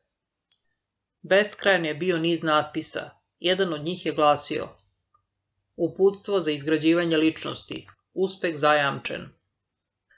Ovo mi se učinilo dostojno pažnje i ušao sam na ta vrata. Dočekala me je polumračna, tiha prostorija, u njoj je na istočnjački način sedeo na zemlji jedan čovek, a pred njim je bilo nešto nalik na veliku šahovsku tablu. U prvom trenutku mi se učinilo da je to prijatelj Pablo, jer je čovek na sebi imao sličan kaput od šarene svile, a imao je iste tamne, sjajne oči. Jeste li vi Pablo? upitao sam. Ja sam Niko, izjavio je on ljubazno. Mi ovde nemamo imena i nismo ličnosti. Ja sam šahovski igrač. Hoćete li da vas učim izgradnji ličnosti? Da, molim. Onda budite ljubazni pa mi stavite na raspoloženje nekoliko tuceta vaših figura. Mojih figura? Figura u kojoj se, kako ste videli, raspala vaša takozvana ličnost. Bez figura ne mogu da igram. Pružio mi je ogledalo i opet sam u njemu video kako se jedinstvo moje ličnosti raspada na mnoga ja, izgledalo je kao da je njihov broj još više porastao. Ali figure su sada bile veoma sitne, otprilike kao šahovske figure, zgodne za igranje. A igrač je tihim, sigurnim pokretima prstiju uzeo od njih nekoliko tuceta i postavio ih na zemlju pored šahovske table. Pritom je govorio jednolično, kao čovek koji ponavlja često održavani govor ili lekciju. Poznato vam je pogrešno shvatanje koje donosi nesreću, a po kome je čovek nepromenljiva jedinka. Takođe vam je poznato da se čovek sastoji od mnogo duša i mnogo ja. Rascepkati prividno jedinstvo ličnosti na mnogo likova smatra se ludošću. Nauka ovu pojavu naziva šizofrenijom. Nauka je u toliko u pravu što se naravno nikakva mnogobrojnost ne može savladati bez vođstva, bez izvesnog reda i grupisanja a nije u pravu utoliko što veruje da je moguć samo jedan jedini doživotni red koji povezuje mnogobrojna podja.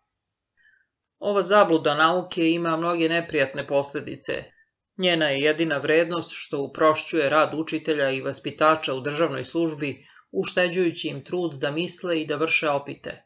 Usled ove zablude, mnogi ljudi važe kao normalni, čak uživaju i veliki društveni ugled, a oni su međutim neizlečivo ludi i obratno, mnogi geniji se smatraju ludacima. Zato mi popunjavamo praznine koje je nauka ostavila u poznavanju duše pojmom koji nazivamo umetnost izgradnje. Onome ko je doživeo raspadanje svoga ja, pokazujemo da u svako doba može da ga sastavi po proizvoljnom redu i da time može da postigne beskonačnu mnogostrukost životne igre. Kao što pesnik od nekoliko likova stvara dramu, tako i mi od figura našeg ja, rastavljenog na delove, izgrađujemo uvek nove grupe, sa novim igrama i uzbuđenjima, sa večno novim situacijama. Gledajte. Svojim tihim, pametnim prstima dohvatio je moje likove, sve starce, mladiće, decu, žene, sve vedre i tužne, snažne i nežne, hitre i nezgrapne figure, Brzo ih je poređao na tablu za igru, na kojoj su se uskoro okupile grupe i porodice u igri, borbi, prijateljstvu i protivništvu, stvarajući jedan svet u malom. Pred mojim očaranim pogledom pustio je da se ovaj mali, pa ipak tako smišljeno uređeni svet neko vreme kreće, igra i bori, da sklapa sporazume i bije bitke, da se među sobom osvaja, da se ženi i množi, odista je to bila uzbudljiva i napeta drama. Zatim je jednim vedrim pokretom prešao preko table obarajući blago sve figure, a onda ih je skupio na gomilu, pa je zamišljeno kao umetnik probirač od istih figura sastavio sasvim novu igru, sa drugčijim grupisanjem, drugim odnosima i prepletanjem. Druga igra bila je slična prvoj. Bio je to isti svet, isti materijal od koga je napravljena, ali su ton i tempo bili izmenjeni, motivi drugčije naglašeni i situacije drugačije postavljene. I tako je mudri graditelj od likova, od kojih je svaki bio deo mene, sastavljao jednu igru za drugom. One su iz daleka sve bile slične jedna drugoj, sve su očigledno pripadale istom svetu, bila istog porekla, pa ipak je svaka od njih bila sasvim nova. Ovo je životna umetnost, govorio je on poučno. U buduće možete da oblikujete i oživljavate po svojoj želji igru vašeg života, Od vas zavisi hoćete li je zaplitati i obogaćivati. Kao što je ludost u vašem smislu početak svake mudrosti, tako je šizofrenija početak svake umetnosti i mašte. Čak su i naučnici to donekle shvatili što se, na primer, može pročitati u Kneževom čarobnom rogu, divnoj knjižici je tegoban, vredan rad jednog naučnika oplemenjen genijalnom saradnjom izvesnog broja luđaka i umetnika zatvorenih po duševnim bolnicama. Evo, uzmite vaše figurice, ova igra još će nam pružiti mnoga zadovoljstva.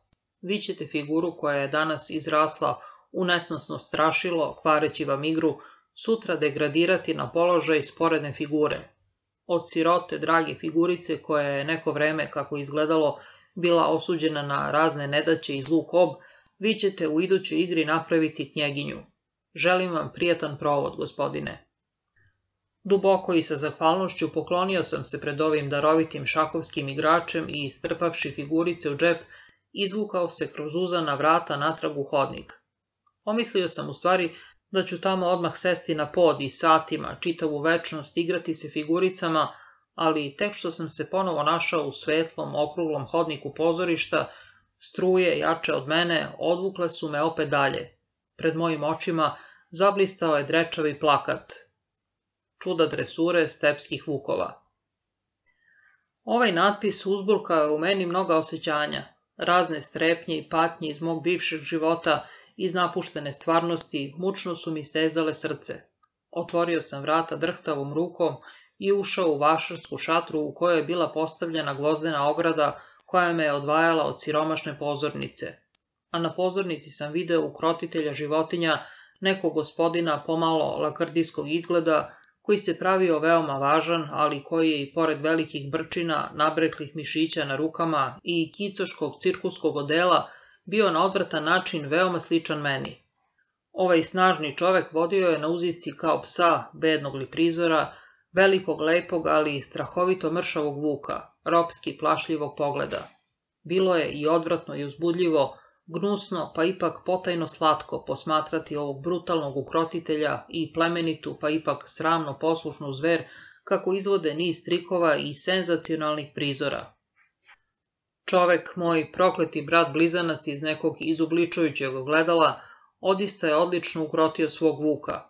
Marljivo je vuk izvršio svako naređenje, pseć je reagovao na svaki uzvik i svako putketanje bičem, padao je na kolena, pravio se mrtav, šenio, poslušno i učtivo nosio u zubima hleb, jaje, komad mesa i korpicu, čak je morao da podigne bič ukrotitelja, koje je ovaj ispustio i da ga ponese za njim, a pritom je nepodnošljivo ropski mahao repom. Pred Vuka je izveden pitomi zec, a zatim belo jagnje. On je doduše iskezio zube, a od silne pohlepe pocurile su mu bale, ali nije dodirnuo ni jednu od ovih životinja, već ih je po naređenju preskočio sa elegantnim zaletom, dok su one šćućurene drhtale na podu. Čak se ispustio između kunića i jagnjeta i zagrlio ih svojim prednjim šapama, pa je tako prikazao dirljivu porodičnu sliku. Osim toga, pojeo je iz ukrotiteljevih ruku tablu čokolade. Mučno je bilo posmatrati do kog je fantastičnog stepena Vuk naučio da se odriče svoje prirode i meni se pritom kosa dizala na glavi. Ali u drugom delu priredbe nagrađen je uzbuđeni gledalac kao i sam Vuk. Po izvođenju brižljivo odabranog programa dresure i pošto se ukrotitelj pobednički sa sladunjevim osmehom poklonio nad grupom sa jagnjetom i vukom, uloge su se izmenile.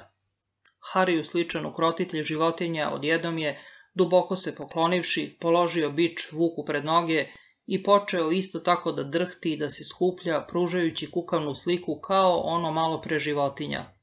Vuk je, smejući se, oblizivao njušku, ukočenost i sva pritvornost spali su s njega, telo mu je postalo čvrsto i procvetalo je u ponovo stečenoj divljini. Sada je Vuk izdavao naređenja, a čovek je morao da ih izvršava. Po naređenju čovek se spuštao na kolena, isplazivši jezik, izigravao je Vuka, kidao plombiranim zubima odelo sa sebe. Prema naređenjima ukrotitelja ljudi išao je čas na dve, čas na četiri noge, šenio, pravio se da je mrtav, puštao da ga vuk uzjaše i nosio bič za njim. Pseći i darovito, sa mnogo mašte, upuštao se u sva poniženja i izopačenosti.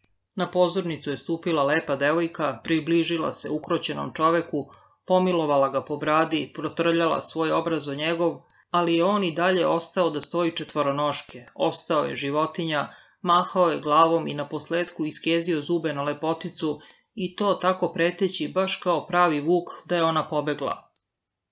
Stavili su pred njega čokoladu, a on ju je prezrivo onjušio i odgurnuo. Najzad ponovo uneše belo jagnje i debelog šarenog pitomog zeca i čovek dade poslednje od sebe, izigravajući vuka da je bila milina. Prstima i zubima zgrabio je životinjice koje su se branile, otkidao im komade kože i mesa, kezeći se žvakao živo meso i predano u zanosu, očiju zatvorenih od naslede, pio njihovu toplu krv. Užasnut, pobegao sam kroz vrata. Ovo magično pozorište, video sam, nije bilo raj, pod njegovom površinom nalazile su se sve strahote pakla. O Bože, zar ni ovde nije bilo spasa? Uplašeno sam trčao gore dole, u ustima sam osjećao ukus krvi i čokolade, i jedan i drugi su bili odvratni, silno sam želeo da se izbavim iz tog mutnog talasa, u sebi sam se svom snagom borio za podnošljivije i prijatnije slike. O, prijatelji, samo ne ove glasove. Pevalo je u meni i sa užasom sam se setio onih ogavnih fotografija sa fronta koje smo katkada mogli vidjeti, onih gomila iz prepletanih leševa, čija su lica usled gas maski bila pretvorena u iskežene đavolske grdobe. Koliko sam tada još bio glup i detinjac kada sam se, kao čovekoljubivi protivnik rata, užasavao zbog tih slika. Danas sam znao da nema ukrotitelja životinja, ni ministara, ni generala, ni luđaka koji su u stanju da u svojim mozgovima stvaraju tako divlje, opake, grube i glupe misli i slike kao one koje se nalaze u meni samom. Sa uzahom olakšanja setio sam se natpisa koji sam video ranije, odmah po ulasku u pozorište i za kojim je onaj lepi mladić onako poleteo. Glasio je, sve devojke su tvoje. I meni se činilo da se u stvari ništa prijatnije nije moglo poželiti od toga. Ušao sam radostan što sam mogao da pobegnem od prokletog vučijeg sveta. Čudnovato, kao u bajci, a istovremeno i s tako dubokom prisnošću da sam se naježio, zapahnuo me miris moje mladosti, atmosfera mog dečačkog i mladičkog doba i kroz moje srce zastrujala je krv iz onog vremena. Ono što sam maločas radio i mislio, što sam još maločas bio, ostalo je iza mene i opet sam bio mlad.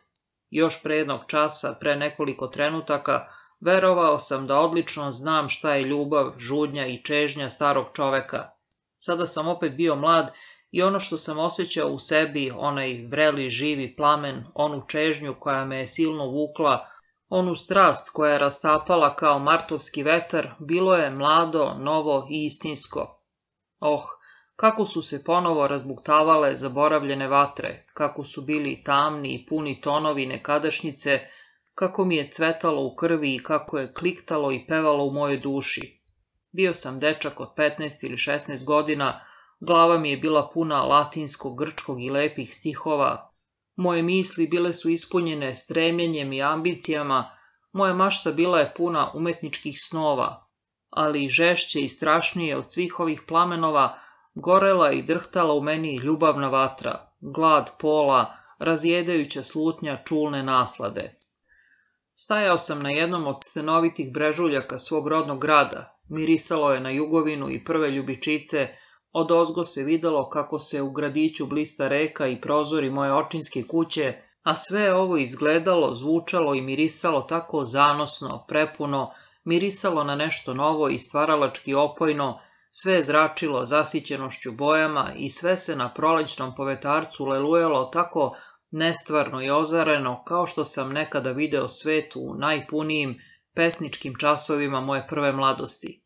Stajao sam na brežuljku, vetar se poigravao mojom kosom, a ja sam drhtavom rukom, sanjalački zanet ljubavnom čežnjom, otkinuo mlad, još nerazvijen list sa teko zelenelog žbuna, gledao sam ga i mirisao, a već po mirisu sećao sam se živo svega što je tada bilo, a zatim sam, igrajući se, stavio zeleni listić među usne, koje još nisu bile poljubile ni jednu devojku, i počeo da ga grickam. Osetivši opori, mirišljavo gorki ukus, odjednom sam tačno znao šta doživljujem, sve je opet bilo tu. Ponovo sam preživljavao jedan čas iz poslednje godine mog dečaštva, jedno nedeljno popodne u rano proleće, onaj dan kada sam prilikom svoje usamljene šetnje sreo Rozu Chrysler, kojoj sam se tako bojažljivo javio i u koju sam se ludo zaljubio. Tada sam lepu devojku koja je sama i obuzeta snovima dolazila uzbrdo ne primećujući me još, gledao sa iščekivanjem punim strepnje, gledao sam njenu kosu koja je bila upletena u dve debele vitice, ali čijih je nekoliko pramenova poigravalo i lepršalo na vetru oko oba obraza. Prvi put u životu video sam koliko je ta devojka lepa, koliko je lepa i zanosna ona igra u njenoj nežnoj kosi, koliko je lep i koliko u meni budi čežnju pad tanke plave haljine oko njenog mladog tela. I kao što me gorko mirišljavi ukus razgriženog lisnog pupoljka ispunio bojažljivo slatkom nasladom i strepnjom proleća, tako me, gledajući ovu devojku, prožela samrtnička slutnja ljubavi, naslutio sam ženu, potreseno sam predosetio ogromne mogućnosti i obećanja, neznane slasti, nepojmljive zaplete, strepnje i patnje, unutrašnje oslobođenje i duboko osjećanje krivice. Oh, kako me gorki prolećni ukus palio po jeziku. Oh, kako je razigrani vetar strujao raspuštenom kosom pored njenih rumenih obraza. U to mi se približila, podigla oči i poznala me, ja sam za trenutak malo pocrveneo i pogledao u stranu. Zatim sam joj se javio skinuvši đački šešir, a Roza, koja se ubrzo pribrala, odpozdravila mi je smešeći se već pomalo kao dama, uzdignute glave, pa je lagano, sigurna u sebe i nadmoćna, produžila put, obavijena hiljadama ljubavnih želja, zahteva i zakletvi odanosti koje sam slao za njom. Tako je bilo nekada, jedne nedelje pre 35 godina, i sve što je onda bilo sada se vratilo, Brežuljak i grad, martovski vetar i miris na pupelog lišća, roza i njena smeđa kosa, nabujala čežnja i slatka strepnja od koje sam se gušio. Sve je bilo kao onda i meni se činilo da više nikada u životu nisam tako voleo kao tada rozu. Ali ovoga puta bilo mi je dato da je dočekam drugčije nego onda. Video sam kako je porumenela kad me je poznala, Video sam kako se trudi da to prikrije i odmah sam znao da me voli, da ovaj susret za nju znači isto što i za mene. I umesto da kao onda skinem šešir i svečano ga držim u ruci dok ona ne prođe, učinio sam ovoga puta uprkos strahu i mori ono što je moja krv tražila od mene i uzviknuo sam. Rozo, hvala Bogu što si došla, lepa, lepa devojko, toliko te volim. Možda to nije bilo najduhovitije što se tog trenutka moglo izgovoriti, ali duh ovde nije bio potreban, pa je i to bilo sasvim dovoljno.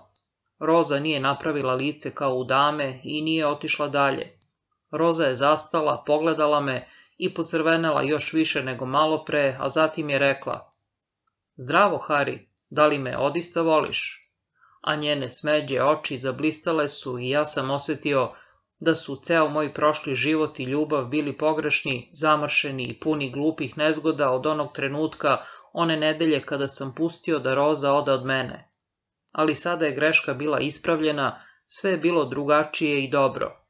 Rukovali smo se i s rukom u ruci pošli lagano dalje, neiskazano srećni, veoma zbunjeni i ne znajući šta da kažemo i šta da radimo, pa smo usled silne zbunjenosti potrčali brže i trčali sve dok nismo izgubili dah, tako da smo morali da stanemo, držeći se i dalje za ruke. Ni jedno ni drugo još nije bilo izišlo iz detinjstva i nismo znali šta da učinimo jedno s drugim.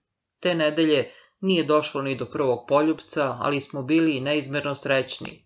Stajali smo, dahtali, seli na travu. Ja sam je milovao po ruci, a drugom rukom sam joj plašljivo prešao preko kose, a zatim smo oboje ustali i pokušali da izmerimo ko je viši.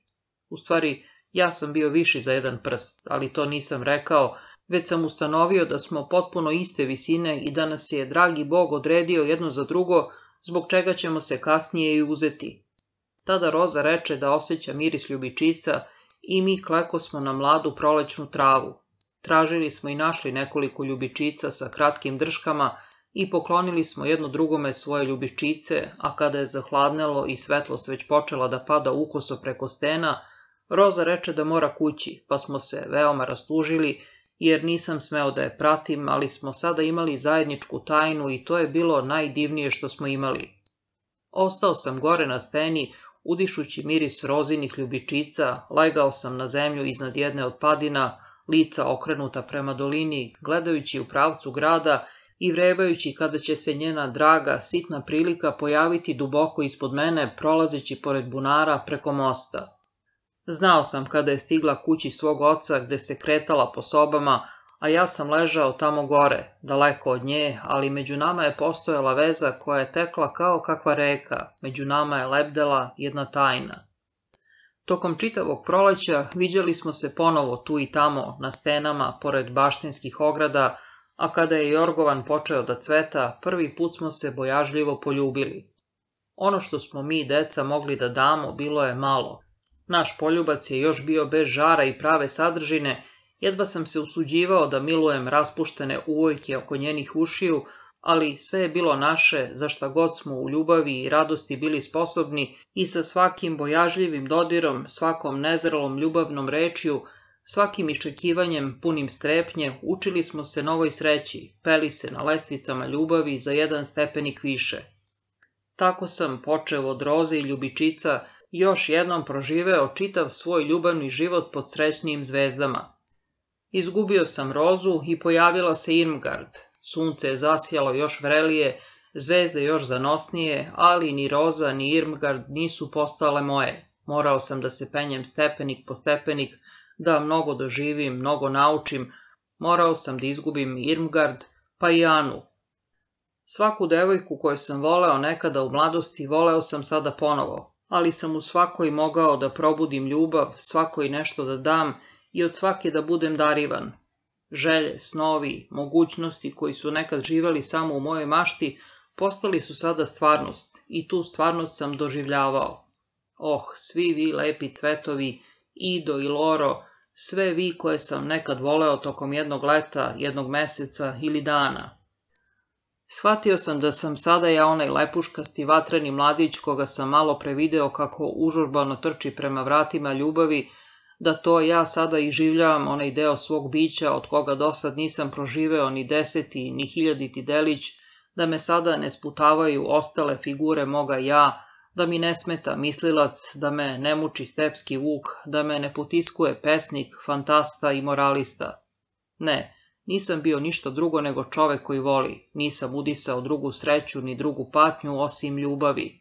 Već me Irmgard naučila da igram Ida da ljubim, a divna Ema bila je prva koja mi je jedne jesenje večeri pod treperavim granama Bresta dopustila da je poljubim smeđe grudi i da ispijem pehar naslade. Mnogo sam doživljavao u Pablovom malom pozorištu, a ni hiljaditi deo se ne može iskazati rečima. Sve devojke koje sam ikada voleo bile su sada moje, svaka od njih dala mi je ono što je samo ona jedina mogla da mi pruži, Svakoj sam dao što je ona jedina mogla da primi od mene. Okušao sam mnoge ljubavi, mnoge sreće, mnoge čulne naslade, mnoge zaplete, a i mnoge patnje, sve propuštene ljubavi mog života, čarobno su cvetale u mom vrtu u ovom času sna, čedni nežni cvetovi, živi plameni cvetovi, tamni cvetovi koji brzo venu, ustreptala strast, Toplo sanjarenje, žarka seta, umiranje puno straha i ozareno ponovno rađenje. Nailazio sam na žene koje su se mogle osvajati samo na juriš i opet na druge koje su mi pružale sreću tek posle laganog i pažljivog osvajanja. Iskrsavao je ponovo svaki sumračni kutak mog života u kome me je nekada, makar samo za trenutak, dozivao glas pola, uzbuđivao pogled neke žene, mamila belina devojački puti i sve što sam propustio nadoknadio sam. Svaka je bila moja, svaka na svoj način. Tu je bila žena neobičnih tamno smeđih očiju i kose svetle kao lan, pored koje sam nekada stajao četvrt časa u hodniku brzog voza i koja mi se kasnije češće pojavljivala u snovima, ona nije progovorila ni jedne reči, ali me je naučila neslućenim, strašnim i ubistvenim ljubavnim veštinama a glatka, tiha kineskinja iz Marselske luke, staklastog osmeha, zalizane kao gar crne kose i vlažnih očiju, i ona je znala nečuvene stvari. Svaka je imala svoju tajnu, svaka je mirisala na svoj kontinent, svaka je ljubila, smejala se i bila stidljiva na svoj naročit način, svaka je na svoj način bila bestidna. Dolazile su i odlazile, struje ih je dovodila k meni, mene bacala k njima, a zatim me je odnosila dalje. Bilo je to razigrano, detinjasto plivanje u ruci polova, puno čari, opasnosti i iznenađenja. Bio sam zapanjen koliko je bogat bio moj život, moj na izgled tako bedan, lišen ljubavi, život stepskog vuka, koliko je bio bogat u zaljubljivanju, u mogućnostima i zavodljivosti. Skoro sam ih sve propustio i izbegao, saplitao sam se preko njih i brzo ih zaboravljao, ali ovde su bile sačuvane sve, bez izuzetka, na stotine njih. Sada sam ih video, predavao im se, otvarao im vrata, tonuo u ružiča sumrak njihovog podzemlja. Vraćala su se i ona zavođenja koja mi je nekad nudio Pablo, a i druga, ranija, koja u svoje vreme nisam ni shvatio, fantastične igre utroje, u četvoro, koje su me sa osmehom povele u svoje kolo. Odigravale su se mnoge igre koje se rečima ne mogu iskazati. Ponovo sam izronio iz beskrajne reke čara, poroka i zapleta, tih, nem, naoružan i zasićen sa znanjem, mudar, duboko iskusan, zreo za Herminu. Kao poslednja figura moje mitologije sa hiljadu likova, kao poslednje ime u beskrajnom nizu iskrsla je Hermina, a istovremeno mi se vratila i svest, prekinuvši ljubavnu bajku, jer nisam želeo da se sretnem s njom u sumraku čarobnog ogledala, njoj nije pripadala samo ona jedna figura moje šahovske igre, njoj je pripadao ceo Hari. Oh, pregrupisat ću svoje figure tako da se sve odnosi na nju i dovede do ostvarenja. Reka me izbacila na kopno, opet sam stajao u nemom hodniku pozorišta sa ložama. Šta sad? Mašio sam se figurica u svom džepu, ali je ta namera namah izbledela. Neistrpno me okružavao svet vrata, natpisa i magičnih ogledala. Lišen sobstvene volje, pročitao sam sledeći natpis i naježio se. Kako se ubija iz ljubavi. Naglo sinu i zablista u meni trenutno sećanje na jednu sliku. Hermina za stolom u restoranu, pored vina i jela, odjednom utonula u razgovor, dubok kao ponor, sa strahovitom ozbiljnošću u pogledu, kako mi govori da će postići da se zaljubim u nju, da bi bila ubijena mojom rukom. Težak talas straha i mraka preplavi mi srce, odjednom je sve stajalo predomnom, odjednom sam u duši ponovo osetio jad i sudbinu. Očajavajući, zavukao sam ruku u džep da izvučem figurice, da izvedem čaroliju i preuredim svoju šahovsku tablu. Figurica više nije bilo. Umesto figura izvukao sam iz džepa nož. Smrtno uplašen trčao sam hodnikom, prolazio pored vrata i odjednom sam se našao pred ogromnim ogledalom i pogledao u njega. U ogledalu je stajao, visok kao ja, ogroman, divan, stepski vuk, stajao je mirno, plašljivo trepćući svojim nemirnim očima. Trepćući je gledao u mene, malo se nasmejao, tako da mu se za trenutak rastvorila čeljust i pojavio se crveni jezik. Gde je bio Pablo? Gde je bila Hermina? Gde je bio onaj pametni mladić koji je tako zgodno brbljao o izgrađivanju ličnosti? Pogledao sam još jedan put u ogledalo. Bio sam lud. Iza visokog stakla nije stajao nikakav stepski vuk, niti je valjao jezikom po svojoj čeljusti. U ogledalu sam stajao ja, stajao je Hari, siva lica, lišen svih igara, umoran od svih poroka, odvratno bled, ali ipak čovek, ipak neko s kim se moglo govoriti. Hari, upitah ja, šta radiš ovde? Ništa, odgovori onaj u ogledalu. Čekam, očekujem smrt. A gde je smrt? upitah ja. Dolazi, reče onaj drugi. I ja čuh kako iz praznih prostorija u unutrašnjosti pozorišta bruji muzika, divna i strašna muzika, ona muzika iz Don Juana koja prati pojavu kamenog gosta. Jezivo su brujali ledeni zvuci avetinskom kućom, dolazeći s onog sveta od besmrtnika. Mozart, pomislih, prizivajući time najvoljenije i najuzvišenije slike svog unutrašnjeg života. Tada se iza mene razleže smeh jasan i ledeno hladan, rođen iz božanskog humora, u svetu koji se nalazi s one strane svih patnji, smeh koji ljudi ne mogu čuti. Čuvši taj smeh, okrenuo sam se, sleđen i blažen, i evo, Mozart se pojavi, prođe pored mene smejući se, lagano se približi jednim vratima lože, otvori ih i uđe, a ja uđoh za njim, pun žudnje za bogom moje mladosti, doživotnim ciljem moje ljubavi i poštovanja. Muzika je brujala i dalje. Mozart je stajao kraj ivice lože, od pozorišta se nije videlo ništa, beskrajni prostor ispunjavala je tama. Kao što vidite, reče Mozart, može se i bez saksofona, iako nipošto ne bih želeo da uvredim ovaj famozni instrument. Gde smo mi, upitah ja. U poslednjem činu Don Juana, Leporello je već na kolenima. Odlična scena, a i muzika nije loša naravno. Iako ima još mnogo čega ljudskog u sebi, ipak se već osjeća u njoj drugi svet, smeh, zar ne? Ovo je posljednja velika muzika koja je napisana, rekoh svečano kao neki učitelj u školi. Da bome, došli su još Schubert, Hugo Wolf, a ne sme zaboraviti ni jadnog divnog Chopina. Vi se mrštite, maestro, o da, imamo i Beethovena, i on je čudesan. Ali sve to, ma koliko lepo bilo, već nosi u sebi nešto razlomljeno, nešto što se samo u sebi rastvara. Nikad više čovek nije stvorio tako savršeno, celovito delo kao što je to Don Juan. Nemojte da se naprežete, smejao mi se Mozart strahovito podrugljivo. Vi ste valjda i sami muzičar. Ja sam međutim prestao da se bavim tim zanatom, povukao sam se u miran život. Jedino još šale radi katkada posmatram gužvu. Podigao je ruke kao da diriguje, a odnekle iza ivice lože pomolio se mesec ili neka bleda zvezda. Gledao sam u neizmjerne dubine prostora po kome su lebdele magle i oblaci, nazirale se planine i morske obale, dok se pod nama, beskonačna kao svemir, pružala ravnica slična pustinji. Na toj ravnici videli smo dostojanstvenog starog gospodina duge brade, koji je setna lica predvodio ogromnu povorku od nekoliko desetina hiljada ljudi odevenih u crno.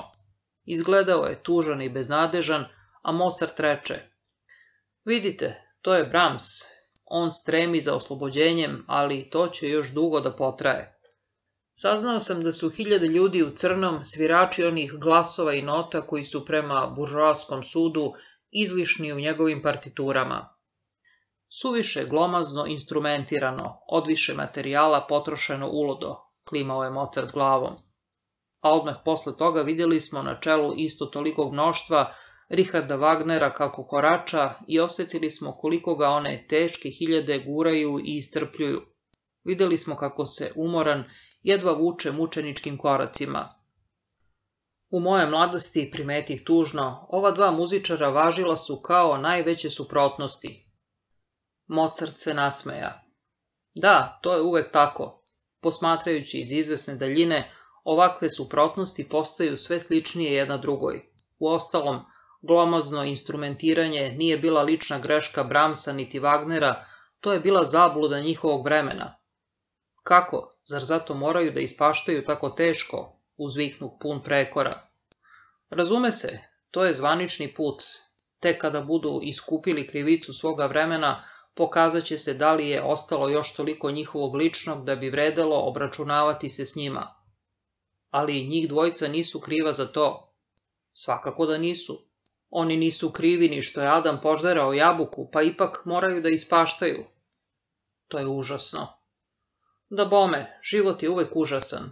Mi za to nismo krivi niti odgovorni. Čovek se rodi i već je kriv. Vi mora da ste imali čudnu versku nastavu kada to ne znate. Osjećao sam se veoma jadno. Video sam sebe, smrtno umornog hodočasnika, kako promičem pustinjom na onom svetu, natovaren svim izlišnim knjigama koje sam napisao, svim člancima i podliscima, praćen mnoštvom slagača koji su morali da rade na njima i mnoštvom čitalaca koji su sve to morali da progutaju. Bože moj! A Adam i Jabuka i onaj greh praoca takođe su bili tu. Sve je to trebalo ispaštati i tek bi posle beskrajnog čistilišta nastalo pitanje da li iza svega toga postoji nešto lično, nešto sobstveno ili su celokupno moje delanje i njegove posljedice bili samo prazna pena na moru i besmislena igra u reci zbivanja. Mozart poče glasno da se smeje kada ugleda moje izduženo lice. Od smeha se prevrnu u vazduhu, mlatarajući nogama. Pritom je vikao na mene, šta je, mališa, moj hvališa, jetra te žiga, oko ti miga, kolje te briga, Jel misliš na čitače, na žderače, na jadne gutače i na tvoje slagače i njihove pomagače, na proklete hajkače i sabljo oštrače?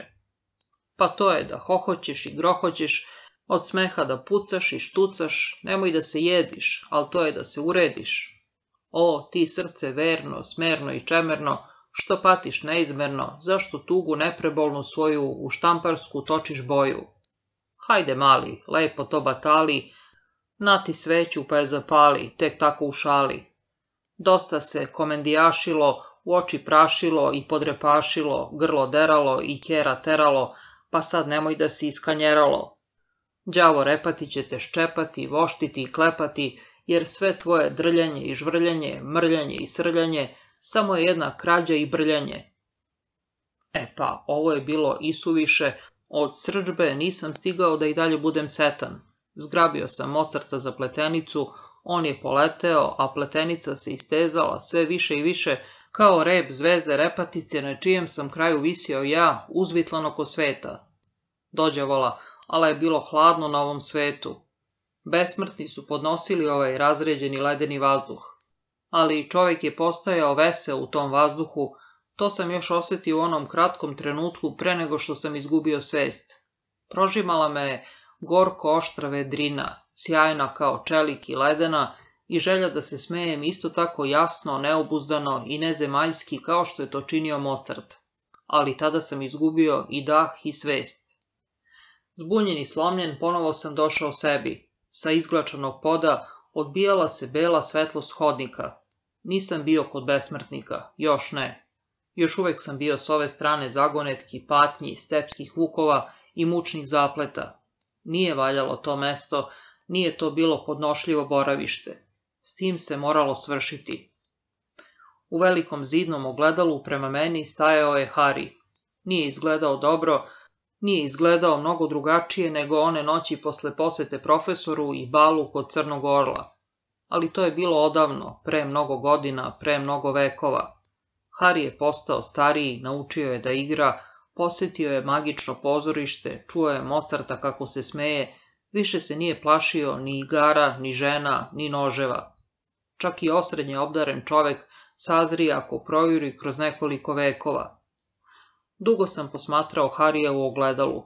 Još mi je bio dobro poznat, još uvijek je pomalo ličio na 15-godišnjeg Harija, koji je jedne martovske nedelje posle podne sreo rozu na steni i skinuo pred njom svoj đački šešir pa ipak je tada ostareo za nekoliko stotina godinica, bavio se muzikom i filozofijom i zasitio se njima, šljemao je u čeličnom šlemu Elzaško vino i diskutovao sa čestitim naučnicima o Krišni, voleo je Eriku i Mariju, postao Herminin prijatelj, pucao je na automobile i spavao sa glatkom kineskinjom, sreo se sa Geteom i Mozartom i mnoge rupe usekao u mrežu vremena i prividne stvarnosti u kojoj je, međutim, ipak bio samo zarobljenik. Opet je doduše izgubio svoje lepe šahovske figure, ali je imao dobar nož u džepu. Napred, Hari, stari umorni momče. Pih, dođe vola, ala je gora kukus imao život. Pljunuo sam na Harija u ogledalu, udario nogom i razbio ga na param parčad. Pošao sam lagano hodnikom koji je odzvanjao, Pažljivo sam posmatrao vrata koje su obećavala tolike lepe stvari, ali ni na jednim više nije bilo natpisa. Lagano sam prošao pored svih stotinu vrata magičnog pozorišta. Jesam li ja danas bio na balu pod maskama? Od tada je prošlo sto godina. Uskoro više neće postojati godine. Trebalo je uraditi još nešto, Hermina je čekala. Biće to neobična svadba. Plivao sam u nekom mutnom talasu, Nešto mutno me je vuklo, mene, roba, stepskog vuka. Pih, vola. Zastao sam na posljednjim vratima. Ovamo me dovukao mutni talas. Oh, Rozo, oh, daleka mladosti, oh, Gete i Mocarte. Otvorio sam ih. Iza vrata ugledao sam jednostavnu i lepu sliku. Na podu, na tepisima, naišao sam na dvoje nagih, lepu Herminu i lepog Pabla, kako duboko spavaju jedno pored drugog, veoma iscrpeni od ljubavne igre, koja izgleda tako nenasita, a ipak brzo zasiti. Lepa, veoma lepa stvorenja, divne slike, čudesna tela. Pod Hermininom levom dojkom videla se sveža, okrugla belega, oko koje je tamno podišla krv. Bio je to ljubavni ujed Pablovih lepih, blistavih zuba. Udario sam nožem posred belege, zarivši oštricu do kraja. Preko Herminine bele kože potekla je krv. Da je sve bilo malo drugačije, da je sve teklo malko drugačije, izbrisao bih svojim poljupcima tu krv. Ovako nisam to učinio. Samo sam posmatrao kako krv curi i video kako su joj se za časak otvorile oči koje su izražavale bol i iznenađenje. Zašto je iznenađena, pomislio sam. A zatim je palo na pamet da treba da joj zaklopim oči.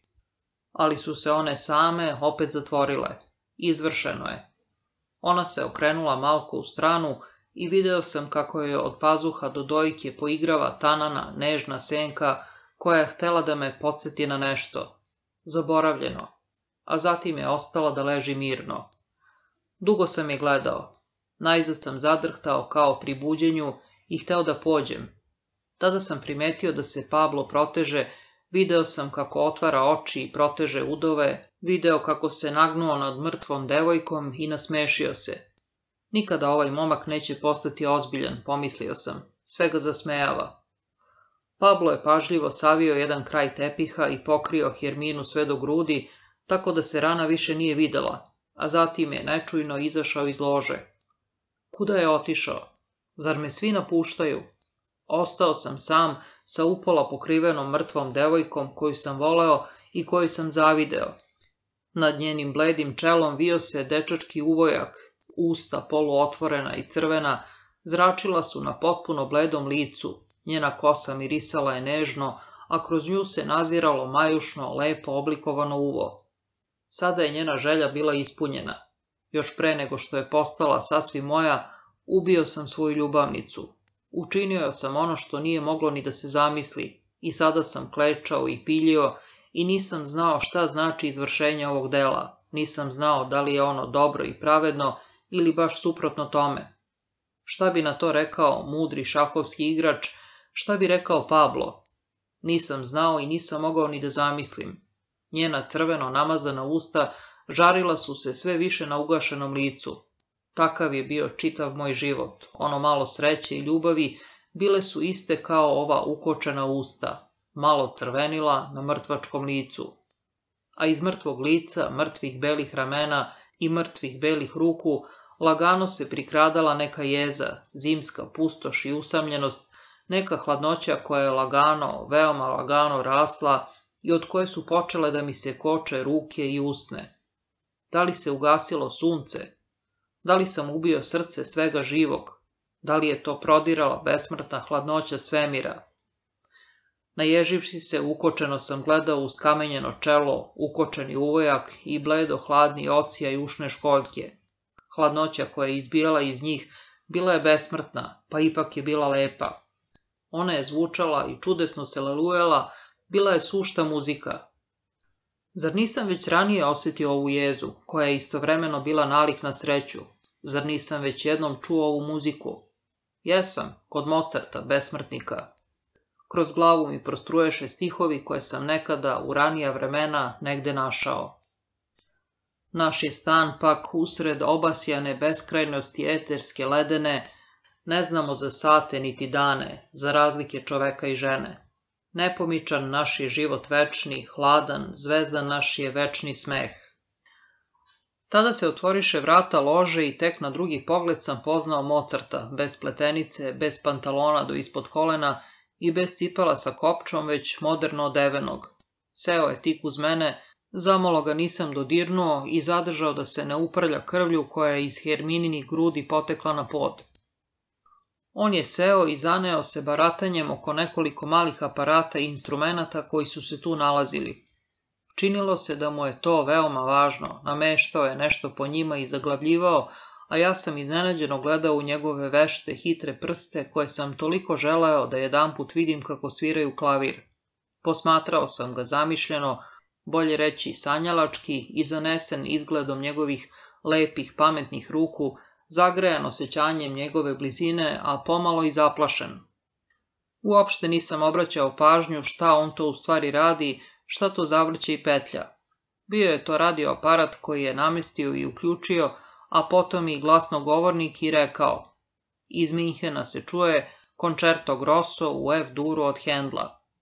Odista na moje neopisivo iznenađenje i užasavanje, đavolski limeni levak stade ubrzo da bljuje onu mešavinu bronhijalnog šlajma i ižvakane gume koju sobstvenici gramofona i pretplatnici radija po nekom sporazumu nazivaju muzikom, a iz tog mutnog balavljanja i kreštanja, kao iza debelog sloja prljavštine, odista se mogla nazreti dragocena slika, plemenita struktura božanske muzike, kraljevsko delo, hladni prostrani dah i zasićeni, široki zvuk udala. O, Bože moj, uzviknuh užasnut, šta radite, Mocarte? Da li vi sebi i meni ozbiljno priređujete ovu svinjariju? Da pustite na nas ovaj odvratni aparat, trijumf našeg vremena, njegovo posljednje pobedničko oružje u uništavajućem ratu protiv umetnosti. Zar to mora da bude, Mocarte? Oh, koliko se strašni čovek smejao, hladno i avetinski, nečujno, pa ipak razarajući sve svojim smehom. Posmatrao je moje patnje sa istinskim zadovoljstvom, okretao je prokleta dugmeta i nameštao limeni levak. Smejući se i dalje puštao u prostor izopačenu, bezdušnu, otrovnu muziku, smejući se odgovorio mi je. Molim vas, bez patosa, gospodine susede. U ostalom, jeste li obratili pažnju na ritardando? Sjajna zamisao, zar ne? Hajde, nestrpljivi čoveče, pustite da u vas prodre misa ovog ritardanda, čujete li basove, koračaju kao bogovi i pustite da ova zamisao starog hendla prodre u vaše srce i da ga umiri. Slušajte, čovečuljče, bez patosa i podsmeha, iza uistinu beznadežnog idiotskog vela ovog smešnog aparata, svečano promiče daleki lik ove božanske muzike.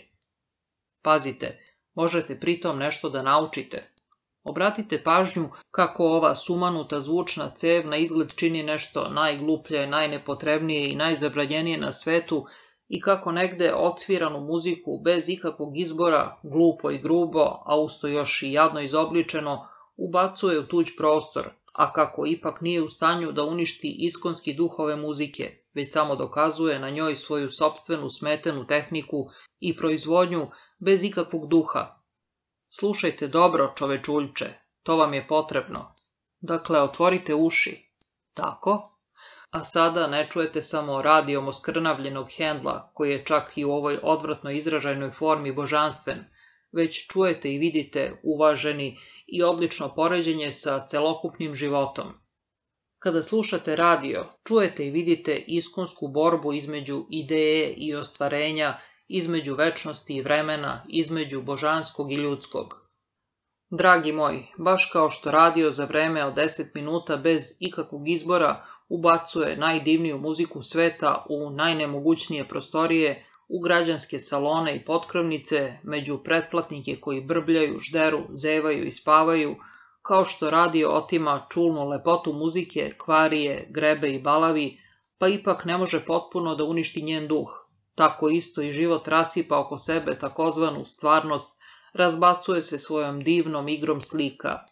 Kao što radio posle Hendla daje neko predavanje o tehnici prikrivanja bilansa u srednjim industrijskim preduzećima, od čarobnih orkestarskih zvukova pravi neukusnu muzičku kašu, kao što svuda gura svoju tehniku, svoju užurbanu radinost, svoje siromaštvo i sujetu između ideje i stvarnosti, između orkestra i uva, Takav je ceo život, mali moj, a mi moramo da ga ostavimo takvog i da se, ako nismo baš magarci, smejemo tome. Nije stvar ljudi vaše vrste da kritikujemo radio ili život.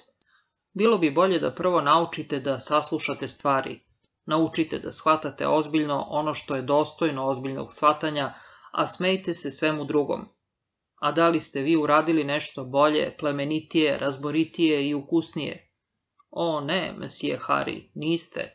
Od svog života napravili ste odvratnu istoriju bolesti, od svoje darovitosti i nesreću. A ovde, kao što vidim, niste umeli ništa drugo da učinite sa jednom divnom mladom devojkom, nego da je zabodete nož u grudi i uništite je. Smatrate li da je to pravo? Pravo? Oh, nije, uzviknuo sam sav očajan. Bože moj, sve je to tako pogrešno, đavolski glupo i opako. Ja sam stoka, Mozarte, glupa, zla stoka, bolesna i pokvarena, po hiljadu puta ste u pravu. Ali što se ove devojke tiče, ona je to sama želela, ja sam samo ispunio njenu sobstvenu želju. Mozart se nečujno smejao, ali je ipak bio toliko dobar da zatvori radio. Moja odbrana je i meni samom, koji sam još malo preiskreno verovao u nju, odjednom izgledala veoma budalasta. Setio sam se namah kako mi je Hermina nekada govorila o vremenu i večnosti, bio sam odmah spreman da njene misli smatram odrazom svojih sobstvenih misli, ali sam Hermininu ideju i želju da je ubijem sasvim prirodno prihvatio kao da ja nemam ni najmanjeg uticaja na to. Zašto sam onda prihvatio ovu strašnu i čudnovatu misao i poverovao u nju i ne samo to, nego je unapred pogodio. Možda ipak zato što je bila moja sobstvena. I zašto sam Herminu ubio baš u trenutku kada sam je našao nagu u zagrljaju drugoga. Mozartov nečujni smeh zvučao je sveznajuće i bio je pun poruge. Hari, reče on, vi ste šaljivčina, da li ova lepa devojka odista nije želala od vas ništa drugo sem udarca nožem? Pričajte vi to drugome. Ali, bar ste valjano udarili jadno dete mrtvo. Krajnje je vreme da postanete svesni posledica svoje galantnosti prema ovoj dami. Ili biste hteli da se izmigoljite iz njih? Ne, viknuh ja, zar nikako ne shvatate? Zar ja da se izmigoljim iz posledica? Pa ja ne želim ništa drugo nego da ispaštam, ispaštam ispaštam da stavim glavu po cekiru i da pustim da me kazne i ubiju. Mozart me gledao sa nesnosnim podsmehom. Kako ste vi uvek patetični, ali još ćete se naučiti humoru, Hari. Humor je uvek galgen humor, odnosno humor ispod vešala, a po potrebi naučit ćete ga na vešalima. Jeste li spremni na to? Da? Dobro, onda idite državnom tužiocu, pa se izložite čitavom aparatu sudskih ljudi kojima nedostaje svaki humor, sve dok vam u rani jutarnji čas u dvorištu zatvora hladnokrvno ne odrube glavu. Jeste li dakle spremni na to? Odjednom predamnom bljesnu natpis Harijevo pogubljenje, a ja klimnu glavom u znak odobravanja. Ogolelo dvorište između četiri zida, mali prozori sa rešetkama, uredno pripremljena giljotina desetak gospode u odeždama i redengotima, a u sredini ja, podrhtavajući na sivom jutarnjem vazduhu, stegnuta srca punog kukavnog straha, ali spreman i saglasan. Pristupio sam po naređenju, po naređenju sam kleknuo. Državni tužilac kinuo je svoju kapu, nakašljao se, a i sva ostala gospoda su se nakašljala. Državni tužilac je u rukama držao svečano razvijen list hartije i počeo je da čita iz njega. Gospodo, pred vama stoji Harry Haller, optuženi kriv za namernu zloupotrebu našeg magičnog pozorišta. Haller ne samo što je uvredio svetlu umetnost time što je našu lepu galeriju slika zamenio takozvanom stvarnošću i što je ubio odraz devojačkog lika u ogledalu odrazom noža u ogledalu, već je osim toga pokazao nameru da se bez ikakvog humora posluži našim pozorištem kao oruđem za izvršenje samoubistva. Zbog svega ovoga osuđujemo Halera na kaznu večitog života i na oduzimanje dozvole ulaska u naše pozorište u trajanju od 12 časova. Optuženom se tako isto ne može oprostiti kazna da jedanput bude ismejan. Gospodo, počnite. 1, 2, 3. Na tri su svi prisutni jednoglasno udarili u smeh, Smeh u horu, užasan za ljude skoro nepodnošljiv smeh sa onoga sveta. Kada sam opet došao k sebi, Mozart je sedeo pored mene kao malopre. Kucnuo me po ramenu i rekao, čuli ste presudu, morat ćete dakle da se naviknete da i dalje slušate radio muziku života. Biće to dobro za vas. Vi imate neobično malo dara, dragi, glupi momče, ali postepeno ste valjda ipak shvatili šta se traži od vas. Treba da prihvatite humor života, galgen humor ovog života. Ali razume se, vi ste spremni na sve na svetu, samo ne na ono što se od vas traži. Spremni ste da nožem ubijete devojku, spremni ste da budete svečano pogubljeni, sigurno biste bili spremni da tokom sto godina mučite i bičujete sebe. Zar nije tako? O, da, spreman sam, od srca sam spreman, uzviknuh u svom jadu. Razume se, spremni ste na svaki glupi čin bez ikakvog humora, vi širokogrudi gospodine, na sve što je patetično i bez šale. E, ali ja nisam za to, za celo vaše romantično pokajanje, ne dajem ni pet para. Hoćete da budete pogubljeni, hoćete da vam se odrubi glava, strašni ratniče. Za taj glupavi ideal izvršili biste deset ubistava. Hoćete da umrete, kukavico, a ne da živite. Dođevola, ali vi baš treba da živite. Bilo bi pravedno da vas osude na najtežu kaznu. Oh, a kakva bi ona bila? Mogli bismo, na primjer, ponovo da oživimo devojku i da vas oženimo njome. Ne, na to nisam spreman. Iz toga bi se izrodila nesreća. Kao da nije već dovoljna nesreća ovo što ste uradili. Ali sada treba da učinite kraj patetici i ubijanju. Urazumite se najzad. Treba da živite, treba da naučite da se smejete.